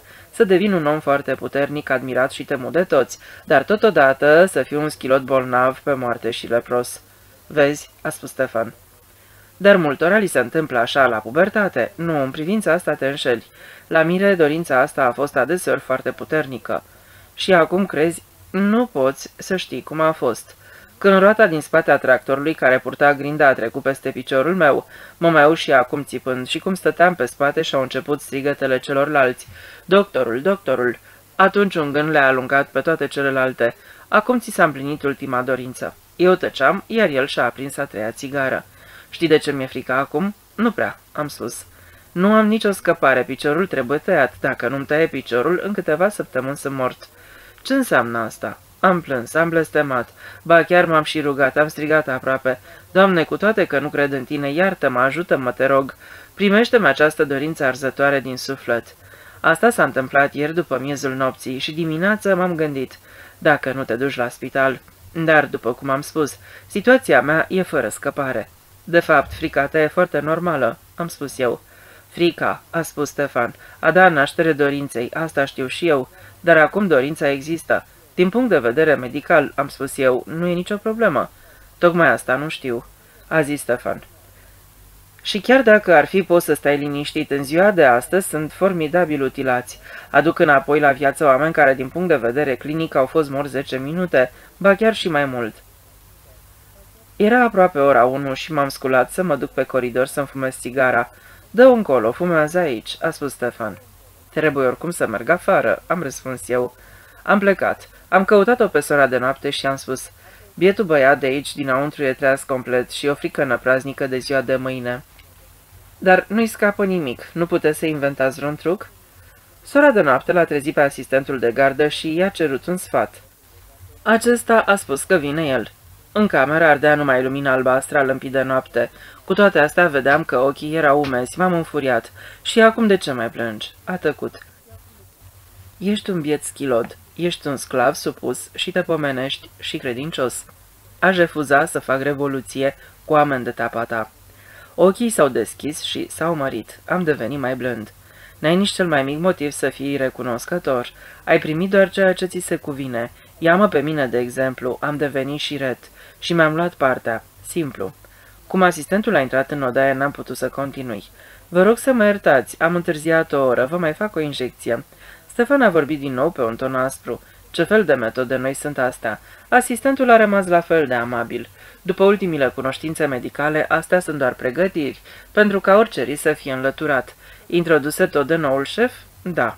Nu l-am mai văzut pe Stefan, dar am protestat și am vrut să aflu amănunte, deși șeful mi-a explicat că din punct de vedere legal nu i-ar fi îngăduit să dea lămuriri. Am folosit amenințări, am spus că voi povesti pretutindeni, măcar ceea ce auzisem de la Stefan. Bine, a zis doctorul supărat, n-am avut altă alternativă, dacă nu am putea, mai treia câteva săptămâni, mai mult nu. De ce a murit? În termen precis, din cauza narcozei, suferea de o boală gravă de ficat în condiții normale, adică dacă amputarea n-ar fi fost urgentă, nu l-am fi operat niciodată. Știa ce cu ficatul lui. Să-i mai fi spus și asta, ar fi fost fără sens. Când te duci iar la clinică?" întreabă Pioda. Eu?" răspunde Rughe mirat. Nu mai ai dureri?" Lipsită de importanță," spune Rughe, dar ce ți-a venit?" Doctorul Norbert mi-a relatat de curând Doctorul Norbert ți-a dat raportul? Doar lucruri pe care mi le-ai istorisit și dumneata, că trebuie înlăturate capsulele articulare și protezele degetelor. Ei și, răspunde rughe și tace, poate că ar trebui să termin complet cu alcoolul. Și nici vin să nu bei vin roșu, spune Pioda îndrăjit. Rughe se preface că n-a auzit nimic, desigur în primul rând de hepatita pe care ai avut-o în tinerețe, dar există cazuri când alcoolul acționează pur și simplu ca și o travă. Atunci chiar un singur pahar de vin roșu e prea mult. Un păhărel de coniac, un whisky. Rughe să uită țintă la Pioda și nu simte niciun imbold să discute despre ficatul lui cu bătrânul. Înțeleg că doctorul Norbert ezită să opereze în asemenea condiții, spune Pioda. Se întâmplă adesea ca bolnavii de ficat să sucombe pe masă, fiindcă narcoza acționează ca o travă. Poate că mi explici acum unde vrei să ajungi, răspunde Rughe. La ce bun toată vorbăraia asta? Te-am vizitat de câteva ori atunci la spital, atunci și mai târziu, ori de câte ori ai fost în clinică. A fost foarte frumos din partea dumitale, pe cuvânt. Ai stat întotdeauna în rezervă, pe compropriu, da și... Stefan, ăsta ești dumneata, Stefan Rughe. Rughe tace o clipă, răspunde apoi. Bine, ok, eu sunt Stefan. Dumneata ești și Edgar? Sunt. Și Til? Da. Werner Haberman? Desigur. Robert Wetter?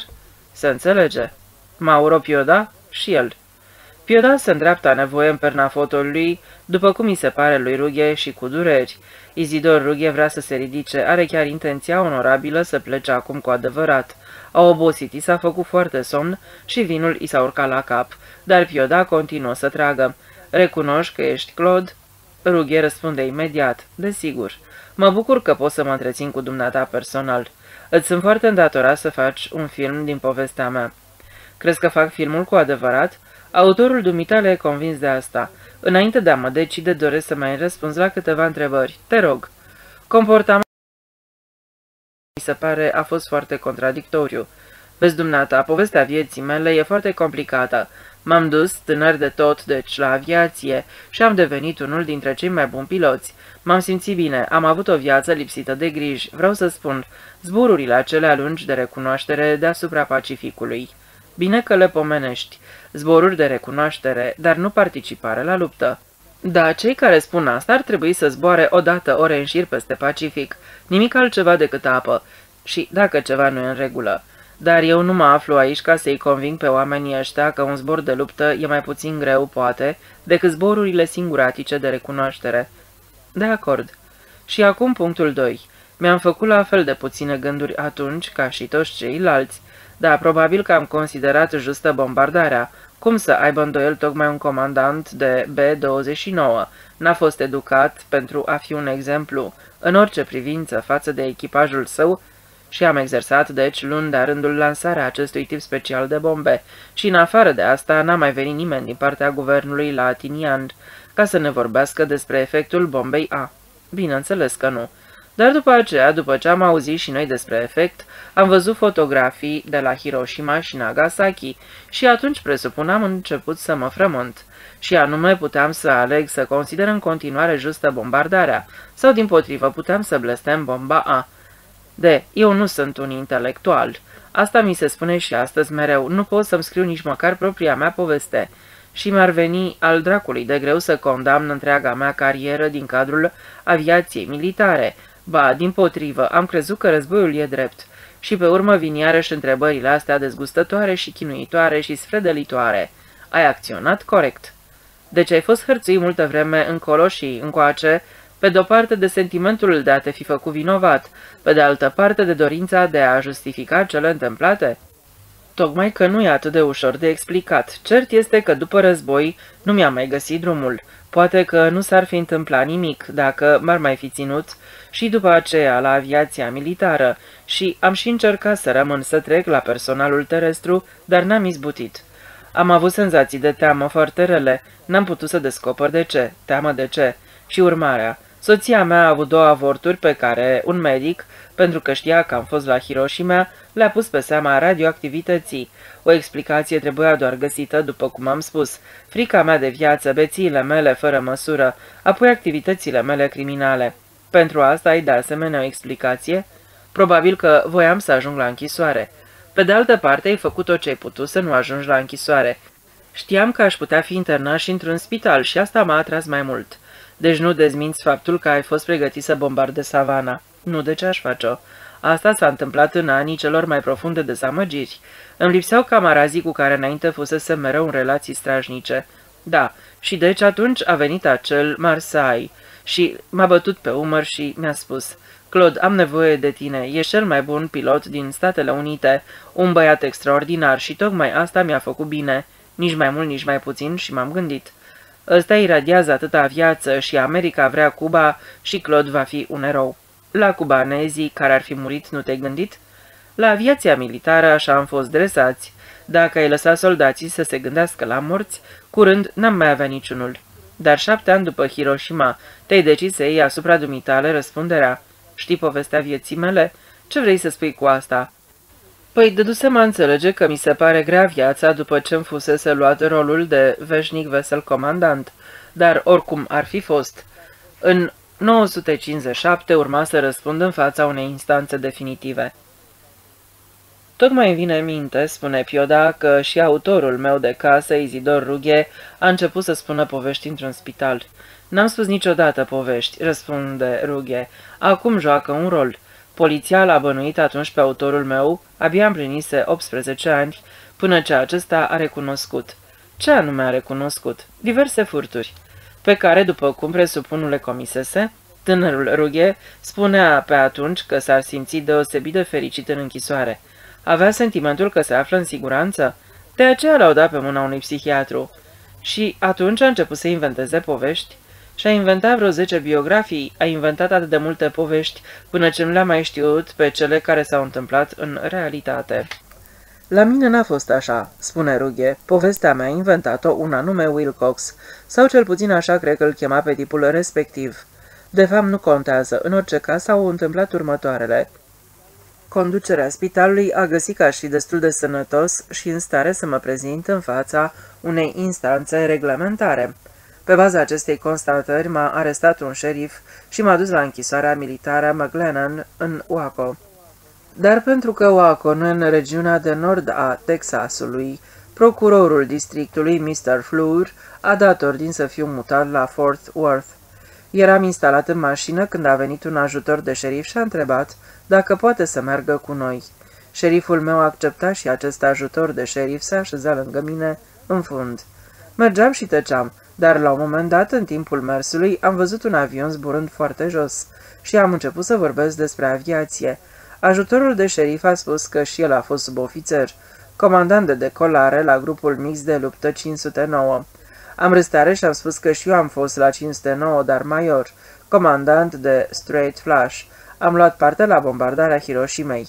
Ajutorul de șerif a răspuns că asta ar fi o poveste pe cinste. Un fost subofițer însoțește un fost comandant de bombardier B-29 de la spitalul de nebun la pușcărie. Asta se întâmpla în după amiaza zilei de 18 martie 1957. Seara de vreme m-a vizitat un reporter. Mi-a spus că ajutorul de șerif i-ar fi povestit despre mine, că și el ar fi fost la 509 și că acum ar fi reporter la Star Telegram și ar avea misiunea, doar pentru asta era plătit, să găsească întâmplări interesante din punct de vedere uman. I-am răspuns că i-aș istorisi povestea mea dacă m-ar ajuta să ies din închisoare. Mi-a promis. A zis că opinia publică nu va admite niciodată că am fost erou al aviației militare. A spus erou al aviației militare, să fie tratat ca un răufăcător ordinar. Nu i-am ascuns că făptuisem jafuri. Reporterul a plecat, deci, și primul său reportaj a apărut la 20 martie în Star Telegram. Star Telegram e un ziar foarte influent în Texas. E citit în fiecare zi de psihiatrii, judecători federali, procurori și cetățeni. Erou din cel de-al doilea război mondial în mare încurcătură. Pilot al primei intervenții cu bombe atomice, vârâna închisoare de vechi camarazi. La 21 martie a apărut continuarea reportajului. De asemenea, la 22 martie, mai multe ziare au preluat aceste reportaje și eu am fost trimis înapoi la spital. Fostul pilot de avioane de luptă din timpul războiului devenise eroul de la Hiroshima. La sfârșitul lui mai 1957, povestea a fost transmisă ca și emisiune de televiziune. Cred că producătorul care a făcut acest film în mare grabă se numea Pearson. Dacă nu mă înșel prea tare, Pearson a trecut o parte din câștigul său pe numele copiilor mei. Domnule Pioda, mă asculți?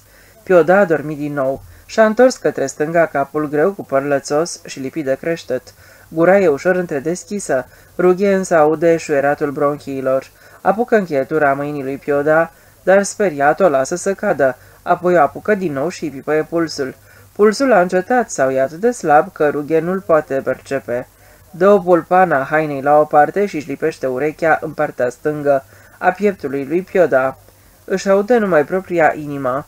O clipă, rughe stă descumpănit în fața bătrânului, apoi spune hotărât. Exitus. A murit. Puteți să luați pacientul. Rughe formează numărul medicului de casă al lui Pioda, dar la primul țărit pune la loc receptorul, își toarnă un coniac, îl dă pe gât dintr-o înghițitură și formează apoi numărul poliției. Răspunde o voce de femeie și Rughe spune că am somn. Iertați-mă, am format numărul greșit. După ce scoate cheile din buzunarul hainei lui Pioda, se mai duce odată afară pe balcon, apoi la toaletă. Dincolo în sufragerie își mai toarnă un coniac. Mai târziu îi strigă mortului. Nu poți să-mi faci una ca asta, Pioda. Nu poți să fugi în mijlocul unei povestiri. Nu poți să mă lași baltă. Speriat de propria ei voce, Rughe se întoarce, apoi părăsește locuința. Fără să se mai uită înapoi, se urcă mașină și pornește. Dă drumul la radio, dar nu găsește nimic potrivit. Angelo Pioda e mort, gândește cu voce tare. Altă poveste, adăugă. Pariez că dacă o scol din somn, Leo va zâmbi blând. Bine, bine, Izidor. O să-mi povestești mâine storiul ăsta, după ce ai să dormi. Domnule procuror, din păcate trebuie să recunosc. E posibil ca eu să-l fi călcat pe Angelo Pioda, cu un alfa pe care mi l-am putut îngădui numai pentru că el a știut să facă din povestirile mele mulți bani. Mărse prin centru fără să țină seama de străzi. O luă înspre Volishofen și ajunse la marginea orașului și la autostradă. Acul vitezometrului se mișcă spre 90, 120, 140, mai sus. Ieșirea spre Talville.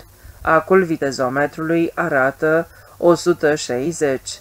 Ieșirea spre Vadensville. Acul arăta 170. Nu-mi scapi, Angelo Pioda. Te ajung.